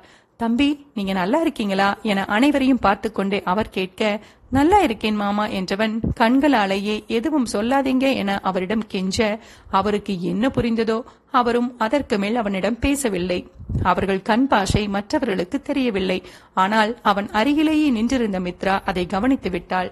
இவனுக்கு இவருடன் என்ன நட்பு இருக்கப் போகிறது என அவள் யோசித்துக் கொண்டிருக்க அதற்குள் அவர் அனைவர் ராசி நட்சத்திரமும் கேட்டுக்கொண்டு உள்ளே சென்று விட்டார். அர்ச்சனை முடிந்ததும் அனைவரும் பிரசாதம் கொடுக்கும் இடத்திற்கு சென்றனர். தமிழரசனும் ராஜேந்திரனும் சேர்ந்துதான் அவர்கள் குடும்பம் சார்பாக பிரசாதம் கொடுக்க ஏற்பாடு செய்திருந்தனர். துர்கா சீதா ராகவி மித்ரா அனைவரும் பிரசாதம் கொடுக்க நின்று கொள்ள செந்திலும் கிரியும் அவர்களுக்கு உதவினர். ஒருவாறு அனைவருக்கும் பிரசாதம் கொடுத்து முடித்ததும் ஆளுக்கு ஒரு பக்கம் கோவில் மண்டபத்திலேயே அமர்ந்து ஓய்வெடுக்க மித்ரா மட்டும் யார் கண்ணிலும் படாமல் தனியாக நகர்ந்து விட்டாள். அவளால் மற்றவர்கள் கண்ணிலிருந்து தப்பிவிட முடியும். ஆனால் அவள் கணவன் கண்களிலிருந்து தப்ப முடியாதே. அவள் சென்ற சில நிமிடங்களிலேயே அவளை தேடி அவனும் வந்துவிட்டான். அந்த கோவிலின் பின்னால் இருக்கும் குளக்கரையில்தான் மித்ரா அமர்ந்திருந்தாள். குளத்தையே வெறித்துக் கொண்டு அவள் அமர்ந்திருக்க அவள் அருகில் சென்று அமைதியாக அமர்ந்தான் கிரி. என்ன தீவிர யோசனை என்ற அவன் குரலில் அவன் புறம் திரும்பியவள் பேசாமல் இதிலேயே குதித்திருக்கலாம் என்று யோசித்துக் கொண்டிருந்தேன் என்றாள் மித்ரா வெடுக்கன. அவளிடம் இப்படி ஒரு பதிலை எதிர்பார்க்கவில்லை போல் கிரியின் முகமும் நொடியில் கருத்து விட்டது. ஒரு பக்கம் கட்டுப்படுத்த முடியாத கோபமும் மற்றொரு பக்கம் தாங்க முடியாத வேதனையும் ஒரே நேரத்தில் அவன் மனதை பதம் பார்க்க முகத்தில் அரை வாங்கியது போல் தன்னை பார்த்து கொண்டிருந்த கணவனை பார்த்து அவளுக்கும் என்னவோ போல் ஆகிவிட்டது. சரியாக அதே நேரம் அப்பா என்ற அவர்கள் மகளின் குரல்தான் அவர்களை மீட்டெடுத்தது. உங்களை பார்த்துவிட்டு இங்கே ஓடி வந்துட்டான் அண்ணா என துர்கா கூற இருக்கட்டும்டா நான் பார்த்துக்கிறேன் என்றவன் வாடா என மகளை பிடித்து மடியில் அமர வைத்துக் கொண்டான். அவன் மடியில் அமர்ந்த நொடியே அதிலிருந்து துள்ளி இறங்கிவிட்டவள் இருவருக்கும் இடையில் அமர்ந்து அங்கிருந்த சிறு சிறு கல்லை பொறுக்கி விளையாடத் தொடங்கிவிட்டாள். குழந்தை செயலில் மென்மையாக புன்னகைத்து அவள் தலையில் இதழ் ஒற்றி நிமிர்ந்தவன் மனைவியைத்தான் பார்த்தான். மித்ராவும் அவனைத்தான் பார்த்து கொண்டிருந்தாள். நீ என்னை சந்தித்திருக்கவே கூடாது சகிமா.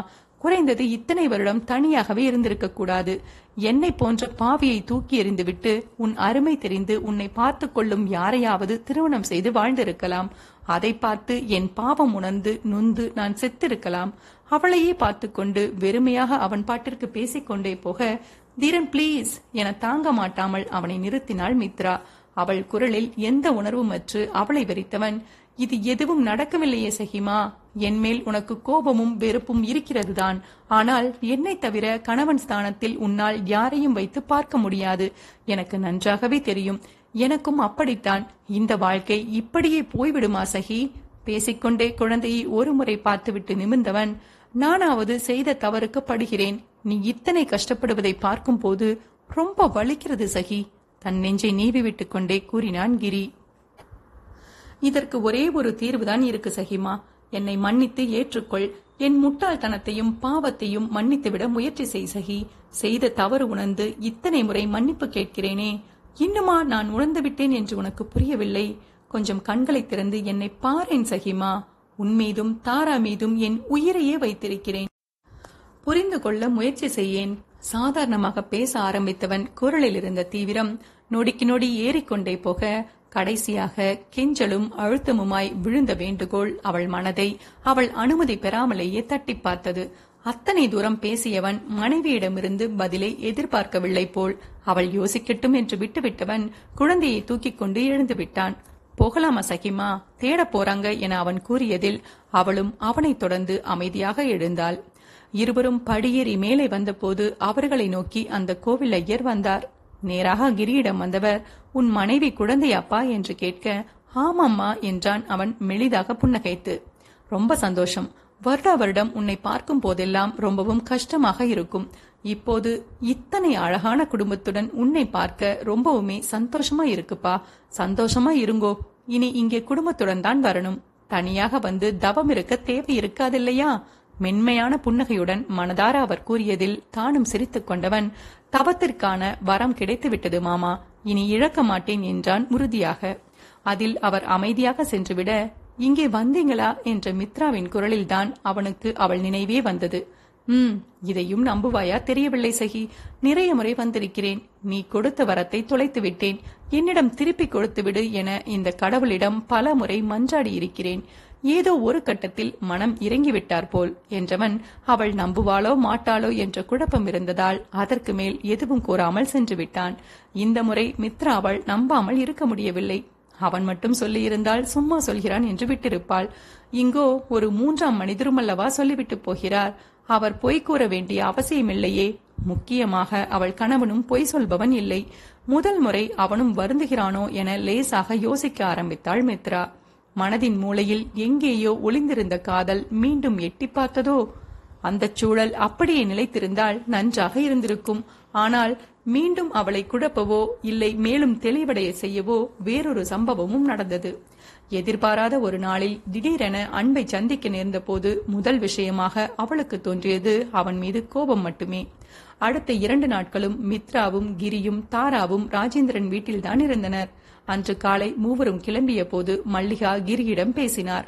இன்னும் கொஞ்ச நாள் இருக்கலாமே மாப்பிள்ளை என அவர் மெதுவாக கேட்க இல்லை அத்த ஆபீஸ் இருக்கிறது அதை பார்க்கணுமே என்றான் கிரி மென்மையாக. மித்ரா தாரா குட்டியவாவது விட்டுட்டு போறீங்களா மாப்பிள்ளை? கொஞ்ச நாள் எங்களுடன் இருக்கட்டும் ஆசையாக கேட்டவர் மனம் அவனுக்கு புரியத்தான் செய்தது. சும்மா என்றால் விட்டு விடலாம் தான் ஆனால் இப்போது மித்ரா இருக்கும் மனநிலைக்கு அவளை தனியாக விட்டால் எங்கே தன்னை விட்டு ஒரே அடியாக ஒதுங்கி விடுவாளோ என அவனுக்கு பயமாக இருந்தது. அதை கூற முடியாது என்பதால் வேறு காரணம் கூறினான். தாரா குட்டிக்கு அட்மிஷன் ஓபன் ஆகும் நேரமத்தை துர்கா ஸ்கூலில் மாற்றப் போகிறேன்.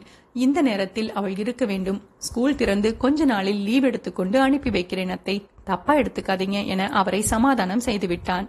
அவன் கூறியது பாதி உண்மைதான் என்பதால் மித்ராவும் ஒன்றும் மறுக்க முடியவில்லை. தன் குடும்பத்திடமிருந்து விடைபெறும்போது மீண்டும் அனைவரிடமும் மனதார மன்னிப்பு கேட்டுவிட்டு தந்தையிடம் அதிகப்படியான மன்னிப்பை வேண்டிவிட்டே மித்ரா கிளம்பினாள். ஒன்றும் கவலைப்படாதே மித்ராமா. நீ சந்தோஷமாக இருந்தால் அதுவே எங்களுக்கு போதும் என்று கூறி அவளை ஆசிர்வதித்து அனுப்பினார் ராஜேந்திரன்.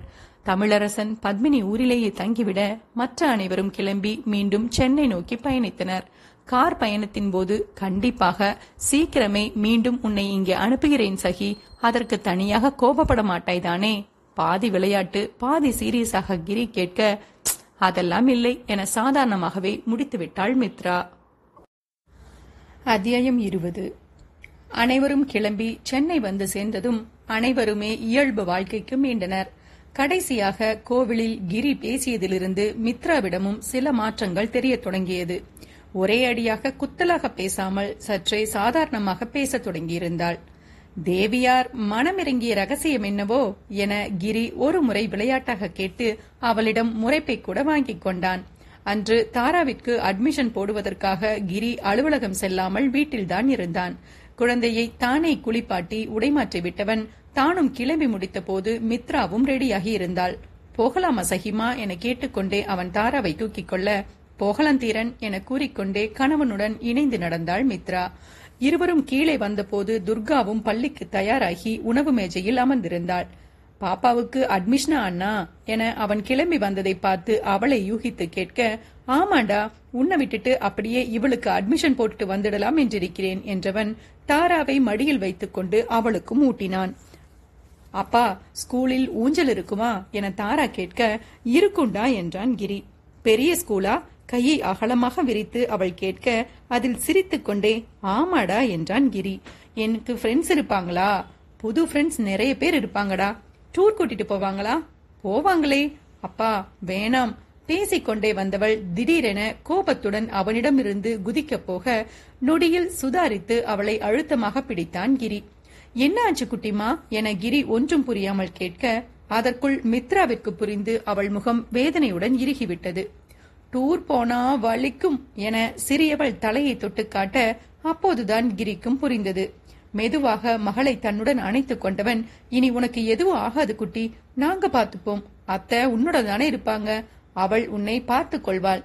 ஜாலியா போங்க சரியா? மெதுவாக அவன் அவளை சமாதானப்படுத்த அத்தை இருப்பாங்களா? அப்போ சரி என உடனடியாக சமாதானமாகிவிட்டாள் தாரா. குழந்தை நொடியில் மனம் மாறிவிட மித்ராதான் உடனடியாக அந்த நிகழ்வின் வேதனையிலிருந்து வெளியே வர முடியாமல் அப்படியே அமர்ந்திருந்தாள். மகள் சமாதானமானதும் மனைவி புறம் திரும்பிய கிரி அவள் கைகளை அழுத்தமாக பிடித்து அவள் கவனத்தை தன் புறம் திருப்பினான். சாப்பிடு சகிமா என அவன் சற்று சத்தமாக கூற அதில் சுய நினைவுக்கு மீண்டவள் வேறு வழியில்லாமல் தட்டில் இருந்ததை காலி செய்தாள். காரில் வரும்போதும் மித்ரா அமைதியாகவே வர சகிமா போதும் முடிந்ததையே யோசித்துக் கொண்டிருக்காதேடா என்றான் கிரி மென்மையாக.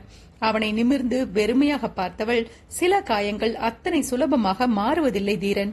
அழுத்தமான தழும்பாய் பதிந்து போகிறதே என இரு பொருள்பட கூற அவள் கூற வருவது கிரிக்கும் புரிந்தது.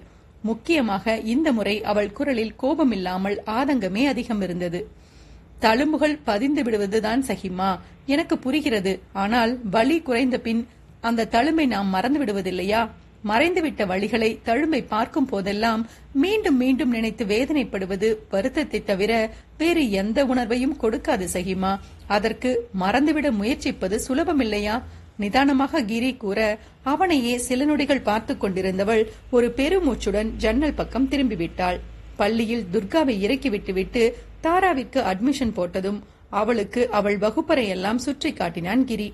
இப்பவே படிக்க போலாமாப்பா என அவன் காண்பித்த கிளாஸை எட்டி பார்த்து கொண்டே தாரா கேட்க மகளை தூக்கிக் கொண்டு அங்கிருந்து நகர்ந்தவன். இன்னைக்கே இல்லடா இன்னும் ஒரு மாதத்தில் நீயும் யூனிஃபார்ம் எல்லாம் போட்டுக்கொண்டு வரலாம். சரியா? என்றான் கிரி.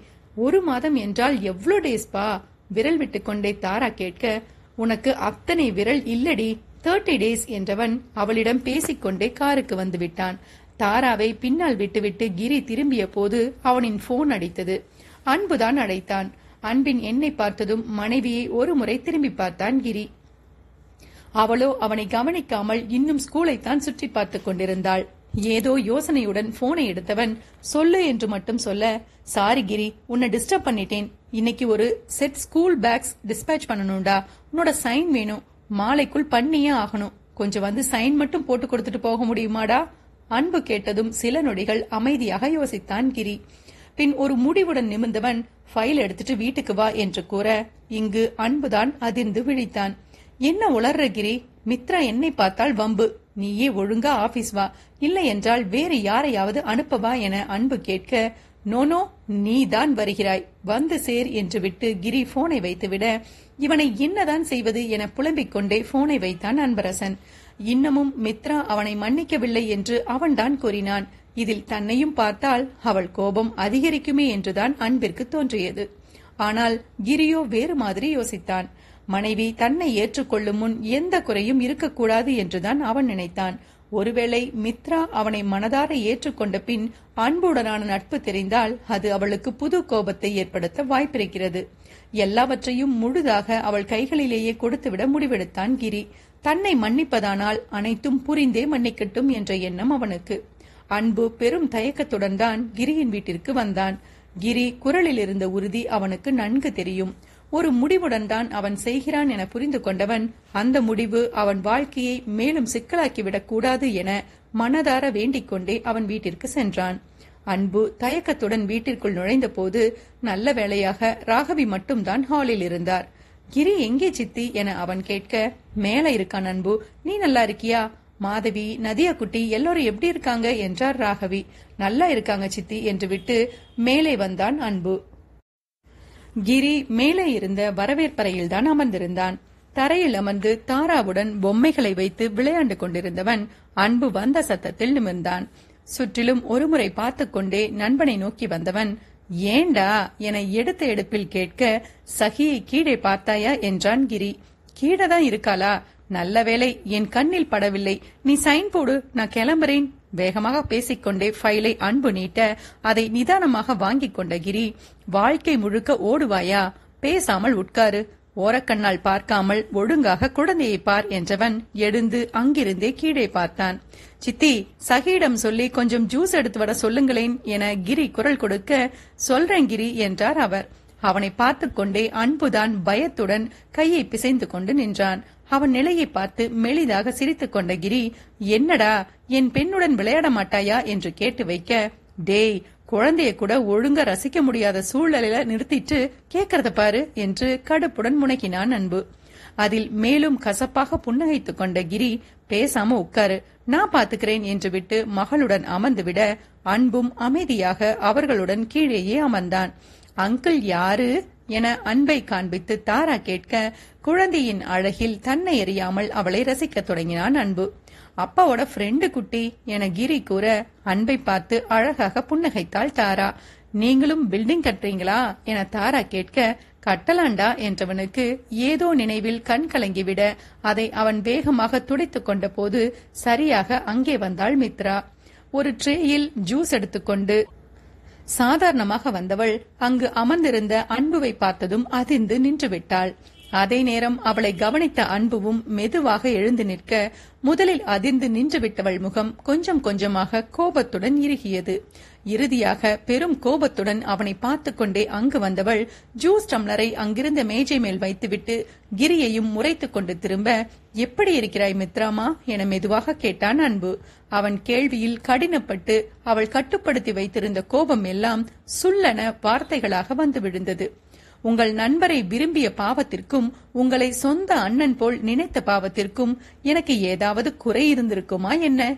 திவ்யமாக இருக்கிறேன். எரிச்சலுடன் கூறியவள் கண்கள் அன்பை தாண்டி கிரி மீதுதான் படிந்திருந்தது. ஏனோ அந்த நொடி அவளுக்கு அதிகமாக கோபம் வந்தது. ஒருவித ஏமாற்றமாக கூட இருக்கலாம்.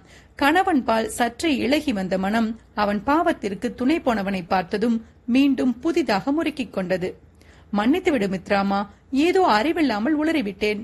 தவறுதாண்டா தயவு செய்து மன்னித்து விடு. அவள் போய்விடப் போகிறாள் என அவசரமாக மன்னிப்பு கேட்டான் அன்பு.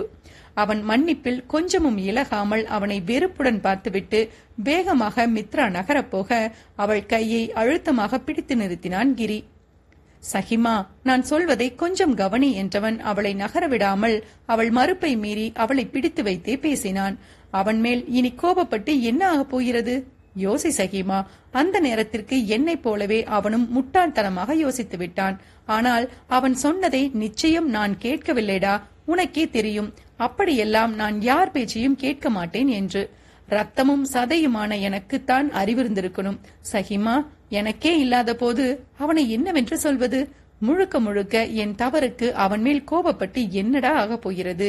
என் பாவத்திற்கு ஒத்துப்போய் விட்டோமே என நினைத்து நினைத்து இன்று வரை நொந்து கொண்டிருக்கிறான் சஹிமா அவனாவது நிம்மதியாக இருக்கட்டும். கொஞ்சம் புரிந்து கொள். அவள் அருகில் வந்து நிதானமாக கிரி எடுத்துச் சொல்ல மித்ராவின் முகமும் யோசனையுடன் சுருங்கியது. கணவன் சொல்வதில் இருந்த நியாயம் அவளுக்கு புரியத்தான் செய்தது. இவனுக்கே அறிவில்லாத போது அன்பு வெளியால் தானே அவன் மேல் கோபத்தை பிடித்து வைத்துக் கொண்டு என்ன செய்வது? சொந்த இடத்தில் அவனை வைத்து பார்த்து விட்டதாலேயே அவன் மேல் அவளுக்கு அத்தனை கோபம் வந்திருந்தது. இப்போது கணவனிடமே ஆட்டம் கண்டுவிட்டது. இதில் அண்ணனிடத்திற்கு ஒரு போராட்டம் தேவையா என்றுதான் அவளுக்கும் தோன்றியது. அவள் சரியாகத்தான் யோசிக்கிறாள் என அவள் முகத்திலிருந்தே கிரியும் கண்டு கொண்டான் அவனுக்கு திருமணமாகி இரண்டு வயதில் குழந்தை இருக்கிறது சஹிமா ஆனால் அவன் முழுதாக மகிழ்ச்சியாகவே இல்லைடா. எனக்கு நல்லாவே தெரியும். போதும் சஹிமா அவனையாவது மன்னித்து விடு அவன் நிம்மதியாக இருக்கட்டும். நம் பிரச்சனையில் சம்பந்தமே இல்லாமல் அவன் தவிக்க வேண்டாண்டா. என் தவறுக்கு முழு பொறுப்பு நான் தானே இந்த முறை அன்பிற்கு கேட்காதது போல் மனைவியின் காதருகில் குனிந்துதான் கிரி பேசினான். அவனுக்கு குழந்தை இருக்கிறது என்று தெரிந்ததுமே மித்ரா மனம் சற்றே இழகிவிட்டது கணவனை மன்னிக்க தயாராக இல்லாத காதல் மனது அன்புவை மன்னிக்க தயாராகத்தான் இருந்தது. கடைசியாக கிரி என்ன கூறினான் என்று அன்பிற்கு கேட்கவில்லை. அவன் கேட்கவும் முயற்சிக்கவில்லை. அமைதியாக தலை குனிந்து நின்றிருந்தான். வீட்டில் எல்லோரும் எப்படி இருக்காங்க என மெதுவாக மித்ரா கேட்க அவள் குரலில் அதிர்ந்து நிமிர்ந்தான் அன்பரசன். இத்தனை சீக்கிரம் அவள் பேசுவாள் என அவன் சுத்தமாக எதிர்பார்க்கவில்லையே. ஒருவாறு தன் குடும்பம் பற்றியும் கிரி கூறியிருக்கிறான் என்று புரிய எதுவும் பதில் சொல்ல தோன்றாமல் விழித்தான் அன்பு.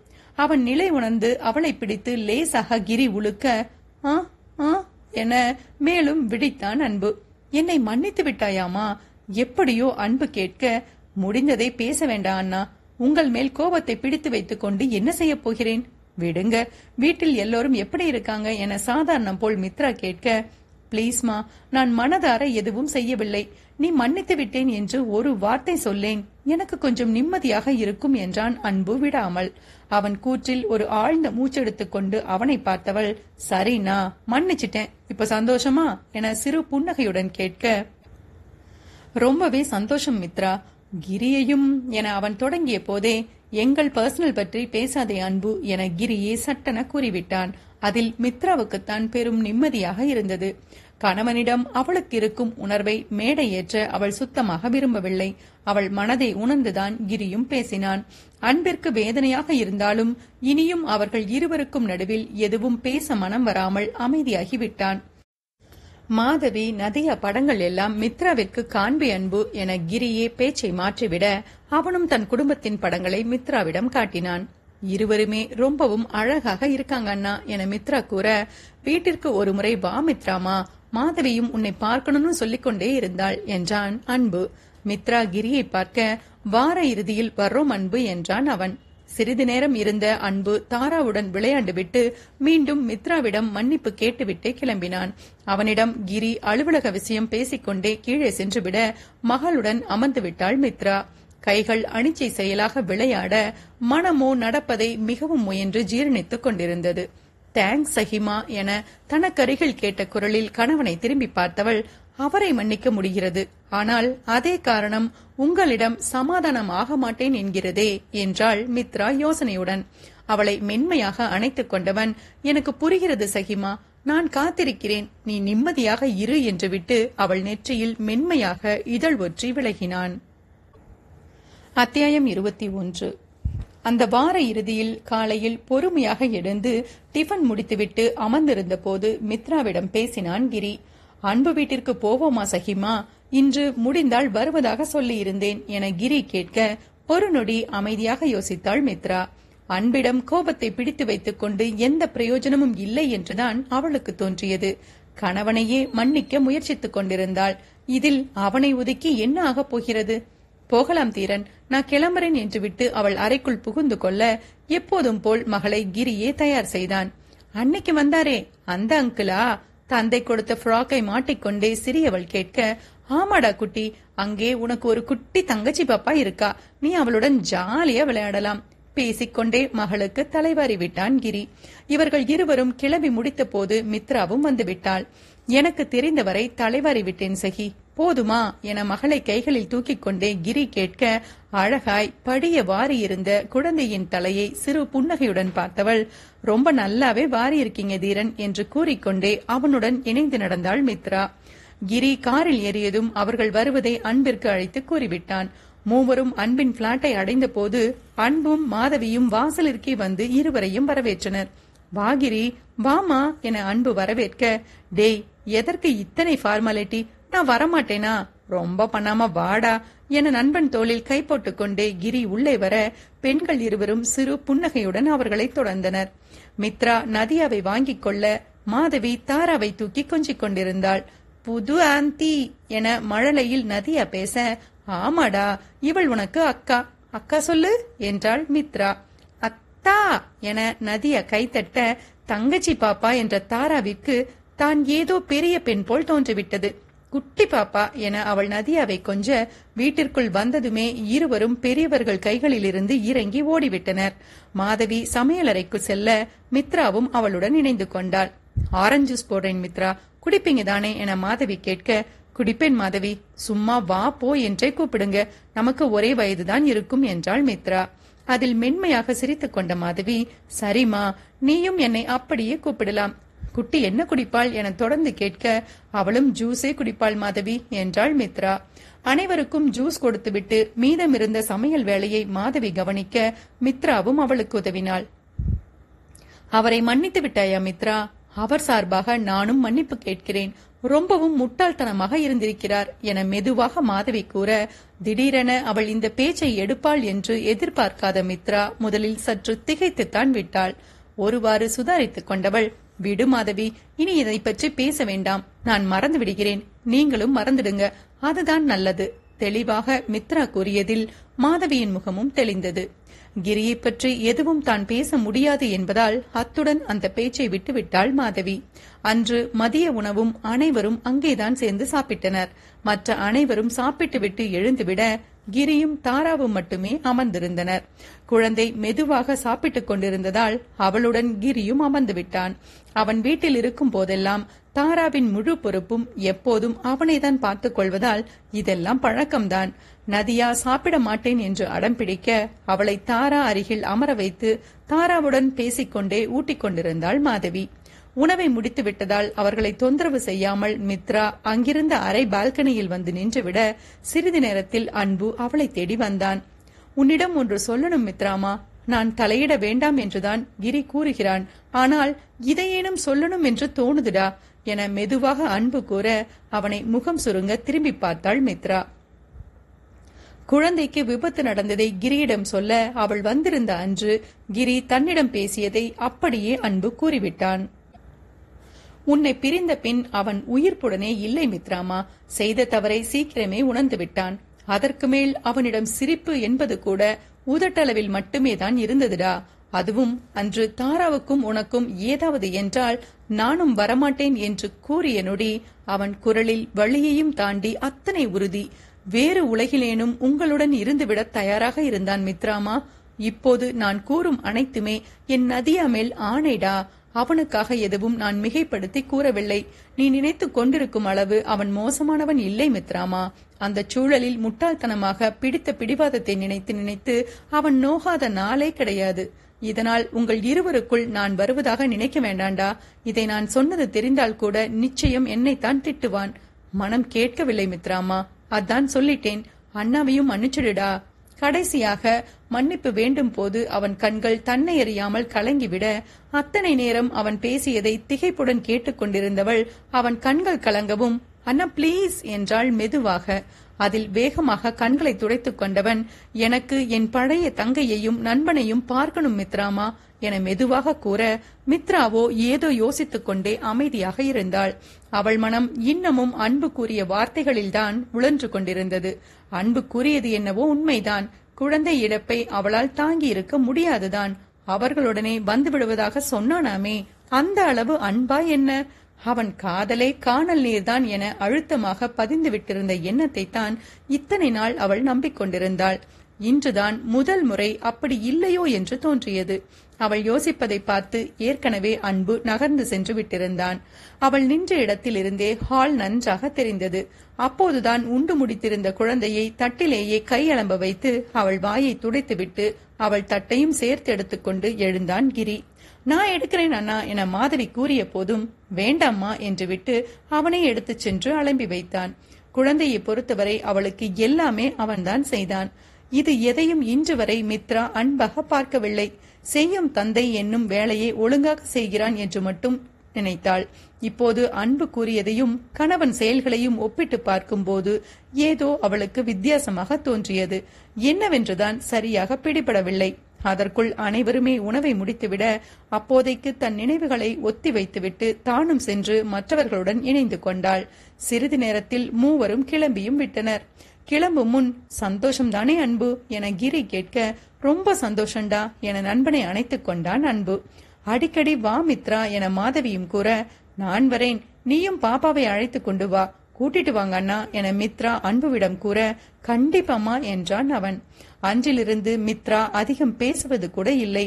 கணவனின் செயல்களைத்தான் அதிகம் ஆராய்ந்து கொண்டே இருந்தாள்.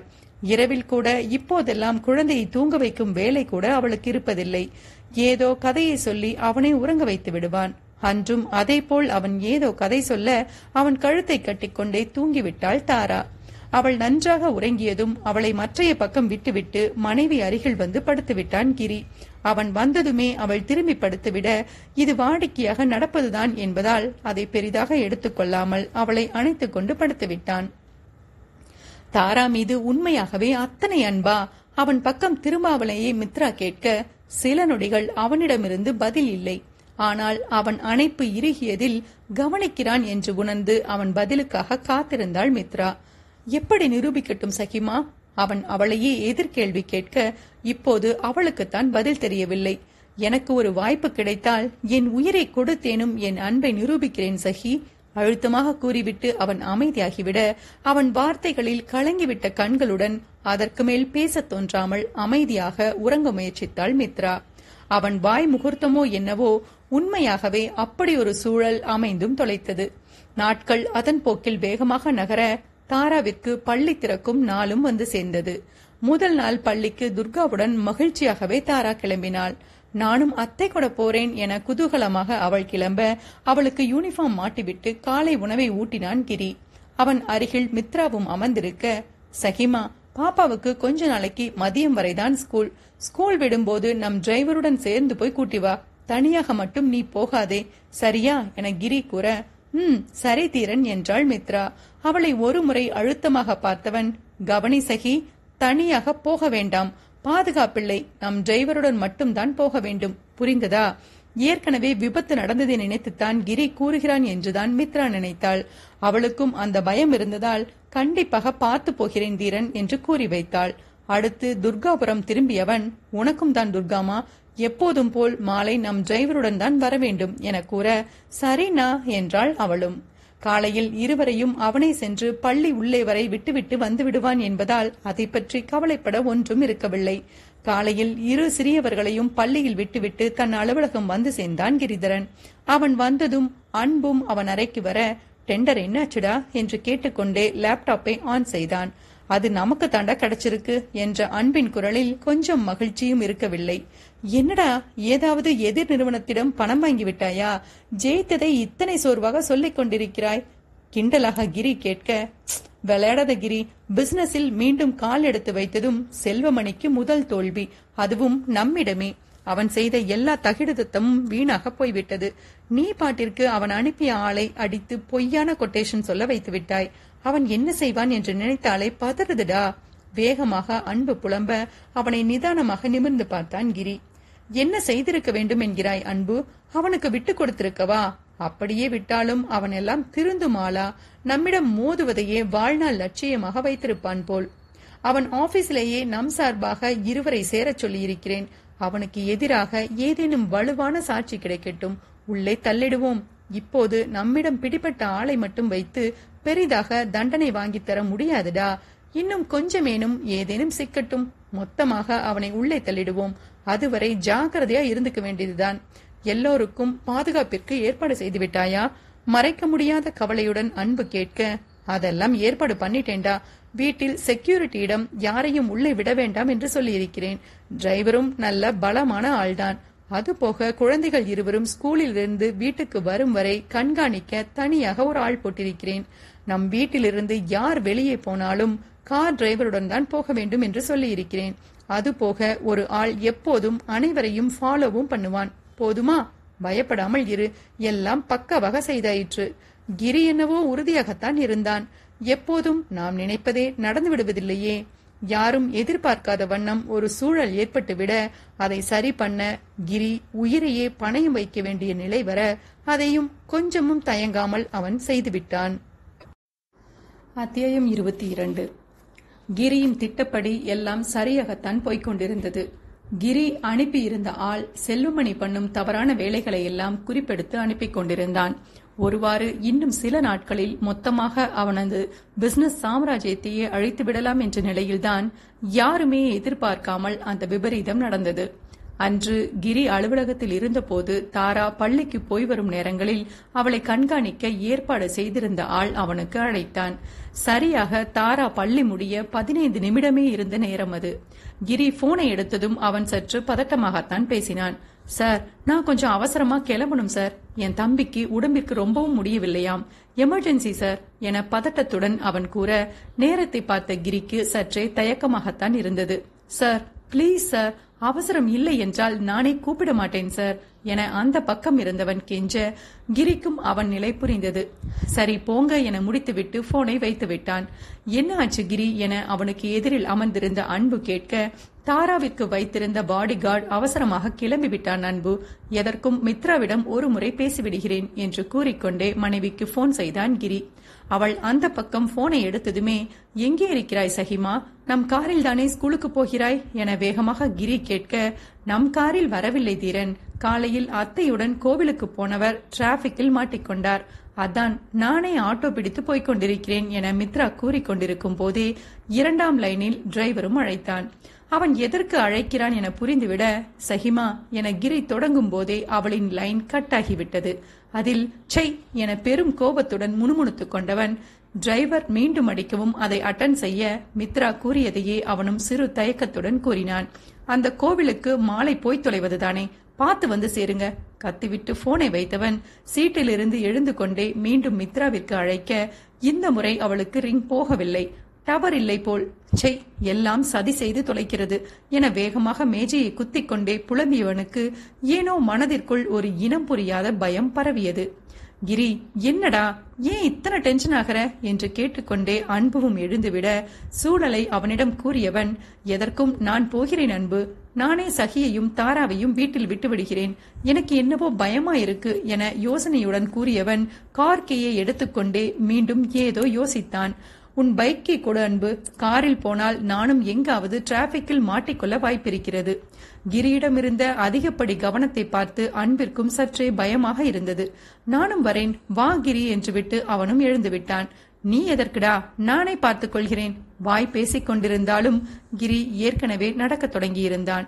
அவனுடன் இணைந்து நடந்த அன்பு இல்ல கிரி நீ ரொம்ப டென்ஷனா இருக்க. நானும் கூட வரேன் என்றவன் அவன் பேச்சை கேட்காமல் அவனுடனேயே வந்தான். கிரி சாவியை வாங்கி அன்பின் பைக்கை எடுக்க அன்பு பின்னால் ஏறிக்கொண்டான். பள்ளி விடும் நேரம் வேறு நெருங்கிக் கொண்டே இருந்ததால் கிரி சற்று வேகமாகத்தான் வண்டியை ஓட்டினான். அவன் மனம் உணர்த்திய அதிகப்படி பயம் பொய்த்து போகவில்லை என சிறிது நேரத்தில் அவன் கண்கூடாக காண நேர்ந்தது. ஒருவாறு டிராபிக்கில் சிக்காமல் தன்னால் முடிந்தவரை வேகமாக கிரி வந்து சேர்ந்திருந்தான். ஆனால் அடித்து பிடித்துக் கொண்டு வந்தே அவனால் சரியான நேரத்திற்கு வர முடியாமல் தான் போனது. ஸ்கூல் வாசலில் வண்டியை நிறுத்தியவன் தாரா போயிட்டாளா? என அங்கிருந்த காவலாளியிடம் கேட்க இப்போதான் போனாங்கப்பா. பாப்பா அம்மா தான் ஆட்டோல கூட்டிட்டு போனாங்க என்றார் அவர். அவர் கூறி முடித்ததும் பின்னால் திரும்பியவன் நமக்கு எதிரில் எந்த ஆட்டோவும் வரவில்லை தானே அன்பு? என வேகமாக கேட்க இல்லையே கிரி நிச்சயம் மித்ரா நம்மை கடந்து போகவில்லை என்றான் அன்பு உறுதியும் குழப்பமுமாக. இது ஒன்றுதானே வழி? என கேட்டுக்கொண்டே அவன் பதிலை எதிர்பார்க்காமல் வண்டியை கிளப்பிவிட்டான் கிரி. சுத்தமாக பாதுகாப்பில்லாமல் அவன் குடும்பம் வெளியே சுற்றிக் கொண்டிருக்கிறது. அந்த எண்ணமே ஒவ்வொரு நொடியும் அவன் இதய துடிப்பை படு வேகமாக அதிகரித்துக் கொண்டிருந்தது. எங்கே போகிறாய் கிரி? இப்போதான் போனதாக சொன்னாரே அன்பு. கொஞ்ச தூரம் போய் பார்ப்போம் என்றவன் இந்த முறை சுற்றிலும் ஆராய்ந்து கொண்டு வண்டியை சற்று மெதுவாகத்தான் ஓட்டினான்.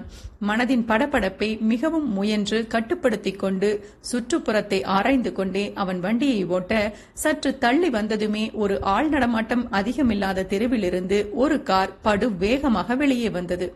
அதை யோசனையுடன் கிரி கவனித்த போதே அதே தெருவிலிருந்து மித்ராவும் வேகமாக வெளியே ஓடி வர அவள் அருகில் சென்று முழு வேகத்துடன் வண்டியை நிறுத்தினான் கிரி. என்னாச்சு சகி? என வண்டியிலிருந்து இறங்காமல் வேகமாக கேட்டவன் கண்களும் அவளைத்தான் தலை முதல் கால் வரை அளந்து கொண்டிருந்தது. கைமுட்டியில் ரத்தம் வழிய ஒழுங்காக நிற்கவும் முடியாமல் தடுமாறியவள் எனக்கு ஒன்றுமில்லை தீரன். தாரா தாராவை அந்த காரில் யாரோ ஐயோ சீக்கிரம் போங்க அந்த வெள்ளை கார் என வேகமாக அவள் கூற ஏற்கனவே அந்த காரின் மீது கண் வைத்திருந்த கிரி அதை உடனடியாக கண்டு கொண்டான். கவனி சகி தாரா உன்னிடம் வந்து விடுவாள். அதற்கு நான் பொறுப்பு. ஸ்கூலுக்கு போ இங்கே நிற்கக்கூடாது என படு வேகமாக கூறியவன் அடுத்த நொடி பைக்கை எடுத்துக்கொண்டு அந்த காரை குறிவைத்து பறந்து விட்டான். அந்த கார் தன் பார்வை வட்டத்தை தாண்டாமல் பார்த்து கொண்டவன் வெகு வேகமாக அதை தொடர்ந்து கொண்டிருந்தான். ஒரு இடத்தில் சிக்னலில் கார் முன்னால் மாட்டிக்கொள்ள இவர்கள் பைக் மிகவும் பின்னால் மாட்டிக்கொண்டது. வேறு வழி இல்லாமல் கிரி வண்டியை நிறுத்த இறங்கி போய் பிடித்து விடுவோமா கிரி? என்றான் அன்பு. கிரியோ பதில் சொல்லாமல் வேறு ஏதோ யோசித்தான். முப்பது வினாடிதான் இருந்தது. இவர்கள் அத்தனை வண்டியை கடந்து ஓடி போனாலும் சிக்னல் விழுந்துவிட நிறைய வாய்ப்பிருக்கிறது. கார் கண் பார்வையிலிருந்து மறைந்து விட்டால் அவ்வளவுதான். பெரும் கஷ்டமாகிவிடும். அதே நேரம் கடத்தியவர்கள் அவர்களிடத்திற்கு போவதற்குள் இந்த காரிலேயே அவர்களை மடக்கி பிடிப்பதுதான் நல்லது. எந்த வகையிலும் குழந்தை பெரும் இக்கட்டில் மாட்டிவிடக்கூடாது. நொடி பொழுதில் அனைத்தையும் யோசித்தவன் அடுத்த நொடி காரை நிறுத்தும் வழியையும் யோசித்து விட்டான் இங்கிருந்து போக முடியாது அன்பு என்று மட்டும் கூறியவன் வண்டியை வேகமாக திருப்பி வேறு ஏதோ வழியில் முழு வேகத்துடன் செல்ல அன்பிற்கு அவன் எங்கு செல்கிறான் என சரியாக புரியவில்லை. முழு வேகத்துடன் சில குறுக்கு தெருக்களை கடந்து வந்தவன் மீண்டும் மெயின் ரோட்டிற்கே வந்துவிட்டான். ரோட்டின் ஒரு ஓரத்தில் வண்டியை பிரேக் போட்டு நிறுத்திவிட்டு வேகமாக இறங்கியவன் கவனி அன்பு காரை நிறுத்த வேண்டியது என்னோட பொறுப்பு. கார் நின்ற அடுத்த நொடி எப்படியேனும் குழந்தையை அவர்களிடமிருந்து பறித்து சகியிடம் ஒப்படைத்துவிடு. நல்ல கவனி குழந்தை சகி கையில் சேரும் வரை நான் சிர்த்தே போனாலும் என்னை பற்றிய நினைவு உனக்கு வரக்கூடாது. செய்த தவறுக்கு ஏதாவது பிராயச்சித்தம் செய்ய வேண்டும் என்பாயே இதை ஒழுங்காகச் செய். மூச்சு கூட விட முடியாமல் வேகமாக பேசியவன் அன்பை பார்க்க கூட விடவில்லை. அவன் கண்கள் ரோட்டில்தான் நிலைத்திருந்தது. குறுக்கு வழியில் வந்திருந்தவன் அந்த கார் வரக்கூடிய இடத்திற்கு முன்பே வந்து சேர்ந்திருந்தான். அவன் பேசி முடித்த நொடி அவன் பேசியதன் சாராம்சத்தை சரியாக கணிக்க முடியாமல் கிரி என அன்பு அழைத்துக் கொண்டிருந்த போதே திடீரென நடு ரோட்டிற்கு கிரி சென்று விட்டான். அதை பார்த்ததும் உச்சகட்ட பதட்டத்துடன் டேய் என அன்பு கத்தவும் குழந்தையை கடத்தி கொண்டு வந்திருந்த கார் கிரி மேல் முழு வேகத்துடன் மோதி வேறு வழி இல்லாமல் நிற்கவும் சரியாக இருந்தது. ஒரு பக்கம் கார் மோதிய வேகத்தில் கிரி பறந்து சென்று உடல் ரோட்டில் முழுவதும் முரசி ரத்த வெள்ளத்தில் விழுந்துவிட ஐயோ கிரி! என அன்பு கத்தும் போதே அங்கு கூட்டமும் கூடியது. ஒரு பக்கம் காரை எடுக்கக்கூட முடியாமல் போய்விட கிரியிடம் ஓட நினைத்த அன்பின் கண்கள் அப்போதுதான் காரிலிருந்து வேகமாக இறங்கியவர்கள் மீது விழுந்தது. அவர்கள் கையில் தாரா இன்னமும் கத்தி அழுது கொண்டிருக்க குழந்தையின் அழுகுரலில் அவள் புறம் திரும்பியவனுக்கு இப்போதுதான் நண்பனின் வார்த்தைகளுக்கான அர்த்தமே புரிந்தது. நொடியில் அவன் கூற வந்தது புரிந்துவிட பாவி என வெளிப்படையாக நண்பனை திட்டிக் கொண்டவனுக்கு அவன் வார்த்தையை மீறும் தைரியம் இருக்கவில்லை. வேகமாக குழந்தையை வைத்துக் கொண்டிருந்தவனிடம் சென்றவன் கூட்டத்தை பதட்டத்துடன் வெறித்துக் கொண்டிருந்தவனை ஓங்கி உதைத்து நொடியில் குழந்தையை பறித்து விட்டான் அவன் செயலில் அங்கிருந்த மற்ற இரண்டு கடத்தல்காரர்களும் அவன் புறம் கோபத்துடன் திரும்ப அதே நேரம் டேய் பார்த்து காரை ஓட்ட மாட்டியா? யாரடா நீங்கெல்லாம்? என பொதுமக்களில் யாரோ ஒருவர் கத்தினார். அவர்களுக்கு பதில் சொல்ல வேண்டிய கட்டாயத்தில் மற்றவர்கள் மாட்டிக்கொள்ள உடல் முழுவதும் ரத்தத்துடன் விழுந்து கிடந்த நண்பனை பார்த்து உயிர் வரை பதறியதை தாங்க முடியாமல் கலங்கிய கண்களை துடைக்க கூட தோன்றாமல் அங்கிருந்து வேகமாக நகர்ந்தான் அன்பு. யாரோ ஆம்புலன்ஸிற்கு அழைத்துக் கொண்டிருந்துதான் அவனுக்கு இருந்த ஒரே ஆறுதலாக இருந்தது. வண்டியில் குழந்தையை அமர வைத்துக் கொண்டவன் அடுத்த நொடி அங்கிருந்து வேகமாக கிளம்பிவிட்டான். நேராக அவன் ஸ்கூலை நோக்கி வண்டியை ஓட்ட மாமா பயமா இருக்கு என மேலும் அழுதாள் தாரா. பயப்படாதடா குட்டி இதோ அம்மாட்ட போயிடலாண்டா என அவளை சமாதானம் செய்தவன் வண்டியின் வேகத்தை குறைக்கவில்லை.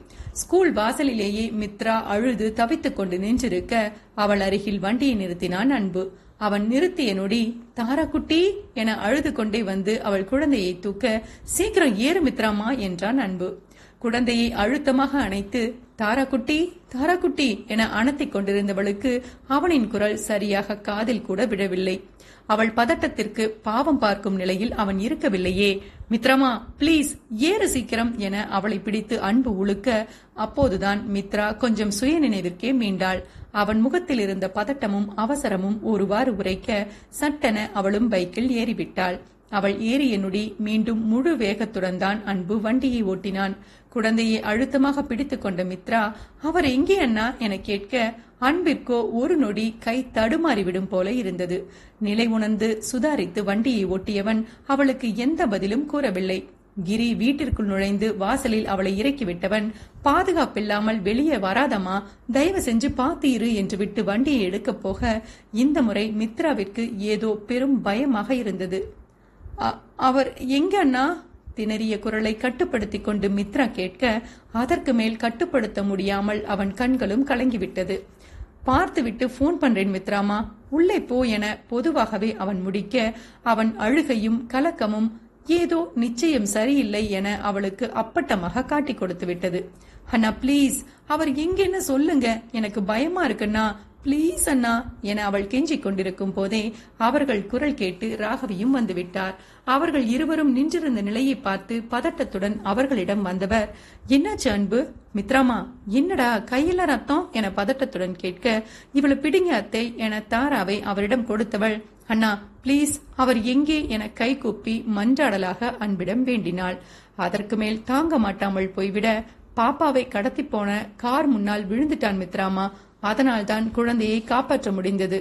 அவன் அவனுக்கு என்ன ஆச்சுன்னே தெரியலம்மா. இனிதான் பார்க்கணும். குழந்தையை உன்னிடம் விடாமல் எனக்கு என்ன ஆனாலும் என்னை பார்க்க கூடாதுன்னு சொல்லிட்டான்மா. உடனே போகணும். அவன் பேசி முடிக்கும் போதே ஐயோ என இரு பெண்களுமே கதறிவிட்டனர். என்னதாண்டா ஆச்சு? ராகவி ஒன்றும் புரியாமல் கேட்க திரன் திரன் என புலம்பிக் கொண்டே மித்ரா அங்கேயே அமர்ந்து அழத் தொடங்கிவிட்டாள். அவளை வேதனையுடன் பார்த்து கொண்டவன் எங்கள் தொழில் எதிரி செய்த வேலை சித்தி. கிரி எல்லா பாதுகாப்பு ஏற்பாடும் சரியாகத்தான் செய்திருந்தான்.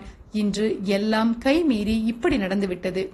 குழந்தையை காப்பாற்றியே ஆக வேண்டும் என்ற கட்டாயத்தில் அதற்கு மேல் கூற முடியாமல் அவனுக்கு தொண்டை அடைத்துவிட அதை வேகமாக செருமிக் கொண்டவன். அவனுக்கு ஒன்னும் ஆயிருக்காது சித்தி நீங்க குழந்தைய பாருங்க. நான் போயிட்டு கூப்பிடுறேன் என்று விட்டு அவன் கிளம்ப நானும் வர்றேன்னா? என வேகமாக எழுந்தாள் மித்ரா. வேண்டாம்மா என அன்பு தயங்க ப்ளீஸ் அண்ணா என கெஞ்சிக் கொண்டே அவனுடன் வண்டியில் ஏறிவிட்டாள் மித்ரா. கடவுளே இது என்ன சோதனை? என் பிள்ளைக்கு எதுவும் ஆகியிருக்க கூடாது என ராகவி அழுகையுடன் புலம்ப ஒன்றும் ஆகாது சித்தி பயப்படாம இருங்க என்ற அன்பு அதற்கு மேல் ஆறுதல் கூற தெம்பில்லாமல் வண்டியை எடுத்துக்கொண்டு கிளம்பிவிட்டான் அவன் சென்றதும் அழுது கொண்டே இருந்த குழந்தையை சமாதானம் செய்து உணவூட்டி தூங்க வைத்த ராகவி அடுத்த நொடி சாமி அறைக்குள் புகுந்து தன் மகனுக்கு எதுவும் ஆகியிருக்க கூடாது என வேண்டிக் கொள்ளத் தொடங்கினார். முதலில் விபத்து நடந்த இடத்திற்கு நேராக சென்ற அன்பு அங்கிருந்த கடைக்காரரிடம் எந்த ஹாஸ்பிட்டல் அழைத்து போனார்கள் என விசாரிக்க கலங்கியிருந்த கண்களுடன் சுற்றுப்புறத்தை பார்த்த மித்ராவின் கண்களில் இன்னும் தரையில் தேங்கியிருந்த கணவனின் ரத்தம் விழுந்தது. எத்தனை ரத்தம்? கடவுளே! ஐயோ! என் தீரனுக்கு எதுவும் ஆகக்கூடாது. அவரை என்னிடமே கொடுத்து விடுப்பா? நான் இனி அவரிடம் கோபப்பட மாட்டேன். என்னால் தாங்க முடியவில்லையே. என்ன மன்னிச்சிடுங்க தீரன். என் மேல கோபப்படாதீங்க.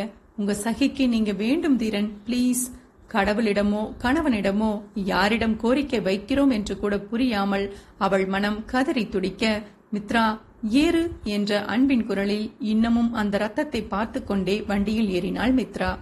அவள் கண்கள் சென்ற திசையை பார்த்த அன்புவிற்கும் ஒரு நொடி கண்முன் அங்கே மயங்கி கிடந்த கிரி முகம்தான் வந்து போனது. ஏண்டா இப்படி என மனதிற்குள் பெரும் தவிப்புடன் புலம்பிக் கொண்டே வண்டியை எடுத்தான் அன்பு.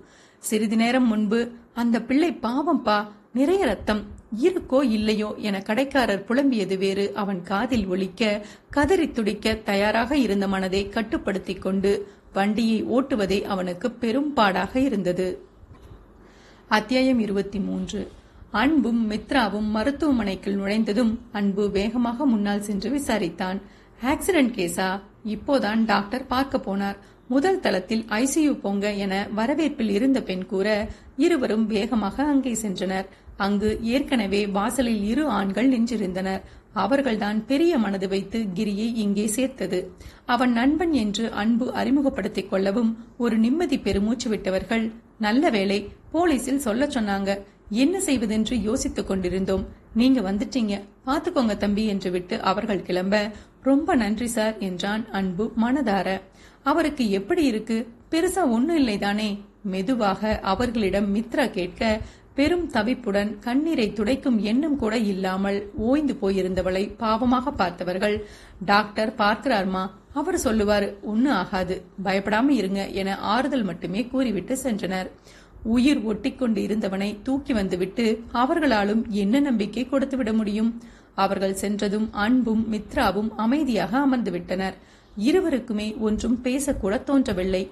கிரி நல்லபடியாக வந்துவிட வேண்டும் என்ற பிரார்த்தனை மட்டும்தான் அவர்கள் மனதில் இருந்தது. சில நிமிடங்களில் டாக்டரும் வெளியில் வந்துவிட்டார். அன்பு தங்களை வேகமாக அறிமுகப்படுத்திக் கொண்டு கிரி உடல்நிலை பற்றி விசாரிக்க நிறைய பிளட் லாஸ் ஆகியிருக்கு மிஸ்டர் ஒரு பக்க கை காலில் எலும்பு முறிவு இருக்கு. உயிருக்கு ஒன்றும் ஆபத்தில்லை. ட்ரீட்மெண்ட் ஆரம்பித்து விடலாம்.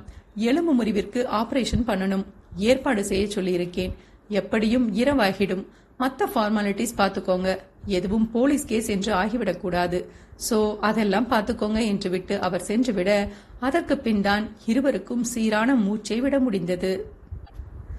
அதற்குள் வரவேற்பிலிருந்து போலீஸ் வந்திருப்பதாக கூற நீ இரு மித்ராமா அவர்களிடம் பேசிவிட்டு வருகிறேன் என்று அன்பு சென்று விட்டான் அவன் சென்ற சில நிமிடங்களில் கிரியை ஒரு ஸ்ட்ரக்சரில் வைத்து வெளியே எடுத்து வந்தனர். அந்த சத்தத்தில் எழுந்தவள் தன் கணவனை பார்த்ததும் வேகமாக அவன் அருகில் சென்றாள்.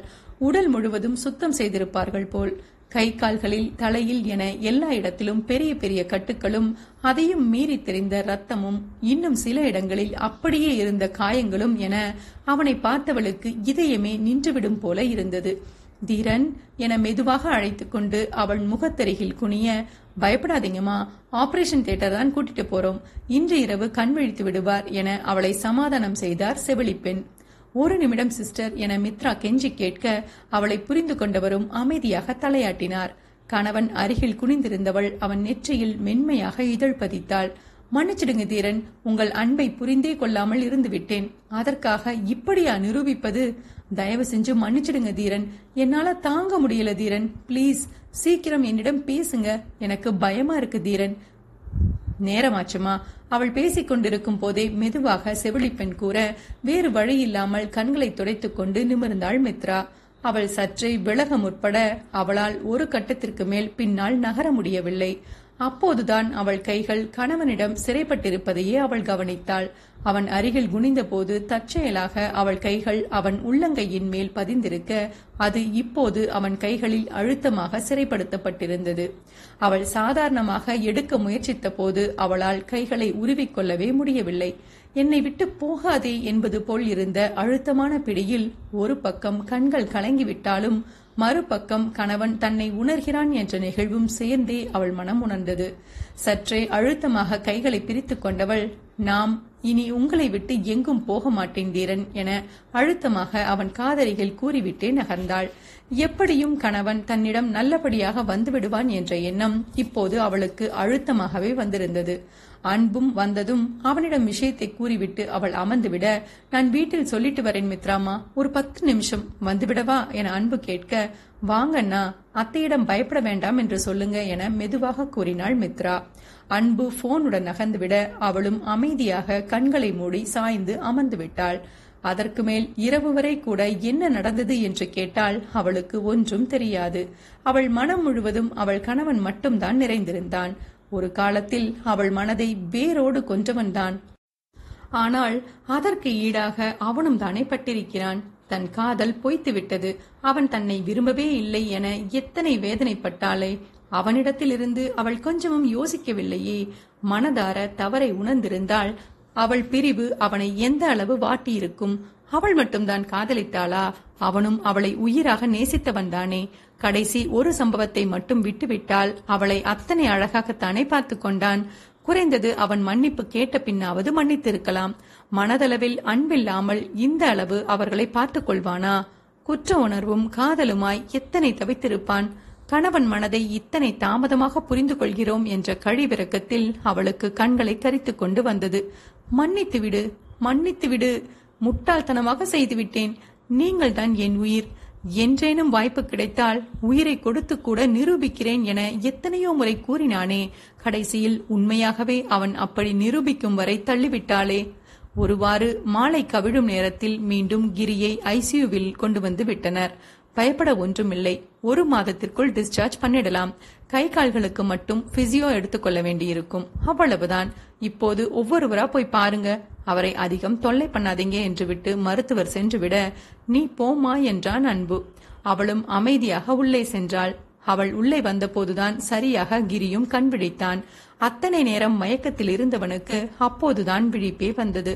அவன் கண்களை திறந்ததும் அவனுக்கு சீராக மூச்சு விடுவதை உறுதி செய்து கொண்டு அவன் ஆக்சிஜன் மாஸ்கை கழட்டிவிட்ட செவிலி பெண் உங்களுக்கு ஒன்றுமில்லை சார். சின்ன விபத்து தான் சரியாகிடும். உங்க வைஃப் இருக்காங்க பாருங்க. என மெதுவாக அவன் காதலிகள் கூற அவன் பார்வை மனைவி புறம் திரும்பியது. அவளை பார்த்தவன் முகம் ஒரு நொடி சுருங்க கண்களை மூடி திறந்து இங்கே வா என்பது போல் அவளை பக்கத்தில் அழைத்தான். தீரன் என மென்மையாக அழைத்துக் கொண்டு அவள் அவனிடம் குனிய தாரா என மகள் பெயர்தான் முதலில் அவன் வாயிலிருந்து வந்தது.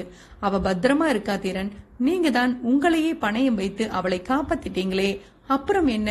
கோபமும் ஆதங்கமுமாய் வேகமாக அவள் பதில் கூற குழந்தைக்கு ஒன்றுமில்லை என்ற நிம்மதியை முதலில் அனுபவித்துக் கொண்டவன் அதற்கு பின்தான் சூழலை கவனித்தான். மருத்துவமனையில் உயிருடன் தான் இருக்கிறோம் என புரிந்த நொடி அவன் முகம் ஏதோ நினைவில் இறுகிப் போயிற்று. இப்படி தீரன் செய்வது உங்கள் உயிருக்கு ஏதேனும் ஆகியிருந்தால் நாங்கள் என்ன செய்வது? மெதுவாக தேம்பலுடன் மித்ரா கேட்க அவளை திரும்பி என்னவோ போல பார்த்தான் கிரி. அவன் பார்வைக்கான அர்த்தம் அவளுக்கு சுத்தமாக புரியவில்லை. என்ன பார்வை இது? இதில் என்ன இருக்கிறது? கோபமா? ஏமாற்றமா? அதிர்ச்சியா? குழப்பமா? எல்லாம் கலந்து என்னவென்றே அவளால் வரையறுக்க முடியவில்லை. அவனது இறுகிய முகம் ஏதோ பயத்தை கிளப்பிவிட தீரன் என மெதுவாக அழைத்தாள் மித்ரா. இந்த முறை சற்றே தளர்ந்தவன். அழாதே என அவள் கண்களை மெதுவாக துடைத்து விட்டான். பிழைத்து விட்டேனே விடு என்றவன் அதற்கு மேல் பேச முடியாமல் அமைதியாகிவிட மித்ராவுக்குத்தான் ஏதோ உறுத்தியது. அவன் குரலில் நிச்சயம் அவள் மீதான அன்பு மட்டும் இருக்கவில்லை. அதையும் தாண்டிய ஏதோ ஒரு சலிப்பு. ஏன்? என்று அவளுக்கு சுத்தமாக புரியவில்லை.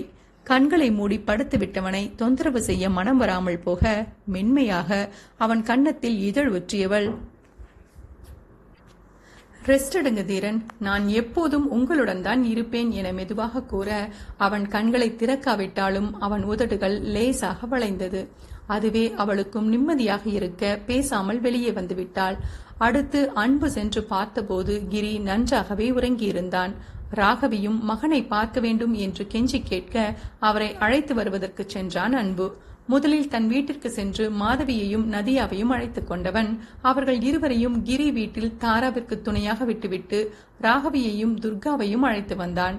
பல கட்டுகளுடன் உறங்கிக் கொண்டிருந்தவனை பார்த்ததும் ராகவி துர்காவாலும் தாங்க முடியாமல் தான் போனது. அவர்கள் ஒரு பக்கம் தாங்க மாட்டாமல் அழத் தொடங்க அன்புதான் அவர்களையும் சமாதானம் செய்தான். அழுகையை கட்டுப்படுத்திக் கொண்டு ஒரு பக்கம் அமர்ந்திருந்த மித்ராவிடம் வந்த ராகவி சரியாயிடுவா மித்ராமா? என அவளை அணைத்துக் கொண்டு கண்ணீருடன் கூற அவளும் அமைதியாக அவர் தோளில் புதைந்து கொண்டாள். எதுவும் பேசும் சக்தி அவளுக்கு இருக்கவில்லை. கணவனை பற்றியே உழன்று கொண்டிருந்த நினைவுகளிலிருந்து அவளால் மீளவே முடியவில்லை. ஒருவாறு அவர்களை வீட்டில் விட்டுவிட்டு அன்பு வந்தபோது பத்து மணிக்கு மேல் ஆகிவிட்டது. ஏதாவது சாப்பிடேன் மித்ராமா என அவன் கேட்டதற்கு அமைதியாக அவள் மறுத்துவிட அவளை வற்புறுத்தி பாலை மட்டும் குடிக்க வைத்தவன் தானும் அதை மட்டுமே குடித்து இரவு உணவை முடித்துக் கொண்டான். அவர்களுக்கென்று கொடுத்திருந்த அறையில் மித்ராவை இருக்கச் சொல்லிவிட்டு அன்பு வெளியில் இருந்த சேரிலேயே அமர்ந்து கொள்ள மித்ராவும் படுக்க மனமில்லாமல் கட்டிலில் சாய்ந்து அமர்ந்து கொண்டிருந்தாள். எந்த குழந்தை மீது கணவனுக்கு பாசம் இல்லை என நொந்து அவனை விட்டு அவள் பிரிந்தாளோ? இன்று அதே குழந்தைக்காகத்தான் கணவன் உயிரை பணையம் வைத்திருக்கிறான். செய்த தவறை விட நூறு மடங்கு அதிகமாக பட்டுவிட்டானோ என நினைத்தவள் மனம் பெரும் வேதனையுடன் சுருங்கிப் போயிற்று. மனம் வலிக்க அமர்ந்திருந்தவள் மனம் தானாக அந்த கொடிய நாளை நோக்கி பயணிக்க அரைகுறை மயக்கத்தில் இருந்த கிரியின் மனதிலும் அதே நினைவுகளின் ஊர்வலம்தான். தான் கர்ப்பமாக இருக்கிறோம் என தெரிந்த நொடி மித்ரா அடைந்த மகிழ்ச்சியை வார்த்தைகளால் கூறிவிட முடியாது. உலகையே வென்றுவிட்ட உணர்வு. அவளும் அவள் ஆறுயிர் கணவனும் சேர்ந்து அழகாய் உருவாக்கிய உயிர். இன்று அவள் மணி வயிற்றில் குழந்தையாக. யாரைப் போல் இருக்கும்? அவளைப் போலவா? அவள் தீரனைப் போலவா? அவனைப் போல் கம்பீரமாக இருக்க வேண்டும் என்றுதான் அவளின் மனம் விரும்பியது. ஆனால் அவன் அவளைப் போல் மென்மையாக ஆசைப்படுவானோ? அன்று இரவு கிரி வருவதற்குள் அவளுள் ஆயிரம் கற்பனை கோட்டைகள். எப்போதும் போல் இரவு ஓவர் டைம் பார்த்துவிட்டு வந்த கிரி பசிக்குது சகிமா? என்று கூறிக்கொண்டே ஃப்ரெஷ்ஷாக சென்றுவிட அவன் பசி உணர்ந்து முதலில் அவனுக்கான உணவை எடுத்து வைத்தாள் மித்ரா. அவளை ஊட்டச் சொல்லியே சாப்பிட்டவன் சீக்கிரமே அவள் முகத்தில் இருந்த பூரிப்பை கண்டு கொண்டான் என்ன சகிமா என் பொண்டாட்டி முகம் ஒரே பிரகாசமா இருக்கு? என்னை பார்த்த சந்தோஷமா? என கேட்டு அவன் கண்ணடிக்க அதில் மெலிதாக சிரித்துக் கொண்டவள் இதே பூரிப்பை உங்கள் முகத்திலும் வரவழைக்கவா? என்றாள் மென்மையாக.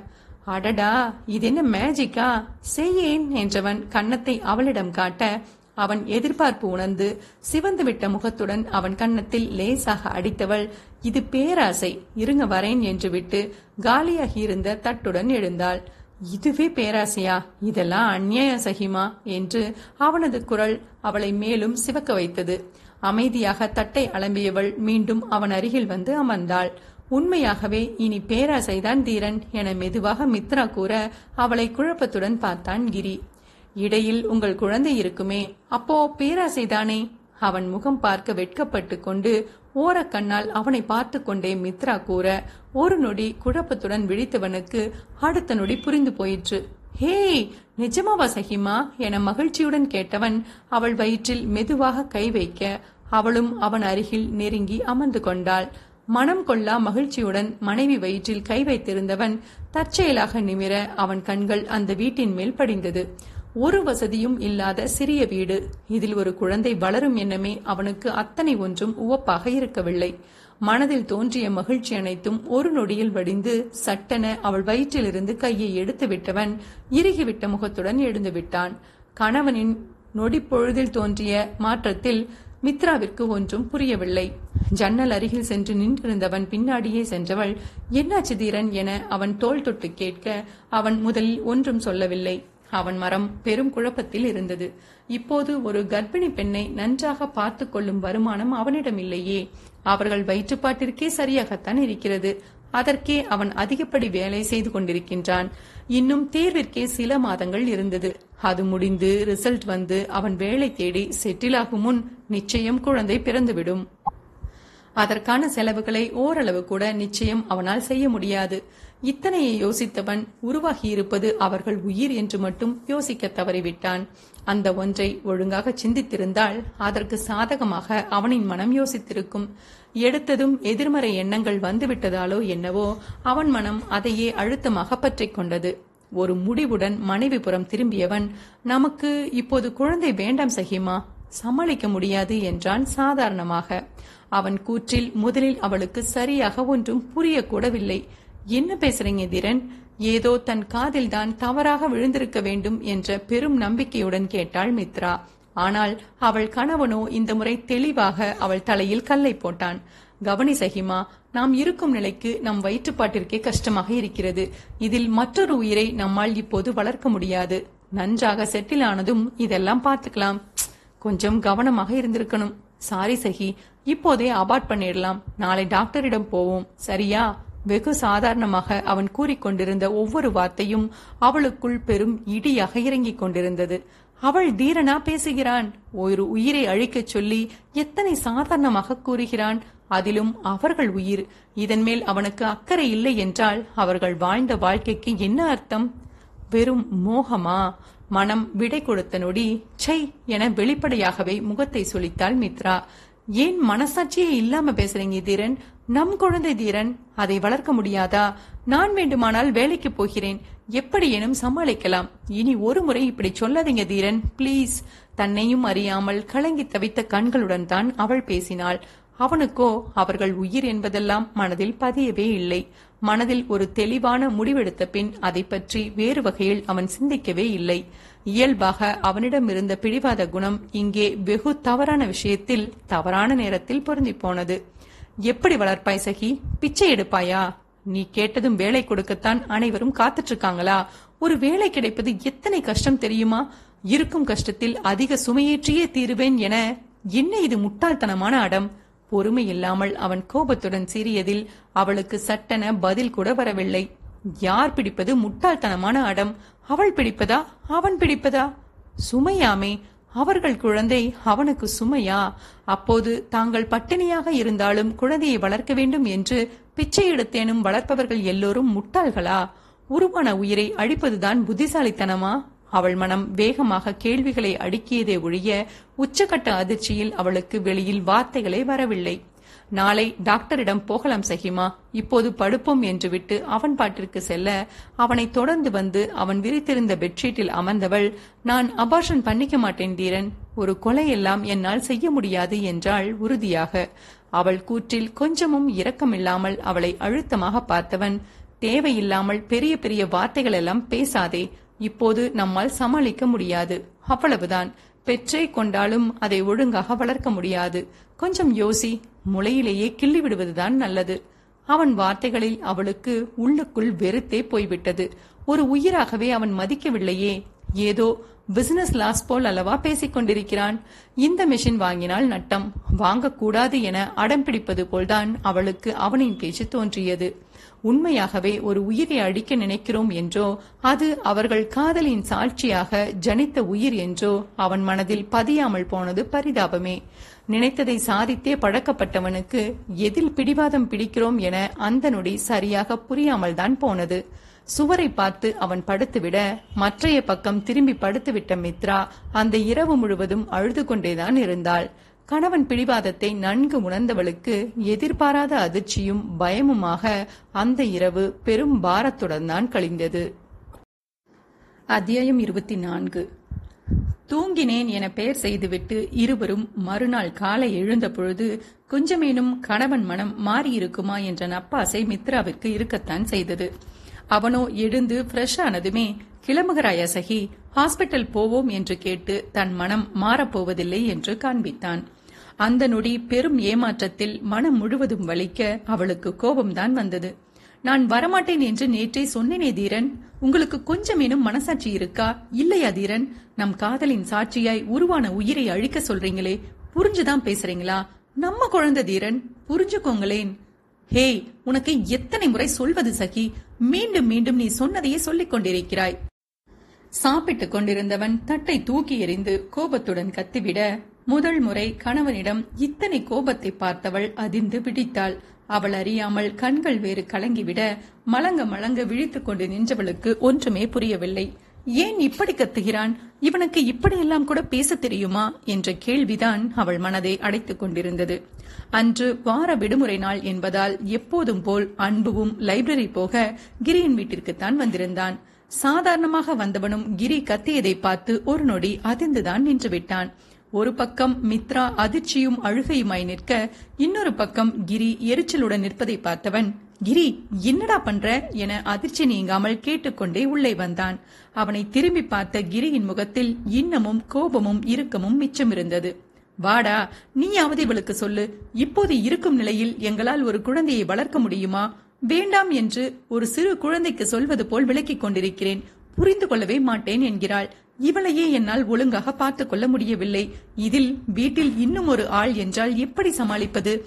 ஏதோ ஊர் உலகத்தில் யாருமே செய்யாததை செய்யச் சொல்வது போல டிராமா வேறு. கொஞ்சமும் பொறுமையோ நிதானமோ இல்லாமல் தன் வார்த்தைகள் கொடும் நெருப்பிற்கு சமம் என்று கூட உணராமல் அதை தன் மனைவியின் தலையிலேயே கொட்டிக் கொண்டிருந்தான் கிரி. முந்தைய நாளில் அதிர்ச்சியிலிருந்தே அதிர்ச்சிதான் அவளுக்கு.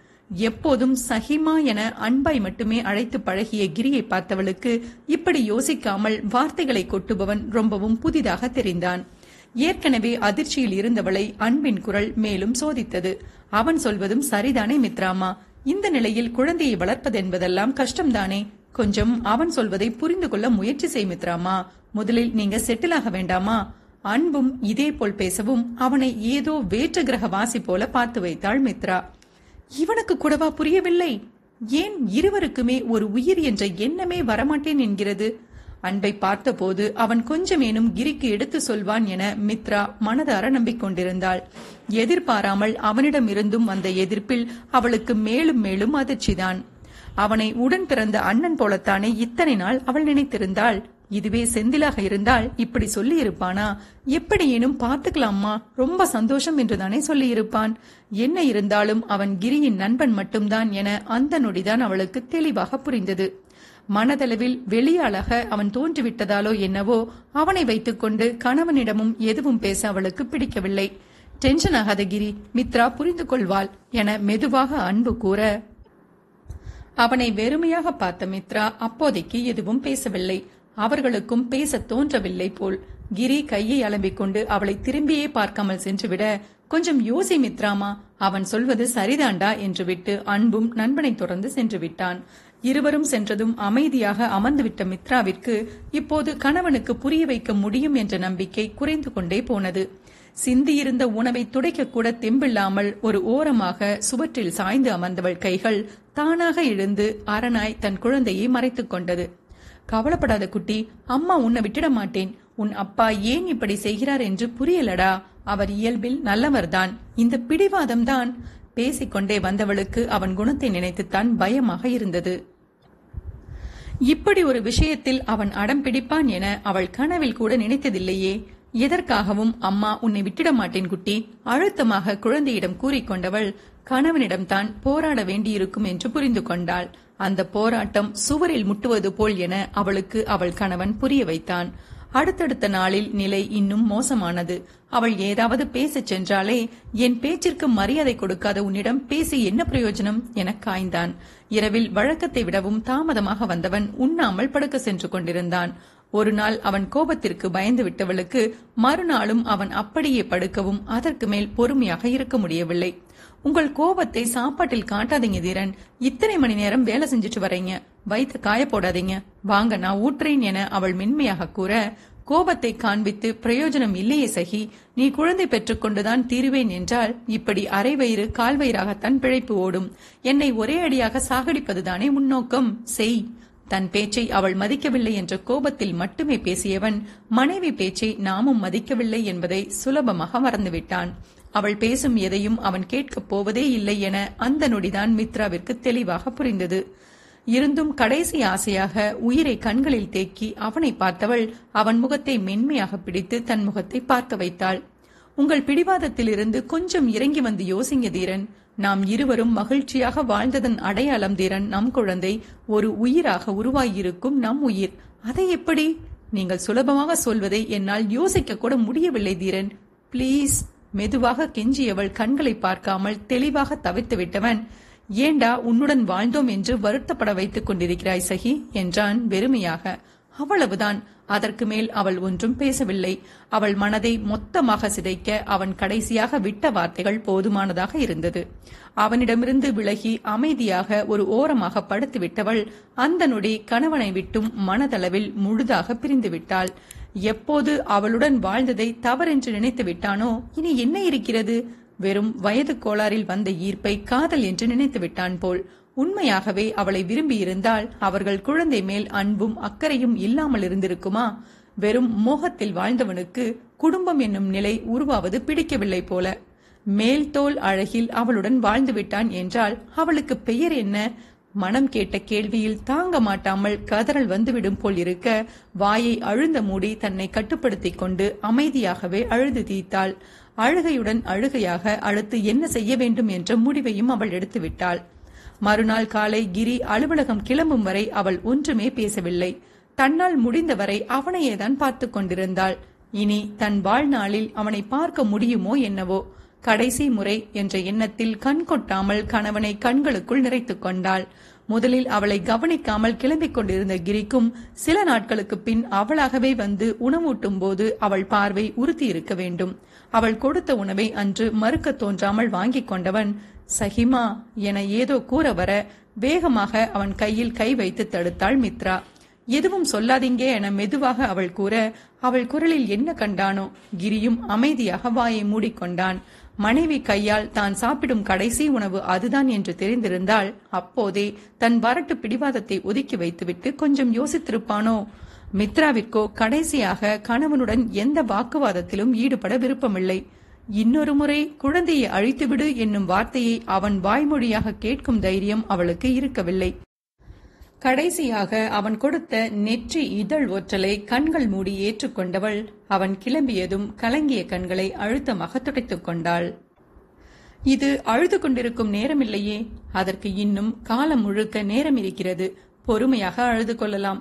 இப்போது அவள் கிளம்ப வேண்டுமே. சில ஆழ்ந்த மூச்சுக்கள் எடுத்து தன்னை கட்டுப்படுத்திக் கொண்டவள் மனம் மாறும் முன் செந்திலுக்கு அழைத்து விட்டாள் அவள் குரலை கேட்டதுமே மித்ராமா எங்கேடா போனாய்? ஏன் இப்படி செய்தாய்? எங்களை விட்டு போக எப்படி மனம் வந்தது? என அவன் வரிசையாக கேள்விகளை அடுக்க அவளோ எதற்கும் பதில் கூறாமல் முதலில் அவனுடன் யாரும் இல்லை என்பதை உறுதி செய்து கொண்டாள். கொஞ்சம் பொறுமையா நான் சொல்றத கேளுங்க அண்ணா. நம் குடும்பத்திற்கே பெரிய பாவம் பண்ணிட்டேன். அதற்கான தண்டனையும் ஆண்டவன் கொடுத்து விட்டான் அண்ணா. நான் இப்போ கர்ப்பமா இருக்கிறேன். என் கணவருக்கு குழந்தை பெற்றுக் கொள்வதில் இஷ்டமில்லை. குழந்தையை அழிக்க என்னால் முடியாதண்ணா. இனியும் அவருடன் வாழ எனக்கு விருப்பமில்லை. எனக்கு ஒரு வேலை வேணும். நம் வீட்டில் யாருக்கும் தெரியாமல். கொஞ்சம் உதவி பண்ணுங்கண்ணா. ப்ளீஸ். என்னடா? என்னவென்னமோ சொல்கிறாய். குழந்தை வேண்டாம் என்றால் எதற்கு குடும்பம் நடத்தினான்? யார் என்று சொல்லுடா. நான் பேசுகிறேன். நீ நம் வீட்டிற்கே வந்துடு மித்ராமா என்ன சொல்வதென்றே தெரியாமல் கோபமும் வருத்தமுமாய் செந்தில் தவித்து விட்டான். அப்பாவுக்கு என் மேல் கோபம் போய்விட்டதா அண்ணா? என நிதானமாக மித்ரா கேட்க அந்த பக்கம் செந்திலின் அமைதியே அவளுக்கான விடையை கூறிவிட்டது.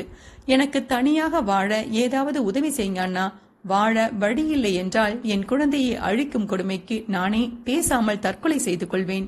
என் உயிரும் சேர்ந்தே போகட்டும். நிதானமாக அவள் பேசியதில் அப்போதுதான் அவள் மனம் என்ன பாடுபட்டு கொண்டிருக்கும் என்றே அவனுக்கு புரிந்தது. வேண்டாம் மித்ராமா இப்படியெல்லாம் பேசாதடா. உனக்கு எல்லாமே நான் செய்கிறேன். அண்ணா பாத்துக்கிறேன்டா என்ன செய்யணும் என்று மட்டும் சொல்லு. தன்னை கட்டுப்படுத்திக் கொண்டு செந்தில் கேட்க மித்ராவும் ஒரு பெருமூச்சுடன் பதில் கூறினாள். எனக்கு இந்த சென்னை மதுரை எதுவுமே வேண்டாம் வேறு எங்காவது போக வேண்டும். ஒரு சாதாரண வேலை. இப்போ உடனடியா போக ஒரு இடம். அவ்வளவுதானா என மித்ரா முடிக்க சில நிமிடங்கள் அமைதியாக யோசித்தான் செந்தில். நான் சொல்லும் அட்ரஸ் எழுதிக்கோ மித்ராமா. அது என் நண்பன் வீடுதான். நான் பேசிவிடுகிறேன். நீ இப்போ அங்கே போ. நாளை காலை நீ கேட்ட எல்லாவற்றிற்கும் ஒரு முடிவுடன் நான் வரேன் என்று விட்டு தன் நண்பன் முகவரியும் கூறிவிட்டு போனை வைத்தான் செந்தில். போனை வைத்ததும் எதுவும் யோசிக்காமல் தன் துணிகளை மட்டும் எடுத்துக்கொண்டவள் ஒரு பேப்பர் பேனா எடுத்துக்கொண்டு அமர்ந்தாள். கணவனுக்கு எழுத வேண்டும். இனி அவனுடன் வாழப் போவதில்லை என்று கூற வேண்டும். அந்த எண்ணமே அவளுக்கு பெரும் வேதனையாக இருந்தது. வீட்டை ஒருமுறை அவள் கண்கள் அணிச்சை செயலாக சுற்றி பார்க்க அந்த சிறிய வீட்டின் ஒவ்வொரு மூலையும் அவர்கள் காதல் கதைதான் பேசியது. இதோ இங்குதானே அவளை அணைத்துக் கொண்டு நிற்பான். இங்குதானே அவள் மடியில் படுத்திருந்தான் என வரிசையாக காட்சிகள் தோன்ற அதற்கு மேல் தாங்க மாட்டாமல் ஏன் இப்படி ஆகிட்டீங்க தீரன் என கதறிவிட்டாள். எத்தனை நேரம் அழுது கொண்டிருக்க முடியும்? சீக்கிரம் கிளம்ப வேண்டும் என மூளை அவளை தட்டி எழுப்ப கண்களை துடைத்துக் கொண்டு கணவனுக்கு தான் கூற நினைத்ததை எழுதி முடித்தாள். அந்த வீட்டை விட்டு கிளம்ப அவளுக்கு மனமே இல்லைதான். அவன் அவள் உயிரை கேட்டிருந்தால் கூட அவனுக்காக கொடுத்துவிட்டு அவன் மடியிலேயே மகிழ்ச்சியுடன் உயிரை விட்டிருப்பாள். அவனோ அவர்கள் குழந்தையின் உயிரையல்லவா கேட்கிறான். அதை எப்படி கொடுக்க முடியும்? அவன் காதல் பொய்யாக இருக்கலாம். அவள் காதல் உண்மையாயிற்றே. நீங்களாவது நிம்மதியா இருங்க தீரன் என மனதார கணவனிடம் கூறிக்கொண்டு தன் பையை எடுத்துக்கொண்டு வீட்டை பூட்டி சாவியை வாசல் ஜன்னல் அருகிலேயே வைத்துவிட்டு கிளம்பிவிட்டாள். அந்த நொடியுடன் அவளுக்கும் அந்த வீட்டிற்கும் மட்டுமில்லை அவளுக்கும் அவள் கணவனுக்குமான இணைப்பும் மொத்தமாக அருந்துவிட்டது. அதற்கு மேல் வாழ்க்கையின் இடுப்பிற்கு சென்றவளுக்கு நேரமும் சரியாக இருந்ததில் மீண்டும் கிரியுடன் சேர வேண்டும் என்ற எண்ணமே அவளுக்கு வரவில்லை. நேராக செந்தில் கொடுத்த அட்ரஸிற்கு அவள் செல்ல மறுநாளே செந்தில் சொன்னது போல் வந்துவிட்டான். அவன் வந்தபோதே எல்லா ஏற்பாடும் செய்திருந்தான். மித்ரா கேட்டது போலவே கோவையில் இருந்த தன் நண்பன் மூலம் அவளுக்கு வீடு பார்த்திருந்தவன் கல்லூரியிலும் விசாரித்திருந்தான். படித்துத்தான் ஆக வேண்டும் என செந்தில் ஒரே அடியாக கூறிவிட இருவர் விருப்பத்திற்கும் சேர்த்து ஒரே தீர்வாய் மித்ரா கண்டுபிடித்தாள். மாலை கல்லூரியில் சீட் வாங்கிக் கொண்டவள் பகலில் வேலைக்கும் மாலை கல்லூரிக்கும் சென்று கொள்கிறேன் என்று கூறிவிட்டாள்.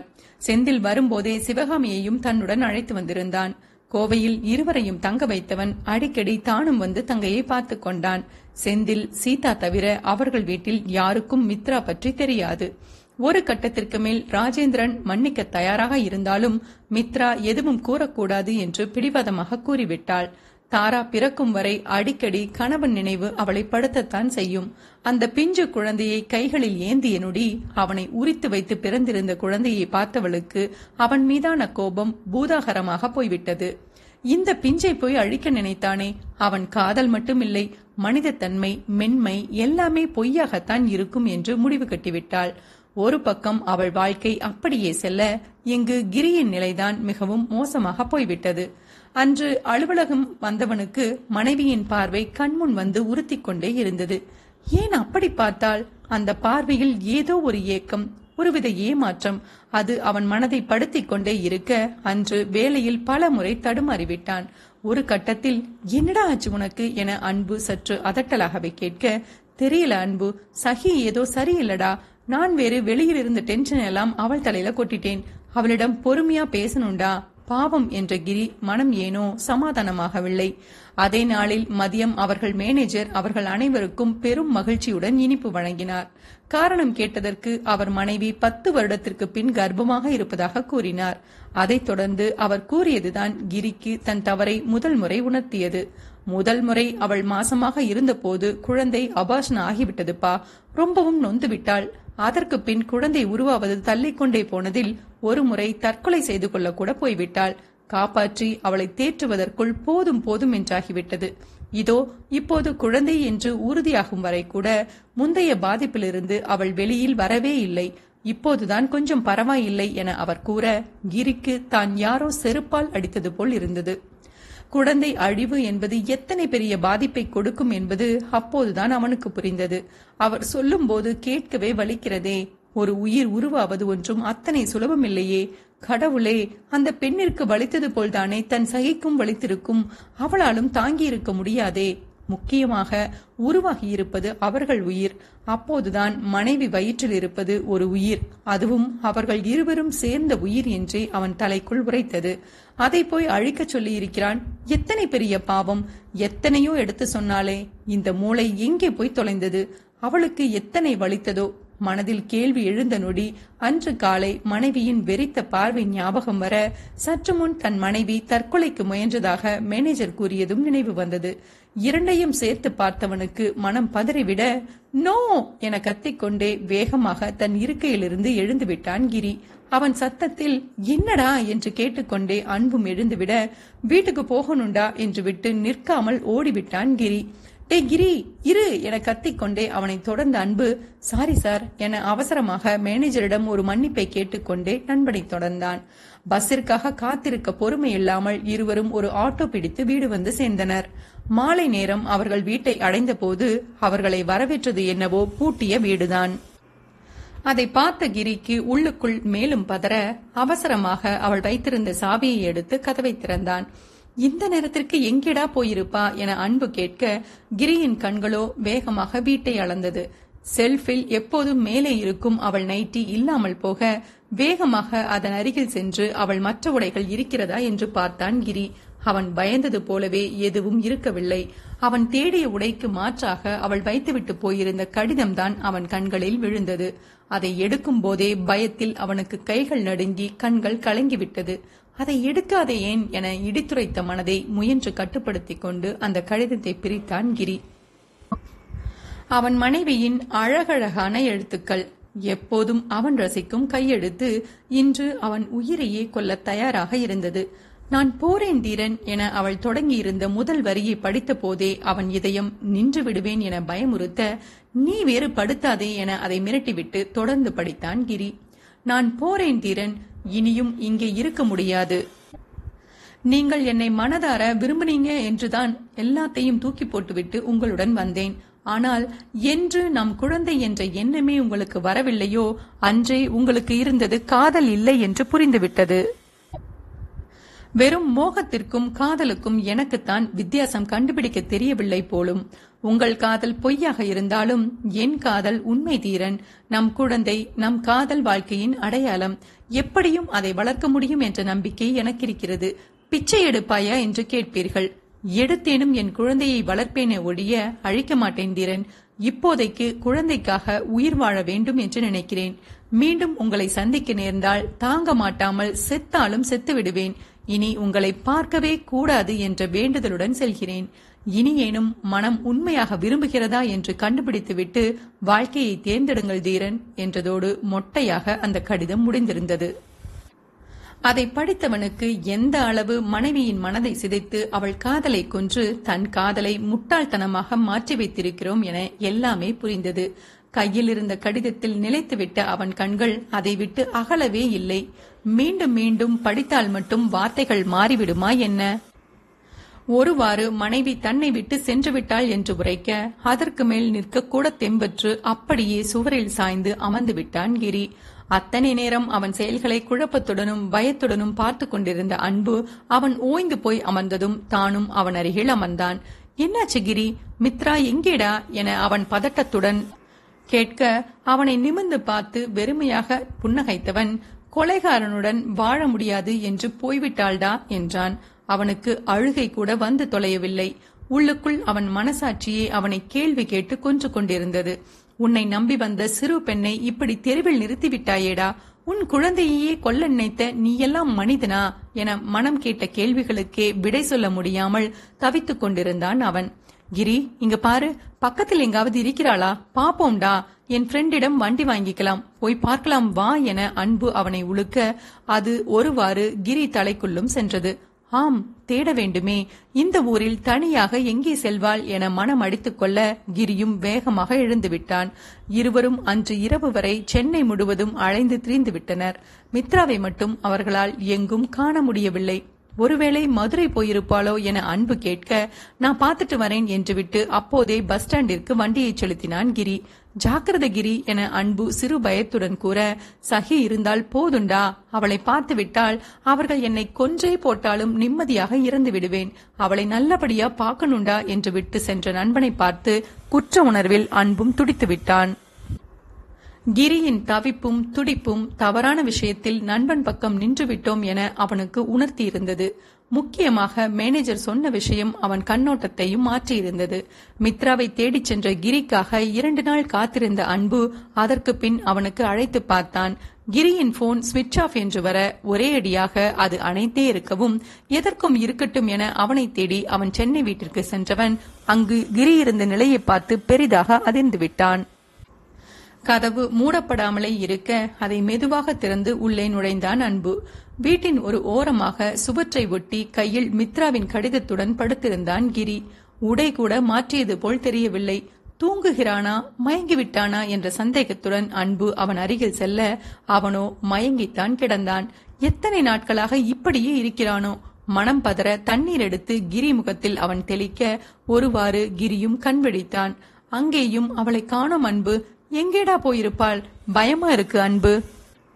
என புலம்பியவனை மீட்டெடுக்க அன்பு படாத பாடுபட்டு விட்டான். அவனை தனியாக விட பயந்து அவனுடனேயே தங்கிக் கொண்டவன் ஒருவாறு அவனை உயிருடன் நடமாட வைத்தான். அவ்வளவுதான். மனதளவில் இறந்து விட்டிருந்தவனை அவனால் மீட்கவே முடியவில்லை.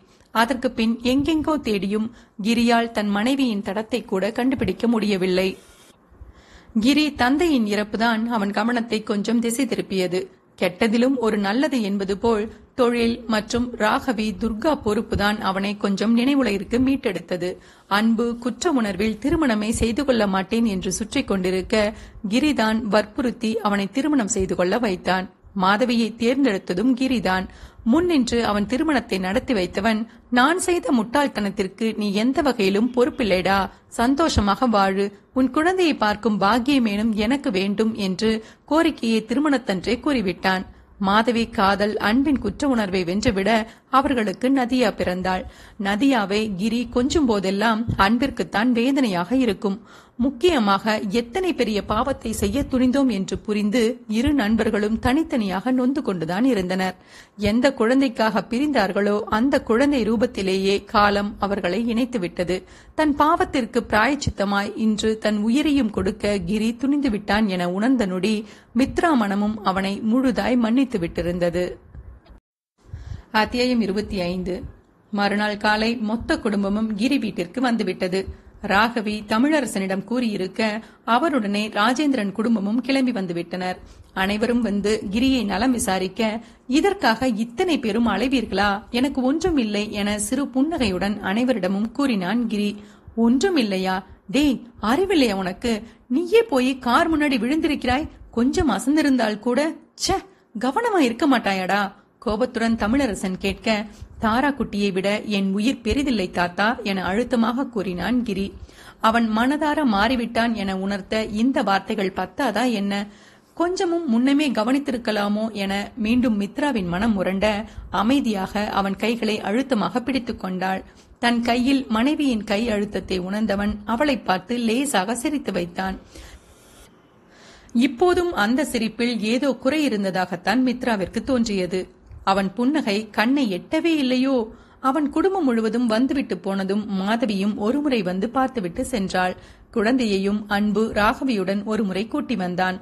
தந்தை அருகில் கட்டிலில் ஏறி அமர்ந்து கொண்ட தாரா பாப்பா மாதிரியே அப்பாவுக்கு காயம். வலிக்குதா? என அவன் கைகளை வருடிக்கொண்டே தாரா கேட்க இல்லடா செல்லம் என்றான் கிரி. முகம் இருக தன் உணர்வுகளை நொடியில் கட்டுப்படுத்திக் கொண்டவன் குழந்தையிடம் சிரித்து பேசியே அவளை அனுப்பி வைத்தான். குழந்தை அதிக நேரம் உள்ளே இருக்க வேண்டாம் என ராகவி அவளை தூக்கிக் கொண்டு வெளியே சென்றுவிட மித்ராவும் அவருடன் சென்று விட்டாள். இப்போது அன்பு மட்டும்தான் கிரியுடன் இருந்தான். அந்த செல்வமணி மேல் கம்ப்ளைண்ட் கொடுத்தாயாடா என கிரி கேட்க மறுப்பாக தலையசைத்தான் அன்பு. ம் குட். இருக்கானா? ஒரே அடியா போயிட்டானா? மனம் முழுவதும் பரவி இருந்த கோபத்தை கட்டுப்படுத்திக் கொண்டு கிரி கேட்க அவன் செத்து ஒரு நாள் ஆச்சுடா என்றான் அன்பும் அடக்கப்பட்ட கோபத்துடன். பரவாயில்லையடா நான் சொன்னாலே வம்பு வேண்டாம் என்பாய். இப்போது நான் சொல்லாமலேயே சரியாக செய்து விட்டாய் தேறிவிட்டாய் அன்புனே கிண்டலாக கிரி கூற அவனோ சிரிக்காமல் அமைதியாகவே இருந்தான். நண்பன் மனம் உணர்ந்து மென்மையாக புன்னகைத்தவன் விடுடா அவன் விஷப்பாம்பு முன்னாடியே நசுக்கி இருக்கணும் பாவம் பார்த்தது தவறாக போய்விட்டது என சலிப்புடன் கிரி கூற ம் நீ சொன்ன போதே நான் கேட்டிருக்கணும் கிரி. நான் தான் உன் கையை கட்டி போட்டுட்டேன். மன்னிச்சிடுடா உன் வாழ்க்கையில் எல்லா கெட்டதும் என்னால் தான் நடக்கிறது. அழுதால் அவன் திட்டுவானே என கட்டுப்படுத்திக் கொண்டுதான் அன்பு பேசினான். ஆனால் அவன் குரலே அவனை காட்டிக் கொடுத்தது. எல்லா பழியையும் உன்மேல் போட்டுக்கொள்ளும் பழக்கத்தை விடவே மாட்டாயா அன்பு? விட்டால் என் வீட்டில் தண்ணீர் வரவில்லை என்றால் கூட நீதான் பொறுப்பு என்று வருத்தப்படுவாய் போலயே. வீரமா அவனை போட்டு தள்ளிட்டு இங்க வந்து அழுதுட்டு இருக்க சிரித்துக்கொண்டே கிரி பேசியதில் அன்பு முகத்திலும் மெல்லிய புன்னகை தோன்றியது. அவனெல்லாம் மனுஷனாடா? உயிரின் மதிப்பே தெரியாமல் ஒரு ஜென்மம். நீ குழந்தையுடன் மகிழ்ச்சியாக இருப்பதை பார்த்துவிட்டு குழந்தையை தூக்கினால்தான் உன்னை வீழ்த்த முடியும் என்று திட்டமிட்டிருக்கிறான். தொடர்ந்து தாராவை கண்காணித்துக் கொண்டே இருந்திருக்கிறான். அன்று கார் இல்லாமல் மித்ரா வரவும் அவன் அனுப்பியிருந்த ஆள் ஒரு ஆட்டோவை எடுத்துக்கொண்டு போய் இருவரையும் ஏற்றிக் கொண்டிருக்கிறான். பக்கத்து தெருவில் வைத்து தாராவை மட்டும் கடத்தியிருக்கிறார்கள். அவளை வைத்து உன்னை மொத்தமாக தெருவில் நிறுத்த திட்டமாம். சின்ன குழந்தை என்ற எண்ணம் கூட இல்லை. இவனை எல்லாம் விட்டு வைத்தால் என்ன வேண்டுமானாலும் செய்வான்.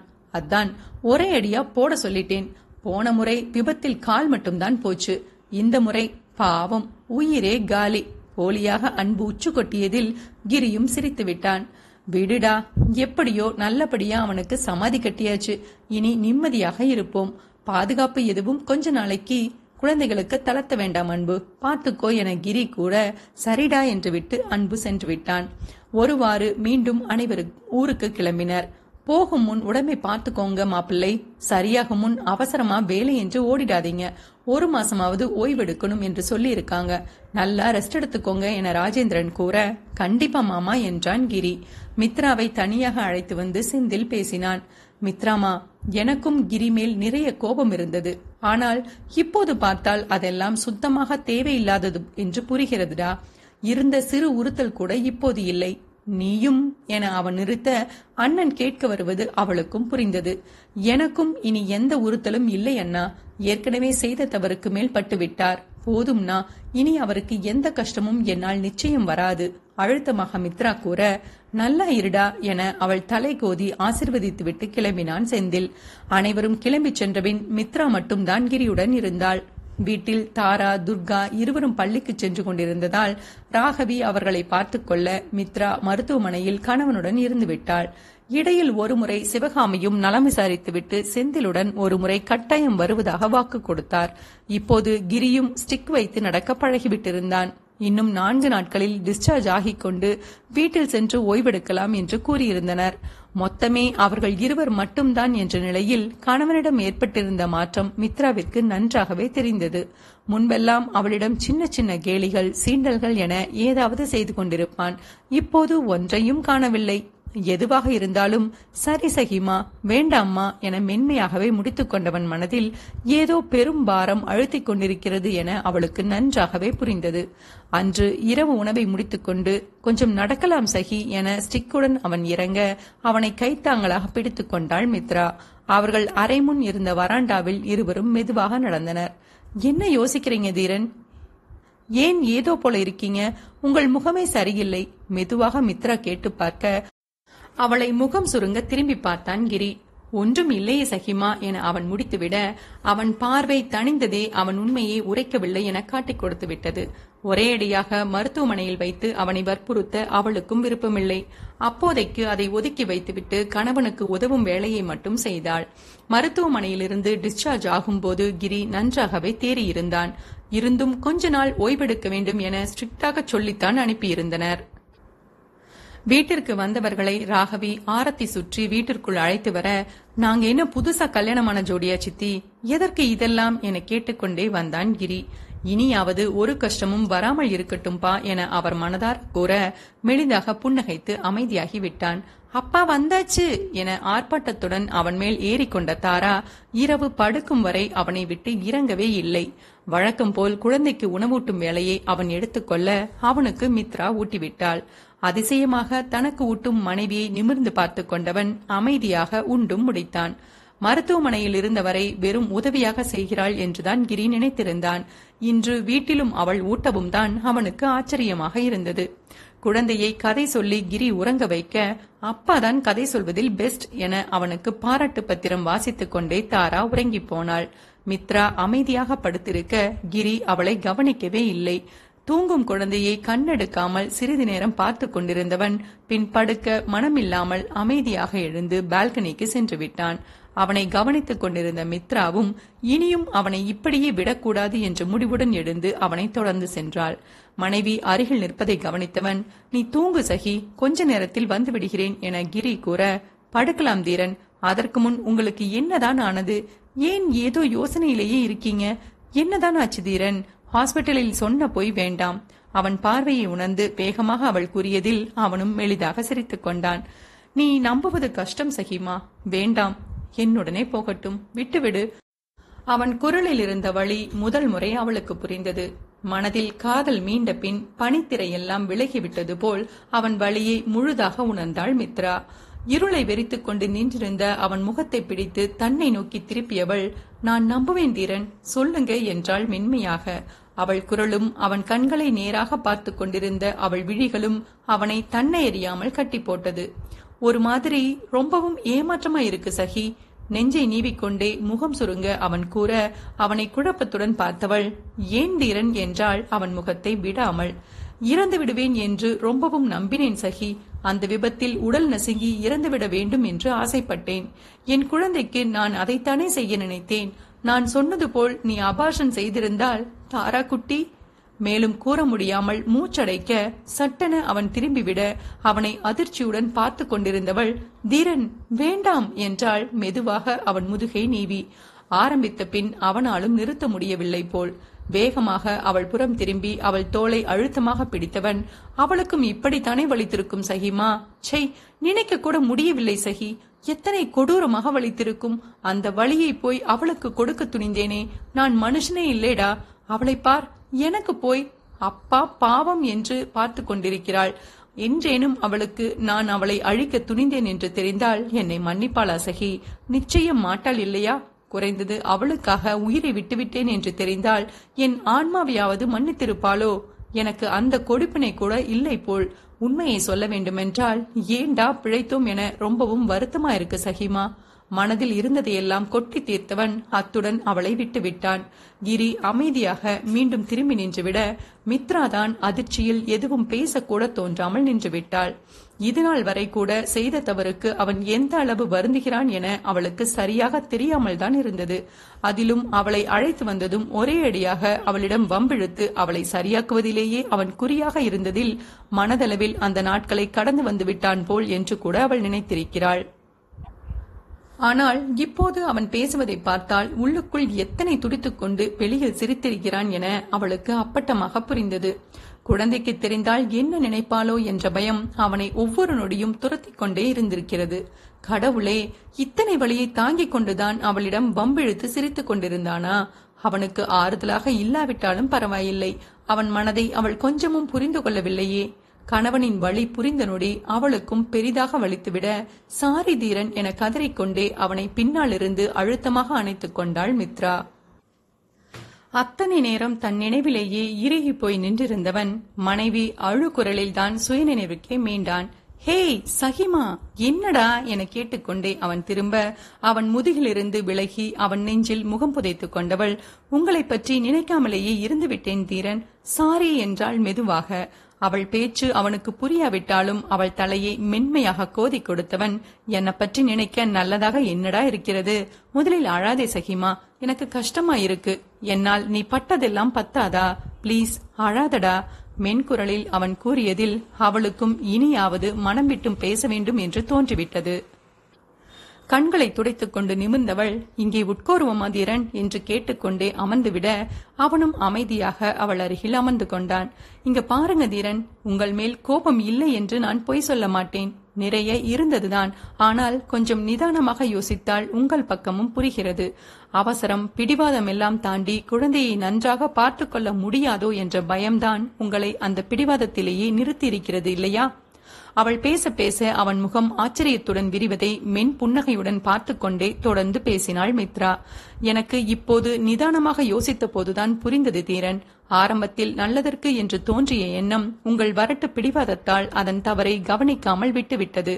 தவறே என்றாலும் நீங்கள் எப்போதோ உணர்ந்துவிட்ட தவறு. மனதார ஏற்கனவே நொந்து போயிருந்த உங்களை மேலும் மேலும் நோகடித்து விட்டேன் இல்லையா? நீங்கள் எங்கள் மேல் உயிரையே வச்சிருக்கீங்க என்று மனதார நம்புகிறேன் தீரன். இனி என் மனதில் எந்த கோபமோ கசடோ இருக்காது. நீங்கள் காதலித்த சகியாகவே இருக்க ஆசைப்படுகிறேன். ஒரே ஒரு கண்டிஷன் என அவள் நிறுத்த வார்த்தைகளற்ற நிலையில் இருந்தவன் என்னவென்பது போல் மனைவியை பார்த்தான். எனக்கும் என் பழைய தீரன் தான் வேண்டும். உங்கள் குற்ற உணர்ச்சியெல்லாம் விட்டுவிட்டு என்னை பிடிவாதமாக நேசித்த என் தீரன் வேண்டும். அவள் பேச பேசவே அவன் முகம் சுருங்கிவிட தாராவிற்கு என்றுமே அந்த விஷயம் தெரியாது தீரன். அதற்கு நான் பொறுப்பு. ஒருவேளை தெரிந்தால் கூட இன்றைய உங்கள் அன்பின் முன் அந்த கோபம் தோற்று போய்விடும். அவள் என் மகள் தீரன் நிச்சயம் உங்களை புரிந்து கொள்வாள். புரிந்து கொள்வாளா சஹிமா தன் அமைதியை கலைத்து பரிதவிப்புடன் கிரி கேட்க கண்டிப்பா என்றாள் மித்ரா மென் புன்னகையுடன். அவள் ஒற்றை வார்த்தை அவனுக்கு ஆயிரம் யானை பலத்தை கொடுத்ததென்றால் மிகையாகாது. தேங்க்ஸ் சஹிமா என்றவன் அவளை அழுத்தமாக அணைத்துக் கொள்ள அவளும் அமைதியாக கணவனுடன் ஒன்றிப் போனாள் நான் நிஜமாவே மனதறிந்து செய்யவில்லை சஹிமா. என் குழந்தை நம் உயிர் என்று புரிந்துதான் வந்தபோது நீ சென்று விட்டாயடா. அந்த நொடியிலிருந்து உங்களை நான் தேடாத இடமே இல்லை தெரியுமா? மதுரை வரும்போதெல்லாம் உன் வீட்டை கண்காணிப்பேன். நீ இல்லாமல் எதுவும் சென்று கேட்க பயமாக இருந்தது. அவர்களையும் சேர்த்து கலவரப்படுத்த மனம் வரமில்லை. எத்தனை தேடியும் நீ கிடைக்கவே இல்லை. நீ டிவியில் பார்த்த பேட்டியில் வேண்டுமென்றேதான் அப்படி சொன்னேன் சகி. அவனை புரியாமல் மித்ரா நிமிர்ந்து பார்க்க நியாயம் கேட்டாவது வந்துவிட மாட்டாயா? என்றன் அப்பா செய்தான் என்றான் கிரி. கோபமும் வேதனையும் தான் வந்தது என மித்ரா சட்டென கூற அதில் மெளிதாக சிரித்துக் கொண்டவன் சாரிடா ஏதோ ஒரு வழி கிடைத்து விடாதா என தோன்றியதை எல்லாம் செய்து பார்த்தேன் என்றவன் கூற்றில் அவன் வேதனை புரிந்து மென்மையாக அவன் கன்னத்தில் இதழ் பதித்தாள் மித்ரா. கடைசியாக நீயாக வந்தாய். ஆனால் வந்த காரணம் இந்த நொடியும் அந்த வழியை அனுபவிப்பது போல் அவனின் உடல் இறுகி போயிற்று. அன்று எனக்கு வேறு வழி தெரியவில்லை சகி. இனியும் உங்களை விடக்கூடாது என்று முடிவு செய்துவிட்டேன். உன்னிடம் கண்டிஷன் என்று கூறிவிட்டு மனதளவில் உடனடியாக நீ சம்மதித்து விட வேண்டுமே என நான் பதறிய பதட்டம் கொஞ்ச நஞ்சம் இல்லைடா. அவள் சம்மதம் சொல்லிய நொடி அவனிடம் தென்பட்ட வேகம் அவளுக்கு நினைவுக்கு வந்தது. ஏழு வருடத்திற்கு பின் உன்னை பார்க்கிறேன். செய்தியோ என் பெண் மரணப்படுக்கையில் இருக்கிறாள் என்பது. அன்று நான் பட்ட அவஸ்தை மூச்சுக்காற்று நின்று விடாமல் மிகவும் கடினப்பட்டு பிடித்து வைத்தேன் சகி. கண்களை மூடி அந்த நாளின் தாக்கத்தை ஜீரணிக்க முயன்று கொண்டே அவன் கூற அன்பு கூறியதை விட அவன் வாயாலேயே அந்த நாளின் நிலையை கேட்டபோது அவன் தன்னை விட நூறு மடங்கு வழியில் துடித்திருப்பான் என்று அவளுக்கும் புரிந்தது. கணவனின் நெற்றியை மென்மையாக நீவி விட்டவள் முடிந்தது போதுமே தீரன் என்று கூற என்னை மனதார மன்னித்து விட்டாயா சகி என்றான் கிரி அவள் முகம் பார்த்து. அதில் இன்னும் சந்தேகமா என் தீரனுக்கு? தலை சாய்த்து அழகாய் அவள் கேட்க அதை ரசித்து சிரித்துக் கொண்டவன் அப்போ நான் ஒன்று கேட்கவா? என்றான் அவள் கண்களை அழுத்தமாக பார்த்து கொண்டே. அவன் பார்வை வீச்சு உள்ளுக்குள் என்னவோ செய்ய என்ன? என்று கேட்டவளுக்கு அதற்குள்ளேயே முகம் சிவந்து விட்டது. எனக்கு நீ வேண்டும் சகிமா? தாராவுக்கு ஒரு தம்பியோ தங்கச்சியோ வேண்டும். என்னை முழுதாய் நம்பி முன்பிருந்த அதே காதலுடன் நீ வேண்டும் சகிமா. தருவாயா? தன் கை வளையத்திற்குள் இருந்த மனைவியிடம் ஆழமான குரலில் அவன் கேட்க அவள் இத்தனை நாள் இழந்திருந்த பழைய தீரனின் குரலில் அவள் மனம் தானாக அவனிடம் சரணடைந்து விட்டது. கணவன் தன் பதிலுக்காக காத்திருப்பது புரிய அவனைப் போல் வெளிப்படையாக பேச முடியாமல் வெட்கம் வேறு அவளுக்கு பிடுங்கித் தின்றது. உங்களை ரெஸ்ட் எடுக்க சொன்னாங்களே என அவள் அவன் நெஞ்சில் சாய்ந்து கொண்டே கூற அதைத்தானே செய்ய போகிறேன். ஆபீஸ் வேலைக்கு லீவ் ஒன்லி வீட்டு வேலைதான் என்றான் அவன் அடக்கப்பட்ட சிரிப்புடன். தீரன் என சினுங்கியவள் அவனுக்குள்ளேயே புதைந்துவிட சம்மதமா பொண்டாட்டி? என்றான் அவன் அப்போதும் விடாமல். சரியான பிடிவாதம் என அவன் நெஞ்சில் குத்தியவள் வேறு வழி இல்லாமல் தலையை மட்டும் உருட்ட அடுத்த நொடி தன் தீரனின் கைகளுக்குள் அவன் சகி முழுதாக சிறை புகுந்திருந்தாள். சுபம் இந்த ஆடியோ நாவல் உங்களுக்கு பிடிச்சிருந்தா லைக் பண்ணுங்க கமெண்ட் பண்ணுங்க உங்க ஃப்ரெண்ட்ஸுக்கும் ஷேர் பண்ணுங்க. மறக்காம பக்கத்துல இருக்கிற பெல் ஐகானை தட்டி விட்டுடுங்க. மீண்டும் ஒரு அழகான நாவலில் உங்களை சந்திக்கின்றோம்.